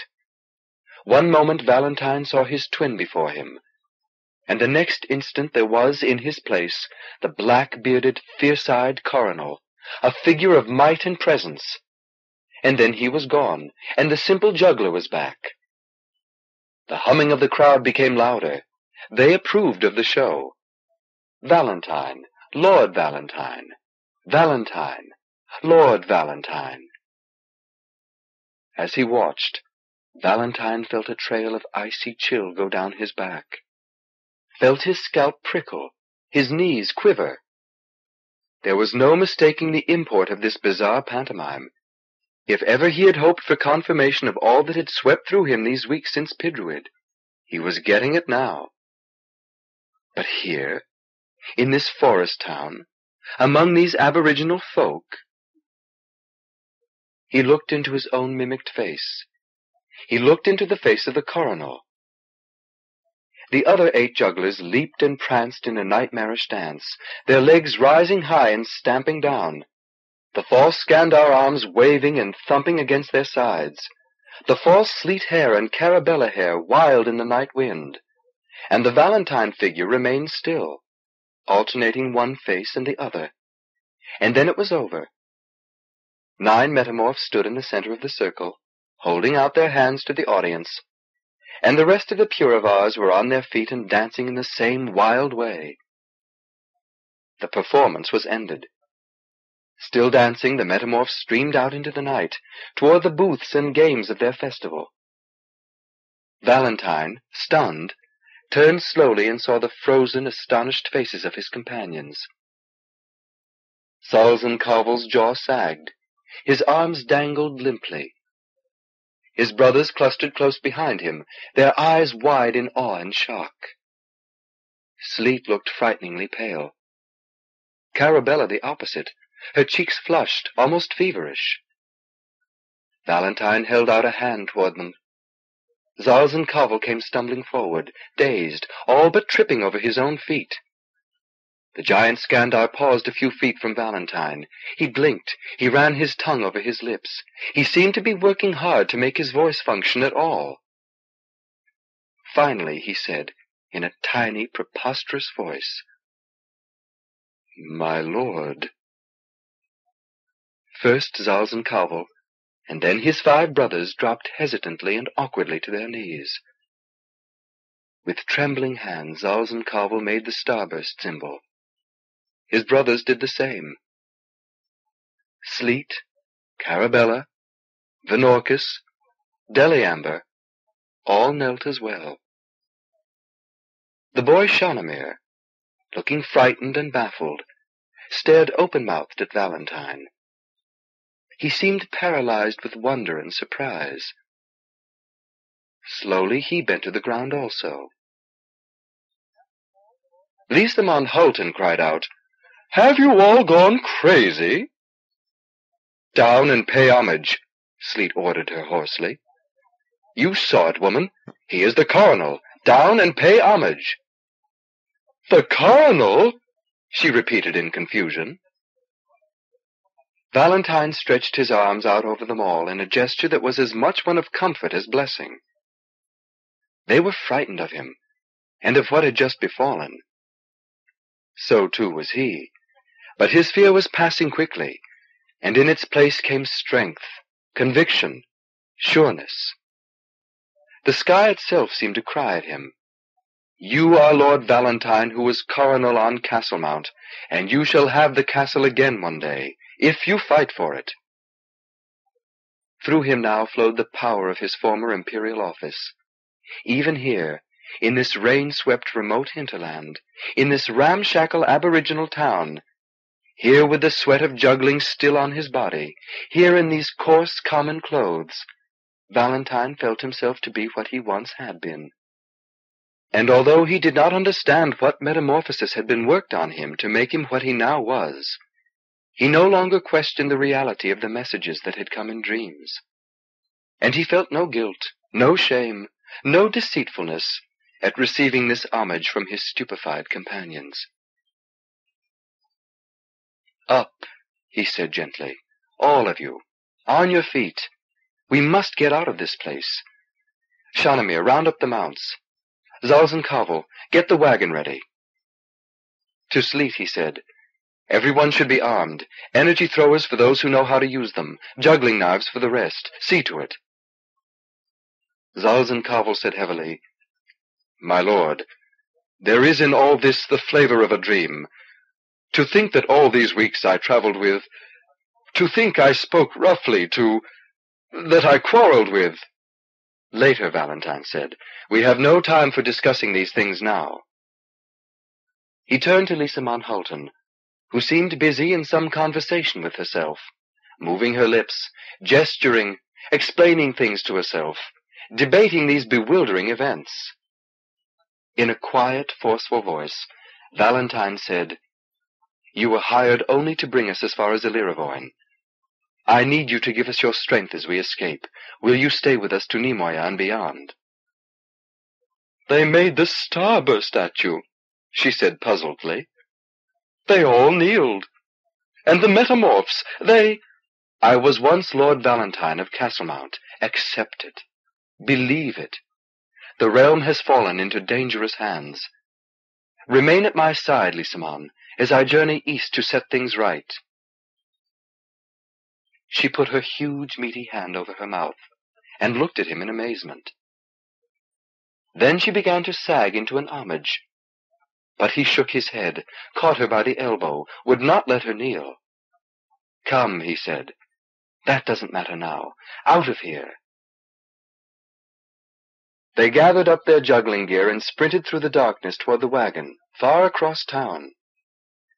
Shanamir and Carabella had already taken off, and were running well ahead.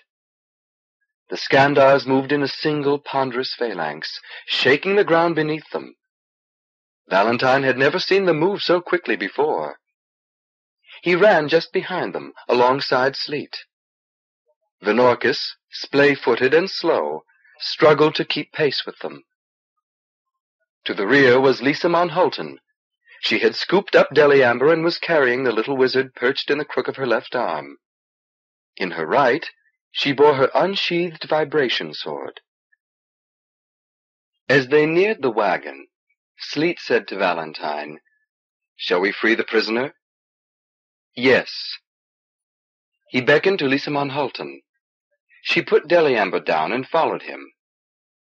With Sleet in the lead, they ran toward the plaza. To Valentine's relief it was all but empty, no more than a handful of Piurivar guards on duty. The twelve cages still were stacked in tiers at the far end, four on the bottom then rows of four and three, and the one containing the blue-skinned alien perched on top. Before the guards could react, Lisamon Hultin was among them, seizing them two at a time and hurling them far across the plaza. Take no lives, Valentine warned. Sleet, monkey swift, was scrambling up the stack of cages. He reached the top and began to cut through the thick withes that held the cage door shut. With brisk sawing motions of the knife, he slashed while Valentine held the withes taut. In a moment, The last of the fibers was severed, and Valentine hoisted the door. The alien clambered out, stretching his cramped limbs and looking questioningly at his rescuers. Come with us, Valentine said. Our wagon is over there, beyond the plaza. Do you understand? I understand, said the alien. His voice was deep, harsh, resonant, with a sharp clipped edge to each syllable. Without another word, he swung himself down past the cages of the forest brethren to the ground, where Lisa Hulton had finished dealing with the metamorph guards and was piling them tidily in a heap. Impulsively, Valentine sliced through the lashings on the cage of forest brethren nearest to him. The busy little hands of the creatures reached through the bars and pulled the latch, and out they came. Valentine went on to the next cage. Sleet had already descended. One moment, Valentine called. The job's not quite done. Sleet drew his knife and set to work. In moments all the cages were open, and the forest brethren, dozens of them, were disappearing into the night. As they ran to the wagon, Sleet said, Why did you do that? Why not? Valentine asked. They want to live too. Shanamir and the Skandars had the wagon ready to go, the mounts hitched, the rotors turning. Lisamon Hultin was the last one in. She slammed the door behind her and yelled to Zalzan Kavol, who took off immediately. And just in time, for half a dozen metamorphs appeared and began running frantically after them, shouting and gesticulating. Zalzan Kavol stepped up the wagon's speed. Gradually the pursuers fell behind and were lost to sight as the wagon entered the utter darkness of the jungle.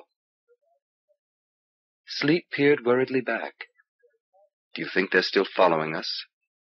They can't keep up with us, said Lisamon Hultin. And they travel only by foot. We're safely out of there. Are you sure? Sleet asked. What if they have some side route to take in catching up with us? Worry about that when we must, said Carabella. We're moving quickly. She shuddered, and let it be a long while before we see Ilirivoyne again. They fell silent. The wagon glided swiftly onward. Valentine sat slightly apart from the others. It was inevitable, yet it distressed him, for he was still more Valentine than Lord Valentine and it was strange and disagreeable to set himself up above his friends. But there was no helping it. Carabella and Sleet, learning privately of his identity, had come to terms with it privately in their own ways. Deliamber, who had known the truth before Valentine himself, had never been overly awed by it. But the others, whatever suspicions they may have had that Valentine was something more than a happy-go-lucky wanderer, were dumbfounded by the open acknowledgment of his rank that had come out of the grotesque metamorph performance. They stared. They were speechless. They sat in stiff, unnatural postures, as if afraid to slouch in the presence of a coronal. But how should one behave in the presence of a power of Majipoor? They could not sit here constantly making starbursts at him. The gesture seemed absurd to Valentine anyway a comical outpoking of the fingers and nothing more. His growing sense of his own importance did not seem to include much spirit of self-importance yet. The alien introduced himself as Khun of Kianimot, a world of a star relatively close by Majipoor. He seemed a dark and brooding sort, with a crystalline anger and despair at his core. Something integral to his being, that expressed itself, Valentine thought, in the set of his lips and the tone of his voice, and particularly in the intense gaze of his strange, haunted purple eyes. Of course it was possible, Valentine conceded, that he was projecting his own human notions of expression onto this alien being, and that perhaps Khun was, as Kianimot folk went, a person of total jollity and amiability. But he doubted that. Khun had come to Majipoor two years before, on business that he chose not to explain. It was, he said bitterly, the greatest mistake of his life. For among the merry Majipurans, he had been parted from all his money. He had unwisely embarked on a journey to Zimroel, unaware that there was no starport on that continent from which he could depart for his home world. And he had even more foolishly ventured into Piurivar territory, thinking he could recoup his losses in some sort of trade with the metamorphs. But they had seized him instead, and thrust him in the cage, and held him prisoner for weeks, meaning to give him to the fountain on the high night of their festival. Which would perhaps have been best, he said. One quick blast of water and all this wandering would be at an end. Majipoor makes me weary. If I am destined to die on this world of yours, I think I would prefer it to be soon. Pardon us for rescuing you, Carabella said sharply. No, no, I mean no ingratitude, but only... Khun paused. This place has been grief for me. So too was Kianimot. Is there any place in the universe where life does not mean suffering? Has it been that bad? asked Carabella. We find it tolerable here. Even the worst is tolerable enough, considering the alternative. She laughed. Are you always this gloomy? The alien shrugged. If you are happy, I admire and envy you. I find existence painful and life meaningless. But these are dark thoughts for one who has just been rescued. I thank you for your aid. Who are you? And what rashness brought you to Piurifayne? And where do you go now? We are jugglers, said Valentine, with a sharp glance at the others.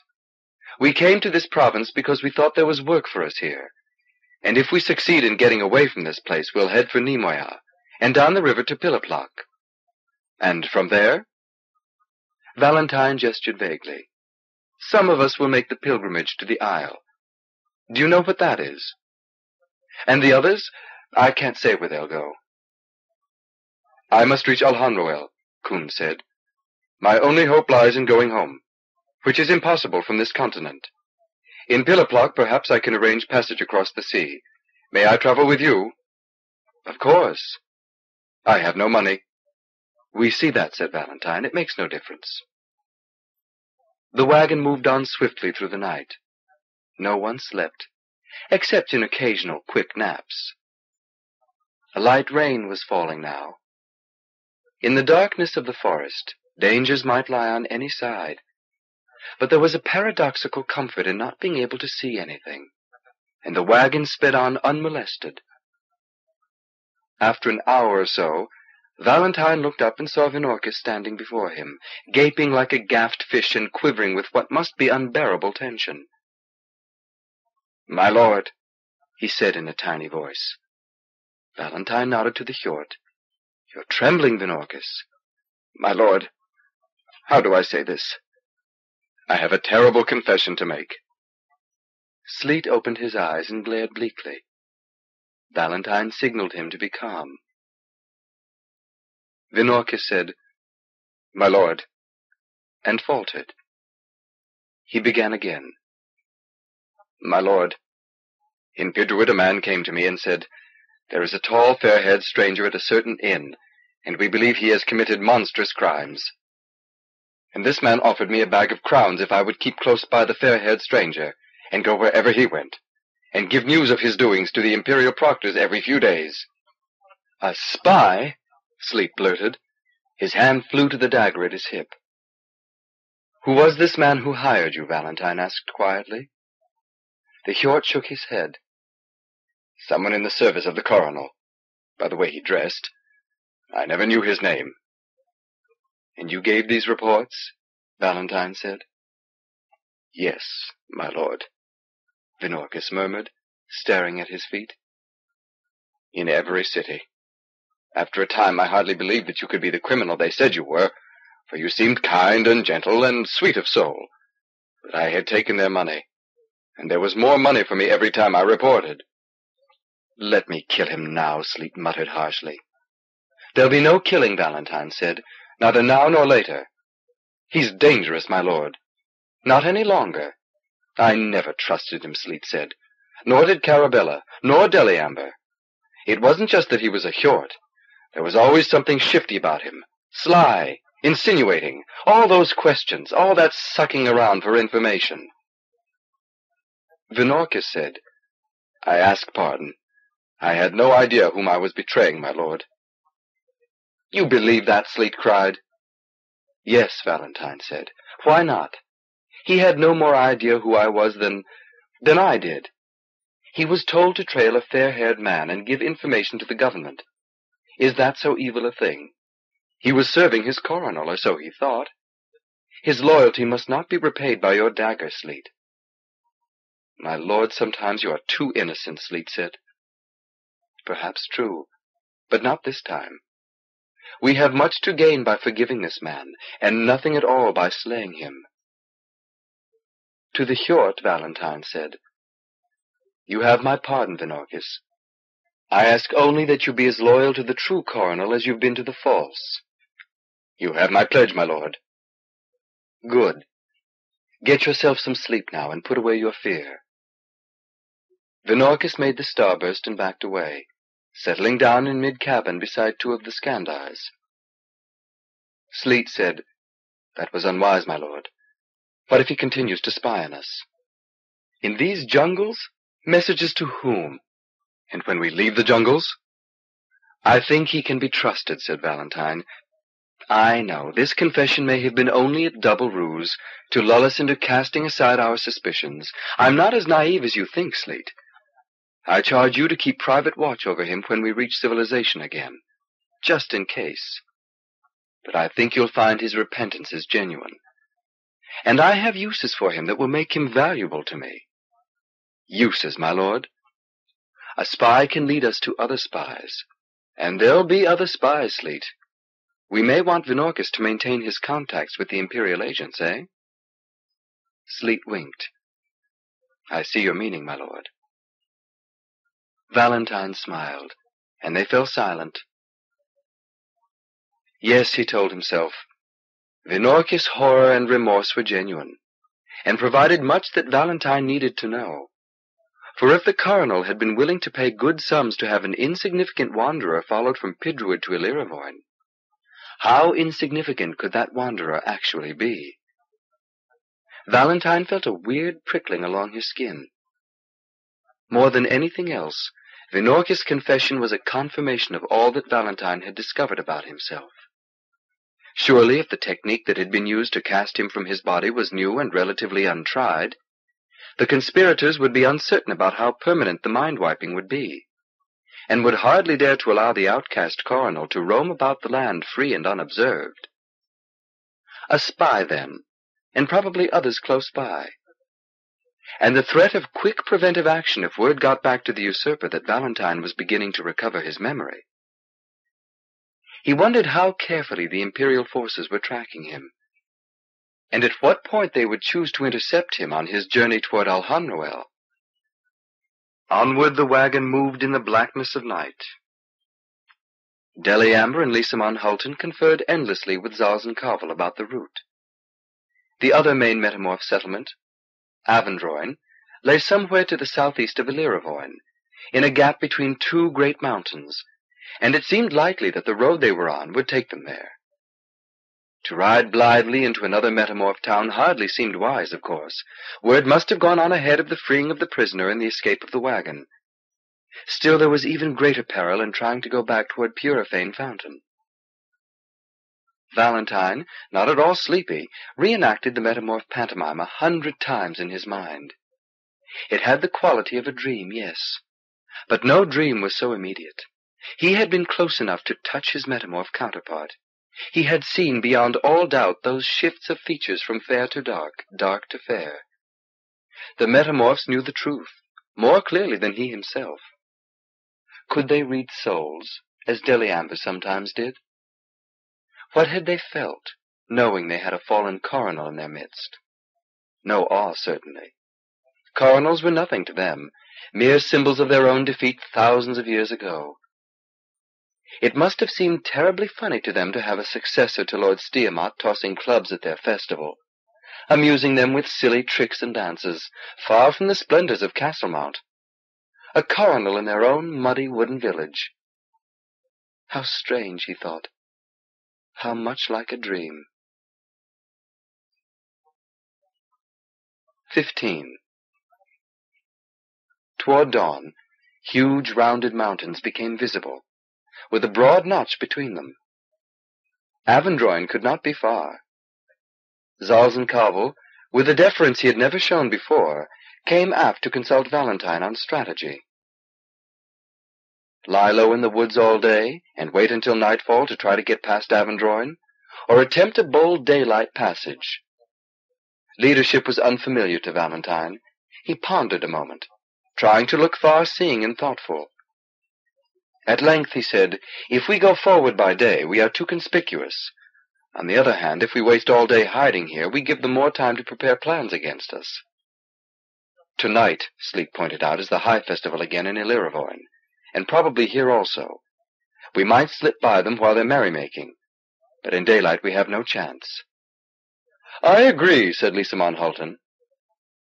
Valentine looked around. Carabella? If we wait, we give the Ilirivoyne people time to overtake us. I say go onward. Deliamber? The Vroon delicately touched tentacle tips together. Onward. Bypass Avendroyne. Double back toward Verth. There'll be a second road to the fountain from Avendroyne, surely. Yes, Valentine said. He looked to Zalzan Kavol. My thoughts run with Deliamber and Carabella. What of yours? Zalzan Kavol scowled. Mine say let the wizard make this wagon fly and take us tonight to Ni-moya. Otherwise continue on without waiting. So be it, said Valentine, as if he had made the decision single-handedly.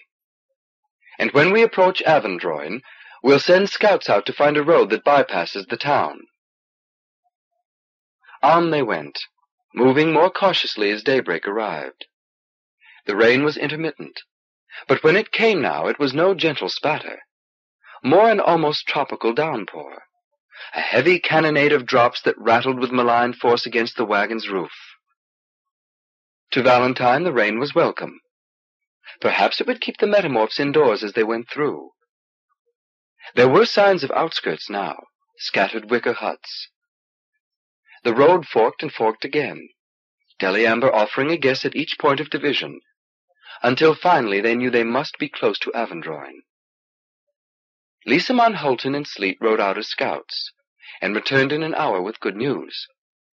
One of the two roads just ahead ran right into the heart of Avendroyne, where festival preparations were underway, and the other curved toward the northeast, bypassing the city entirely, and going through what looked like a farming district on the farther slopes of the mountains. They took the northeast road. Uneventfully they passed the Avendroyne region. Now, in late afternoon, they journeyed down the mountain pass and into a broad, thickly forested plain, rain-swept and dark, that marked the eastern perimeter of Metamorph territory. Zalzan Kavol drove the wagon furiously onward, pausing only when Shanamir insisted that the mounts absolutely had to rest and forage. Virtually tireless they might be, and of synthetic origin, but living things were what they were, and now and then they needed to halt. The Skandar yielded reluctantly. He seemed possessed by desperate need to put Piurifayne far behind him. Toward twilight, as they went in heavy rain through rough, irregular country, trouble came suddenly upon them. Valentine was riding in mid-cabin, with Deliamber and Carabella. Most of the others were sleeping, and Heitrag Kavol and Gibor Haern were driving. There came a crashing, crackling, smashing sound from ahead, and a moment later the wagon jolted to a stop. Tree down in the storm, Heitrag Kavol called. Road blocked in front of us. Zalzan Kavol muttered curses and tugged Lisamon Hultin awake. Valentine saw nothing but green ahead, the entire crown of some forest giant blocking the road. It might take hours or even days to clear that. The Skandars, hoisting energy throwers to their shoulders, went out to investigate. Valentine followed. Darkness was falling rapidly. The wind was gusty, and shafts of rain swept almost horizontally into their faces. Let's get to work, Zalzan Kavol growled, shaking his head in annoyance. Thelkar, you start cutting from down there. Rovorn, the big side branches. Erfon. It might be swifter, Valentine suggested, to back up and look for another fork in the road. The idea startled Zalzan Kavol, as if the Skandar would never in a century have conceived such a notion. He mulled it for a moment. Yes, he said finally, that does make some sense. If we... And a second tree, larger even than the first, toppled to the ground a hundred yards behind them. The wagon was trapped. Valentine was the first to comprehend what must be happening. Into the wagon, everyone! It's an ambush! He rushed toward the open door. Too late. Out of the darkening forest came a stream of metamorphs, fifteen or twenty of them, perhaps even more, bursting silently into their midst. Zalzan Kavol let out a terrible cry of rage and opened fire with his energy thrower. The blaze of light cast a strange lavender glow over the roadside, and two metamorphs fell, charred hideously. But in the same instant, Heitrag Kavol uttered a strangled gurgle and dropped. A weapon shaft through his neck, and Thelkar fell, clutching at another in his chest. Suddenly the rear end of the wagon was ablaze. Those within came scrambling out, Lisamon Hultin leading the way with her vibration sword high. Valentine found himself attacked by a metamorph wearing his own face. He kicked the creature away, pivoted, slashed a second one with the knife that was his only weapon. That was strange, to inflict a wound. In weird fascination he watched the bronze-hued fluid begin to flow. The Valentine metamorph came at him again. Claws went for his eyes. Valentine dodged, twisted, stabbed. The blade sank deep, and the metamorph reeled back, clutching at its chest. Valentine trembled in shock, but only for an instant. He turned to confront the next. This was a new experience for him, this fighting and killing, and it made his soul ache. But to be gentle now was to invite a quick death. He thrust and cut, thrust and cut. From behind him he heard Carabella call, How are you doing? Holding my own, he grunted. Zalzan Kavol, seeing his magnificent wagon on fire, howled and caught a metamorph by the waist and hurled it into the pyre. Two more rushed at him, but another Skandar seized them and snapped them like sticks with each pair of hands.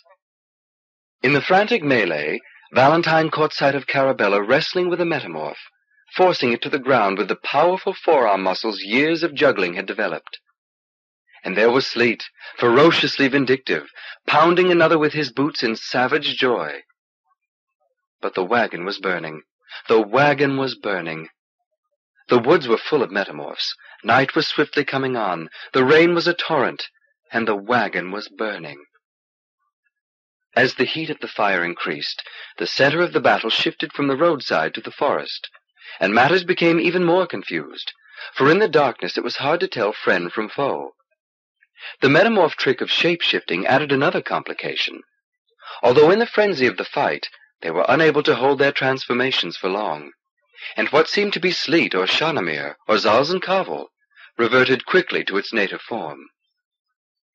Valentine fought savagely, he was slippery with his own sweat and the blood of metamorphs, and his heart hammered mightily with the furious exertion. Panting, gasping, never still an instant, he waded through the tangle of enemies with a zeal that astonished him, never pausing for an instant's rest. Thrust and cut, thrust and cut. The metamorphs were armed with only the simplest of weapons, and though there seemed to be dozens of them, their numbers soon were dwindling rapidly. Lisamon Hultin was doing awful destruction with her vibration sword, swinging it two-handed and lopping off the boughs of trees as well as the limbs of metamorphs. The surviving Skandars, spraying energy bolts wildly around the scene, had ignited half a dozen trees and had littered the ground with fallen metamorphs. Sleet was maiming and slaughtering as if he could in one wild minute avenge himself for all the pain he fancied the metamorphs had brought upon him. Khun and Vinorkis, too, were fighting with passionate energy. As suddenly as the ambush had begun, it was over. By the light of the fires, Valentine could see dead metamorphs everywhere. Two dead Skandars lay among them. Lisamon Hultin bore a bloody but shallow wound on one thigh. Sleet had lost half his jerkin, and had taken several minor cuts. Shanamir had claw marks across his cheek. Valentine, too, felt some trifling scratches and nicks, and his arms had a leaden ache of fatigue. but he had not been seriously harmed. Deliamber, though. Where was Deliamber? The rune wizard was nowhere to be seen. In anguish, Valentine turned to Carabella and said, Did the rune stay in the wagon? I thought we all came out when it burst afire. Valentine frowned. In the silence of the forest, the only sounds were the terrible hissing and crackling of fire, and the quiet mocking patter of the rain. Deliamber, Valentine called. Deliamber, where are you? Here, answered a high-pitched voice from above. Valentine looked up and saw the sorcerer clinging to a sturdy bough, fifteen feet off the ground. Warfare is not one of my skills, Deliamber explained blandly, swinging outward and letting himself drop into Lisamon Hultin's arms. Carabella said, What do we do now? Valentine realized that she was asking him. He was in command. Zalzan Kavol, kneeling by his brothers' bodies, seemed stunned by their deaths and by the loss of his precious wagon. He said, We have no choice but to cut through the forest. If we try to take the main road, we'll meet more metamorphs. Shanamir, what of the mounts? Dead, the boy sobbed. Every one. The metamorphs. On foot, then. A long, wet journey it will be, too. Deliamber, how far do you think we are from the river Steiche? A few days' journey, I suspect. But we have no sure notion of the direction. Follow the slope of the land, Sleet said. Rivers won't lie uphill from here. If we keep going east, we're bound to hit it. Unless a mountain stands in our way, Deliamber remarked. We'll find the river, Valentine said firmly. The Steiche flows into the Zimr at Ni-moya. Is that right? Yes, said Deliamber. But its flow is turbulent. We'll have to chance it. A raft, I suppose, will be the quickest to build. Come, if we stay here much longer, we'll be set upon again. They could salvage nothing from the wagon, neither clothing, nor food, nor belongings, nor their juggling gear. All lost, every scrap, everything but what had been on them when they came forth to meet the ambushers. To Valentine that was no great loss, but to some of the others, particularly the Skandars, it was overwhelming. The wagon had been their home a long while. It was difficult to get Zalzan Kavol to move from the spot. He seemed frozen, unable to abandon the bodies of his brothers and the ruin of his wagon. Gently, Valentine urged him to his feet. Some of the metamorphs, he said, might well have escaped in the skirmish. They could soon return with reinforcements. It was perilous to remain here. Quickly they dug shallow graves in the soft forest floor and laid Thelkar and Heitrag Kavol to rest. Then, in steady rain and gathering darkness, they set out in what they hoped was an easterly direction. For over an hour they walked, until it became too dark to see. Then they camped miserably in a little soggy huddle, clinging to one another until dawn. At first light they rose, cold and stiff, and picked their way onward through the tangled forest. The rain at least had stopped. The forest here was less of a jungle, and gave them little challenge, except for an occasional swift stream that had to be forded with care. At one of those, Carabella lost her footing and was fished out by Lisamon Hultin. At another it was Shanamir who was swept downstream, and Khun who plucked him to safety. They walked until midday, and rested an hour or two, making a scrappy meal of raw roots and berries. Then they went on until darkness, and passed two more days in the same fashion.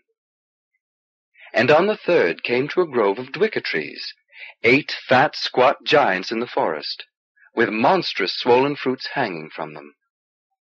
Food, Zalzan Kavol bellowed. Food sacred to the forest, brethren, Lisamon Hultin said. Be careful. The famished Skandar, nevertheless, was on the verge of cutting down one of the enormous fruits with his energy thrower, when Valentine said sharply, No, I forbid it. Zalzan Kavol stared incredulously. For an instant, his old habits of command asserted themselves, and he glared at Valentine as if about to strike him. But he kept his temper in check. Look, Valentine said. Forest brethren were emerging from behind every tree. They were armed with their dart blowers, and seeing the slender ape-like creatures encircling them, Valentine in his weariness felt almost willing to be slain. But only for a moment. He recovered his spirits and said to Lisamon Hultin, Ask them if we may have food and guides to the Steiche. If they ask a price, we can juggle for them with stones or pieces of fruit, I suppose. The warrior woman, twice as tall as the forest brethren, went into their midst and talked with them a long time. She was smiling when she returned. They are aware, she said, that we are the ones who freed their brothers in Ilirivoyne. Then we are saved, cried Shanamir. News travels swiftly in this forest, Valentine said. Lisamon Hultin went on. We are their guests. They will feed us. They will guide us. That night the wanderers ate richly on dwikka fruit and other forest delicacies, and there was actually laughter among them for the first time since the ambush. Afterward the forest brethren performed a sort of dance for them, a monkeyish prancing thing, and Sleeton, Carabella, and Valentine responded with impromptu juggling using objects collected in the forest. Afterward, Valentine slept a deep, satisfying sleep. In his dreams he had the gift of flight, and saw himself soaring to the summit of Castle Mount. And in the morning, a party of chattering forest brethren led them to the river Steiche, three hours' journey from the Dwikka-tree grove, and bade them farewell with little twittering cries. The river was a sobering sight. It was broad, though nothing remotely like the mighty Zimr, and it sped northward with startling haste, flowing so energetically that it had carved out a deep bed bordered in many places by high rocky walls.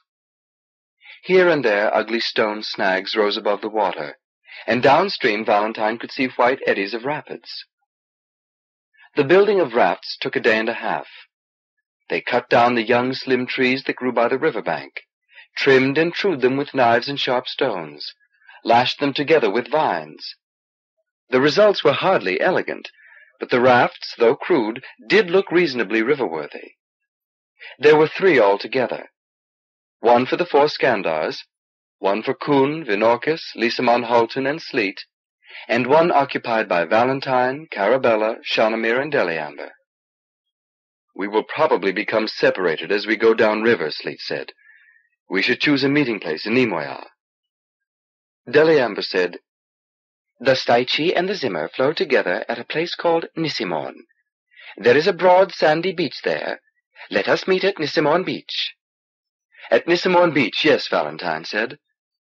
He cut loose the cord that bound his raft to the shore, and was carried off into the river. The first day's journey was uneventful. There were rapids, but not difficult ones, and they poled safely past them. Carabella showed skill at handling the raft, and deftly steered them around the occasional rocky patches. After a time, the rafts became separated, Valentine's taking some subcurrent and moving rapidly ahead of the other two. In the morning he waited, hoping the others would catch up, but there was no sign of them, and eventually he decided to depart. On, on, on, for the most part swept easily along with occasional moments of anxiety in the whitewater stretches. By afternoon of the second day, the course was becoming rougher. The land seemed to dip here, sloping downward as the Zimr drew near, and the river, following the line of descent, plunged and bucked. Valentine began to worry about waterfalls ahead. They had no charts, no notion of dangers. They took everything as it came. He could only trust to luck that this swift water would deliver them safely to Ni-moya. And then? By boat to Piliplok, and by pilgrim ship to the Isle of Sleep, and somehow procure an interview with the lady, his mother. And then? And then? How did one claim the coronal's throne when one's face was not the face of Lord Valentine, the rightful ruler? By what claim, by what authority? It seemed to Valentine an impossible quest. He might be better remaining here in the forest, ruling over his little band. They readily enough accepted him for what he thought himself to be. But in that world of billions of strangers, in that vast empire of giant cities that lay beyond the edge of the horizon, how, how, how would he ever manage to convince the unbelievers that he, Valentine the juggler, was... No, these thoughts were foolish. He had never, not since he had appeared shorn of memory and past on the verge overlooking Pidruid, felt the need to rule over others. And if he had come to command this little group, it was more by natural gift and by Zazen default than out of any overt desire on his part. And yet he was in command, however tentatively and delicately. So it would be as he traveled onward through Majipoor.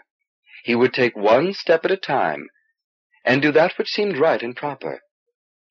And perhaps the lady would guide him, and if the divine so willed it, he would one day stand again on Castle Mount, and if that was not part of the great plan, why, that would be acceptable also. There was nothing to fear. The future would unroll serenely in its own true course, as it had done since Pidruid. And, Valentine! Carabella shouted. The river seemed to sprout giant stony teeth. There were boulders everywhere, and monstrous white whirlpools, and just ahead, an ominous tumbling descent, a place where the Steiche leaped out into space and went roaring down a series of steps to a valley far below. Valentine gripped his pole, but no pole could help him now. It lodged between two snags and was ripped from his grasp. A moment later there was a ghastly grinding sound as the flimsy raft, battered by submerged rocks, swung around at right angles to its course and split apart. He was hurled into the chilly stream and swept forward like a cork. For a moment he grasped Carabella by the wrist. But then the current pulled her free, and as he clutched desperately for her, he was engulfed by the swift water and driven under. Gasping and choking, Valentine struggled to get his head above water. When he did, he was already far downstream. The wreckage of the raft was nowhere in sight. Carabella, he yelled. Shanamir! Deliamber! Hoy! Hoy! He roared until his voice was ragged, but the booming of the rapids so thoroughly covered his cries that he could scarcely hear them himself. A terrible sense of pain and loss numbed his spirit. All gone, then? His friends, his beloved Carabella, the wily little Vroon, the clever, cocky boy Shanamir, all swept to death in an instant? No, no, unthinkable. That was an agony far worse than this business, still unreal to him, of being a coronal thrust from the castle. What did that mean? These were beings of flesh and blood, dear to him. That was only a title and power. He would not stop calling their names as the river threw him about. Carabella, he shouted. Shanamir! Valentine clawed at rocks, trying to halt his willy-nilly descent. But he was in the heart of the rapids now, buffeted and battered by the current and by the stones of the riverbed. Dazed and exhausted, half paralyzed by grief, Valentine gave up struggling and let himself be carried along, down the giant staircase of the river, a tiny plaything spinning and bouncing along. He drew his knees to his chest and wrapped his arms over his head, attempting to minimize the surface he presented to the rocks. The power of the river was awesome. So here is how it ends, he thought. The grand adventure of Valentine of Majipoor, once coronal, later wandering juggler, now about to be broken to bits by the impersonal and uncaring forces of nature. He commended himself to the lady whom he thought to be his mother, and gulped air, and went heels over head, head over heels, down and down and down, and struck something with frightening force, and thought this must be the end. Only it was not the end. And struck something again that gave him an agonizing blow in the ribs, knocking the air from him. And he must have lost consciousness for a time, for he felt no further pain. And then he found himself lying on a pebble-strewn strand, in a quiet side stream of the river. It seemed to him that he had been shaken in a giant dice box for hours and cast up at random, discarded and useless. His body ached in a thousand places. His lungs felt soggy when he breathed. He was shivering and his skin was covered with goosebumps. And he was alone, under a vast cloudless sky, at the edge of some unknown wilderness, with civilization some unknown distance ahead, and his friends perhaps dashed to death on the boulders. But he was alive. That much was sure. Alone, battered, helpless, grief-stricken, lost, but alive. The adventure then was not ended. Slowly, with infinite effort, Valentine hauled himself out of the surf and tottered to the river bank, and let himself carefully down on a wide, flat rock, and with numb fingers undid his clothing and stretched out to dry himself under the warm, friendly sun. He looked toward the river, hoping to see Carabella come swimming along, or Shanamir with the wizard perched on his shoulder. No one. But that doesn't mean they're dead, he told himself. They may have been cast up on farther shores. I'll rest here for a time, Valentine resolved, and then I'll go searching for the others. And then, with them or without, I'll set out onward, toward Ni-moya, toward Piliplok, toward the Isle of the Lady. Onward, onward, onward toward Castle Mount, or whatever else lies ahead for me. Onward, onward, onward.